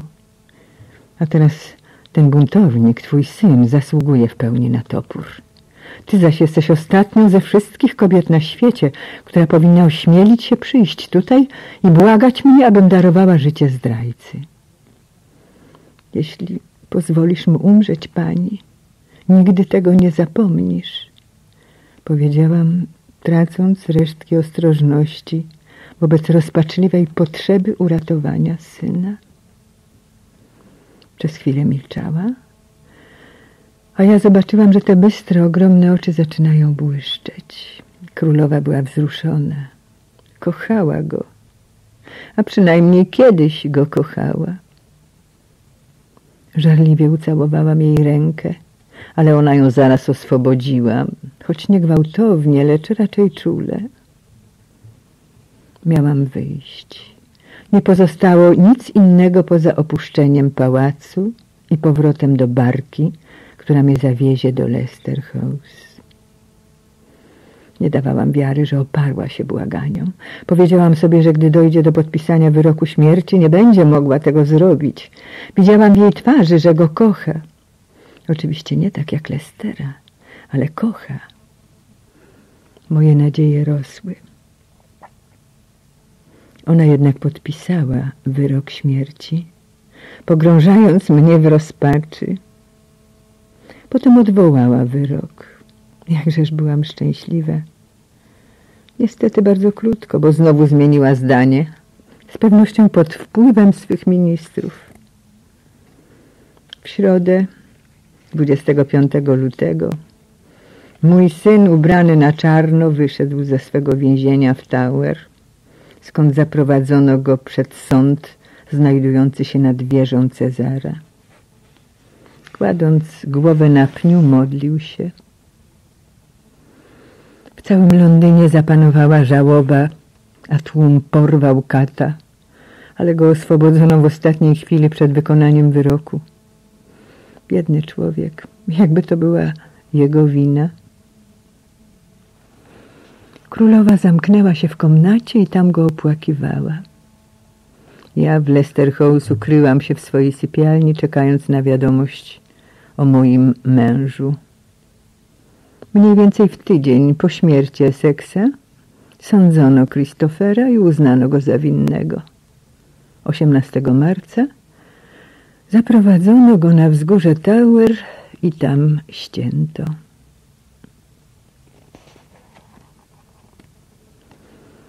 Stara dama z Drayton Bassett Wiń tylko siebie za zmylenie drogi, zasługujące na dotkliwą karę. Aż z trudem znajdziesz właściwe progi i wtedy lutnia przywróci ci wiarę. I póki palce struny trącać mogą, póty pustynną będziesz wracać drogą. Nie wiń mej lutni. Sir Thomas Wyatt Tak więc ponownie zostałam wdową i straciłam syna, którego opłakiwałam, w pełni świadoma jego szalonych poczynań. A kochałam go bardziej od innych bliskich. Umarł z nim mój młody mąż z takim oddaniem przysparzającym mi radości. Teraz miałam na nowo ułożyć sobie życie. Wszystko się zmieniło. Królowa już nie udawała młodej. Ja miałam sześćdziesiątkę, a ona musiała mieć sześćdziesiąt osiem. Byłyśmy dwiema starymi kobietami, które przestały się sobą interesować. Wydawało się, że upłynęły wieki, odkąd sekretnie kochałam się z Lesterem, a potem w tajemnicy go poślubiłam, obawiając się jej gniewu. Mówiono, że monarchini opłakiwała ludzi, których kochała. Najważniejszymi z nich byli Leicester i Essex. Płakała jednak także za Berleithem, Hattonem, Henejdżem i pozostałymi. Teraz już nie było takich ludzi. Mówiono, że to ona tak powiedziała, zapominając, że wydawali jej się bogami, ponieważ siebie uważała wtedy za boginię. Teraz była już starą kobietą, Umarła w dwa lata po śmierci Essexa. Do śmierci zachowała majestat królewski i choć wielokrotnie atakowały ją choroby, spacerowała i jeździła konno zaraz po wstaniu z łóżka, aby zobaczyli ją poddani. Ostatecznie zaziębiła się i zdecydowała się wyjechać do Richmond, najcieplejszego z jej pałaców. Zaziębienie się wzmogło, ale nie chciała położyć się do łóżka. Na błaganie Cecilia, który powiedział jej, że musi to zrobić, aby zadowolić ludzi, odpowiedziała Mały człowieczku, wobec monarchy nie używa się słowa musi. Ponieważ stwierdziła, że nie może sama stać, kazała przynieść poduszki i umieścić je na posadzce, gdzie się ułożyła. Na wiadomość, że umiera, w całym kraju zapanowała wielka cisza.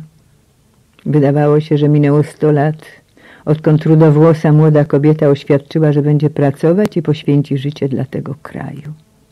I tak działała, nigdy nie zapominając o swej misji, nawet w czasie zalotów. Kraj był dla niej najważniejszy.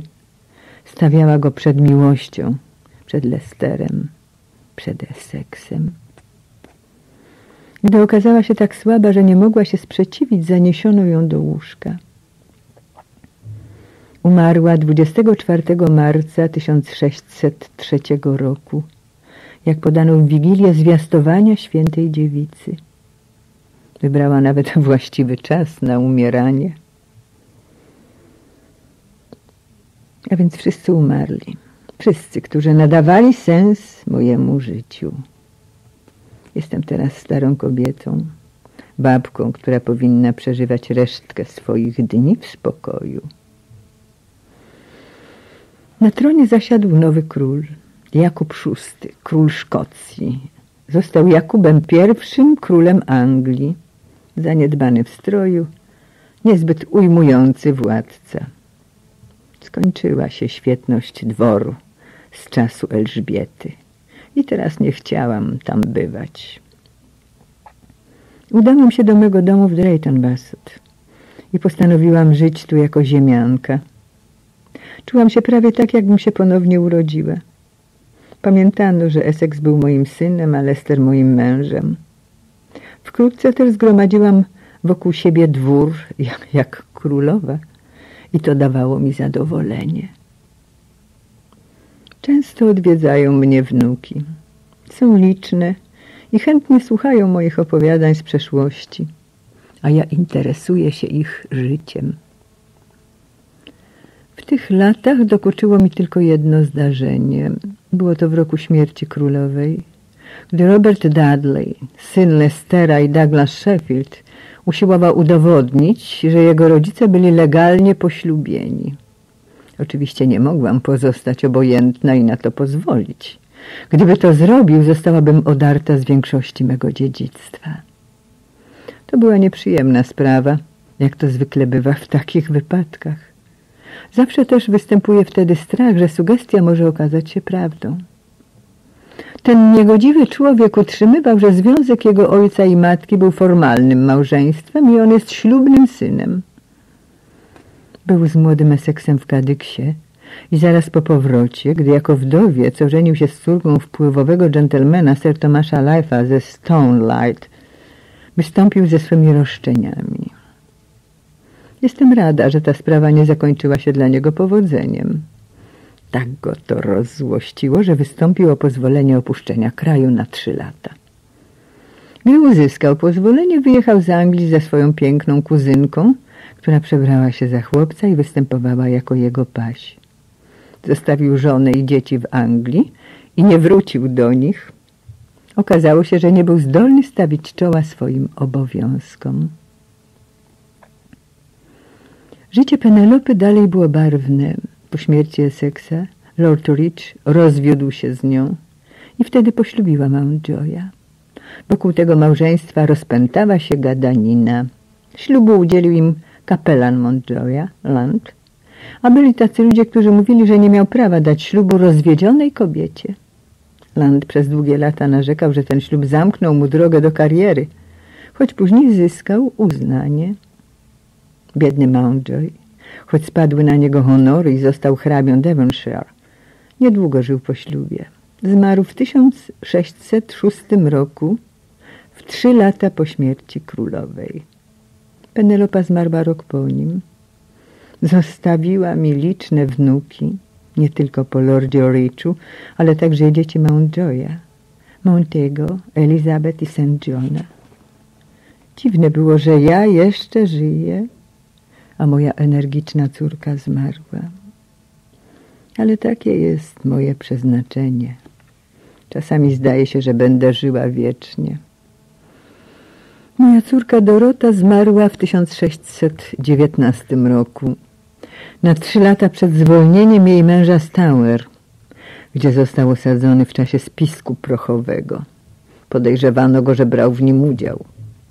Pozbawiono go wtedy wszystkich jego dóbr i został skazany na spędzenie tam dożywocia. Dopiero po 16 latach jego zięć uzyskał dla niego zwolnienie. Drugie małżeństwo Doroty było bardzo nieszczęśliwe i córka szukając spokoju często uciekała do mnie. Gdy zmarła, dochodziłam do osiemdziesiątego roku życia, ale ciągle byłam żywotna. Wiele widziałam w czasie mojego długiego życia. Jeszcze żyłam, gdy na szafocie stanął Sir Walter Raleigh. Nie zdołał tak oczarować Jakuba I, jak zachwycił Elżbietę. Mówiono, że kładąc głowę na pniu powiedział nie ma znaczenia jak leży głowa, jeśli serce się nie odchyla. Pomyślałam, że wróg Essexa umarł z godnością. Siedząc w komnacie w Drayton House przypomniałam sobie Relife'a z dawnych lat, przystojnego, aroganckiego i pewnego siebie. No cóż, i wywyższeni zostają poniżeni. A ja żyłam dalej. Umarł król i tron objął jego syn, wytworny Karol, którego raz czy dwa widziałam. Był człowiekiem wielkiej godności. Życie się zmieniło, ale nie mogło być takie jak w czasach wielkiej Elżbiety. Nigdy nie będzie drugiej takiej władczyni. Jakżeby ją zmartwiło, że jej ukochana Anglia wpadła w ręce Stuartów. Boskie prawo królów. Jak często słyszymy to powiedzenie. Ona oczywiście w nie wierzyła, ale wiedziała, że monarcha panuje z woli ludu i zawsze starała się, jeśli tylko było to możliwe, by nie doprowadzić do niezadowolenia ludzi. Jakub, Karol. Cóż oni wiedzieli o wspaniałych dniach, gdy najprzystojniejsi kawalerowie otaczali królową na dworze, jak ćmy krążyli nad płomieniem świecy, a najmądrzejsi wiedzieli, jak uniknąć przypalenia skrzydeł. To byli jej kochankowie. Wszyscy byli kochankami, a ona także ich kochała. Chociaż to były tylko jej fantazje. Jej prawdziwą miłością była Anglia. Jej śmierć pozbawiła mnie bardzo ważnej części mego życia. To było dziwne, bo mnie nienawidziła, a nie mogę powiedzieć, że ja ją kochałam. Była jednak częścią mego życia, tak samo jak Lester i część mojej duszy odeszła z nimi. Czy ta stateczna dama z dworu Drayton Bassett, dbająca o swoich dzierżawców, zajmująca się dobroczynnością, pokutująca za swoją szaloną młodość, aby zapewnić sobie miejsce w niebie, czyż to jest Letis, hrabina Essex, hrabina Lester i małżonka Christophera Blonta? Biedny Christopher. On się w gruncie rzeczy nie liczył. Po śmierci Lestera moje życie przestało być niebezpieczne i głośne. Wszystko przetrwałam. Ci ludzie przepłynęli przez moje życie. Odegrali swoje role w tamtych czasach i przeminęli. A ja żyję. Pisząc tę opowieść, przeżyłam to na nowo tak mocno, że zdawało mi się, iż to działo się wczoraj. Czasami, gdy zamknę oczy, a potem je otworzę, widzę pochylonego nade mną Lestera, jak zbliża usta, by mnie ucałować, by wzbudzić we mnie to pożądanie, któremu ani on, ani ja nie mogliśmy się oprzeć. Wyobrażałam sobie także, że jestem w gotowalni królowej i nieoczekiwanie Elżbieta szczypnie mnie w ramię, gdyż rozmarzona zapomniała mojej krezie. Widzę troje nas obok siebie. Elżbietę, Lestera, siebie w tle. Jestem dla nich ważna, jak oni dla mnie. I co jeszcze dziwniejsze, niebawem pojawia się Essex, królowa i znowu ja. Oni odeszli, a ja żyję. Przekroczyłam dziewięćdziesiąt lat. To leciwy wiek. Można mi darować fantazję, że znowu wróciłam do dawnych czasów. Najbardziej jestem szczęśliwa, gdy odwiedza mnie wnuk Essex. Jest silnym człowiekiem, bezkompromisowym w umiłowaniu sprawiedliwości, mężczyzną, który spełnia choćby najmniej dla siebie przyjemne zadania. Nie szuka wielkich zaszczytów. Jest świetnym żołnierzem. Na pewno dorównałby ojcu. Mam nadzieję, że mój wnuk wkrótce mnie odwiedzi. Może przyjedzie na Boże Narodzenie. Chciałabym go wtedy zobaczyć. Opowiada mi zwykle o królu i parlamencie, o problemach z kościołem. Uważa, że dojdzie do konfliktu między królem a parlamentem, a on nie stanie po stronie króla. Zauważyłam, że mówi jak jego ojciec. Nierozważnie. W czynach jednak unika braku rozwagi. Siedzi naprzeciw mnie ze złożonymi rękoma i patrzy w przyszłość. Jakże chciałabym zobaczyć go na Boże Narodzenie. Wczesnym rankiem Bożego Narodzenia 1634 roku, gdy pokojówki weszły do sypialni hrabiny w Drayton Bassett, wyglądała na spokojnie śpiącą. Letycja jednak nie żyła. Lester zmarł przed 46 laty, a Elżbieta nie żyła od przeszło 30 lat. Stara dama miała 94 lata. Koniec powieści Wiktorii Holt Mój wróg królowa. Czytała Blanka Kutyłowska. Nagrano w Zakładzie Nagrań i Wydawnictw Związku Niewidomych w Warszawie.